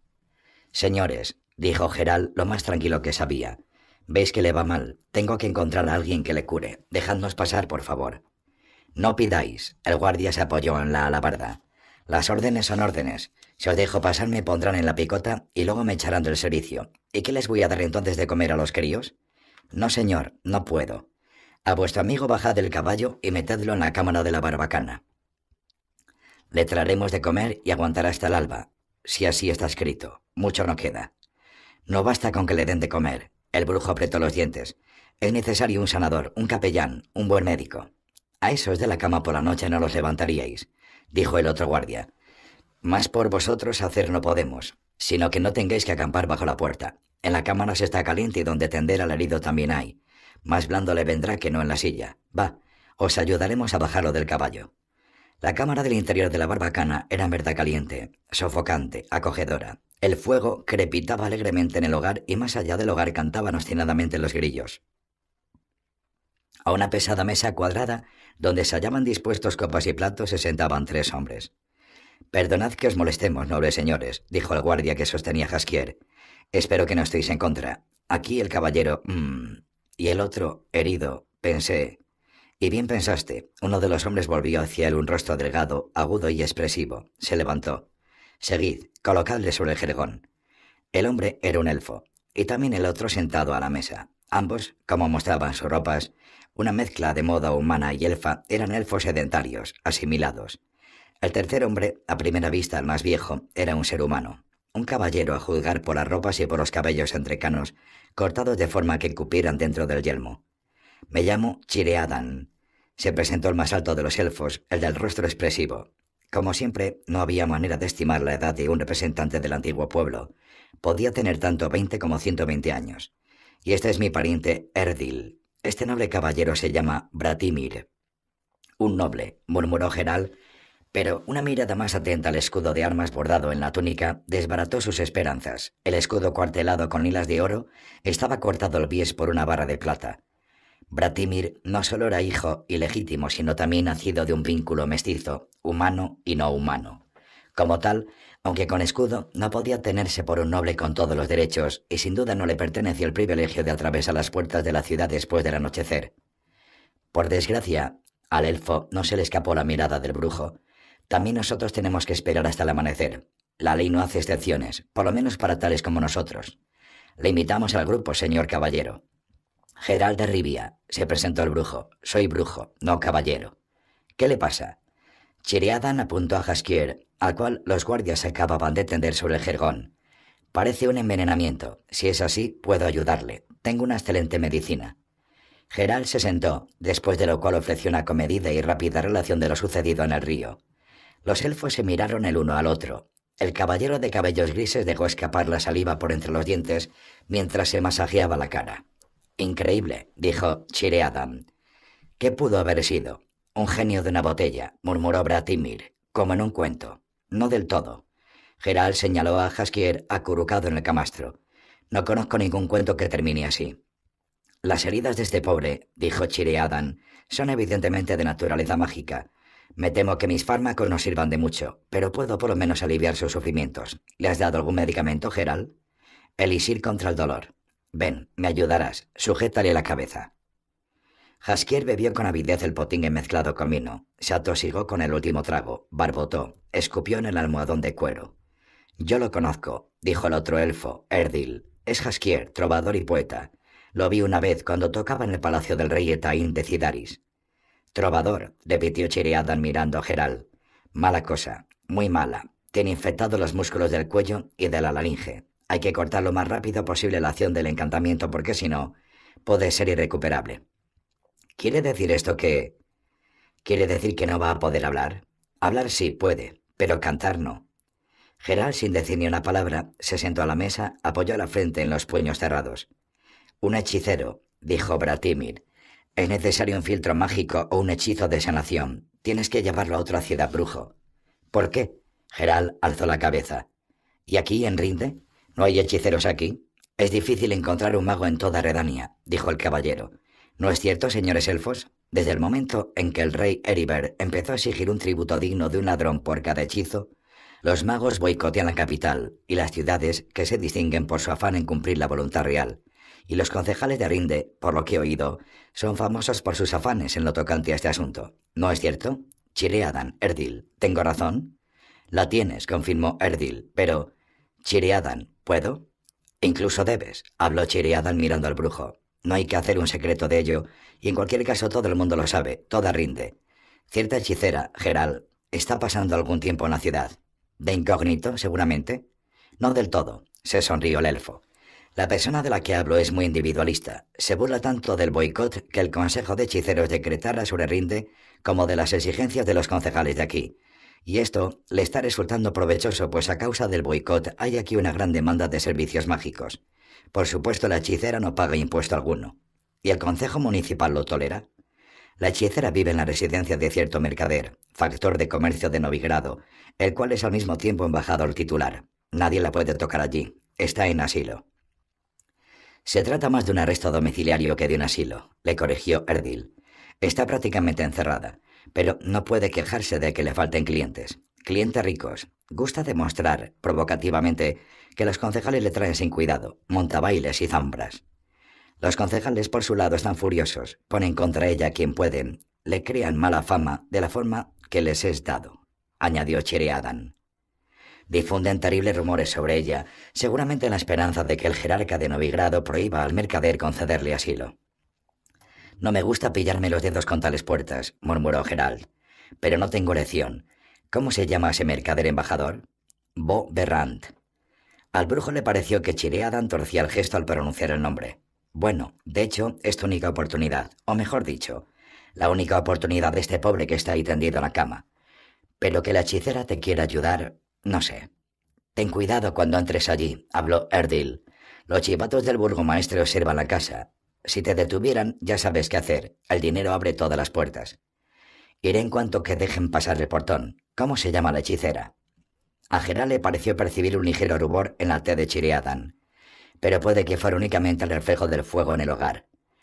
Jennifer de Benherberg. Tercero. El amo duerme, repitió el portero mirando a Gerald desde arriba. Era una cabeza más alto y casi dos veces más ancho de hombros. ¿Estás sordo, vagabundo? El amo duerme, te digo. Déjale que duerma, accedió el brujo. No traigo asuntos para tu señor, sino para la dama que está aquí alojada. Tienes un asunto, dices. El portero, al parecer, era una persona bromista, lo que resultaba sorprendente para alguien de su postura y apariencia. Entonces vete a la mancebía, vagabundo, y haz uso de ella. Largo. Gerald descolgó de su cinturón un saquito y lo sostuvo la mano agarrándolo por la correa. No me vas a poder sobornar, dijo con orgullo el cancerbero. Ni lo pienso. El portero era demasiado voluminoso para tener reflejos que le permitieran esquivar o protegerse del golpe imprevisto de una persona común y corriente. Ante el golpe del brujo no le dio tiempo ni a cerrar los ojos. El pesado saquito se aplastó contra su sien con un sonido metálico. Se desplomó sobre la puerta apoyándose con las dos manos en el marco. Geral lo separó de allí a base de patadas en las rodillas. Le empujó con el hombro y descargó de nuevo el saquito contra él. Los ojos del portero se enturbieron y bizquearon de una forma cómica. Las piernas se abrieron como un cortaplumas. El brujo, viendo cómo el mozallón, aunque ya casi inconsciente, agitaba todavía los brazos alrededor de él, lo golpeó con fuerza por tercera vez, directamente en la coronilla. El dinero, murmuró, abre todas las puertas. El zaguán estaba oscuro. Desde una puerta a la izquierda le llegaban unos ronquidos. El brujo miró con cuidado. En un desordenado camastro dormía, silbando por la nariz, una gorda con un camisón levantado por encima de las caderas. No era la vista más hermosa del mundo. Geral metió al portero en la habitacioncilla y cerró la puerta con el cerrojo. A la derecha había otra puerta, entreabierta, y detrás de ella unas escaleras de piedra que conducían arriba. El brujo iba ya a pasarlas por alto cuando desde arriba le alcanzaron unas apagadas maldiciones, un estrépito y un ruido seco de vajilla rompiéndose. El cuarto era una cocina muy grande, llena de utensilios con olor a hierbas y maderas resinosas. Sobre el suelo de piedra, entre fragmentos de un jarro de barro, blasfemaba un hombre completamente desnudo con la cabeza bajada. Zumo de manzana, su puta madre, balbuceó, agitando la cabeza como un carnero que por error hubiera vestido la muralla de una fortaleza. Zumo de manzana. ¿Dónde? ¿Dónde está el servicio? ¿Qué dice? preguntó con voz cortés el brujo. El hombre alzó la cabeza y tragó saliva. Tenía los ojos perdidos y muy enrojecidos. Ella quiere zumo de manzana, anunció después de lo cual, levantándose con grandes trabajos, se sentó en un taburete cubierto de una piel de cordero y se apoyó en la estufa. Tengo que llevárselo arriba, porque si no... ¿Tengo el honor de hablar con el mercader Beauvegant? Más bajo. El hombre torció el gesto dolorosamente. No grites, escucha. Ahí en el barilete. Zumo. De manzana. Échalo en algo y ayúdame a llegar a la escalera, ¿vale? Gerald se encogió de hombros. Luego movió la cabeza con compasión. Él, por lo general, evitaba los decesos alcohólicos, pero el estado en que se encontraba el mercader no le era desconocido del todo. Encontró entre los cacharros un jarrón y un vaso de zinc. Sacó el zumo del barilete. Escuchó ronquidos y se dio la vuelta. El hombre desnudo dormía, con la cabeza echada sobre el pecho. Por un momento al brujo le entraron ganas de echarle el zumo encima para despertarlo, pero se lo pensó mejor. Salió de la cocina llevando el jarrón. El pasillo se terminaba en unas pesadas puertas labradas. Entró cautelosamente, abriéndola solo en la medida en que era necesario para meterse dentro. Estaba oscuro, así que abrió sus pupilas y arrugó la nariz. En el ambiente había un fuerte olor a vino agrio, velas y frutas pasadas, y algo más que le recordaba una mezcla de perfume de lilas y de grosellas. Miró a su alrededor. La mesa en el centro de la habitación soportaba un verdadero campo de batalla de jarros, garrafas, copas, platos y páteras de plata, cuencos y cubiertos con guarniciones de marfil. El arrugado mantel estaba completamente anegado de vino, lleno de manchas violeta y restos de cera que habían fluido desde los candelabros. Las cortezas de naranjas resaltaban casi como flores entre huesos de cerezas y melocotones, rabos de peras y ásperos racimos de uvas pelados de frutos. Una copa yacía derribada y rota, otra estaba entera, llena hasta la mitad, pero de ella sobresalía un hueso de ganso.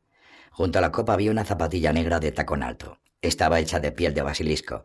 No había materia prima más cara que se usase en zapatería. La otra zapatilla yacía bajo una silla y sobre un vestido negro adornado con volantes blancos y bordados de flores que había sido arrojado con negligencia. Gerald se quedó de pie durante un momento, indeciso, luchando con un sentimiento de turbación, con ganas de darse la vuelta y salir.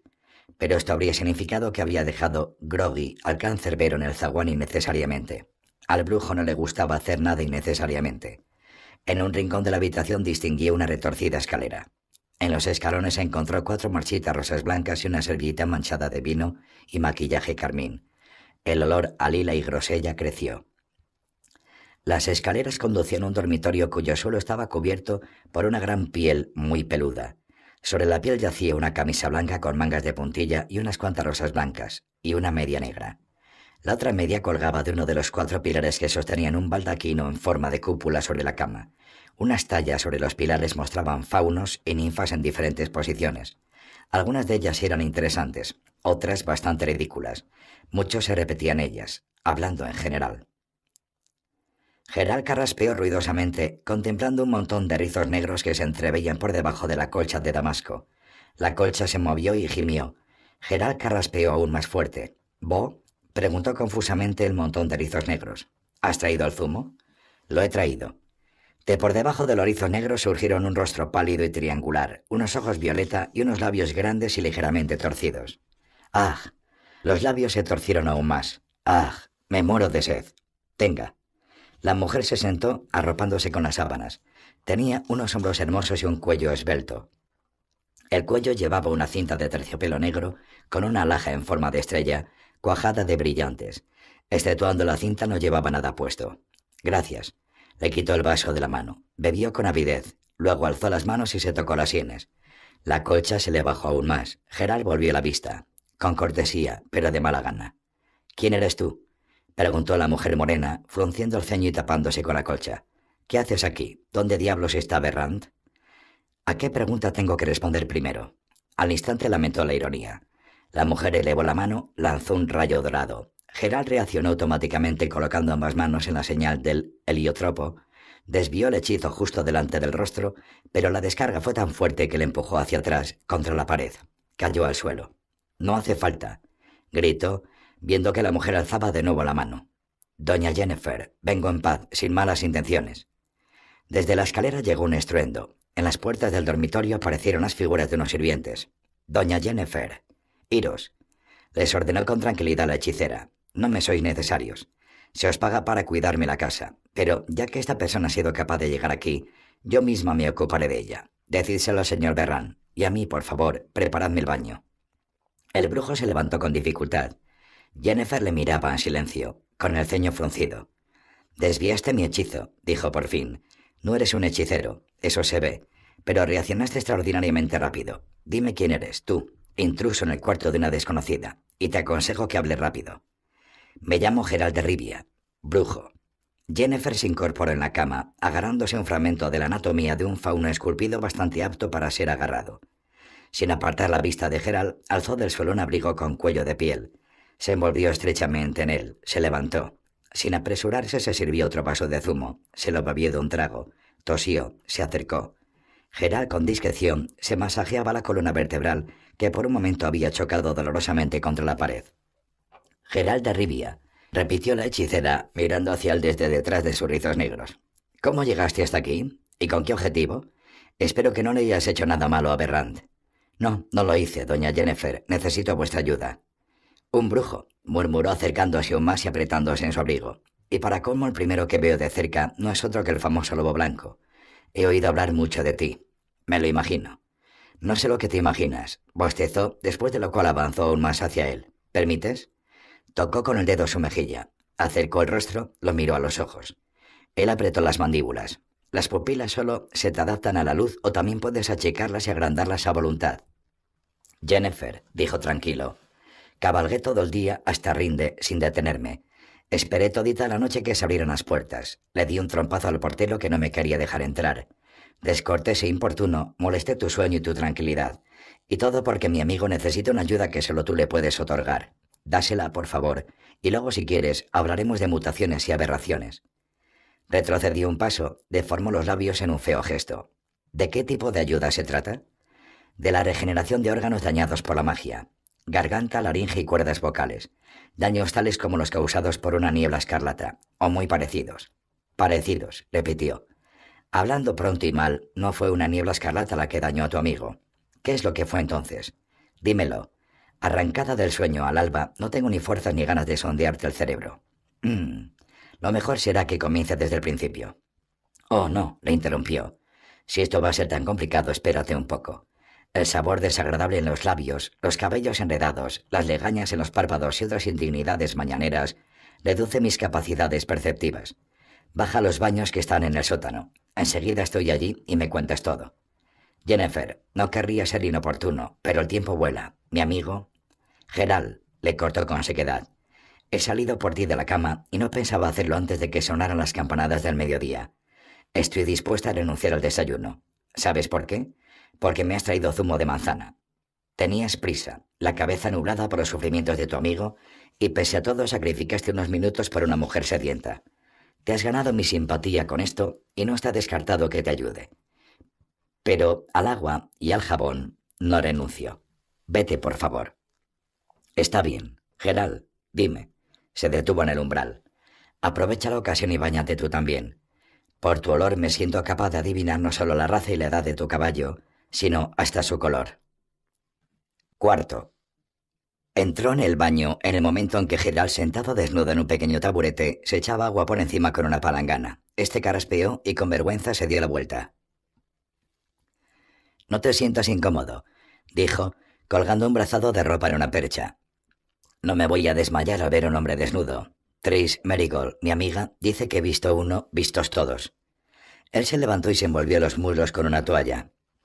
Bonita cicatriz, sonrió Jennifer mirando su pecho. ¿Qué fue? ¿Caíste bajo una sierra en algún aserradero? No contestó. La hechicera todavía le miraba, inclinando coquetamente la cabeza. El primer brujo que me he estado a contemplar de cerca y está desnudito como un pollo. Ajá. Se inclinó poniendo la oreja. Escucho tu corazón, un ritmo muy lento. ¿Eres capaz de controlar la secreción de adrenalina? Ah, perdona, curiosidad profesional. Eres por lo que parece bastante sensible en lo tocante a las características de tu organismo. Estás acostumbrado a describir estas características con palabras que no me gustan nada, y caes además en el sarcasmo patético, algo que me gusta incluso menos. No respondió. Va, basta de todo esto. El agua se enfría. Jennifer hizo un movimiento como para soltar el abrigo. Se detuvo. Yo me voy a bañar y tú vas a contármelo todo. Ahorraremos tiempo, pero... No quisiera turbarte, y aparte de eso, apenas nos conocemos. Además, por cortesía... Me daré la vuelta, propuso inseguro. No. Debo ver los ojos de aquel con el que hablo. Tengo una idea mejor. La escuchó pronunciar un hechizo, sintió una vibración de su medallón y vio al abrigo negro cayendo ligeramente sobre el pavimento, y luego escuchó el sonido del agua. Ahora soy yo el que no ve tus ojos, Jennifer, dijo. Lástima, la invisible hechicera resopló, chapoteó en la tina. Cuenta. Gerald terminó de forcejear con los pantalones que se estaba poniendo por debajo de la toalla y se sentó en un pollo. Mientras se abrochaba las hebillas de las botas, narró lo sucedido en el río, reduciendo al mínimo la descripción de la lucha con el siluro. Jennifer no parecía alguien a quien le pudiera interesar la pesca. Cuando llegó el momento en el que la nube monstruo salió del ánfora, una gran esponja que estaba enjabonando la invisibilidad se detuvo. Vaya, vaya, escuchó. Interesante. Un genio encerrado en una botella. ¿Qué genio ni qué ostras? se opuso. Se trataba de algún tipo de niebla escarlata, algún tipo nuevo, desconocido. Un nuevo y desconocido tipo se merece que se lo llame de alguna manera, dijo la invisible Jennifer. Genio es un hombre que no es peor que otros. Continúa, por favor. Le hizo caso. Los enjabonamientos en la tina produjeron espuma encarnizadamente durante el resto del relato, el agua se salía por los bordes. En cierto momento algo le saltó a la vista. Miró con más atención y percibió los contornos y siluetas mostrados por el jabón que cubría la invisibilidad. Los contornos y siluetas lo turbaron tanto que se cayó. Cuenta, le apremió una voz que salía de la nada. ¿Qué pasó después? Eso es todo, dijo. Eché a ese genio, como tú le llamas. ¿De qué forma? Una palangana se alzó y derramó agua. El jabón desapareció. La silueta también. Geral suspiró. Con un hechizo, dijo. Más exactamente, con un exorcismo. ¿Con cuál? La palangana echó agua de nuevo. El brujo comenzó a observar con atención los efectos de la palangana porque el agua, aunque por escasos instantes, también mostraba lo mismo. Repitió el hechizo, de acuerdo con las reglas de seguridad, sustituyendo la letra E por una aspiración. Pensaba que iba a impresionar a la hechicera con su conocimiento de estas reglas, así que se asombró cuando escuchó, en latina, unas carcajadas salvajes. ¿Qué tiene esto de gracioso? Ese exorcismo tuyo. La toalla se dobló en una bola y comenzó a limpiar violentamente los restos de la silueta. Tris se va a morir de risa cuando se lo cuente. ¿Quién te lo enseñó, brujo? ¿Ese hechizo? Cierta sacerdotisa de la Catedral de Ultra. Es el lenguaje secreto de este santuario. Será secreto para el que sea secreto. La toalla chapoteó al borde de la tina, el agua salpicó el suelo, las huellas de pies desnudos marcaron los pasos de la hechicera. Eso no es un hechizo, Geral. No te aconsejaría repetir esas palabras en otros santuarios. Si no es un hechizo, entonces ¿qué es? preguntó mirando cómo dos medias negras delimitaban en el aire, la una detrás de la otra, unas esbeltas piernas. Un gracioso dicho. Unas bragas con volantes abrazaron la nada de una forma extraordinariamente interesante, aunque algo falto de censura. Una camisa blanca con grandes choreras en forma de flores tremoló desde arriba y creó una forma. Jennifer advirtió, el brujo no llevaba ningún tipo de ballena para sujetar los pechos como muchas otras mujeres. No lo necesitaba. ¿Qué dicho? preguntó. Nada importante. Saltó el tapón de una botellita de cristal en forma de prisma que estaba sobre una mesita. En el baño se extendió un olor a lilas y grosellas. El tapón describió unos cuantos círculos y volvió a su sitio. La hechicera botonó los puños, se puso el vestido y se materializó. Ciérrame, le ofreció la espalda mientras se peinaba con un peine de carey. El peine, según observó, tenía un mango largo y afilado que podía sustituir en caso necesario a un estilete. Le cerró el vestido con una lentitud interesada, corchete por corchete, alegrándose del perfume de los cabellos que caían en negra cascada hasta la mitad de su espalda. Volviendo al ser de la botella, dijo Jennifer al ponerse en la oreja un pendiente de brillantes, está claro que no fue tu ridículo hechizo lo que le obligó a huir. La hipótesis más cercana a la verdad es, me da la sensación, que descargó su rabia en tu compañero y huyó, simplemente aburrido.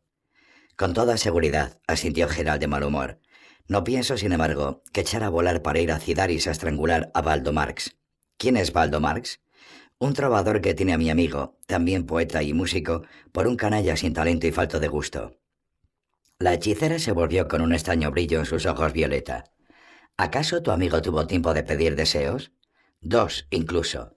Ambos monstruosamente idiotas. ¿Por qué preguntas? Al fin y al cabo se trata de una tontería evidente, lo de los Dijins, genios y espíritus de las lámparas que otorgan deseos.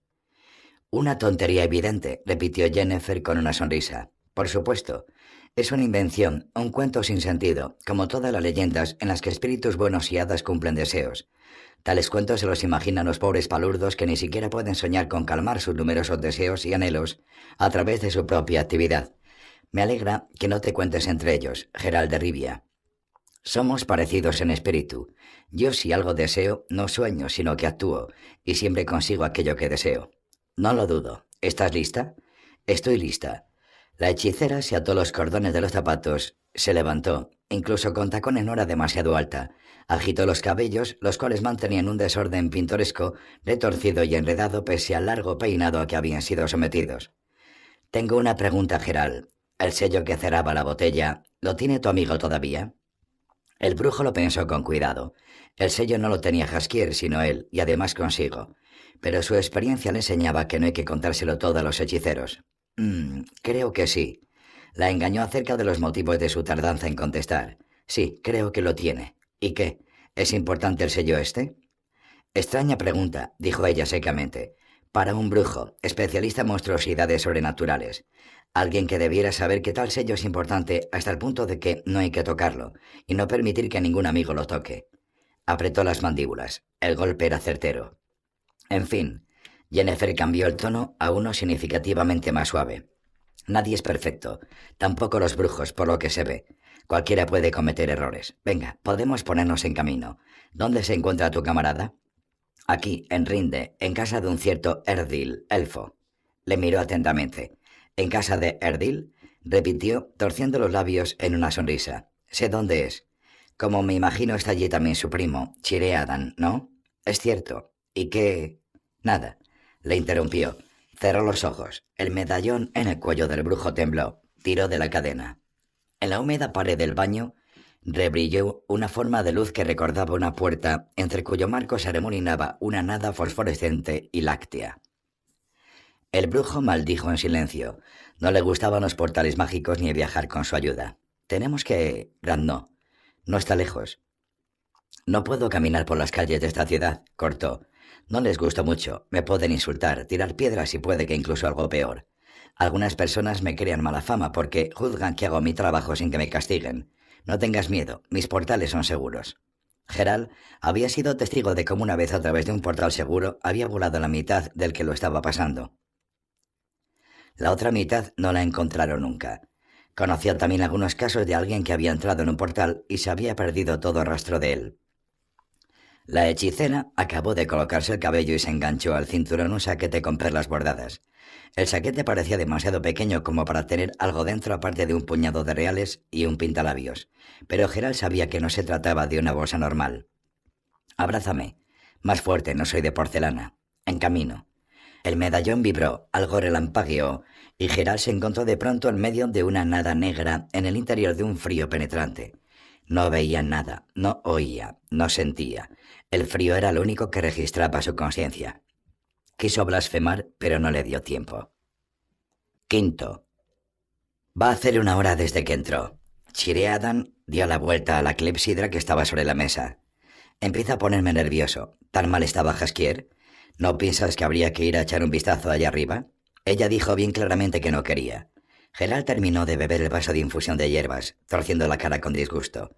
Apreciaba a los elfos sedentarios por su inteligencia, tranquila reserva y su específico sentido del humor, pero sus gustos en lo relativo a comida y bebida ni los comprendía ni los compartía.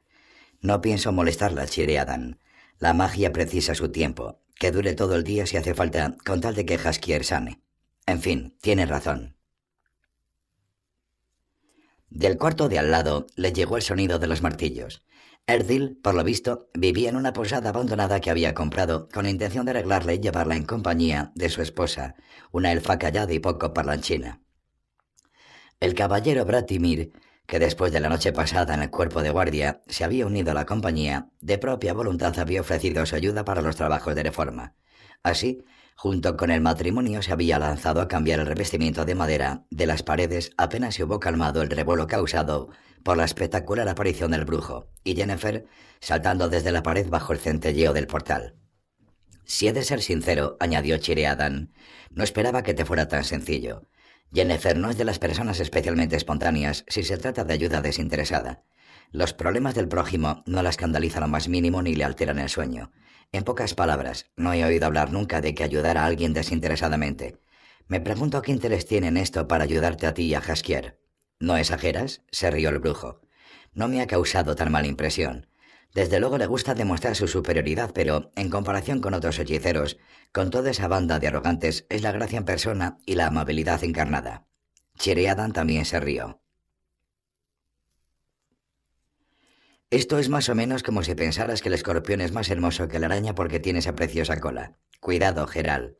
No eres el primero que la valora así, sin saber que de su gracia y su belleza ha hecho un arma.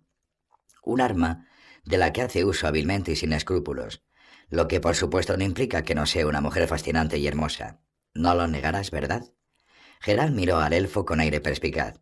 Ya por segunda vez le daba la impresión de percibir en su té de la huella del sonrojo. Le asombraba esto no menos que las palabras de Chireadan. Los elfos de pura sangre no tienen por costumbre enamorarse de mujeres humanas, incluso de aquellas muy hermosas. Jennifer, por su parte, y aunque atractiva a su manera, no podía considerarse una belleza. Para gustos son los colores, pero era cierto que pocos tenían a las hechiceras como bellezas. Todas procedían de círculos sociales donde el único destino de las hijas era casarse, ¿Quién podía pensar en enviar a su hija años de penosa ciencia y a la tortura de cambios somáticos si se la podía casar y emparentar con provecho? ¿Quién deseaba tener en la familia una hechicera? Pese al respeto del que gozaban los magos, la familia de la hechicera no sacaba de ello el más mínimo beneficio, porque antes de que la muchacha terminara su educación, dejaba de ligarlos cualquier lazo. Lo único que contaba era la hermandad de los nigromantes. Por eso quienes se convertían en hechiceras eran exclusivamente las hijas que no tenían ninguna posibilidad de hallar un marido. En contraposición a las sacerdotisas y las druidas, a quienes no les gustaba aceptar muchachas feas o lisiadas, las hechiceras aceptaban a toda la que mostrara predisposición. Si una niña atravesaba la criba de los primeros años de aprendizaje, entraba en juego la magia, enderezando e igualando piernas, reparando huesos mal unidos, remendando labios leporinos, eliminando cicatrices, granos y las marcas de la viruela. La joven hechicera se volvía atractiva porque así lo exigía el prestigio de su profesión. El resultado eran unas mujeres pseudo hermosas con enojados y fríos ojos de feuchas. Unas feuchas que no eran capaces de olvidar su fealdad oculta tras una máscara mágica, oculta no para hacerlas más felices, sino para realzar el prestigio profesional. No, Gerán no entendía a Chireadan. Sus ojos, ojos de brujo, registraban demasiadas peculiaridades. No, Chireadan, respondió a la pregunta. No te lo niego. Te agradezco la advertencia, pero lo único que me interesa aquí es Jaskier. Sufrió daño por mi causa, en mi presencia. No alcancé a salvarlo. No supe ayudarlo. Me sentaría en la cola de un escorpión con el culo al aire si supiera que eso le iba a ayudar. De eso, sobre todo, te tienes que guardar. Sonrió enigmático el elfo porque Jennifer lo sabe y le gusta utilizar tal conocimiento. No confíes en ella, Gerald, es peligrosa. No respondió. Arriba sonó una puerta. Jennifer apareció en lo alto de la escalera, apoyándose en la balustrada de la galería. Brujo, ¿podrías venir un momento? Desde luego. La hechicera apoyó la espalda en la puerta de uno de los pocos cuartos más o menos amueblados en el que habían metido al sufriente trovador. El brujo se acercó mirando en silencio. Vio el hombro izquierdo de ella un pelín más alto que el derecho. La nariz un pelín demasiado larga. Los labios un poco demasiado anchos. La barbilla un poco demasiado corta. Las cejas demasiado irregulares. Los ojos Veía demasiadas peculiaridades, completamente innecesario. ¿Qué hay con Jaskier? ¿Dudas de mis conocimientos? Todavía dudaba. Tenía la figura de una veinteañera, aunque prefería no adivinar su verdadera edad. Se movía con gracia natural, sin afectación. No, no había manera de saber cómo había sido antes, lo que se le había corregido. Dejó de pensar en ello. No tenía sentido. Tu talentoso camarada se pondrá bien, dijo. Recuperará sus capacidades vocales. Cuentas con mi más profundo agradecimiento, Jennifer. Ella sonrió. Vas a tener ocasión de demostrármelo. ¿Puedo ver a Haskier? Cayó durante un instante, mirándole con una sonrisa extraña, tamborileando con los dedos en el marco de la puerta. Por supuesto, entra. El medallón en el cuello del brujo comenzó a vibrar con violencia, rítmicamente. En el centro del suelo había una bolsa de cristal del tamaño de una sandía pequeña que ardía con luz lechosa, la bola marcaba el centro de una estrella de nueve puntas, trazada con precisión, cuyas puntas alcanzaban hasta las paredes y los rincones de la habitación. En la estrella había un pentagrama de color rojo. Los bordes del pentagrama estaban marcados con velas negras embutidas en candelabros de extrañas formas. Las velas negras ardían también en la cama sin cabecero sobre la que yacía, cubierto con pieles de carnero, Jaskier. El poeta respiraba con tranquilidad. No resollaba ya y no tosía. De su rostro había desaparecido el gesto de dolor, sustituido por una sonrisa idiota y llena de felicidad. Duerme, dijo Jennifer, y sueña. Geralt miró los dibujos del suelo. Se podía percibir la magia escondida en ellos, pero sabía que se trataba de magia adormecida, sin desarrollar. Le hizo pensar en el leve murmullo de la respiración de un león dormido, pero que da idea de lo que podría ser el rugido de león. ¿Qué es eso, Jennifer? Una trampa. ¿Para quién? Para ti, durante un momento. La hechicera cerró la puerta con llave y la cogió en la mano. La llave desapareció. Así que estoy atrapado, dijo él con frialdad. ¿Y ahora qué? ¿Vas a atentar contra mi virtud? No te lo tengas tan creído. Jennifer se sentó a la orilla de la cama. Jaskier, todavía con una sonrisa de cretino, gimió bajito. Eran, fuera de toda duda, gemidos de placer. ¿De qué va esto, Jennifer? Si se trata de un juego, no conozco las reglas. Te dije, comenzó, que siempre consigo lo que deseo. Y resulta que deseo algo que tiene Jaskier. Se lo quitaré y nos separaremos. No tengas miedo, no le pasará nada. Esa cosa rara que pusiste en el suelo, la cortó, sirve para invocar a demonios. Allí donde se invoca demonios, siempre le pasa algo a alguien. No lo permitiré. Nadie le tocará ni un pelo de la cabeza, continuó la hechicera sin prestar atención a sus palabras. Tendrá una voz aún más hermosa y estará muy contento e incluso feliz. Todos seremos felices y nos separaremos sin pena, pero también sin trauma. Ay, Virginia, murmuró Jaskier sin abrir los ojos. Hermosos son tus pechos, más delicados que plumas de cisne. Virginia. ¿Ha perdido la razón? ¿Delira? Sueña, sonrió Jennifer. Sus deseos se cumplen en el sueño. Le he sondeado el cerebro hasta el fondo. No había gran cosa. Unas cuantas guarrerías, algunos sueños, mucha poesía, casi nada. El sello con el que estaba sellada la botella del genio. Sé que no lo tiene el trovador, sino tú. Te lo pido. ¿Para qué quieres ese sello? ¿Cómo responder a tu pregunta? La hechicera sonrió amenazadoramente. Vamos a probar así. ¿Te importa una mierda, brujo? ¿Te satisface la respuesta? No, sonrió formando también una mueca terrible. No me satisface. Pero no te atormentes con ello, Jennifer. No es fácil satisfacerme. Hasta ahora solo lo han conseguido personas que están por encima de la media. Una pena. Te quedarás entonces sin satisfacer. Tú te lo pierdes. No hagas gestos que no pegan con tu tipo de belleza y de carnación. Por si no te has dado cuenta, acabas de comenzar a agradecerme lo que me debes. El sello es el primer plazo del precio por la voz del cantante. Por lo que veo, Has dividido el precio en muchos plazos, dijo con frialdad. Bien, Podría lo esperado y me lo esperaba, pero hagamos que esto sea un negocio honesto. Jennifer, yo completo ayuda, y yo la pago. Ella torció los labios en una sonrisa, pero sus fríos ojos violeta no pestañearon. En cuanto a eso, brujo, no debes albergar ninguna duda. Yo, repitió, pero no Haskier. Me lo llevo de aquí a un sitio más seguro. Una vez hecho esto, volveré y pagaré el segundo plazo y los demás. Porque en lo tocante al primero... Se echó mano un bolsillito secreto en el cinturón, sacó el sello de latón con la señal de la estrella y de la cruz partida. Ten, tómalo. No como un plazo. Acéptalo de un brujo en prueba de agradecimiento por haberlo tratado, aunque por interés propio, mucho mejor de lo que lo hubiera hecho cualquiera de tus cofrades. Acéptalo como prueba de buena voluntad que debiera convencerte de que una vez me haya ocupado de la seguridad de mi amigo, volveré aquí a pagar. No distinguí el escorpión entre las flores, Jennifer. Estoy dispuesto a pagar por mi falta de atención. Bonito discurso. La hechicera cruzó las manos sobre sus pechos. Conmovedor y patético. Una pena que sea en vano. Haskier me es necesario y se queda aquí. Él ya ha estado cerca de eso que pretendes atraer aquí. Gerald señaló a los dibujos en el suelo. Cuando termines tu obra y atraigas aquí al genio, pese a tus promesas, Haskier sufrirá con toda seguridad, puede que más aún que antes, porque al fin y al cabo lo que te interesa es el ser de la botella, ¿no? ¿Piensas controlarlo, obligarlo a que te sirva? No tienes que responder, sé que no me importa una mierda, y haz lo que quieras, invoca aquí incluso a diez demonios. Pero sin Haskier, si eres a Haskier, esto no será un negocio honesto, Jennifer, y no tienes derecho a exigir un pago por ello. No te permitiré se detuvo. Me interesaba cuándo lo ibas a sentir. Se rió a grandes carcajadas la hechicera. Gerald tensó los músculos. Se esforzó con toda su voluntad, apretando las mandíbulas hasta que le dolieron. No sirvió de nada. Estaba como paralizado, como una estatua de piedra, como un poste clavado en la tierra. No podía mover ni siquiera el dedo en la bota. Sabía que eres capaz de detener un hechizo lanzado directamente, dijo Jennifer.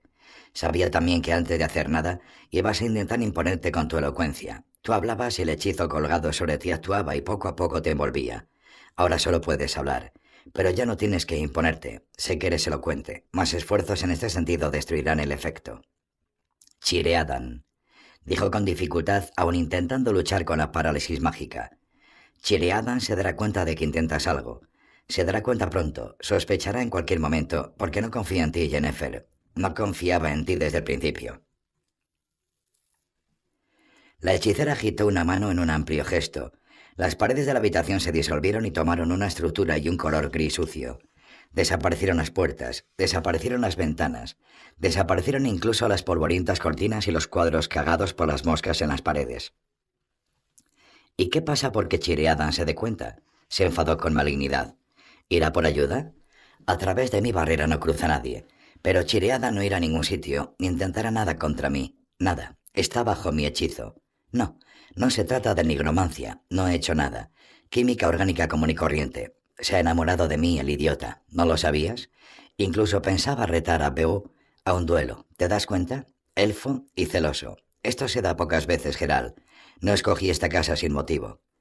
Bob Berrand, Chireadan, Erdil, Haskier. Efectivamente vas a tu objetivo por el camino más directo. Pero de mí no te vas a servir, Jennifer. Me serviré, me serviré. La hechicera se levantó de la cama. Se acercó evitando cuidadosamente los símbolos y señales trazados en el suelo. Te dije que me debes algo por la recuperación del poeta. Se trata de una tontería, un servicio de nada. Después de lo que planeo hacer aquí, me iré inmediatamente de Rinde. Y tengo todavía en este pueblo ciertas cuentas pendientes de pago, llamémoslo así. Les prometí algo a algunas personas de aquí, y yo siempre cumplo lo que prometo. Puesto que, sin embargo, yo sola no soy capaz, tú cumplirás esas promesas por mí. Luchó. Luchó con todas sus fuerzas, en vano. No te canses, brujo, sonrió con malicia. No sirve de nada. Tienes una voluntad de hierro y bastante resistencia a la magia, pero conmigo y mis hechizos no te puedes comparar. Y no hagas comedia delante de mí. No intentes fascinarme con tu dura y orgullosa masculinidad. Tú solo eres duro y orgulloso con respecto a ti. Para salvar a tu amigo, habrías hecho todo por mí, incluso sin hechizos. Habrías pagado cualquier precio. Habrías lamido mis botas. Y puede que algo más, si hubiera deseado algún inesperado entretenimiento. Callaba. Jennifer estaba delante de él, sonriendo y jugueteando con la estrella de obsidiana cojada de brillantes que portaba la cinta del cuello.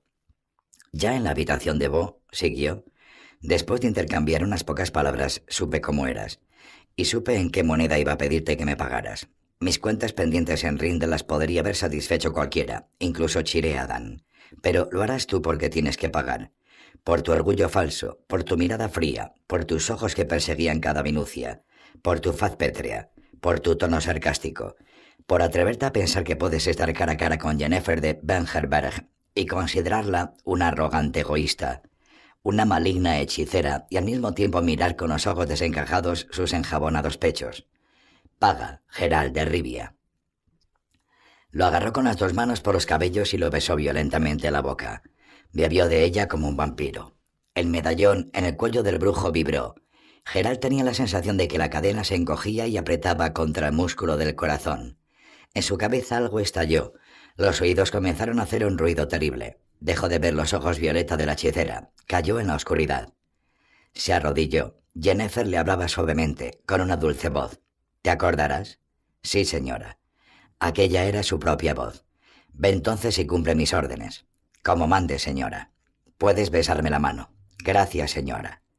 Sintió que se acercaba a ella de rodillas. En la cabeza le zumbaban diez mil abejas. Su mano olía lilas y grosellas. Lilas y grosellas. Lilas y grosellas. Un relámpago. Oscuridad. Balaustrada. Escaleras. El rostro de Chireadan. Geral, ¿qué te pasa? ¿A dónde vas? Tengo... su propia voz. Tengo que ir... Por los dioses, mirad sus ojos. El rostro de Bratimir, alterado por el espanto, el rostro de Erdil y la voz de Chireadan. No, Erdil, no. No le toquéis, ni le intentéis detener. Apártate, Erdil. Quítate del paso. Olor de lilas y grosellas. Lilas y grosellas. Puerta. Explosión de sol, calor, bochorno. Olor de lilas y grosellas. Habrá tormenta, pensó. Y fue aquel el último de sus pensamientos conscientes. Sexto. Oscuridad. Olor. ¿Olor? No, hedor. Hedor a orina, a paja podrida y harapos húmedos. Hedor a teas humeantes cerradas en huecos en las paredes de bloques irregulares.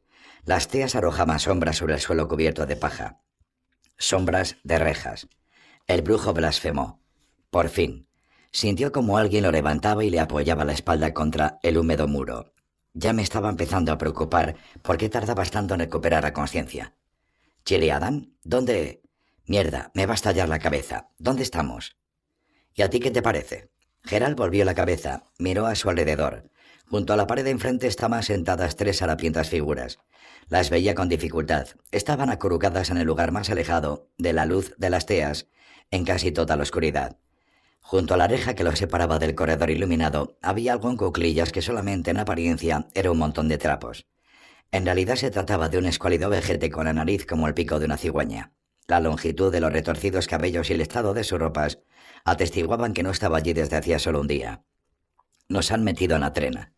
Me alegro, dijo el elfo, de que haya recuperado la capacidad de extraer conclusiones lógicas. Leches, hijas Kier, ¿cuánto tiempo llevamos ya aquí? ¿Cuánto tiempo ha pasado desde...? No lo sé. Como tú también estaba inconsciente cuando me echaron aquí. Chireadan removió la paja, se sentó más cómodamente. ¿Importa eso? Y tanto, voto al diablo. Jennifer. Y Jaskier.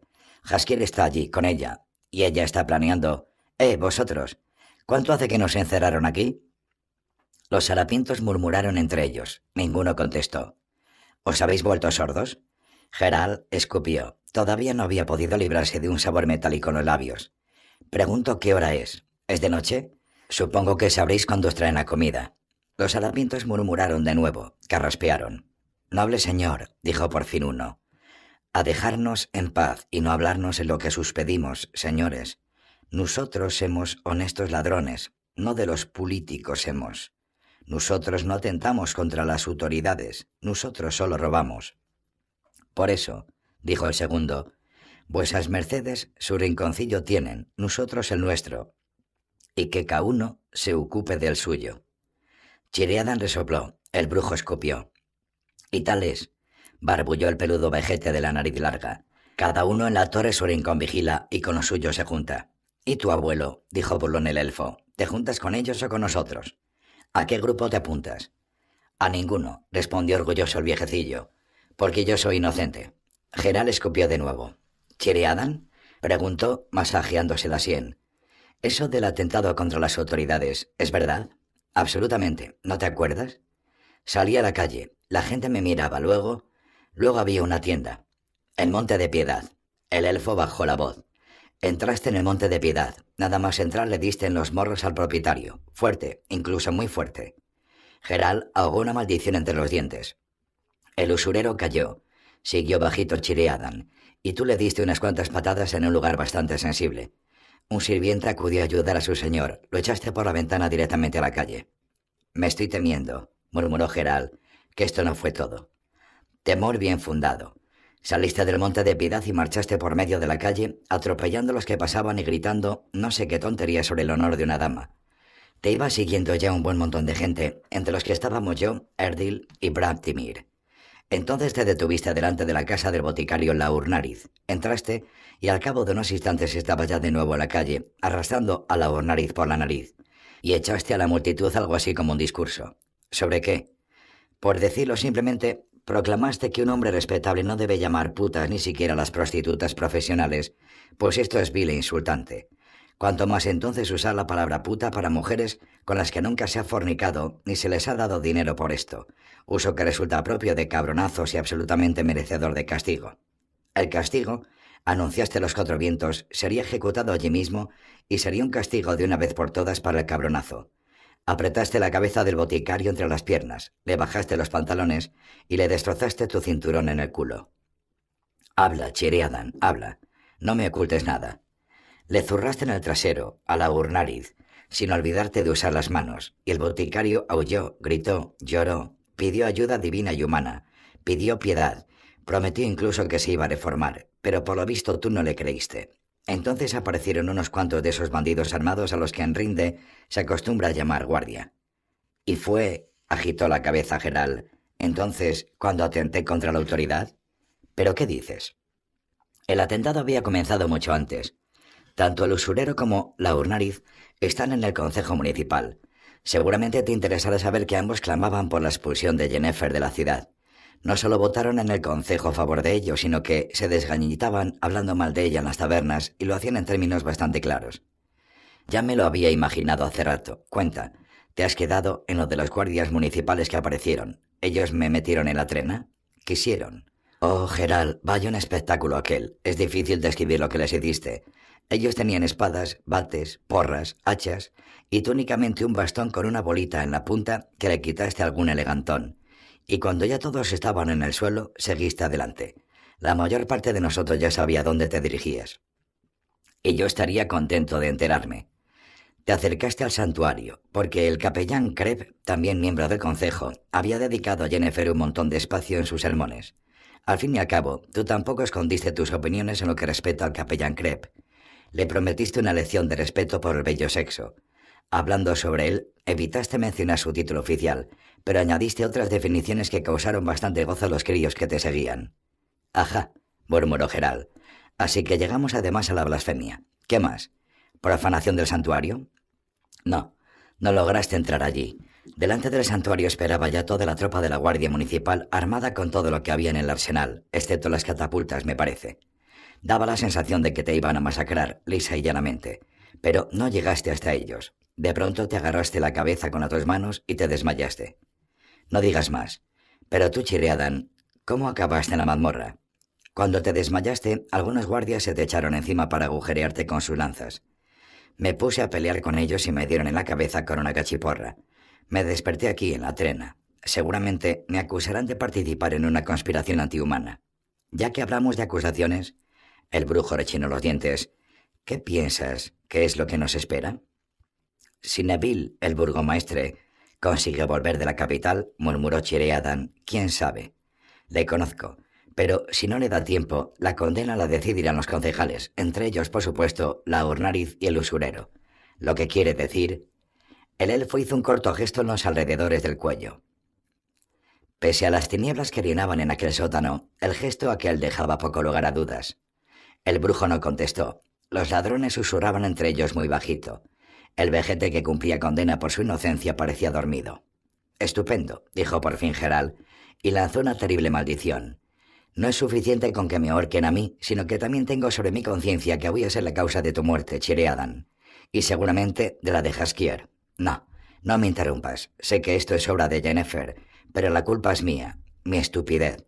Me embaucó, hizo de mí un rulo, como dicen los enanos. Mmm, murmuró el elfo. Nada que añadir a esto. Te previne contra ella, maldita sea. Te previne contra ella y yo mismo resulté ser también, perdona la expresión, un gilipollas. Te martirizas pensando que estoy aquí por tu culpa y es justo al revés. Tú estás aquí por mí. Podría haberte detenido en la calle, haberte hecho perder el sentido, no permitir... No lo hice. Porque tenía miedo de que, cuando pasara el efecto del hechizo que ella te había echado, volverías y... le harías daño. Perdóname. Te perdono ya mismo, porque no tienes ni idea de qué fuerza tenía aquel hechizo. Yo, amigo elfo, un encanto normal lo rompo en unos minutos y no me desmayo ante él. No habríais podido romper el hechizo de Jennifer y también habríais tenido problemas para hacerme perder el sentido. Recuerda la guardia. No pensaba en ti, repito, pensaba en ella. ¿Chiriadán? ¿Qué? Tú. tú a ella. No me gustan las grandes palabras, interrumpió el elfo sonriendo con tristeza. Estoy, llamémoslo así, fuertemente fascinado por ella. ¿Te extrañará, seguro, cómo se puede estar fascinado por alguien como ella? Gerald cerró los ojos para llamar la imagen a su memoria. Una imagen que de una forma inexplicable, llamémoslo así, evitando grandes palabras, le fascinaba. No, Chireadan, dijo, no me extraña. Por el corredor se oyeron pasos pesados, un sonido metálico. Las sombras de cuatro guardianes llenaron la mazmorra. Chirrió una llave. El viejo que era inocente saltó de su rincón como un relámpago y se escondió entre los criminales. Tan pronto, se estañó a media voz el elfo. Pensaba que llevar una horca precisa de más tiempo. Uno de los guardianes, calvo como un globo y con unas cerdas verdaderamente salvajes sobre los morros, señaló al brujo. Ese, dijo. Dos de los otros agarraron a Geral y con brutalidad lo subieron y lo estrellaron contra el muro. Los ladrones apiñaron en su rincón. El abuelete de los pelos largos se enterró en la paja. Chiliadan quiso levantarse, pero cayó al suelo porque se hallaba sujeto por una cuerda fuertemente atada al pecho. El guardia calvo estaba frente al brujo. Se quitó el guante y se masajeó el puño. El señor concejal Laurnariz dijo, nos mandó a preguntarte si está todo bien, aquí en nuestra mazmorra. ¿Te falta algo quizá? ¿Puede que te moleste el frío, eh? Gerán no pensó que contestar tuviera sentido. Darle una patada al calvo tampoco podía, porque los guardianes que le sujetaban le pisaban los pies con unos pesados zapatones. El calvo tomó un corto impulso y le golpeó en el estómago. No le sirvió de nada al tensar los músculos para defenderse. Geral, respirando con dificultad, observó por algún tiempo la hebilla de su propio cinturón, después de lo cual los guardianes lo enderezaron de nuevo. ¿No necesitas nada? continuó el calvo, apestando a cebolla y a dientes podridos. El señor concejal se alegrará de que no tengas nada que objetar. Un nuevo golpe en el mismo sitio. El brujo se atragantó y habría vomitado si hubiera tenido el qué. El calvo se puso de lado, cambió de mano. Plaf. Gerald de nuevo miró la hebilla de su propio cinturón. Aunque pudiera parecer extraño, por encima no había ningún agujero que atravesase la pared. ¿Y qué tal? El calvo retrocedió un tanto, indudablemente para tomar más impulso. ¿No tienes ningún deseo? Nos mandó el señor Laurnariz preguntarte si tenías alguno, pero ¿por qué no dices nada? ¿Se te ha pegado la lengua al paladar? Ahora te la despego. Plaf. Gerald tampoco esta vez se desmayó, y debía hacerlo porque no estaría de más conservar sus órganos internos. Para desmayarse tenía que obligar al calvo a... El guardián escupió Mostró los dientes, amasó de nuevo el puño. ¿Y qué? ¿Ningún deseo? Uno, jadeó el brujo alzando la cabeza con esfuerzo. Así revientes, y de puta. El calvo apretó los dientes, retrocedió y lanzó el puño, esta vez de acuerdo con los planes de Geral, dirigiendo el golpe a la cabeza. Pero el golpe no llegó a su objetivo. El guardián cloqueó de pronto como un pavo, enrojeció. Se agarró el vientre con las dos manos, aulló, gritó de dolor y reventó. Séptimo. ¿Y qué hago yo con vosotros? La cinta cegadora de un relámpago cortó el cielo ennegrecido al otro lado de la ventana. seguida al cabo de un corto espacio de tiempo por el agudo y prolongado chasquido de un trueno. El chaparrón cobró fuerza, la nube de la tormenta avanzaba sobre Rinde.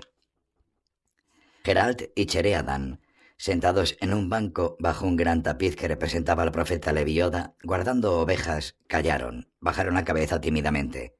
El burgomaestre Neville paseaba por la habitación resoplando y bufando por la rabia.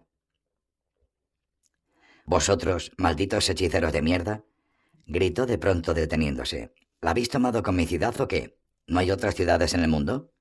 El elfo y el brujo callaron. Que algo parecido se atragantó el burgomaestre, que al carcelero, como un tomate reducido a pulpa, una papilla roja. Eso es inhumano. Inhumano e impío, repitió el capellán Kreb, que estaba presente en el despacho del ayuntamiento. Tan inhumano que hasta un tonto se daría cuenta de quién está detrás de todo esto. Sí, burgomaestre, a Chiriadan lo conocemos y este, aquí, que dice ser brujo, no tendría suficiente fuerza para hacerle eso al carcelero. Todo esto es causa de esa Jennifer, esa hechicera maldita por los dioses. Al otro lado de la ventana, como corroborando las palabras del capellán, estalló un trueno. Es ella, nadie más, siguió Krev. No cabe duda alguna. ¿Quién sino Jennifer querría vengarse del señor concejal Laurnariz? Je, je, je, se rió de pronto el burgomaestre. Esto, en concreto, es lo que menos me enfurece. Laurnariz me estaba minando el terreno. Mi cargo quería al tío y ahora la gente ya no le apoya. Todos se acuerdan de cómo le dieron en el culo. Solo faltaba que encima vos comenzarais a aplaudir este crimen, don Neville. Kreb frunció el ceño. Os recuerdo que si no hubiera echado un exorcismo sobre el brujo, habría alzado la mano sobre mí y sobre la majestad del santuario. Porque vos también hablasteis terriblemente mal de ella en vuestros sermones, Kreb. Incluso Berran se quejó de vos. Pero lo que es verdad es verdad. ¿Habéis oído, tonantes? El burgomaestre de nuevo se volvió hacia Geral y Chireadan. Nada os justifica. No pienso tolerar aquí tales escándalos. Va, venga. Soltádmelo todo. Soltadme lo que tengáis en vuestra defensa, porque si no, me cago en todas las reliquias. Me pongo a bailar con vosotros de tal modo que no lo olvidéis hasta que os llegue la última hora. Contádmelo todo, ahora, como en el confesionario. Chireadan aspiró hondamente y miró al brujo significativamente, rogando. Gerald también aspiró, carraspeó. Y contó todo. Bueno, casi todo. Virgen de la pata al hombro, dijo el capellán después de un instante de silencio. Bonita historia. Un genio liberado de su encierro y una hechicera que decide capturarlo. No es mala combinación. Esto puede acabar mal, muy mal. ¿Qué es un genio? preguntó Neville. ¿Y qué es lo que quiere esa Jennifer? Las hechiceras, aclaró Kreb, están en su poder de las fuerzas de la naturaleza, y en concreto de aquella llamada los cuatro elementos o primordiales, popularmente llamados elementales, aire, agua, fuego y tierra. Cada uno de estos elementales posee su propia dimensión, en el argot de los hechiceros llamado superficie. Existe la superficie del agua, la superficie del fuego y demás. Estas dimensiones, inalcanzables para nosotros, están habitadas por unos seres llamados genios. Llamados en las leyendas, le cortó el brujo, porque mientras que no se sepa... No me interrumpas, cortó a su vez Kreb, que tú sabes más bien poco. Ha quedado bastante claro durante tu relato, brujo. Calla ahora y escucha quienes son más sabios que tú. Volviendo a los genios, hay cuatro especies tal y como cuatro son las superficies. Están los Dijins, seres del aire, maridas, vinculados al elemental del agua, y fritas, que son los genios del fuego, y los Dao, los genios de la tierra. ¿Qué te disparas, Kreb? se entremetió Neville. Esto no es la escuela del santuario. No nos desclase. Dilo en pocas palabras. ¿Qué quiere Jennifer de ese genio? Un genio, burgomaestre, es un acumulador vivo de energía mágica. La hechicera que tenga un genio a su merced puede dirigir esa energía en forma de hechizos. No tiene que extraer la fuerza de la naturaleza penosamente, pues el genio lo hace para ella. Por eso el poder de tal hechicera es enorme, cercano al poder absoluto. Así como que no he oído de magos que lo puedan todo, se enfureció Neville. Al contrario, el poder de la mayor parte de ellos ha sido claramente exagerado. Esto no pueden, aquello tampoco. El hechicero está Melforth, le interrumpió el capellán, adquiriendo de nuevo un tono y un gesto de profesor de la academia. Cambió de lugar una montaña porque le estorbaba la vista desde su torre. Nadie ha sido capaz nunca, ni antes ni después, de realizar algo parecido, porque Stammelford, según se cuenta, tenía a su servicio a un Dao, un genio de la tierra. Existen noticias de hechos de parecida escala de otros magos, o las enormes y lluvias catastróficas, sin duda obra de maridas, columnas de fuego, incendios y explosiones, obra de ifritas del fuego, tornados, huracanes, vuelos sobre la tierra, murmuró Gerald. Geoffrey Monk. Cierto, al menos sabes algo, por lo que veo. Kreb le miró con una cierta simpatía. Se dice que el viejo Monk halló el medio para obligar a los genios del aire, los Dijins, a servirle se corrieron rumores de que no solo uno. Al parecer los tenía en botellas y los utilizaba según sus necesidades. Tres deseos de cada genio. Porque un genio, señores míos, otorga solo tres deseos y luego es libre y escapa a su dimensión. Ese del río no otorgó ninguno, dijo Gerald con decisión. Enseguida se le echó a Jaskier al pescuezo. Los genios, respingó la nariz, son seres malignos y pérfidos. No les gustan aquellos que les meten en botellas y les mandan cambiar de sitio las montañas. Hacen todo lo posible para impedir que se pronuncien los deseos y lo realizan de formas difíciles de controlar y de prever. A veces, literalmente. Hay que, por lo tanto, tener cuidado con lo que se dice. Para subyugar un genio hace falta una voluntad de hierro, nervios de acero, poderosa fuerza y no pocos conocimientos. Por lo que cuentas, brujo, parece que tus conocimientos fueron demasiado escasos. Demasiado escasos para dominar al granuja ese, concedió Gerald. Pero lo expulsé. Se largó tan aprisa que hasta el aire silbaba. Y eso ya es algo. Jennifer, es cierto, se burló de mi exorcismo. ¿Cuál era ese exorcismo? Repítelo. El brujo lo repitió palabra por palabra. ¿Qué? El capellán primero palideció, luego enrojeció y al final se puso lívido. ¿Cómo te atreves? ¿Te burlas de mí? Perdonadme, tartamudeó Gerald. Hablando sinceramente, no sé lo que significan esas palabras. Entonces no repitáis lo que no conocéis. No tengo ni idea de dónde habéis podido escuchar semejante porquería. Basta. El burgomaestre agitó las manos. Perdemos tiempo. Bien. Sabemos ya para qué coño quiere la hechicera ese genio. Pero dijisteis, Creb, que esto es poco bueno. ¿Qué es lo que está mal? Que lo coja si quiere y se vaya con él al diablo. A mí qué me importa. Pienso... Nadie jamás llegó a enterarse de lo que en aquel momento pensaba Neville, incluso si no se trataba de una fanfarronada. En la pared, junto al tapiz del profeta Levioda, apareció de pronto un cuadrado brillante, algo relampagueo, después de lo cual en el centro de la habitación aterrizó Jaskier. Inocente, gritó el poeta con una limpia y sonora voz de tenor, sentado en el suelo y dirigiendo a su alrededor una mirada errante. Inocente. El brujo es inocente. Deseo que se crea en esto. Jaskier, gritó Gerald sujetando a Kreb, que se estaba preparando para un exorcismo y quién sabe si no para un hechizo. ¿De dónde? Aquí. Jaskier. Gerald. El bardo se alzó del suelo. Jaskier. ¿Quién es este tío? gruñó Neville. Su puta madre. Como no os dejéis de hechizos, no respondo de mí mismo. Ya os dije que en Rinde está prohibida la hechicería. Primero hay que dirigir una solicitud por escrito, luego pagar el impuesto y la tasa municipal. Hey, ¿acaso no es este el cantante ese, el ren de la bruja? Jaskier, repitió Gerald, sujetando al poeta por los hombros. ¿Cómo llegaste aquí? No lo sé. Le conoció el bardo con una mueca estúpida y preocupada. Si soy sincero, no sé muy bien qué es lo que me ha pasado. No recuerdo mucho y que el diablo me lleve. No sé lo que fue realidad y lo que fue pesadilla. Me acuerdo, sin embargo, de una morenilla que no era fea y de sus ojos de fuego. ¿Y a mí qué me importan las morenillas? le cortó furioso Neville. Al grano, señor mío. Gritasteis que el brujo es inocente. ¿Cómo hay que entender eso? ¿Que la Urnariz mismo con su propia mano se calentó el culo? Porque si el brujo es inocente, eso significa que no pudo ser de otro modo, a no ser que todo esto fuera una alucinación colectiva.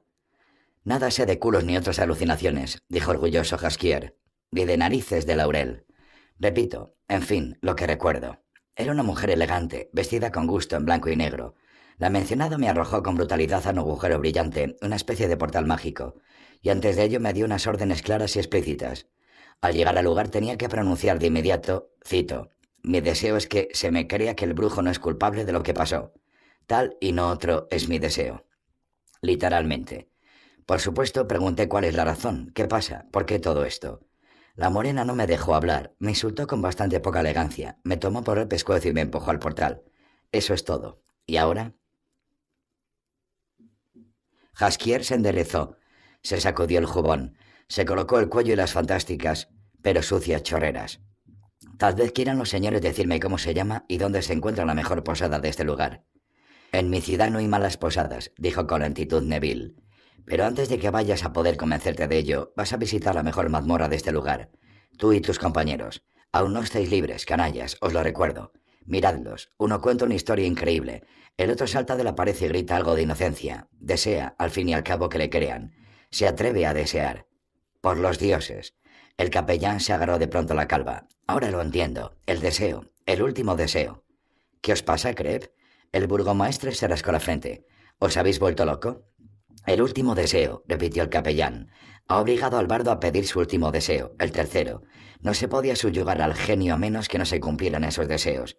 Y Jennifer tenía una trampa mágica y seguramente ha atrapado al genio antes de que lograra escapar a su propia dimensión. Don Neville, hay que... Al otro lado de la ventana estalló un trueno, y de tal modo que las paredes vibraron. ¿Sus muertos? murmuró el burgomaestre yendo a la ventana. Ha caído cerca. Espero que no en alguna casa. No me hacía falta más que un fuego. Dioses, mirad. Mirad eso. Crep, ¿qué es eso? Todos como un solo hombre se lanzaron a la ventana. ¡Ay, madre! gritó Jaskier tentándose la garganta. Es él. Es ese de puta que me quería estrangular. Un Dijin, granó Crep, un genio del aire. Sobre la taberna de Erdil, gritó Chireadan. Sobre su tejado. Lo ha capturado. El capellán se inclinó tanto que a poco no cayó. ¿Veis la luz mágica? La hechicera ha atrapado al genio en la trampa. Gerald miraba en silencio. Hacía muchos años, cuando era apenas un mocoso que comenzaba sus estudios en Caer Morgen, en el nido de los brujos, él y su amigo Eskel habían atrapado a un gran abejorro del bosque, al cual luego ataron a una jarra que estaba sobre la mesa por medio de un largo hilo arrancado de una camisa. Estuvieron mirando las piruetas del abejorro en su prisión, mientras se morían de risa, hasta el momento en que Besemir, su preceptor, los pilló en este entretenimiento y los turró con un cinturón de cuero. El Edgin, que se retorcía sobre el tejado de la posada de Erdil, se comportaba exactamente igual que aquel abejorro. Volaba y caía, se alzaba y caía en picado, se retorcía, ululando con rabia por los alrededores. Porque el Edgin, exactamente igual que el abejorro de Caer Morgen, estaba atado con un hilo rizado de cegadora claridad, de una luz de un solo color, que lo ligaba sólidamente y que terminaba en el tejado. El Edgin, sin embargo, tenía mayores posibilidades que el abejorro atado a la jarra. El abejorro no podía derribar los tejados de los alrededores, deshacer en jirón en las cubiertas de paja, echar abajo las chimeneas, demoler las torretas y las guardillas. El Jin podía, y lo hacía. Destruye la ciudad, gritó Neville. Ese monstruo destruye mi ciudad. Jeje. El capellán se rió. Ha dado con la horma de su zapato por lo que parece. Es un Djinn extraordinariamente fuerte. De hecho, no sé quién ha atrapado a quién. La maga a él o él a la maga. Ja, esto va a terminar en que el Djinn la convertirá en cenizas y eso está muy bien. Se hará justicia. Me cago en la justicia. Bramó el burgomaestre sin mirar si bajo la ventana podía ver electores suyos. Mira, Crep, lo que está pasando. Pánico, ruina, esto no me lo habías dicho tú, calvo idiota. ¿Por qué no me dijiste que este demonio... Brujo, haz algo. ¿Escuchas, hechicero inocente? Mete en vereda a ese diablo. Te perdonaré todos tus delitos, pero... Aquí no se puede hacer nada, don Neville, resolló Crep. No me habéis hecho caso a lo que os he dicho y eso es todo. Nunca me hacéis caso cuando hablo. Este, repito, un Dijin increíblemente fuerte. Si no fuera así la hechicera ya lo tendría. Os lo digo, su hechizo se debilitará y entonces el Dijin la triturará y se irá, y habrá paz. Y mientras tanto reducirá la ciudad a escombros. Hay que esperar, repitió el capellán, pero no con las manos cruzadas. Dad órdenes, burgomaestre, que las gentes dejen las casas de los alrededores y se preparen para apagar los fuegos. Lo que está pasando no es nada en comparación con el infierno que se desatará en cuanto el genio acabe con la hechicera. Gerald alzó la cabeza, encontró la mirada de Chireadan, la evadió. Don Creb se decidió de pronto, me es necesaria vuestra ayuda. Se trata del portal que trajo aquí a Jaskier. El portal todavía enlaza el ayuntamiento con... No queda ya ni señal del portal, dijo con frialdad el capellán señalando la pared. ¿No lo veis? Un portal siempre deja huellas, incluso invisibles. Se puede estabilizar tal huella con un hechizo. Seguiré esas huellas. Creo que habéis perdido la razón, incluso si la puerta no rebana en pedazos. ¿Qué queréis conseguir? ¿Queréis encontraros en el centro del ciclón? Os pregunté si podíais lanzar un hechizo que estabilizara la huella. ¿Un hechizo? El capellán alzó con orgullo la cabeza. Yo no soy un mago impío. Yo no lanzo hechizos. Mi fuerza se concentra en la oración y la fe. ¿Podéis o no? Puedo. Pues entonces ponemos manos a la obra, que el tiempo corre. Geral, dijo Jaskier, en verdad te has vuelto loco. Mantente lejos de ese maldito estrangulador. Silencio, por favor, dijo Crep. Y respeto, estoy rezando. Al diablo con tu oración, estalló Neville. Vuelo a buscar gente. Hay que hacer algo en vez de estar aquí y hablar. Por los dioses, vaya un día, vaya un puto día. El brujo sintió como Chiriada le tocaba el hombro. Se dio la vuelta. El elfo le miró directamente a los ojos, luego bajó la vista. Vas allí porque... Tienes que ir, ¿verdad? Gerald titubeó. Le daba la sensación de que percibía un perfume a lila y grosella. Creo que sí, dijo de mala gana. Tengo. Lo siento, Chiriadan. No pidas perdón, sé lo que sientes. Lo dudo porque yo mismo no lo sé. El elfo sonrió. Su sonrisa tenía poco que ver con alegría. Precisamente de eso se trata, Gerald. Precisamente de eso. Kreb se puso derecho, respiró hondo. Listo, dijo señalando con orgullo un trazo apenas visible en la pared.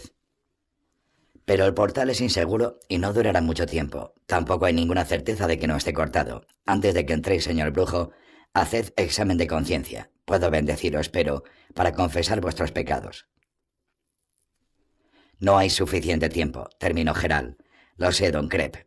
Para eso nunca hay suficiente tiempo. Salid todos de la habitación. Si el portal explota, os estallarán los tímpanos en los oídos. Yo me quedo, dijo Crep, cuando Jaskier y el elfo cerraron tras de sí la puerta. Movió las manos en el aire produciendo a su alrededor un aura pulsante. Desplegaré una protección por si acaso. Y si el portal explota, intentaré sacaros de allí, señor brujo. ¿Qué me importan a mí los tímpanos? Los tímpanos crecen. Gerald le miró con simpatía. El capellán sonrió. Sois todo un hombre, dijo. Queréis salvar la verdad. Pero vuestra hombría no servirá de mucho. Los Dijins son seres vengativos. La hechicera está perdida. Si vos entráis allí, también estaréis perdido. Haced examen de conciencia. Ya lo he hecho. Gerald estaba enfrente del débilmente iluminado portal. ¿Don Crep? Os escucho. Ese exorcismo que tanto se enfureció, ¿qué significan esas palabras? Desde luego, bonito momento para bromas y sainetes. Por favor, don Crep. ¿Qué más da? dijo el capellán, cubriéndose detrás de la pesada mesa de roble del burgomaestre. Es vuestro último deseo, así que os lo diré. Significa... Mmm, mmm, largo de aquí y vete a tomar por culo. Gerald entró en la nada y el frío ahogó una risa que le hizo estremecerse. Octavo. El portal, rugiendo y revolviéndose como un huracán, lo expulsó con ímpetu, lo escupió con la fuerza de un pulmón reventado. El brujo rodó por el suelo jadeando, tomando aire con dificultad por su boca abierta. El suelo temblaba. Al principio pensaba que él mismo temblaba después del viaje a través del desgarrador infierno del portal, pero pronto se dio cuenta de su error. Toda la casa vibraba, se sacudía, se agitaba.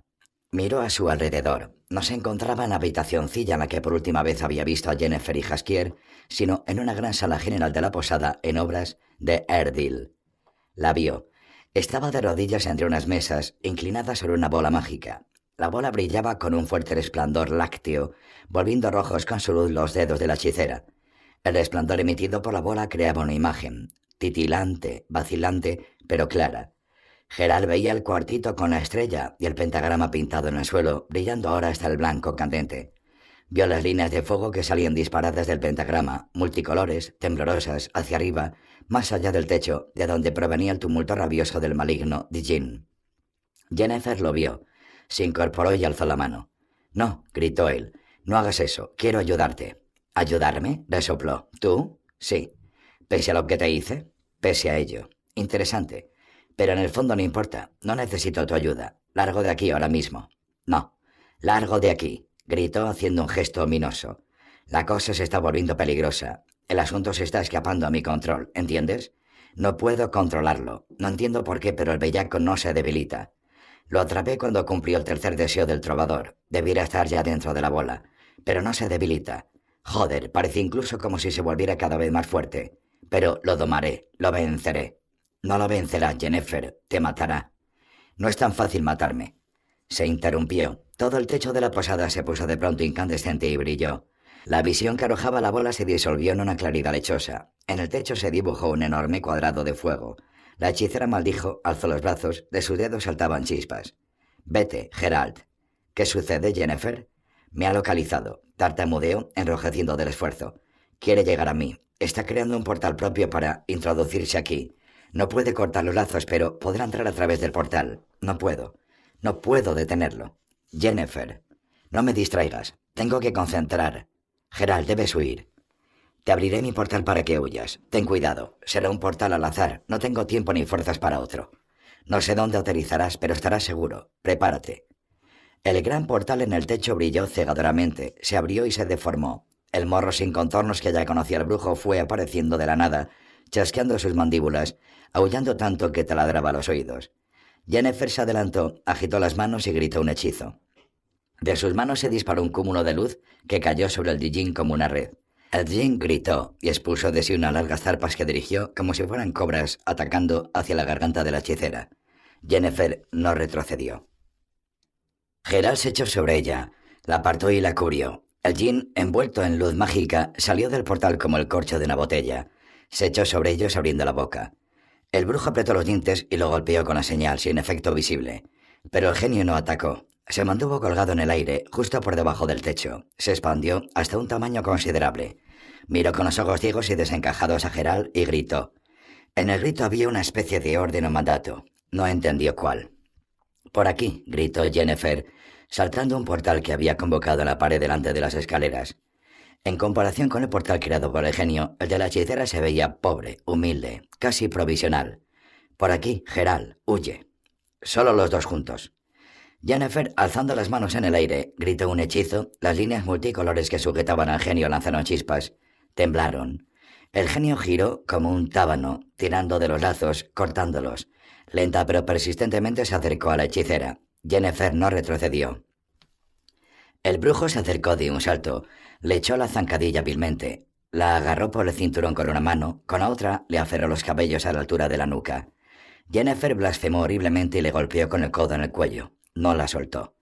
El penetrante olor a ozono que habían producido los encantamientos no lograba esconder su perfume a lila y grosella. Gerald evitó las piernas de la hechicera que estaban dando patadas a todos lados y saltó, conduciéndola directamente a la vacilante nada opalina del pequeño portal.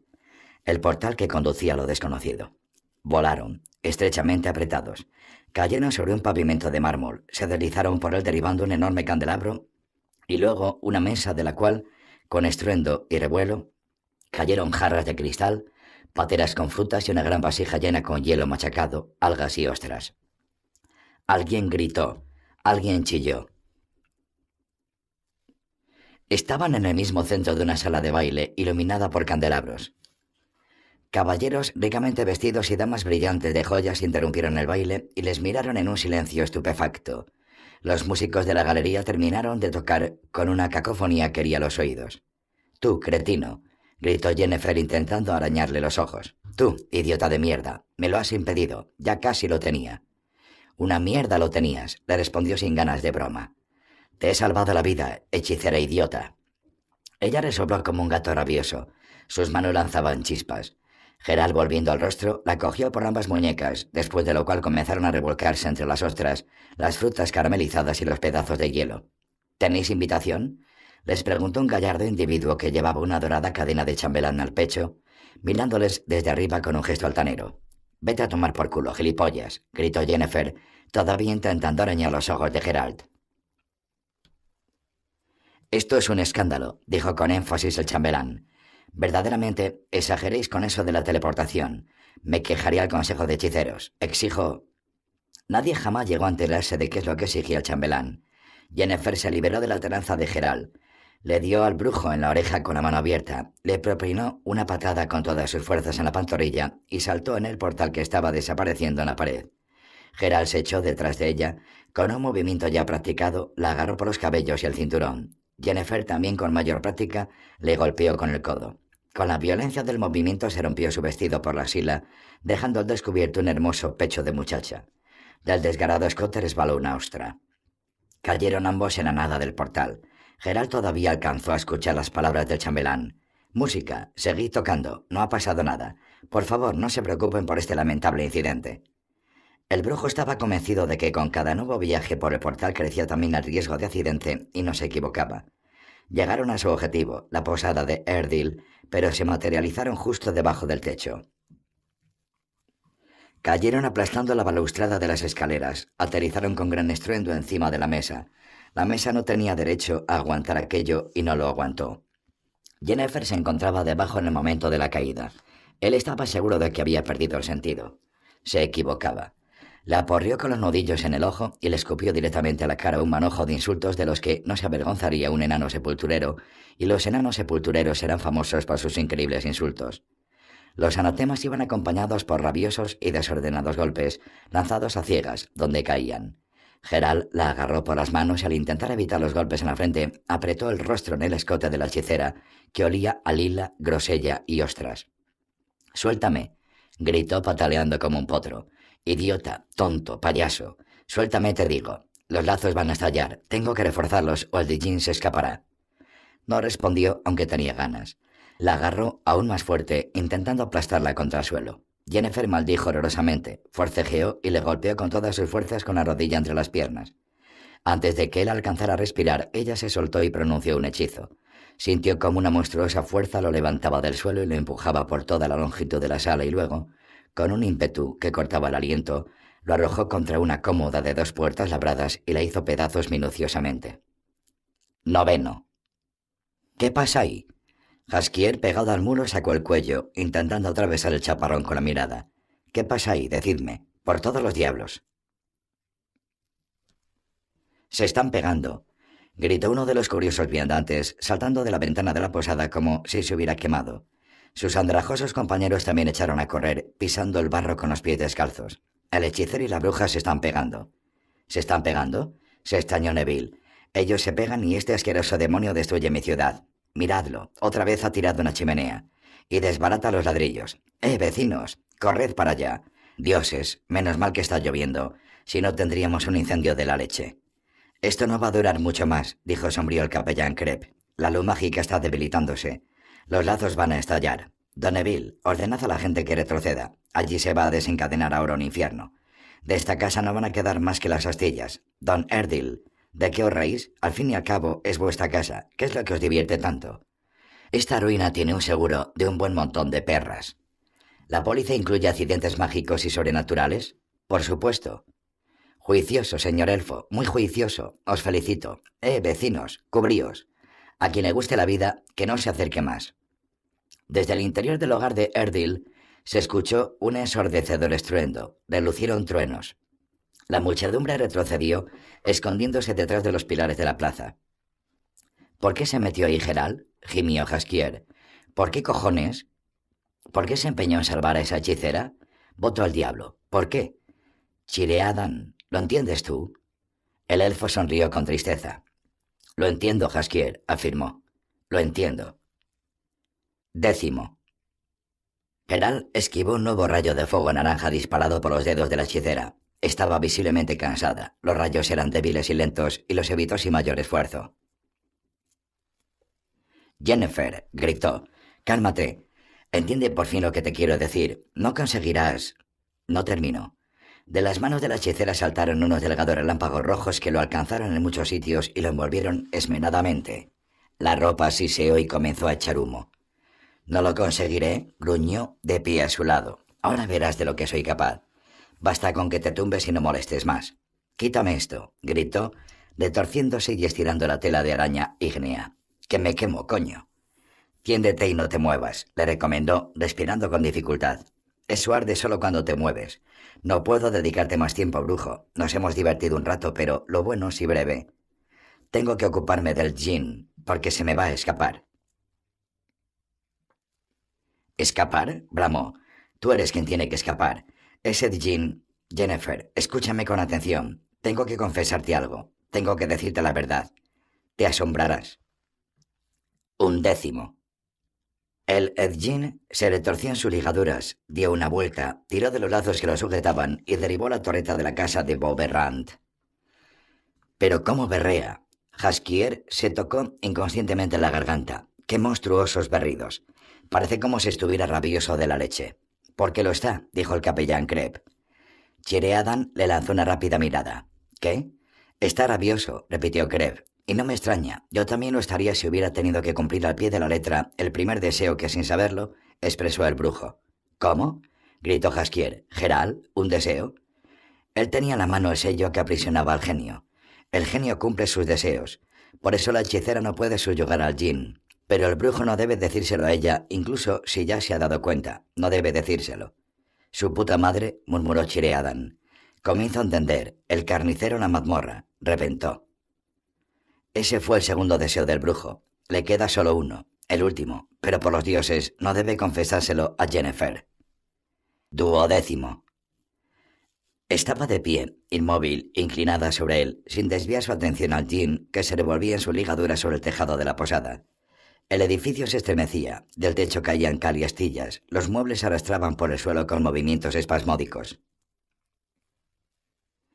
Así que es eso, susurró. Mis felicitaciones. Has conseguido engañarme. No era Jaskier, sino tú. Por eso el Jim lucha de tal modo. Pero aún no he perdido. Gerald, no me valoras, no valoras mi fuerza. De momento os tengo a los dos en la sartén, al Jin y a ti.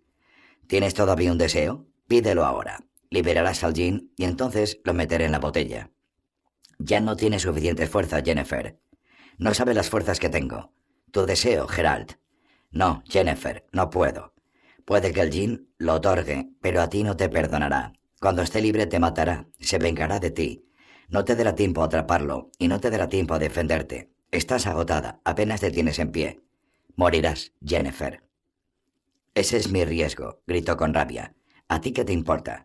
Piensa mejor en lo que el Jin te puede dar a ti. Todavía tienes un deseo. Puedes pedir lo que quieras. Aprovecha tu oportunidad. Aprovecha brujo. Puedes tener todo. Todo. Décimo tercero. ¿Morirán los dos? Aulló Jaskier. ¿Cómo puede ser, don Crep? O como llaméis. ¿Por qué? Si el brujo... ¿Por qué Gerald, su puta y reputa madre, no huye? ¿Por qué? ¿Qué lo detiene allí? ¿Por qué no abandona su suerte a esa jodida hechicera y no huye? Si él sabe que no tiene sentido. Completamente sin sentido, repitió Chireadan con amargura. Completamente. Es un suicidio. Idiotismo común y corriente. Al fin y al cabo, esta es su profesión, terció Neville. El brujo salva mi ciudad. Pongo a los dioses por testigos de que si vence a la hechicera y expulsa al demonio, lo recompensaré con generosidad. Jaskier se quitó de la cabeza el sombrerito adornado con una pluma de ganso, escupió en él, lo tiró al fango y lo pisoteó, repitiendo diversas palabras en diversos idiomas. Pero si él, gimió de pronto, tiene todavía un deseo de reserva, podría salvarla a ella y a sí mismo, don Crep. No es tan fácil, se lo pensó el capellán, pero si si expresara correctamente el deseo, si de algún modo uniera su destino con el destino de... No, no creo que se le ocurra, y puede que sea mejor así. Décimo cuarto. Tu deseo, Gerald, más deprisa. ¿Qué es lo que ansías? ¿Inmortalidad, riqueza, gloria, poder, fuerza, honores? Deprisa, no tengo tiempo. Callaba. Humanidad, dijo de pronto ella, riéndose con gesto perverso. Lo he adivinado, ¿verdad? Eso es lo que ansías, lo que anhelas. La liberación, la libertad de ser quien eres y no quien debes. Al Jin otorgará ese deseo, Gerald. Pídelo. Callaba. Estaba junto a él, cubierta con el centelleante resplandor de la bola mágica, en la claridad de la magia, entre el brillo de los rayos que sujetaban al Jin, con el cabello encrespado y los ojos violeta ardiendo, enhiesta, esbelta, morena, terrible y hermosa. Se agachó bruscamente, lo miró a los ojos de cerca, percibió el olor a lila y grosella. Callas, susurró. ¿Qué es lo que anhelas entonces, brujo? ¿Cuál es tu más oculto sueño? ¿No lo sabes o es que no puedes decidirte? Busca en ti mismo. Busca profunda y cuidadosamente porque la fuerza gira alrededor de ti. No tendrás una segunda oportunidad. Y de pronto él supo la verdad. Supo. Supo quién había sido ella antes, lo que recordaba, lo que no podía olvidar, con lo que tenía que vivir quién había sido en realidad antes de convertirse en hechicera, porque le miraban los ojos fríos, penetrantes, enfadados e inteligentes de una jorobada. Se asustó. No, no de la verdad. Se asustó de que pudiera leer sus pensamientos, de que pudiera enterarse de que él lo sabía, de que nunca se lo iba a perdonar. Ahogó aquellos pensamientos en su interior, los mató, los echó de su memoria para siempre, sin huellas, sintiendo en esto un tremendo alivio, sintiendo que, el techo estalló. El Jin Enredado en la red de los rayos que se extinguía poco a poco, se lanzó directamente hacia ellos, gritando, y en el grito aquel había triunfo y ansia de matar. Jennifer se arrojó contra él. En sus manos había luz, una luz muy débil. Jean abrió la boca y lanzó hacia ella sus garras, y el brujo comprendió de pronto que ya sabía lo que deseaba. Y pidió su deseo. El último deseo, de Andrzej Zapowski, décimo quinto. La casa explotó. Ladrillos, vigas y tablas revolotearon hacia lo alto en una nube de humo y de chispas. El jean surgió de entre el polvo, grande como un establo, bramando y estallando en una carcajada triunfal.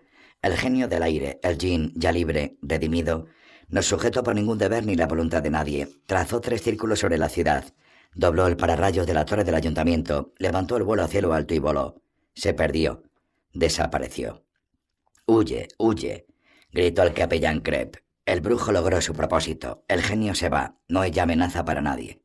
Ah, dijo Erdil con verdadero arrobo. Qué ruina más maravillosa. Mierda, mierda, gritó Jaskier encogido detrás del muro. Ha destruido toda la casa. Nadie ha podido sobrevivir a eso. Nadie, os digo. El brujo Gerald de Rivia se sacrificó por la ciudad, dijo ceremoniosamente el burgomaestre Neville. No le olvidaremos, le honraremos, pensaremos en una estatua.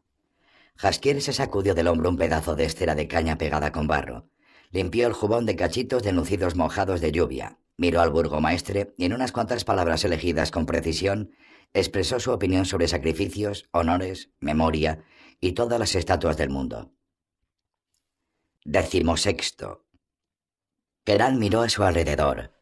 Por el agujero del techo caían lentas gotas de agua. Junto a ellos se amontonaban escombros y fragmentos de madera. Por una extraña casualidad, el lugar donde yacían estaba completamente limpio. No les había caído encima ni siquiera una tabla ni un ladrillo. Era como si les hubiera cubierto un escudo invisible. Jennifer, ligeramente enojecida, estaba sentada a su lado, con las manos apoyadas en las rodillas. Brujo, carraspeó. ¿Estás vivo? Lo estoy. Gelal se limpió la cara de polvo y pajas, gruñó.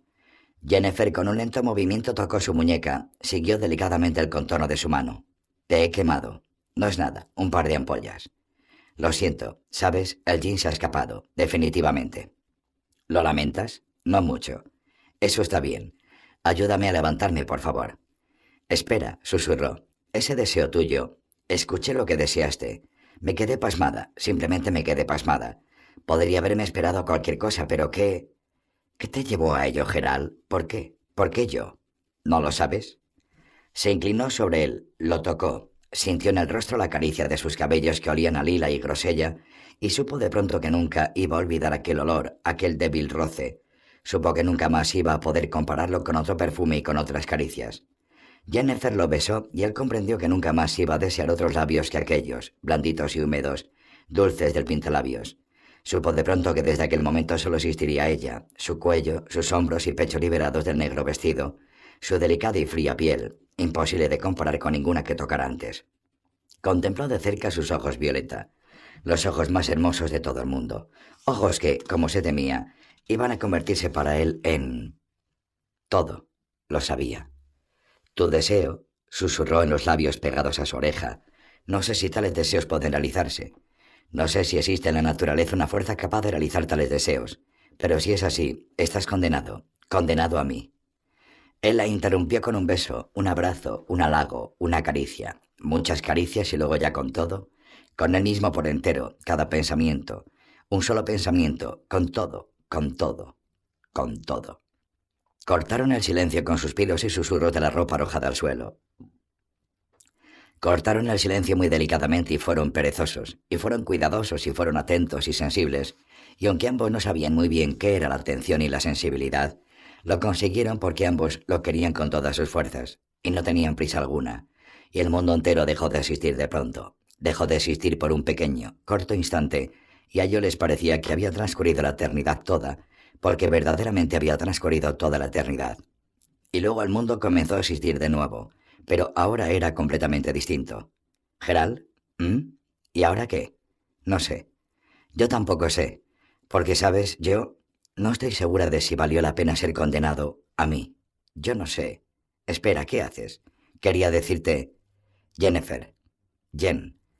Jen, repitió, capitulando por completo. Nunca nadie me llamó así. Dilo otra vez, por favor. Jen. Gerald. Décimo séptimo. La lluvia dejó de caer.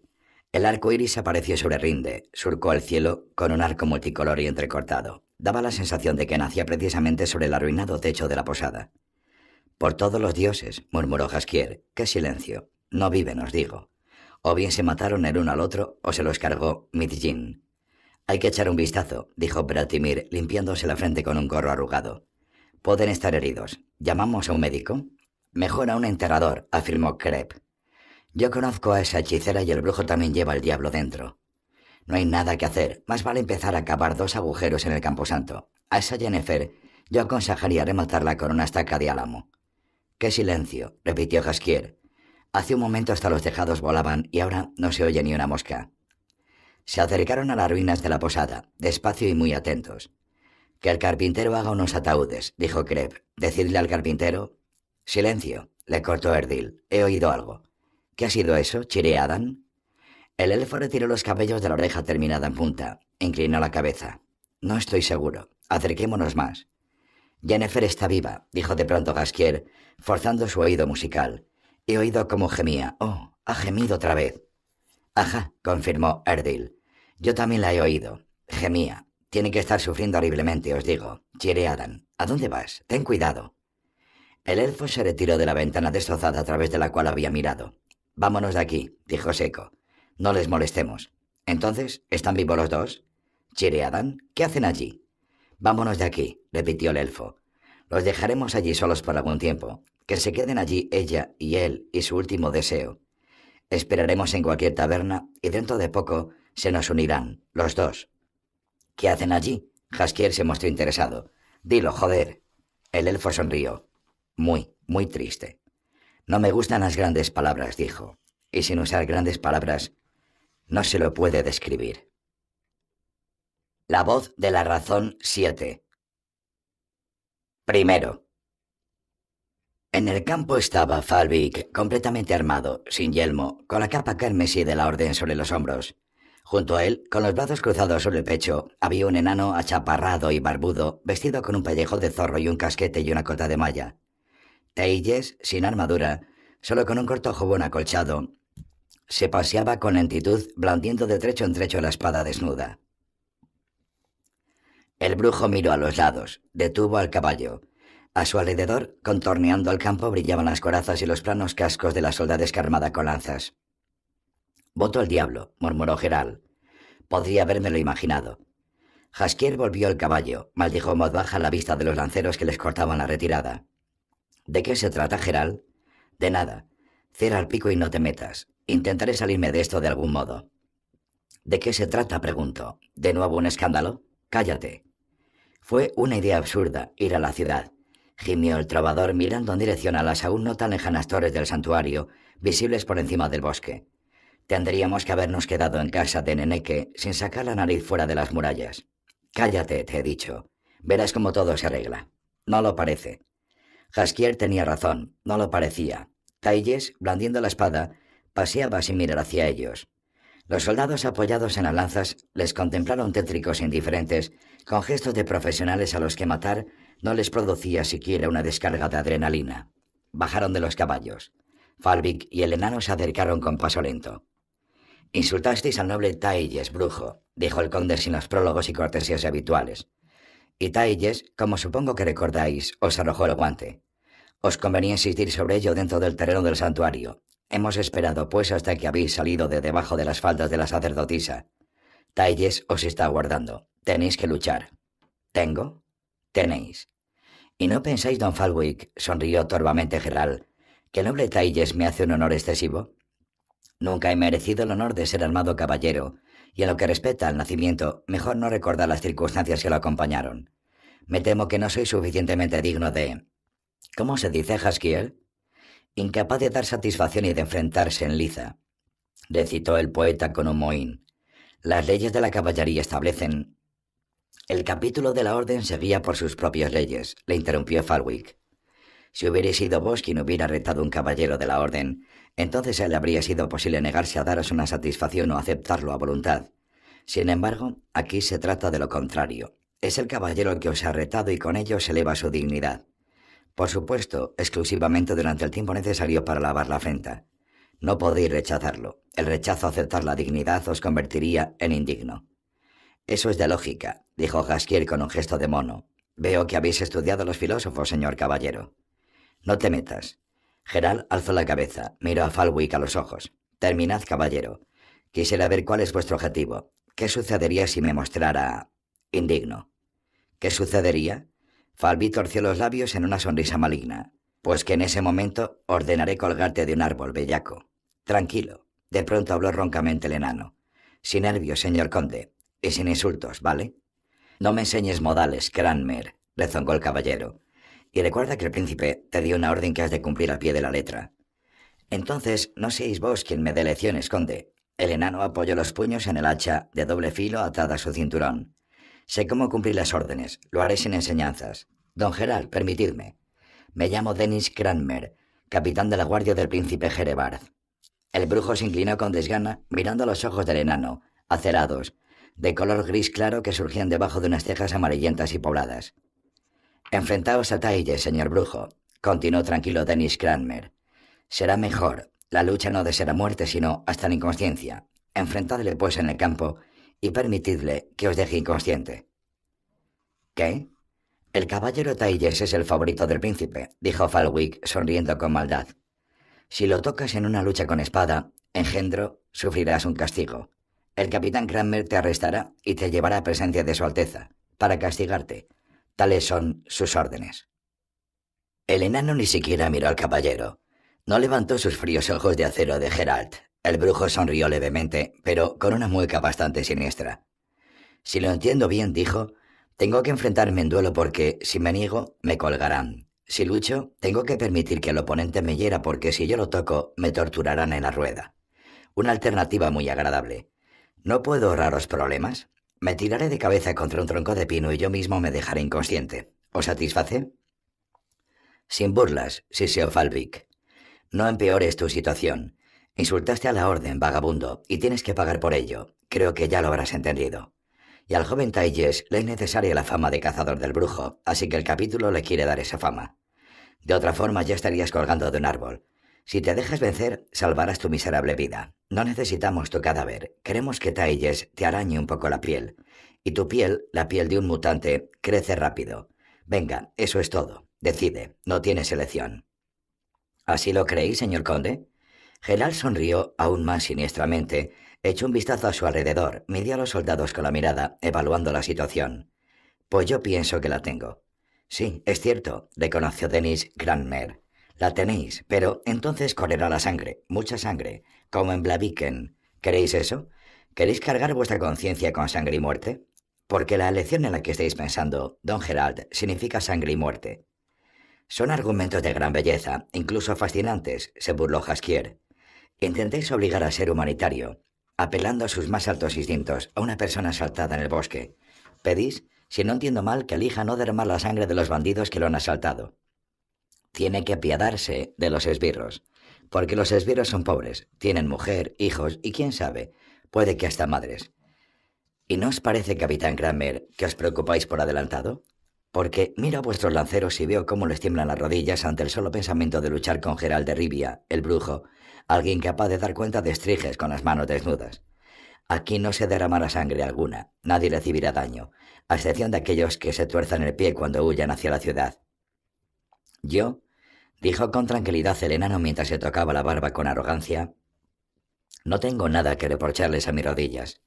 Hasta ahora no he corrido ante nadie y no pienso cambiar esta costumbre. No estoy cansado. No sé nada de hijos, y a la madre, una mujer para mí desconocida, Preferiría no meterla en esto. Pero las órdenes que me dan las cumplo, como siempre, al pie de la letra. No apelo a ningún sentimiento. Pido al señor Gerald de Rivia que tome una decisión. Aceptaré la que sea y actuaré en consecuencia. Se miraron a los ojos el brujo y el enano. Bueno saberlo, dijo por fin Gerald. Terminemos el asunto. Lástima de día. ¿Aceptáis, pues? Falvik alzó la cabeza. Los ojos le brillaban. ¿Consentís en en duelo con el noble Tailles de Dorndal? Sí. Bien, preparaos. Estoy listo. Gerald se quitó los guantes. No perdamos tiempo. Si Neneque se entera de esta riña, nos montará un infierno. Solucionémoslo con rapidez. Haskier, estate tranquilo. Esto no va contigo. ¿Cierto, señor Kramer? Absolutamente, afirmó seco el enano y miró a Falwick. Absolutamente, don Geral. Si hay algo, esto os concierne solo a vos. El brujo desenvainó la espada que llevaba a la espalda. No, dijo Falvi sacando la suya. No vas a luchar con tu garancha. Toma mi espada. Gerald se encogió de hombros, tomó el estoque del conde y lo brandió para probarlo. Pesada, dijo con frialdad. Ya puestos podríamos batirnos con dos palas. Talles tiene una idéntica. Las mismas posibilidades. Muy gracioso, don Falwick. De verdad, muy gracioso. Los soldados rodearon el campo en una cadena no muy densa. Talles y el brujo estaban de pie el uno frente al otro. ¿Don Talles? ¿Qué decís a unas excusas? El caballerete apretó los labios, puso la mano izquierda a la espalda en posición de esgrima. ¿No? Gerald sonrió. ¿No escuchéis la voz de la razón? Lástima. Talles flexionó las piernas, saltó, lanzó un ataque relampagueante sin aviso. El brujo no hizo siquiera el esfuerzo de pararlo, evitó la plana estocada con una rápida media vuelta. El caballerete extendió el golpe, la hoja cortó de nuevo el aire. Gerald, con una hábil pirueta, salió de debajo de la hoja, saltó ligero y con una corte y fina finta, quebró el ritmo a Tailles. Tailles maldijo, dio un amplio mandoble por la derecha, perdió el equilibrio durante un segundo, intentó recuperarlo, cubriéndose con un movimiento de la espada automático, desmañado, muy alto. El brujo golpeó con la rapidez y la fuerza de un rayo, directamente extendiendo el brazo en toda su longitud. La pesada espada chocó con un estruendo metálico en la hoja de talles, de forma tal que ésta, al rebotar, le dio con fuerza justo en el rostro. El caballero huyó, cayó postrado de hinojos y dio con la testa en la hierba. Falvik corrió hacia él. Gerald clavó la espada en la tierra, se dio la vuelta. ¡Eh, guardia! gritó Falvik, levantándose. ¡Cogedle! ¡Alto! ¡En vuestros puestos!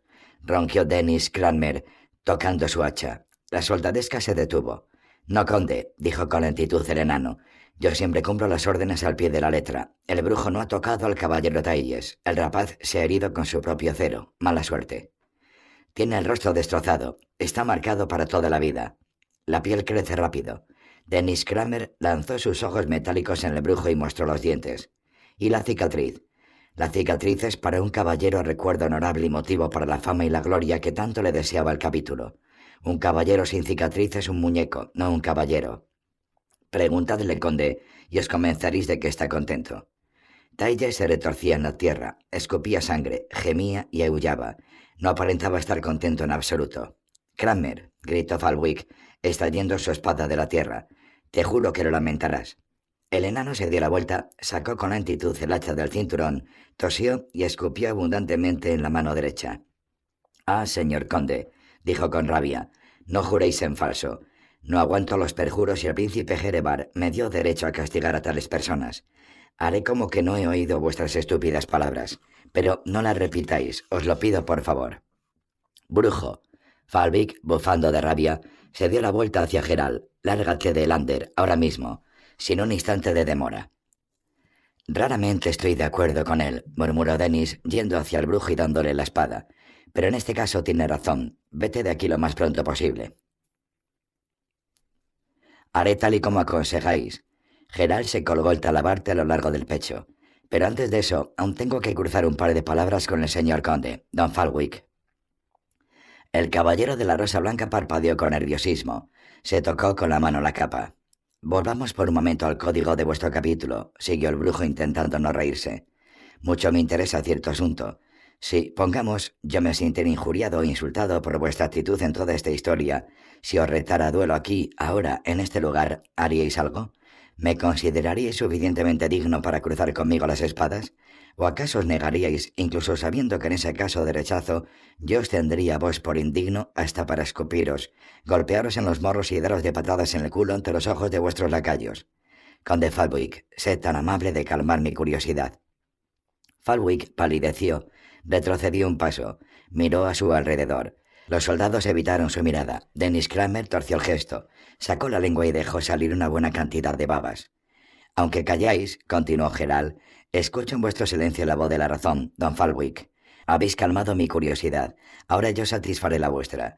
Si os interesa saber qué pasaría si la orden quisiera molestar de algún modo a la madre Neneque o a sus sacerdotisas, o si se le quisiera imputar lo más mínimo al capitán Cranmer, sabed, conde, que entonces os buscaré y sin importarme código alguno, os sacaré la sangre como si fuerais un cerdo. El caballero palideció aún más. No olvidéis mi promesa, don Falboic. Ven, Jaskier, ya es hora. Adiós, Denis. Suerte, Gerald. El enano mostró una amplia sonrisa. Adiós, me ha alegrado mucho nuestro encuentro. Espero que no sea el último. Lo mismo digo, Denis. Hasta la vista entonces. Se fueron con provocadora lentitud, sin mirar atrás. Solo pasaron al trote cuando estaban ya ocultos por el bosque. Gerald, habló de pronto el poeta, no iremos directamente al sur. Tendremos que evitar el Ander y las posesiones de Jerebar, ¿no? ¿O piensas seguir con esta demostración? No, Jaskier, no pienso hacerlo. Iremos a través de los bosques y luego tomaremos la ruta de los mercaderes. Recuerda, no le digas ni una palabra a Nene que sobre esta aventura, ni una. Albergo la esperanza de que nos iremos sin perder tiempo. Inmediatamente. Segundo. Geral se inclinó, comprobó el arco del estribo recién arreglado, apretó la correa que todavía olía a piel nueva, tiesa aún y dura en la hebilla, arregló la cincha, las albardas y la gualdrapa anudada a la silla, con la espada de plata enrollada en ella, Nené que estaba junto a él, inmóvil, con las manos cruzadas sobre el pecho. Jaskier se acercó, trayendo su caballo castaño retinto. Gracias por tu hospitalidad, venerable, dijo gravemente, y no te enfades conmigo, ya sé que pese a todo me aprecias. Cierto, concedió Neneque sin una sonrisa. Te aprecio, Zopenco, aunque ni yo misma sé por qué. Adiós. Hasta la vista, Neneque. Hasta la vista, Gerald. Ten cuidado. El brujo sonrió con aspereza. Prefiero cuidar de otros, vale más la pena a largo plazo. Del santuario, de entre las columnas cubiertas de hiedra, salió Iola en compañía de dos adeptas más jóvenes. Llevaba el cofrecillo del brujo. Evitó con torpeza su mirada. Su sonrisa confusa se mezclaba con el rojo de su pecosa y mofletuda carita, creando una composición llena de gracia. Las adeptas que la acompañaban no escondían miradas muy significativas y con esfuerzo se contenían para no reírse. Para la gran Melitele, suspiró Neneque, Toda una comitiva de despedida. Toma el cofre, Gerald. He rellenado tus elixires. Tienes todo lo que te faltaba. Y la medicina esa, ¿sabes cuál? Tómala regularmente durante dos semanas. No lo olvides. Es importante. No lo olvidaré. Gracias y hola. La muchacha bajó la cabeza, le dio el cofrecillo. Ella tenía tantas ganas de poder decir algo. No tenía la menor idea de qué era lo que se suponía que tenía que decir, qué palabras convenía usar. No sabía qué habría dicho si hubiera podido, no sabía, y ansiaba hacerlo. Sus manos se tocaron. Sangre, sangre, sangre, huesos como blancos palillos rotos, tendones como blanquecinas cuerdas explotando bajo una piel reventada, hendida por unas grandes garras erizadas de púas y agudos dientes. El obsceno sonido de un cuerpo desgarrado y un grito impúdico, hiriente en su impudicia. En la impudicia del final, muerte, sangre y grito grito, sangre, grito. Y hola. Neneque, con una rapidez increíble para su corpulencia, se echó sobre la muchacha tendida en la tierra, quien rígida temblaba convulsivamente y la sujetó por los brazos y los cabellos. Una de las adeptas se quedó como paralizada. La otra, más ágil, se arrodilló a los pies de Yola. Yola se dobló en arco abriendo la boca en un grito mudo y sin sonido. Yola, gritaba Neneque. Yola, habla. Habla, chiquilla, habla. La muchacha se tensó aún más, mordisqueó, apretó las mandíbulas, una fina línea de sangre le corrió por la mejilla. Neneque, enrojeciendo del esfuerzo, gritó algo que el brujo no entendió, pero su medallón se agitaba de tal modo en su cuello que se inclinó automáticamente, doblándose a causa de un peso invisible. Y Ola se quedó inmóvil. Jaskier, pálido como el papel, respiraba ruidosamente. Neneque se puso de rodillas, se levantó con esfuerzo. Lleváosla, dijo a las adeptas. Había ya algunas más. Acudían corriendo, graves, preocupadas y mudas. Tomadla, repitió la sacerdotisa. Con cuidado, y no la dejéis sola. Ahora voy yo. Se volvió hacia Geral. El brujo estaba inmóvil, sujetando las riendas en la mano sudorosa. Geral. Y hola. No digas nada, neneque. Yo también lo he visto. Por un segundo. Geral, no te vayas. Tengo que hacerlo. ¿Has visto? ¿Has visto eso? Sí, no es la primera vez. ¿Y qué? No tiene sentido volver la vista atrás. No te vayas, por favor. Tengo que hacerlo. ocúpate de Iola. Hasta la vista, neneque. La sacerdotisa volvió la cabeza, sorbió por la nariz y se limpió las lágrimas con un movimiento seco y brusco. Adiós, susurró sin mirarle a los ojos. Fin de El último deseo de Andrzej Sapkowski.